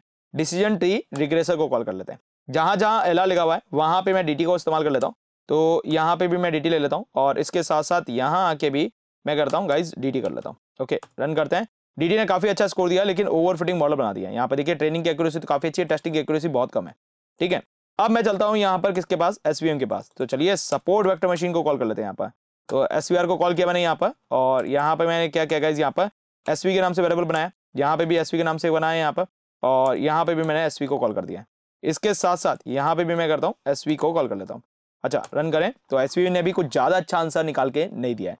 तो तीनों ने बहुत ही अच्छा आंसर नहीं दिया है, ठीक है? अब मैं क्या कर रहा हूँ गाइज़ यहाँ पर? अब मैं यहाँ पे इस्तेमाल करूँगा वोटिंग रिग्रेसर का, जिसके थ्रू हम इसकी एक्यूरेसी को इंप्रूव करने की कोशिश करेंगे एंड या तो ओवर फिटिंग कम करने की कोशिश करेंगे। राइट तो चलिए, चलते हैं यहाँ पर। किसके अंदर? फ्रॉम साइकिल के अंदर। डॉट असेंबल के अंदर चलते हैं और असेंबल के अंदर मैं इंपोर्ट करने वाला हूँ किसे यहाँ पे गाइज़ आपके पास वोटिंग रिग्रेसर को। यस वोटिंग रिग्रेसर हमारे पास क्या करेगा? हमें हेल्प करेगा इसकी एक्यूरेसी को बढ़ाने के लिए। चलिए तो अब मैं क्या कर रहा हूँ, यहाँ पे गाइज़ वीसी के नाम से एक वेरेबल बनाता हूँ that is a voting regressor okay उसके बाद मैं क्या कर रहा हूँ गाइज़ यहाँ पर दैट मैं वोटिंग रिग्रेसर को कॉल कर लेता हूँ। वोटिंग रिग्रेसर के अंदर सबसे पहले आपका क्या मांगा जाएगा? आपका एस्टिमेटर मांगा जा रहा है। तो हमें क्या करना है? ये एस्टिमेटर पास करना है। अब एस्टिमेटर कैसे पास करना है? लिस्ट ऑफ़ एस्टिमेटर पास करना है यहाँ पर इस तरह से। तो चलिए लिस्ट ऑफ़ एस्टिमेटर पास करते हैं। तो मैं एलआई के नाम से एक वेरिएबल बना लेता हूँ। यस और उसके बाद में एक लिस्ट बनाते हैं। लिस्ट के अंदर टपल बनाते हैं। इसके अंदर सबसे पहले आपके पास क्या है? लीनियर रिग्रेशन है। तो एल के नाम से एक वेरिएबल बना लेते हैं। और यहाँ पर हमारा जो लीनियर रिग्रेशन है, उसे हम कॉल कर लेते हैं। तो दैट्स अ लीनियर रिग्रेशन उसके बाद गाइस क्या है हमारा नेक्स्ट मॉडल यहाँ पर? आपका डीटी तो दैट्स अ वन के नाम से बनाएँगे यहाँ पर। और डिसीज़न ट्री रिग्रेसर को कॉल कर लेंगे। अब डीटी के बाद में नेक्स्ट मॉडल हमारे पास क्या होगा गाइस यहाँ पर? एस होगा यहाँ पर। तो मैं यहाँ पे एस के नाम से वेरिएबल बनाऊँगा और यहाँ से एसवीआर को कॉल कर लेते हैं। तो ये तीन मैंने यहाँ पर मॉडल को चूज़ किया है। अब मैं एलआई के नाम से जो डेटा है एल के नाम से जो मैंने मॉडल बनाया है यहाँ पर, उनको डाल देते हैं यहाँ पर। और उसके बाद वी डॉट मॉडल को क्या करते हैं गाइज़ यहाँ पर फिट कर लेते हैं। फिट के अंदर मैं यहाँ पे क्या कर रहा हूँ X under train and Y under जो ट्रेन है, वो मैं पास करा रहा हूँ। तो हमारा तीनों मॉडल जो है, वो ट्रेन हो गए यहाँ पर एक साथ वोटिंग के अंदर। राइट और उसके बाद वी सी डॉट क्या करते हैं यहाँ पर? स्कोर चेक करते हैं। स्कोर के अंदर गाइज़ मैं यहाँ पर क्या कर रहा हूँ एक्स अंडर स्कोर ट्रेन मैं यहाँ पे भी चेक करूँगा कि मेरा मॉडल ओवर फिटिंग तो नहीं हो गया तो X under score train and Y under score train का इस्तेमाल करेंगे। इसके साथ साथ मैं वीसी डॉट यहाँ पे क्या कर रहा हूँ, फिर से मैं स्कोर चेक कर रहा हूँ। किसका? X under score test and Y under score test मतलब न्यू डेटा के साथ किस तरह से ये परफॉर्म कर रहा है, वो भी हम यहाँ पे चेक कर लेते हैं। चलिए रन करते हैं। अच्छा मेरे मॉडल की एक्यूरेसी काफ़ी अच्छी आई है, लेकिन इसने मॉडल को ओवर फिटिंग बना लिया। काफ़ी हद तक ओवर फिटिंग बना लिया दैट एटी सेवन और सेवेंटी फाइव बना चुका है। हाँ ओवर फिटिंग आ चुका है यहाँ पे मॉडल लेकिन यहाँ ओवर फिटिंग नहीं है।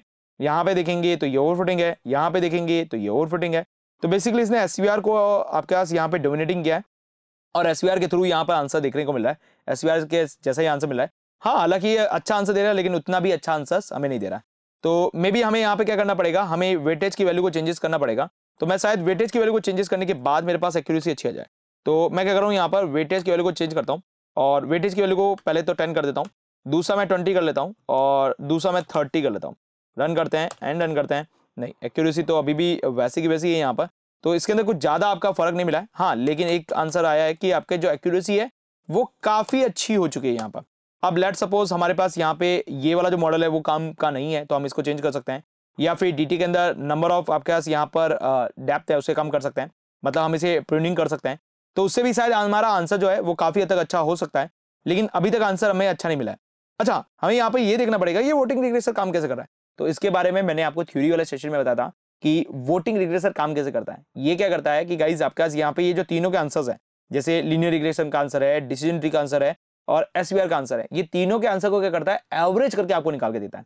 तो इसको चेक कर लेते हैं कि क्या ये वाकई में उस तरह से काम कर रहा है या नहीं कर रहा है। हाँ हालाँकि इसकी एक्यूरेसी को हम डिफरेंट डिफरेंट तरीके से बढ़ा सकते हैं। हम चाहें तो हम यहाँ पे हाइपर पैरामीटर ट्यूनिंग कर सकते हैं यहाँ पर, ठीक है? हम चाहें तो यहाँ पे क्रॉस वैलिडेशन को लगा के चेक कर सकते हैं कि इसकी एक्चुअल एक्यूरेसी कितनी आनी चाहिए पर्टिकुलर मॉडल के ऊपर। तो ऐसे बहुत सारे तरीके हैं यहाँ पर। लेकिन अभी हम उस फेस पे नहीं जा रहे। हम यहाँ पर देख रहे हैं कि ये वोटिंग क्लास हम यहाँ पर ये देख रहे हैं कि ये वोटिंग रिग्रेसर काम कैसे करता है बेसिकली तो मैं उसे यहाँ पर चेक करने वाला कि वोटिंग रिग्रेसर काम कैसे कर रहा है।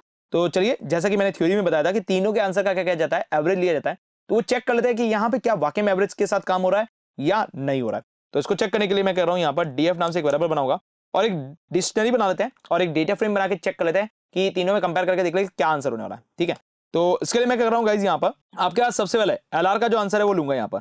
अब एलआर का आंसर कैसे लेने वाला हूँ यहाँ पर? तो देखिए, आपके पास जो एल है यहाँ पर एलआर डॉट क्या करेंगे? यहाँ पर पेडिक का कॉल करेंगे। एल डॉट पीडी को कॉल किया, जिसके अंदर मैंने क्या किया गाइज़ यहाँ पर एक्स अंडर टेस्ट डाल दिया। ओके इसी के साथ साथ यदि मैं यहाँ पे बात करूँ डी के बारे में डिसीज़न ट्री हमारे पास दूसरा मॉडल है यहाँ पर, उसको लेंगे यहाँ पर। तो मैं क्या कर रहा हूँ गाइज़ यहाँ पर डी टी डॉट यहाँ पर क्या कर रहा हूँ, उसका प्रिडिक कर रहा हूँ। और पिडिक के अंदर गाइज़ मैं कर रहा हूँ एक्स अंडर को टेस्ट डाल देता हूँ। उसके बाद में गाइज़ क्या है हमारे पास? नेक्स्ट यहाँ पर नेक्स्ट यहाँ पर है एसवीएम तो मैं यहाँ पर एसवीएम लूँगा सपोर्ट एक्टर मशीन लूँगा यहाँ पर। और इसका नाम कैसे है यहाँ पर? दैट्स एस के नाम से। ओके तो मैंने एस लिया यहाँ पर। एस डॉट क्या करेगा गाइज़ यहाँ पर? प्रिडिक कर लिया और प्रिडिक के अंदर एक्स अंडर को क्या कर दिया यहाँ पे गाइस टेस्ट डाल दिया। उसके बाद जो नेक्स्ट है हमारा यहाँ पर, वो है वीसी मतलब वोटिंग क्लासीफायर देन इसका क्या करना है हमें गाइस यहाँ पर? इसको भी पिडिक के कॉल पे कॉल करना है। और यहाँ पे भी क्या करूँगा? एक्स अंडर्स को टेस्ट डाल दूँगा। तो ये मेरा डीएफ तैयार हो चुका है। अच्छा कहीं मैंने मिस्टेक की है यहाँ पर। दैट्स यहाँ मिस्टेक कर लिया।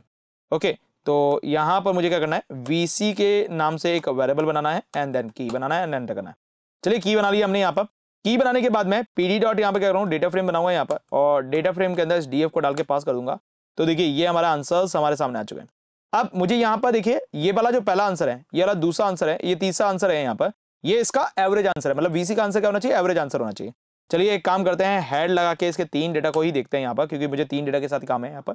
तो मैं यहाँ पे क्या करूँगा, इन तीनों के आंसर को कॉपी कर लेता हूँ और ये तीनों आंसर मैंने पेस्ट कर दिए और मुझे क्या करना है, इनका एवरेज निकालना है। तो यहाँ पर प्लस कर देते हैं। और ये हटा के यहाँ पे भी प्लस कर लेते हैं। और डिवाइड बाय क्या कर रहा हूँ यहाँ पे गाइस थ्री कर लेता हूँ। तो डिवाइड बाय मैंने थ्री कर दिया यहाँ पर एंड एन क्या तो देखिए आंसर क्या है यहाँ पर? Two point eight one five two five ऐसा कुछ आंसर है यहाँ पर। और यहाँ पर मैच करेंगे तो यही हमारे पास आंसर आ रहा है। एग्जैक्ट आंसर आ रहा है। तो इसका मतलब क्या हो रहा है गाइज़ यहाँ पर? यहाँ पर ये जो वोटिंग रिग्रेसर है ना, ये आपका क्या क्या करता है? एवरेज करता है। मतलब तीनों का जो आंसर होगा उसका एवरेज आंसर आपको ला देगा। और जो आंसर हमें मिल रहा है दैट्स उस तरह काम करेगा। अब यहाँ पे जो एक्यूरेसी है, इतनी ज़्यादा अभी भी अच्छी नहीं आई है। इसकी एक्यूरेसी अच्छी नहीं होने का रीजन हो सकता है रैंडम स्टेट रैंडम स्टेट की वैल्यू को चेंज करने पर शायद आपके वैल्यू चेंज हो जाए। या फिर हम डिसीज़न ट्री के अंदर आपके पास यहाँ पर इसके हाइपर पैरामीटर ट्यूनिंग करें लीनियर रिग्रेशन के अंदर हाइपर पैरामीटर ट्यूनिंग करें एस के अंदर हाइपर पैरामीटर की ट्यूनिंग करें राइट तो इनसे भी काफ़ी अच्छा फ़र्क पड़ता है और आपकी एक्यूरेसी आने के चांसेस और ज़्यादा इंप्रूव हो जाते हैं राइट और आज के इस वीडियो के ज़रिए हम बात करेंगे बैगिंग के बारे में। कि ये बैगिंग क्या होती है और ये बैगिंग कितने टाइप्स की होती है और किस तरह से काम करती है आपके मॉडल के इंप्रूवमेंट के लिए। तो आज के इस वीडियो के ज़रिए हम इसे ही समझने वाले हैं। तो आइए, अब समझते हैं ये बैगिंग कैसे काम करता है यहाँ पर। तो बेसिकली गाइस बैगिंग की बात करूँ तो बैगिंग का पूरा नाम यदि आप बोले यदि आप बैगिंग को बोले तो बैगिंग क्या है यहाँ पर? बूट स्टेप एग्रीगेशन यस इसका पूरा नाम क्या है यहाँ पर? बूट स्टेप एग्रीगेशन हम इसे बोलते हैं यहाँ पर बेसिकली अब ये बूट स्टेप एग्रीगेशन करता क्या है? बूट स्टेप एग्रीगेशन एक पैरेलल टेक्निक है गाइस यहाँ पर। यस ये कौन सी टेक्निक है गाइस यहाँ पर? ये एक पैरेलल टेक्निक है यहाँ पर। अब ये पैरल टेक्निक का मतलब क्या है यहाँ पर? बेसिकली ये पैरल टेक्निक क्यों बोला जा रही है, इसके पीछे रीजन अभी आपको थोड़ी देर में समझ में आ जाएगा that is a parallel technique to improve your model yes आप ये मॉडल की जो एक्यूरेसीज है, उनको बढ़ाने के लिए आपके पास यहाँ पे यूज़ किया जाता है। अब ये काम कैसे करता है, जरा समझते हैं यहाँ पर। तो ये क्या करता है कि आपके पास जो भी आपका ओरिजिनल डेटा सेट है, आपके पास जो भी जितना भी ओरिजिनल डेटा सेट है उस ओरिजिनल डेटा सेट को छोटे छोटे पार्ट्स के अंदर तोड़ता है। अब ये छोटे छोटे जितने भी पार्ट्स आपके पास लिए जा रहे हैं यहाँ पर, ये पार्ट्स आपके पास रैंडमली सिलेक्टेड होता है। अब यहाँ पर हो सकता है कि इसके अंदर कुछ डेटा इस के अंदर भी आ चुका हो, या हो सकता है कि इसके अंदर का डेटा कुछ इसके अंदर भी आ चुका हो। तो ऐसा पॉसिबल है यहाँ पर। आपके पास जैसे मान लीजिए कि आपके पास यहाँ पर दस हज़ार रो है। जस आपके पास क्या है? यहाँ पर दस हज़ार रो है यहाँ पर। और दस हज़ार रो में से आपने क्या क्या? ट्रेनिंग और टेस्टिंग के अंदर तोड़ चुके हैं आप यहाँ पर। ट्रेनिंग और टेस्टिंग के अंदर तोड़ने के बाद में अब आप क्या कर रहे हैं गाइज़ यहाँ पर? कि जैसे कि आपके पास आठ हज़ार रो आपके पास किसके अंदर आ गई? यहाँ पर ट्रेनिंग के अंदर आ गई। अब ये जो आठ हज़ार रो है ना, इस आठ हज़ार रो को आप क्या करते हैं? अलग अलग सबसेट्स के अंदर तोड़ते हैं। यस अलग अलग सबसेट्स के अंदर तोड़ते हैं। लेकिन एक चीज़ का ध्यान रखते हैं तोड़ते वक्त यहाँ पर कि आप जो सबसेट्स तोड़ रहे हैं, वो आपके पास इसके ओरिजिनल डेटा के कंपेटिवली बराबर ना आना चाहिए। मतलब उससे हमेशा लेस देन ही होना चाहिए। ये चीज़ आपको स्पेशली ध्यान रखना है। भाई आठ हज़ार से कम ही आपको यहाँ पे क्या करना है? ब्रेक डाउन यहाँ पे करना है।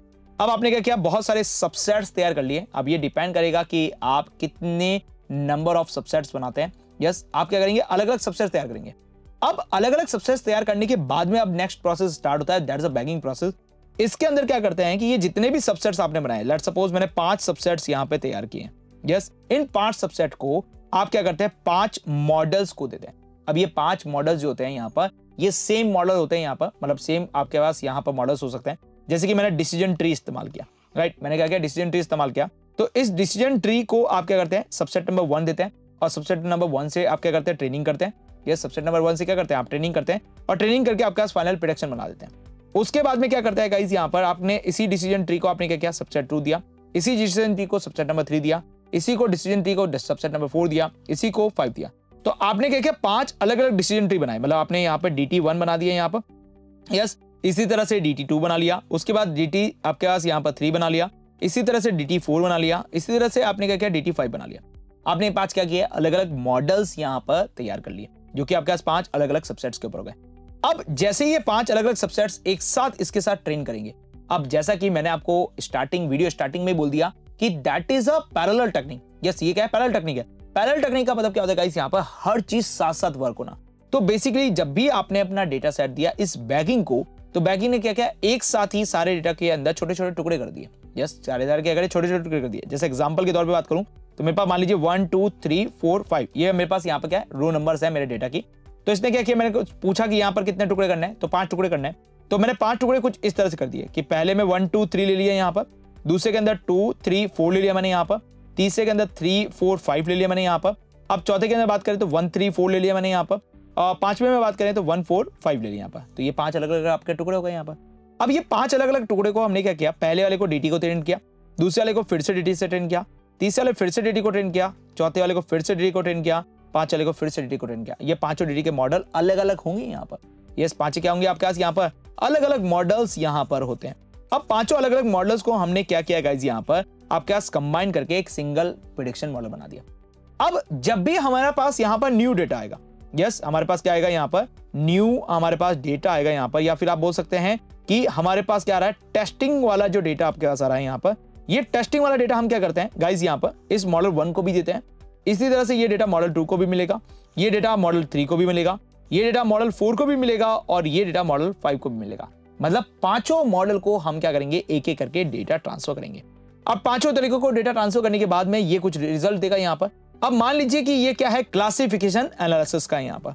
अब जब ये क्लासिफिकेशन एनालिसिस का है तो बेसिकली मॉडल वन अपना आंसर देगा लेट सपोज़ ज़ीरो इसका आंसर मिला आपको ज़ीरो इसका आंसर मिला आपको यहाँ पर वन इसका आंसर मिला ज़ीरो और इसका आंसर मिला आपको वन अब इन सब में मैक्सिमम आंसर किसका है? यस यहाँ पर कितना है? मैक्सिमम आंसर कितना है? तो मैक्सिमम आंसर आपको दिख रहा है ज़ीरो तो आपको मिल जाता है ज़ीरो आंसर लेट सपोज़ ये क्लासिफिकेशन की जगह ये होता रिग्रेशन का। यस ये क्या होता गाइज़ यहाँ पर रिग्रेशन एनालिसिस का होता। तो रिग्रेशन एनालिसिस के अंदर आपके पास क्या होता है यहाँ पर? ये मैक्सिमम वर्क नहीं करती, वहाँ पे क्या करता? आपका एवरेज वर्क करता। कि जैसे मान लो यहाँ पे 20 आया, यहाँ पे 21 आया, यहाँ पे 22 आ रहा है, यहाँ पे 19 आ रहा है, यहाँ पर 18 आ रहा है यहाँ पर। तो अब क्या होगा गाइज़ यहाँ पर? 20 yes 20 plus 21 plus 22 plus 19 plus 18 divided by आपके पास क्या होगा? 5 यस आपके पास यहाँ पे क्या निकलेगा गाइज़ यहाँ पर? एवरेज आपके पास फाइंड होने वाला है। अब जो भी आपका एवरेज फाइंड आउट हो रहा है यहाँ पर यस जो भी आपका क्या हो रहा है एवरेज फाइंड आउट हो रहा है यहाँ पर, वो आंसर्स आपको दिया जाता है। या फिर जो मैक्स आपके पास फाइंड आउट होता है, वो फाइनल आंसर आपको दे दिया जाता है। तो इससे ऑटोमेटिकली आपके पास आपके पास क्योंकि आपकी मॉडल की एक्यूरेसी बढ़ गई। क्यों? क्योंकि देखिए, आपके पास जब आप यहाँ पर एक बार आप अपना मॉडल को ट्रेन करते हैं तो उसके अंदर आपका मॉडल परफेक्टली ट्रेन तो होता है, हर एक डेटा के ऊपर ट्रेन होता है। लेकिन वो कुछ ऐसे इंपॉर्टेंट फीचर्स होते हैं, उनको लैक कर सकता है राइट लेकिन जब आप बैगिंग का इस्तेमाल करते हैं तो बैगिंग क्या करता है यहाँ पर? हर एक डेटा सेट के अंदर बहुत सारे टुकड़े करता है और बहुत सारे टुकड़े के ऊपर बहुत सारे मॉडल को अलग अलग तरीके से ट्रेन करता है। तो आपके पास होता क्या है यहाँ पर? कि आपका डेटा हर एक सिचुएशन के अंदर आपका मॉडल ट्रेंड होता है। और जब ये हर एक सिचुएशन के अंदर अपना मॉडल ट्रेन करेगा तो डेफिनेटली आपके पास आपका जो डेटा सेट है, वो पूरी तरीके से ओवरऑल पूरा ट्रेंड हो जाता है। यस ओवरऑल क्या हो जाता है? पूरा का पूरा ट्रेंड हो जाता है तो उससे आपके एक्यूरेसी होने के चांसेस बढ़ जाते हैं। तो इस तरह से आपके क्या आता है? बैगिंग जो है, वो पैरेलल टेक्निक का इस्तेमाल करते हुए आपके मॉडल को बहुत अच्छे तरीके से क्या करता है? ट्रेंड कर देता है यहाँ पर। अब ये जो बैगिंग है, ये टेक्निक जो है, वो दो तरीके होती है यहाँ पर। पहली होती है बैगिंग मेटा एस्टिमेटर होती है और दूसरी होती है रैंडम फॉरेस्ट यस दूसरी आपके पास क्या है? रैंडम फॉरेस्ट है यहाँ पर। अब बैगिंग मेटा एस्टिमेटर में होता क्या? देखिए बैगिंग मेटा एस्टिमेटर आपके पास बैगिंग की तरह ही वर्किंग करता है। कोई डिफरेंस तो है नहीं यहाँ पर। बस सिंपल सा यहाँ पे ये है कि आप यहाँ पर एस्टिमेटर के तौर पे यस आप यहाँ पर एस्टिमेटर के तौर पे कोई भी मॉडल को चूज़ कर सकते हैं मतलब मैं बात करूँ यहाँ पर कि आप कोई भी आप यहाँ पर एल्गोथम को चूज़ कर सकते हैं जैसे कि मैं यहाँ पे चाहूँ तो के को चूज़ कर सकता हूँ यस के नेबर को चूज़ कर सकता हूँ मैं चाहूँ तो एसवीएम को चूज़ कर सकता हूँ मैं चाहूँ तो आपके पास डी को चूज़ कर सकता हूँ यहाँ पर मैं चाहूँ तो लीनियर रिग्रेशन को चूज़ कर सकता हूँ मैं चाहूँ तो लॉजिस्टिक रिग्रेशन को चूज़ कर सकता हूँ मैं चाहूँ तो निवायस को चूज़ कर सकता हूँ तो मैं जिस किसी को भी चाहूँ वो आपके पास चूज़ कर सकता हूँ यस इसके अंदर कोई भी आपके पास यहाँ पर कोई भी मैंडेटरी नहीं होता है। हाँ हालाँकि यदि आप इनमें से कोई भी मॉडल नहीं देते हैं तो इसके अंदर एक बेस मॉडल ज़रूर होता है यहाँ पर। यस yes, वो बेस मॉडल कौन सा होता है? यहाँ पर डी होता है। मतलब डिसीज़न ट्री इसका एक बेस मॉडल होता है। लेकिन यदि आप बेस मॉडल की जगह कोई अपना मॉडल देना चाहें तो वो आप बैगिंग मेटा एस्टिमेटर को दे के अपने मॉडल की एक्यूरेसी को इंप्रूव कर सकते हैं। यहीं पे आता है रैंडम फॉरेस्ट देखिए रैंडम फॉरेस्ट आपके पास एक डिसीज़न ट्री का ही पार्ट है राइट ये क्या है? डिसीज़न ट्री का पार्ट है। लेकिन ये असेंबल टेक्निक का पार्ट है, इसलिए हम इसे यहाँ पर डिस्कस कर रहे हैं। हमने उस समय नहीं डिस्कस किया था जब हम रैंडम फॉरेस्ट पढ़ रहे थे। बेसिकली रैंडम फॉरेस्ट के अंदर क्या होता है कि आपका जो बेस मॉडल होता है, वो पहले से डिसीज़न डिसाइड होता है और वो क्या होता है डिसीज़न ट्री होता है। इसे आप चेंजेस नहीं कर सकते। मतलब रैंडम फॉरेस्ट के अंदर क्या होता है गाइज़ यहाँ पर आप पहले से ही क्या करता है, आपका बेस मॉडल डिसाइड होता है और वो क्या होता है डीटी है। आप उसे डीटी को चेंज नहीं कर सकते डीटी ही आपका यहाँ पर रहने वाला है। तो इस तरह से आपका जो बैगिंग है, वो यहाँ पर वर्किंग करता है यहाँ पर। और बैगिंग जो है वो दो तरीके की है। कौन सी? एक तो बैगिंग मेटा एस्टिमीटर है और दूसरा है रैंडम फॉरेस्ट यस इन दो तरीके से आप क्या कर सकते हो? अपने मॉडल की एक्यूरेसी को इंप्रूव कर सकते हो। आज के इस वीडियो के ज़रिए हम बात करने वाले हैं बैगिंग के बारे में। देखिए बैगिंग क्या होती है और कैसे वर्क करती है, इसके बारे में हमने डिटेल वीडियो बना रखी है यहाँ पर। आज के इस वीडियो के अंदर हम बात करेंगे बैगिंग के प्रैक्टिकल इम्पिटेशन के बारे में।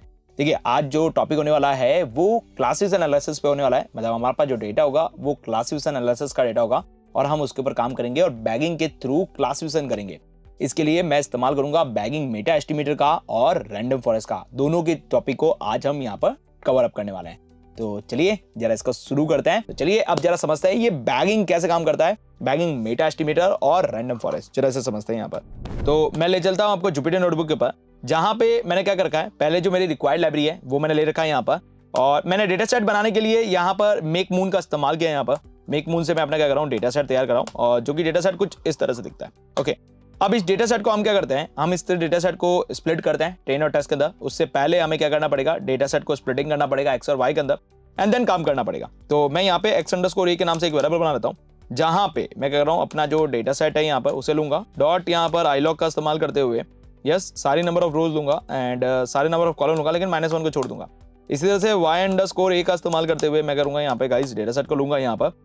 और मेरे पास जो लास्ट वाला कॉलम है दैट्स वाई उसे मैं यहाँ पर लेके एंड रन कर देता हूँ ठीक है? आई थिंक uh, मेरा वाई ही है। या वाई है तो मैंने वाई लेके रन कर लिया। चलिए अब हम क्या कर रहे हैं हमारे डेटा सेट के अंदर ट्रेन और टेस्ट के अंदर स्प्लिटिंग करते हैं उसके लिए फ्रॉम सेकेंड के अंदर चलते हैं।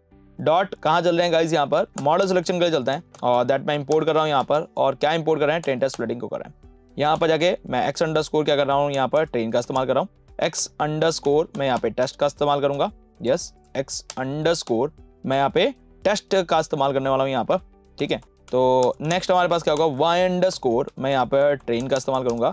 एंड वाई अंडर स्कोर मैं यहाँ पे टेस्ट का इस्तेमाल करने वाला हूँ। ओके और यहाँ पर हम क्या करें हमारी जो ट्रेन टेस्ट स्प्लिटिंग है, उसे हम कॉल कर रहे हैं। ओके एंड इसके अंदर मेरे पास एक्स अंडर स्कोर ए जो है, उसको देंगे। और वाई अंडर स्कोर ए जो है, वो दूँगा यहाँ पर। एंड नेक्स्ट टॉपिक क्या होगा गाइज़ यहाँ पर रैंडम स्टेट होगा देन रैंडम स्टेट की वैल्यू फोर्टी टू दूँगा। और टेस्टिंग जो साइज़ है यहाँ पर, वो zero point two twenty percent रखने वाला ओके इस तरह से हमारे पास क्या हो गया? डेटा हमारा स्प्लिटिंग हो चुका है। अब मैं बात करूँगा कि बैगिंग मेटा एस्टिमीटर और रैंडम फॉरेस्ट कैसे काम करता है।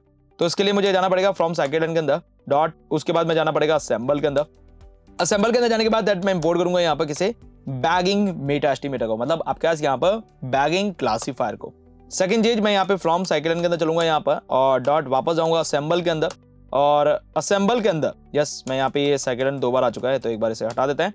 असेंबल के अंदर जाऊँगा। असेंबल के अंदर जाने के बाद दैट मैं इंपोर्ट करने वाला हूँ और किसे इंपोर्ट करने हूँ गाइज़ यहाँ पर मैं इम्पोर्ट करूँगा रैंडम फॉरेस्ट को।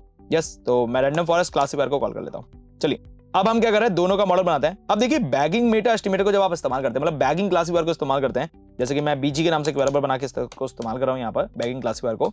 तो इसके अंदर आप एक चीज़ ऑब्ज़र्व करेंगे कि इसके अंदर एस्टिमेटर की वैल्यू नहीं दे रखी है। मतलब आपका एस्टिमेटर है ही नहीं। आपको एस्टिमेटर देना पड़ेगा। एस्टिमेटर अभी नन है। अब एक और चीज़ यहाँ पर लिखी है कि यदि आप एस्टिमेटर के तौर पर नन इस्तेमाल करते हैं, देखिए यहाँ पर लिखिए the base estimator to fit a random subsets of data set ठीक है? इफ़ नन यदि आप नन देते हैं यहाँ पर then the base estimator is decision tree yes ये डिसीज़न ट्री को बेस एस्टिमेटर बाँध लेता है। लेकिन हम यहाँ पर क्या कर रहे हैं? नन नहीं डालेंगे। हम कोई और एस्टिमेटर यहाँ पे यूज़ करेंगे। अब जैसे एसवी मैं यहाँ पे दूसरा एस्टिमेटर कौन सा यूज़ कर रहा हूँ? एसवीएम को इस्तेमाल करूँगा। तो इसके लिए मैं क्या करूँगा? साइकेडन के अंदर चलूँगा ओके डॉट उसके बाद मैं क्या कर रहा हूँ यहाँ पर एसवीएम को कॉल करूँगा। मेरा बेस एस्टिमेटर कौन सा होने वाला है यहाँ पर? एस वी एम यहाँ पर होगा राइट एंड देन मैं यहाँ पे इंपोर्ट करूँगा किसे यहाँ पर? S V C support vector classifier okay तो ये हमारा बेस मॉडल होने वाला है। अब ये बेस मॉडल कैसे रखेंगे यहाँ पर? तो आपको क्या करना है? सिंपल सा एस्टिमेटर की वैल्यू देनी है। एस्टिमेटर की वैल्यू देने के बाद में, मैं क्या करूँगा यहाँ पर? ये जो मेरा एसवीसी है, ये एसवीसी जो है यहाँ पर देन मुझे वो पास करना है यहाँ पर। तो मैंने एसवीसी पास कर लिया एज ए एस्टिमेटर के तौर पर नेक्स्ट चीज़ क्या है गाइज़ यहाँ पर? नंबर ऑफ़ एस्टिमेटर मतलब आप कितने नंबर ऑफ़ सबसेट्स बनाना चाहते हैं। मतलब आप अपने डेटा सेट को कितने पार्ट के अंदर तोड़ेंगे, जितने पार्ट के अंदर आप तोड़ेंगे, उतने ही आपके एस्टिमेटर उतने ही आपके मॉडल्स जो हैं, वो ट्रेन होने वाले हैं। तो गाइज़ मैं यहाँ पे नंबर ऑफ़ एस्टिमेटर की वैल्यू देने वाला हूँ। तो देखिए, मैं नंबर ऑफ़ एस्टिमेटर की वैल्यू दूँगा और नंबर ऑफ़ एस्टिमेटर की वैल्यू कर देता हूँ थर्टी ओके, ये दे रहा हूँ। एंड फिर उसके बाद क्या करूँगा गाइज़ यहाँ पे बीजी डॉट क्या करूँगा, यहाँ पे मॉडल को फिट करूँगा। फिट करने के बाद में मैं यहाँ पे पास करूँगा X under score train and pass करूँगा यहाँ पर Y under score train and done कर लेते हैं। तो ये एस के हिसाब से तैयार हो चुका है यहाँ पर सपोर्ट क्लासीफायर के साथ तैयार हो गया यहाँ पर। एंड बीजी डॉट यहाँ पर फिर से क्या कर रहे हैं, यहाँ पर स्कोर चेक करते हैं। स्कोर के अंदर मैं X under score train and Y under score train जो है वो पास करूँगा। मल्टीप्लाई बाय हंड्रेड कर लेते हैं। इसी तरह से यहाँ पर बीजी डॉट मैं कह रहा हूँ, यहाँ पर स्कोर चेक कर रहा हूँ। ठीक है? और स्कोर के अंदर एक्स अंडर स्कोर यहाँ पर test and Y under score जो टेस्ट है, वो पास कर लेते हैं और मल्टीप्लाई बाय हंड्रेड कर लेते हैं। स्कोर चेक करते हैं दैट नाइनटी सिक्स और नाइनटी सेवन परसेंट देखिए टेस्टिंग की एक्यूरेसी ज़्यादा आ गई है और ट्रेनिंग की एक्यूरेसी कम आ गई है। मतलब एक अच्छा मॉडल हमारे पास बन के तैयार हो चुका है, बहुत ही काफ़ी अच्छा मॉडल बना है यहाँ पर। यदि आप डायरेक्ट एसवीसी से काम करते हैं ना तो डायरेक्ट एसवीसी से भी इतना अच्छा आंसर नहीं आ सकता। चलो चेक कर लेते हैं कि डायरेक्ट एसवीसी हमें कितना आंसर देता है, ठीक है? तो मैं डायरेक्ट एसवीसी लगा के देख लेता हूँ यहाँ पर। तो देखिए एस के नाम से एक वेरिएबल बनाता हूँ और यहाँ पर मैं डायरेक्ट एसवीसी को कॉल कर लेता हूँ यहाँ पर। उसके बाद एस वी डॉट यहाँ पे क्या कर रहा हूँ? मॉडल को फिट कर लेता हूँ यहाँ पर। एंड फिट के अंदर X under score train and Y under score train को डाल देता हूँ यहाँ पर। उसके बाद एस वी डॉट यहाँ पे क्या करेंगे? यहाँ पर स्कोर चेक कर लेते हैं। और स्कोर के अंदर गाइज़ यहाँ पर क्या कर रहा हूँ? एक्स अंडर स्कोर या स्कोर के अंदर क्या कर रहे हैं गाइज़ यहाँ पर? मैं यहाँ पर X under score train and Y under score जो ट्रेन है, वो मैं पास कर लेता हूँ। मल्टीप्लाई बाय हंड्रेड कर लेते हैं। यस मल्टीप्लीकेशन बाय हंड्रेड कर लेते हैं। उसके बाद एस वी डॉट फिर से क्या कर रहे हैं? स्कोर चेक कर लेते हैं यहाँ पर। और स्कोर के अंदर X under score test and Y under score जो टेस्ट है, वो पास कर लेते हैं और मल्टीप्लाई बाय हंड्रेड कर लेते हैं। देखिए 96 और 97 परसेंट एक्यूरेसी आई है। अच्छा यहाँ पे भी 96 और 97 परसेंट एक्यूरेसी आई है। मतलब एक्यूरेसी में कुछ ज़्यादा तो फ़र्क आया नहीं है। चलिए एस्टिमेटेड की वैल्यू को बढ़ा के चेक करते हैं एक बार।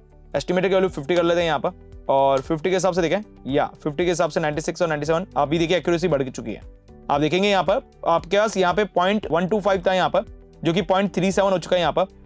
और ये ज़ीरो था और ये ज़ीरो पॉइंट फाइव हो गया। मतलब पॉइंट फाइव परसेंट एक्यूरेसी बढ़ी है। देखिए पॉइंट फाइव परसेंट एक्यूरेसी भी बहुत ज़्यादा एक्यूरेसी होती है यहाँ पर। ठीक है, ये पॉइंट फाइव पॉइंट फाइव बढ़ाते बढ़ाते आप अपनी एक्यूरेसी को बहुत अच्छे एक्यूरेसी तक पहुँचा सकते हैं। यदि मैं एस्टिमेटर की वैल्यू हंड्रेड कर लूँ यस एस्टिमेटर इक्वल्स टू मैं यहाँ पर हंड्रेड एस्टिमेटर रखूँ यहाँ पर राइट उसके हिसाब से चेक करें यहाँ पर तो देखिए ninety six point one point two seven और ये मतलब ओरिजिनल आंसर पे हम पहुँच चुके हैं। अच्छा एक बार टेन एस्टिमेटर लेके रखें यहाँ पर और टेन एस्टिमेटर पे देखें तो टेन एस्टिमेटर पे भी वही है यहाँ पर। ओवरऑल फिफ्टी एस्टिमेटर आपके लिए बेस्ट रहेंगे और फिफ्टी एस्टिमेटर पे आपकी एक्यूरेसी काफ़ी अच्छी आ रही थी राइट एक बार मैं वापस एक काम करते हैं कर्नल को रीस्टार्ट कर लेते हैं। एंड रीस्टार्ट uh, करने के बाद में मैं यहाँ पे क्या कर रहा हूँ रन uh, पे चल रहा हूँ यहाँ पर। और रन ऑल सेल कर देता हूँ, ताकि एक्यूरेसी एक बार मुझे दिख जाए कि कितनी परसेंट एक्यूरेसी आ रही है। ओके तो 96 पॉइंट आपके पास आ रही है और 98 पॉइंट आपके पास आ रही है। एस की ज़्यादा आ रही है यहाँ पर और ये आपकी थोड़ी सी कम आ रही है। राइट तो यहाँ पर आपके पास ट्वेंटी मॉडल लेके लेके चेक करें यहाँ पर। ओके ट्वेंटी पे देखें। या ये भी देखिए काफ़ी अच्छी एक्यूरेसी तक पहुँच चुका है है ना? तो इस तरह से आप यहाँ पे क्या कर सकते हैं बैगिंग का इस्तेमाल करके आप अपनी एक्यूरेसीज बढ़ा सकते हैं। अब सेकंड चीज़ है यहाँ पर रैंडम फॉरेस्ट यस ये रैंडम फॉरेस्ट कैसे इस्तेमाल होगा? तो रैंडम फॉरेस्ट को इस्तेमाल करने के लिए गाइज़ मैं क्या कर रहा हूँ यहाँ पर रैंडम फॉरेस्ट का इस्तेमाल करने के लिए मैं रैंडम फॉरेस्ट के लिए एक ऑब्जेक्ट तैयार कर लेता हूँ। दर्ज आर एफ़ के नाम से रैंडम फॉरेस्ट के नाम से। ओके और यहाँ पर मेरा जो रैंडम फॉरेस्ट क्लासिफर है, इसे हम कॉल करते हैं। यहाँ पे आपको एस्टिमेटर की वैल्यू नहीं पूछी जाती है, सीधा एन नंबर ऑफ़ एस्टिमेटर पूछा जाता है। मतलब आप अपने डेटा सेट को कितने पार्ट के अंदर स्प्लिटिंग करना चाहते हैं, ये पूछा जाता है। ना कि आपके पास ये पूछा जाता है कि आपके पास यहाँ पर कौन सा एस्टिमेटर होगा, क्योंकि इसके अंदर जो एस्टिमेटर होता है, जो बेस एस्टिमेटर होता है वो पहले से डिसाइड होता है दैट्स अ डिसीज़न ट्री यदि आप इसे थोड़ा सा यहाँ पर ओपन करेंगे यहाँ पर तो देखिए आपका जो एस्टिमेटर है वो पहले से डिसाइड है। यस yes, यहाँ पर जो आप थोड़ा सा नीचे मूव करेंगे तो आपका जो बेस एस्टिमेटर है वो पहले से डिसाइड है that is a decision tree yes तो यहाँ पे डिसीज़न ट्री ही है यहाँ पर। और यहाँ पे देखिए क्राइटेरिया भी जिनी इंडेक्स वगैरह एंट्रोपी वगैरह ये सब चल रहे हैं यहाँ पर। तो मैं गाइस बात करूँ यहाँ पर एन नंबर ऑफ़ एस्टिमेटर के बारे में। एन नंबर ऑफ़ एस्टिमेटर मैं कर देता हूँ कि थर्टी एस्टिमेटर चाहिए। अब आर एफ़ डॉट यहाँ पे क्या करते हैं? आपके पास यहाँ पे फिट करते हैं मॉडल को। आर एफ़ डॉट क्या करते हैं यहाँ पे? मॉडल को फिट करते हैं। और फिट के अंदर गाइज़ मैं कर रहा हूँ यहाँ पर X under score train and Y under score जो ट्रेन है, वो पास करूँगा यहाँ पर। फिर उसके बाद आर एफ़ डॉट क्या कर रहा हूँ यहाँ पे गाइज़ स्कोर चेक करता हूँ। स्कोर के अंदर एक्स अंडर स्कोर टेस्ट पहले यहाँ पे ट्रेन का देख लेते हैं। X under score train and Y under score जो ट्रेन है, वो पास करूँगा। मल्टीप्लाई बाय हंड्रेड दूँगा। एंड तो उसके बाद आर एफ़ डॉट मैं क्या करूँगा यहाँ पे डॉट स्कोर को चेक करूँगा यहाँ पर, जिसके अंदर X under score test and Y under score जो टेस्ट है, वो पास कर लेता हूँ। और मल्टीप्लेशन बाय हंड्रेड कर लेता हूँ। Yes multiply by hundred and run करते हैं। देखिए हंड्रेड एंड नाइन्टी फाइव बहुत अच्छी एक्यूरेसी मिली है यहाँ पर। बैगिंग मेटा एस्टिमेटर से ज़्यादा अच्छी एक्यूरेसी मिली है यहाँ पर। हालाँकि ओवरफिटिंग हो चुका है। इस ओवरफिटिंग को ओवरकम करा जा सकता है। और ये कैसे किया जा सकता है यहाँ पे गाइस इसके अंदर बहुत सारे हाइपर पैरामीटर्स हैं। उन हाइपर पैरामीटर्स की वैल्यू को चेंजेस करके आप कर सकते हैं। जैसे कि आप मैक्स टैप की वैल्यू को चेंज कीजिए राइट और आप क्राइटेरियन को चेंज कीजिए यहाँ पर। नंबर ऑफ़ स्लोटिंग को चेंज कीजिए यहाँ पर। तो ऐसे बहुत सारे हाइपर पैरामीटर्स हैं। यहाँ पर देखिए बहुत सारे हाइपर पैरामीटर्स हैं। इन हाइपर पैरामीटर की वैल्यू को आप चेंज करके आप अपनी एक्यूरेसीज को बढ़ा सकते हैं। तो गाइज़ इस तरह से आपके पास क्या करता है? बैगिंग मेटा एस्टिमेटर एंड बात करें रैंडम फॉरेस्ट क्लासीफायर इस तरह से वर्क करता है और आप यहाँ पर अपने बेस्ट मॉडल को बना सकते हैं असेंबल लर्निंग के ज़रिए। और आज के इस वीडियो के ज़रिए हम बात करेंगे बैगिंग के बारे में। बैगिंग के अंदर आज जो कॉन्सेप्ट हम देखने वाले हैं that's a regression technique regression के अंदर ये कैसे वर्क करता है, उसको हम यहाँ पर देखेंगे। लास्ट वाली वीडियो के अंदर हमने क्लासिफिकेशन को देखा था, और अब हम बात कर रहे हैं रिग्रेसर के बारे में। इससे पहले आप बैगिंग के बारे में नहीं जानते हैं तो बैगिंग को एक बार वीडियो के थ्रू देख लीजिए कि बैगिंग कैसे काम करता है राइट और बैगिंग के कौन कौन से कॉन्सेप्ट है? तो बेसिकली बैगिंग के अंदर दो कॉन्सेप्ट काम करते हैं बैगिंग मेटा एस्टिमेटर और रैंडम फॉरेस्ट तो आज इन दोनों के प्रैक्टिकल इम्प्लीटेशन को आज हम यहाँ पर देखने वाले हैं।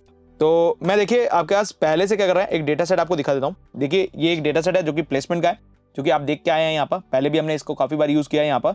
जिसके अंदर हम सीजीपी के बेसिस पे हम पैकेज डिसाइड कर रहे हैं कि भाई किसी का कोई सीजीपी आ रहा है, उसके बेसिस पे क्या पैकेज उसका होने वाला है दैट्स वो हम यहाँ पर डिसाइड करने वाले हैं।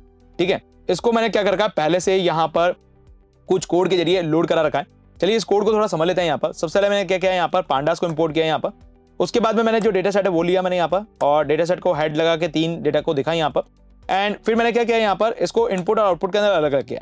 फिर मैंने इसको ट्रेन और टेस्ट के अंदर स्प्लिटिंग करके रखा। अब अब यहाँ पे हम क्या करेंगे? Bagging meta estimator and random forest को इस्तेमाल करके इसकी एक्यूरेसी को देखेंगे कि कितने परसेंट एक्यूरेट मॉडल बनाता है।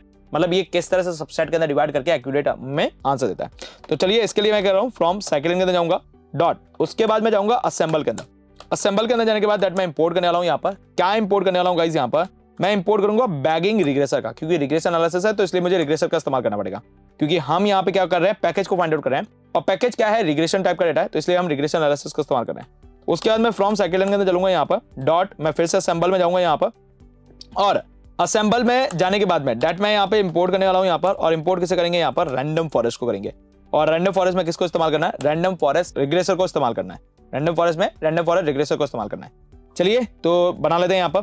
अब देखिए, ये जो bagging meta estimate bagging meta estimator है मतलब बैगिंग रिग्रेसर जो आपको दिख रहा है, इसका मैं ऑब्जेक्ट बना रहा हूँ अ बीजी और बैगिंग रिग्रेसर को मैं कॉल कर रहा हूँ यहाँ पर।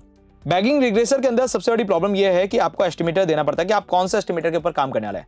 यदि आप यहाँ पे नन देते हैं तो बेसिकली ये कौन सा बेस एस्टिमेटर रहता है? ये डिसीज़न ट्री बेस्ट एस्टिमेटर रहता है। तो हम डिसीज़न ट्री बेस्ट एस्टिमेटर ले लेना नहीं चाहते। हम कोई दूसरा बेस एस्टिमेटर देना चाहते हैं। तो मैं यहाँ पे फ्रॉम साइकिल लूँगा यहाँ पर। साइकिल के अंदर मैं जाऊँगा लीनियर मॉडल के अंदर। एंड देन मैं यहाँ पे इंपोर्ट करूँगा किसे लीनियर रिग्रेशन को। तो मैं यहाँ पे बेस एस्टिमेटर के तौर पर लीनियर रिग्रेशन देना चाहूँगा। यस yes, तो चलिए बेस एस्टिमेटर के तौर पे हम लीनियर रिग्रेशन दे देते हैं। तो एस्टिमेटर में जाते हैं। एस्टिमेटर में जाके हम क्या करते हैं? लीनियर रिग्रेसर को कॉल कर देते हैं। उसके बाद में गाइस क्या है यहाँ पर? आपके पास नंबर ऑफ़ एस्टिमेटर ठीक है नंबर ऑफ़ एस्टिमेटर की वैल्यू मैं कर देता हूँ। फोर्टी एस्टिमेटर मुझे चाहिए। उसके बाद देखिए, मैं बीजी डॉट क्या करता हूँ? मॉडल को फिट करता हूँ और फिट के अंदर एक्स अंडर स्कोर क्या कर रहे हैं? Train and Y under score जो ट्रेन है, वो डेटा दे देते हैं। फिर उसके बाद बीजी डॉट क्या कर रहे हैं गाइस यहाँ पर? स्कोर चेक कर लेते हैं। स्कोर के अंदर गाइस यहाँ पर X under score train and Y under score train दे देते हैं डेटा अब देखिए, ये क्यों कर रहे हैं? क्योंकि हम ओवर फिटिंग को देखना चाहते हैं कि भाई ओवर फिटिंग तो नहीं होगी हमारा मॉडल राइट तो इसको भी चेक कर लेते हैं। राइट बेगिंग बीजी डॉट यहाँ पर स्कोर देखते हैं। स्कोर के अंदर X under score test and Y under score test दे देते हैं यहाँ पर एंड मल्टीप्लाई बाय हंड्रेड कर लेते हैं। स्कोर देखेंगे दर seventy seven percent and seventy seven percent accuracy तो आपके पास ऑलमोस्ट वही है, आपके पास यहाँ पर, ठीक है? अब देखिए, मैं एस्टिमेटर की वैल्यू चेंज करता हूँ। एस्टिमेटर की वैल्यू टेन लेता हूँ एंड रन करता हूँ। एक्यूरेसी तो कुछ ज़्यादा इंप्रूव नहीं हुई है राइट और फिर से यहाँ पर रन करें तो अभी भी एक्यूरेसी वही है यहाँ पर सेवेंटी सेवन के पास एक्यूरेसी आपके पास सही है। तो यह है बैगिंग मेटा एस्टिमेटर की कहानी, जिसके थ्रू आपने एक्यूरेसी निकाली है। इसी तरह से आप रैंडम फॉरेस्ट के थ्रू भी एक्यूरेसी निकाल सकते हैं, और रैंडम फॉरेस्ट के थ्रू भी आप बेस्ट मॉडल बना सकते हैं। तो मैं रैंडम फॉरेस्ट के थ्रू बेस्ट मॉडल बनाने के लिए चाह रहा हूँ यहाँ पर। तो मैं यहाँ पे क्या कर रहा हूँ आरएफ के नाम से एक वेरेबल बना लेता हूँ और रैंडम फॉरेस्ट रिग्रेसर को कॉल कर लेता हूँ। जहाँ पे, देखिए रैंडम फॉरेस्ट रिग्रेसर के अंदर आपको सिंपल सा एन नंबर ऑफ़ एस्टिमेटर देना है यहाँ पर कि आप कितने नंबर ऑफ़ एस्टिमेटर देने वाले हैं। वैसे तो इसके अंदर बहुत सारे हाइपर पैरामीटर्स हैं, लेकिन मैं नंबर ऑफ़ एस्टिमेटर दूँगा यहाँ पर पचास। उसके बाद आर एफ़ डॉट क्या कर रहा हूँ गाइज़ यहाँ पर, मैं मॉडल को फिट कर रहा हूँ यहाँ पर और फिट के अंदर मैं क्या कर रहा हूँ गाइज़ यहाँ पर X under score train and Y under score जो ट्रेन है, वो डेटा दूँगा यहाँ पर। उसके बाद देखिए आर एफ़ डॉट मैं कर रहा हूँ, यहाँ पर स्कोर दूँगा। स्कोर के अंदर X under score train and Y under score जो ट्रेन है, वो डेटा दूँगा मल्टीप्लाई बाय हंड्रेड करेंगे। एंड उसके बाद आर एफ़ डॉट मैं कह रहा हूँ, यहाँ पर स्कोर दूँगा। स्कोर के अंदर गाइज़ यहाँ पर X under score test and Y under score test देंगे और मल्टीप्लाई बाय हंड्रेड करेंगे। रन करते हैं। ठीक है ninety one and ninety six percent accuracy दी है सिक्सटी सिक्स परसेंट एक्यूरेसी दी है, जो कि एक बहुत ही आपके पास यहाँ पर पुअर एक्यूरेसी भी है और ओवर फिटिंग मॉडल भी है। चलिए एस्टिमेटर की वैल्यू को चेंज करके देखते हैं। या एस्टिमेटर की वैल्यू को चेंज करने पर मेरे पास थोड़ा बहुत ओवर से कम हुआ है यहाँ पर। एस्टिमेटर की वैल्यू थोड़ी बढ़ा के देखते हैं। तो अभी भी एक्यूरेसी काफ़ी ज़्यादा यहाँ पर है, ठीक है? तो ओवरऑल टेन देंगे तो यहाँ पर एक्यूरेसी लगभग सेम रहेगी मतलब ऑलमोस्ट नाइन्टी के आसपास पहुँच जाएगी। तो आप इसका इस्तेमाल यहाँ पर कर सकते हैं राइट तो ये था आपका बैगिंग रिग्रेसर और रैंडम फॉरेस्ट रिग्रेसर जिसके थ्रू आप अपने मॉडल की एक्यूरेसी को इम्प्रूव कर सकते हैं। फ़िलहाल मॉडल की एक्यूरेसी इंप्रूव करना हमारा पॉइंट यहाँ पर नहीं था। हमारा पॉइंट ये था कि आप बैगिंग रिग्रेसर को और रैंडम फॉरेस्ट रिग्रेसर को कैसे इस्तेमाल कर सकते हैं। देखिए, मॉडल को इंप्रूव करने के लिए बहुत सी चीज़ें हो सकती है, जैसे हाइपर पैरामीटर ट्यूनिंग आप कर सकते हैं क्रॉस वैलिडेशन का इस्तेमाल आप कर सकते हैं, ये जो ट्रेन टेस्ट स्प्लिटिंग है, इसकी वैल्यू को आप चेंज करके देख सकते हैं। तो ऐसे बहुत से तरीके हैं जिनके थ्रू आप मॉडल की एक्यूरेसी को इंप्रूव कर सकते हैं। लेकिन दैट्स अ पॉइंट इज़ कि आप किस तरह से बैगिंग मेटा एस्टिमेटर को इस्तेमाल करेंगे एंड रैंडम फॉरेस्ट को इस्तेमाल करेंगे, जो कि आज के इस वीडियो के ज़रिए हमने यहाँ पर समझा है। आने वाले वीडियो के अंदर हम और भी चीज़ों के बारे में डिस्कस करने वाले हैं और मैं आपके ऐसे टॉपिक्स के बारे में भी डिस्कस करूँगा जिसके थ्रू आप एक्यूरेसी कैसे इंप्रूव कर सकते हैं, वो भी हम डिस्कस करेंगे।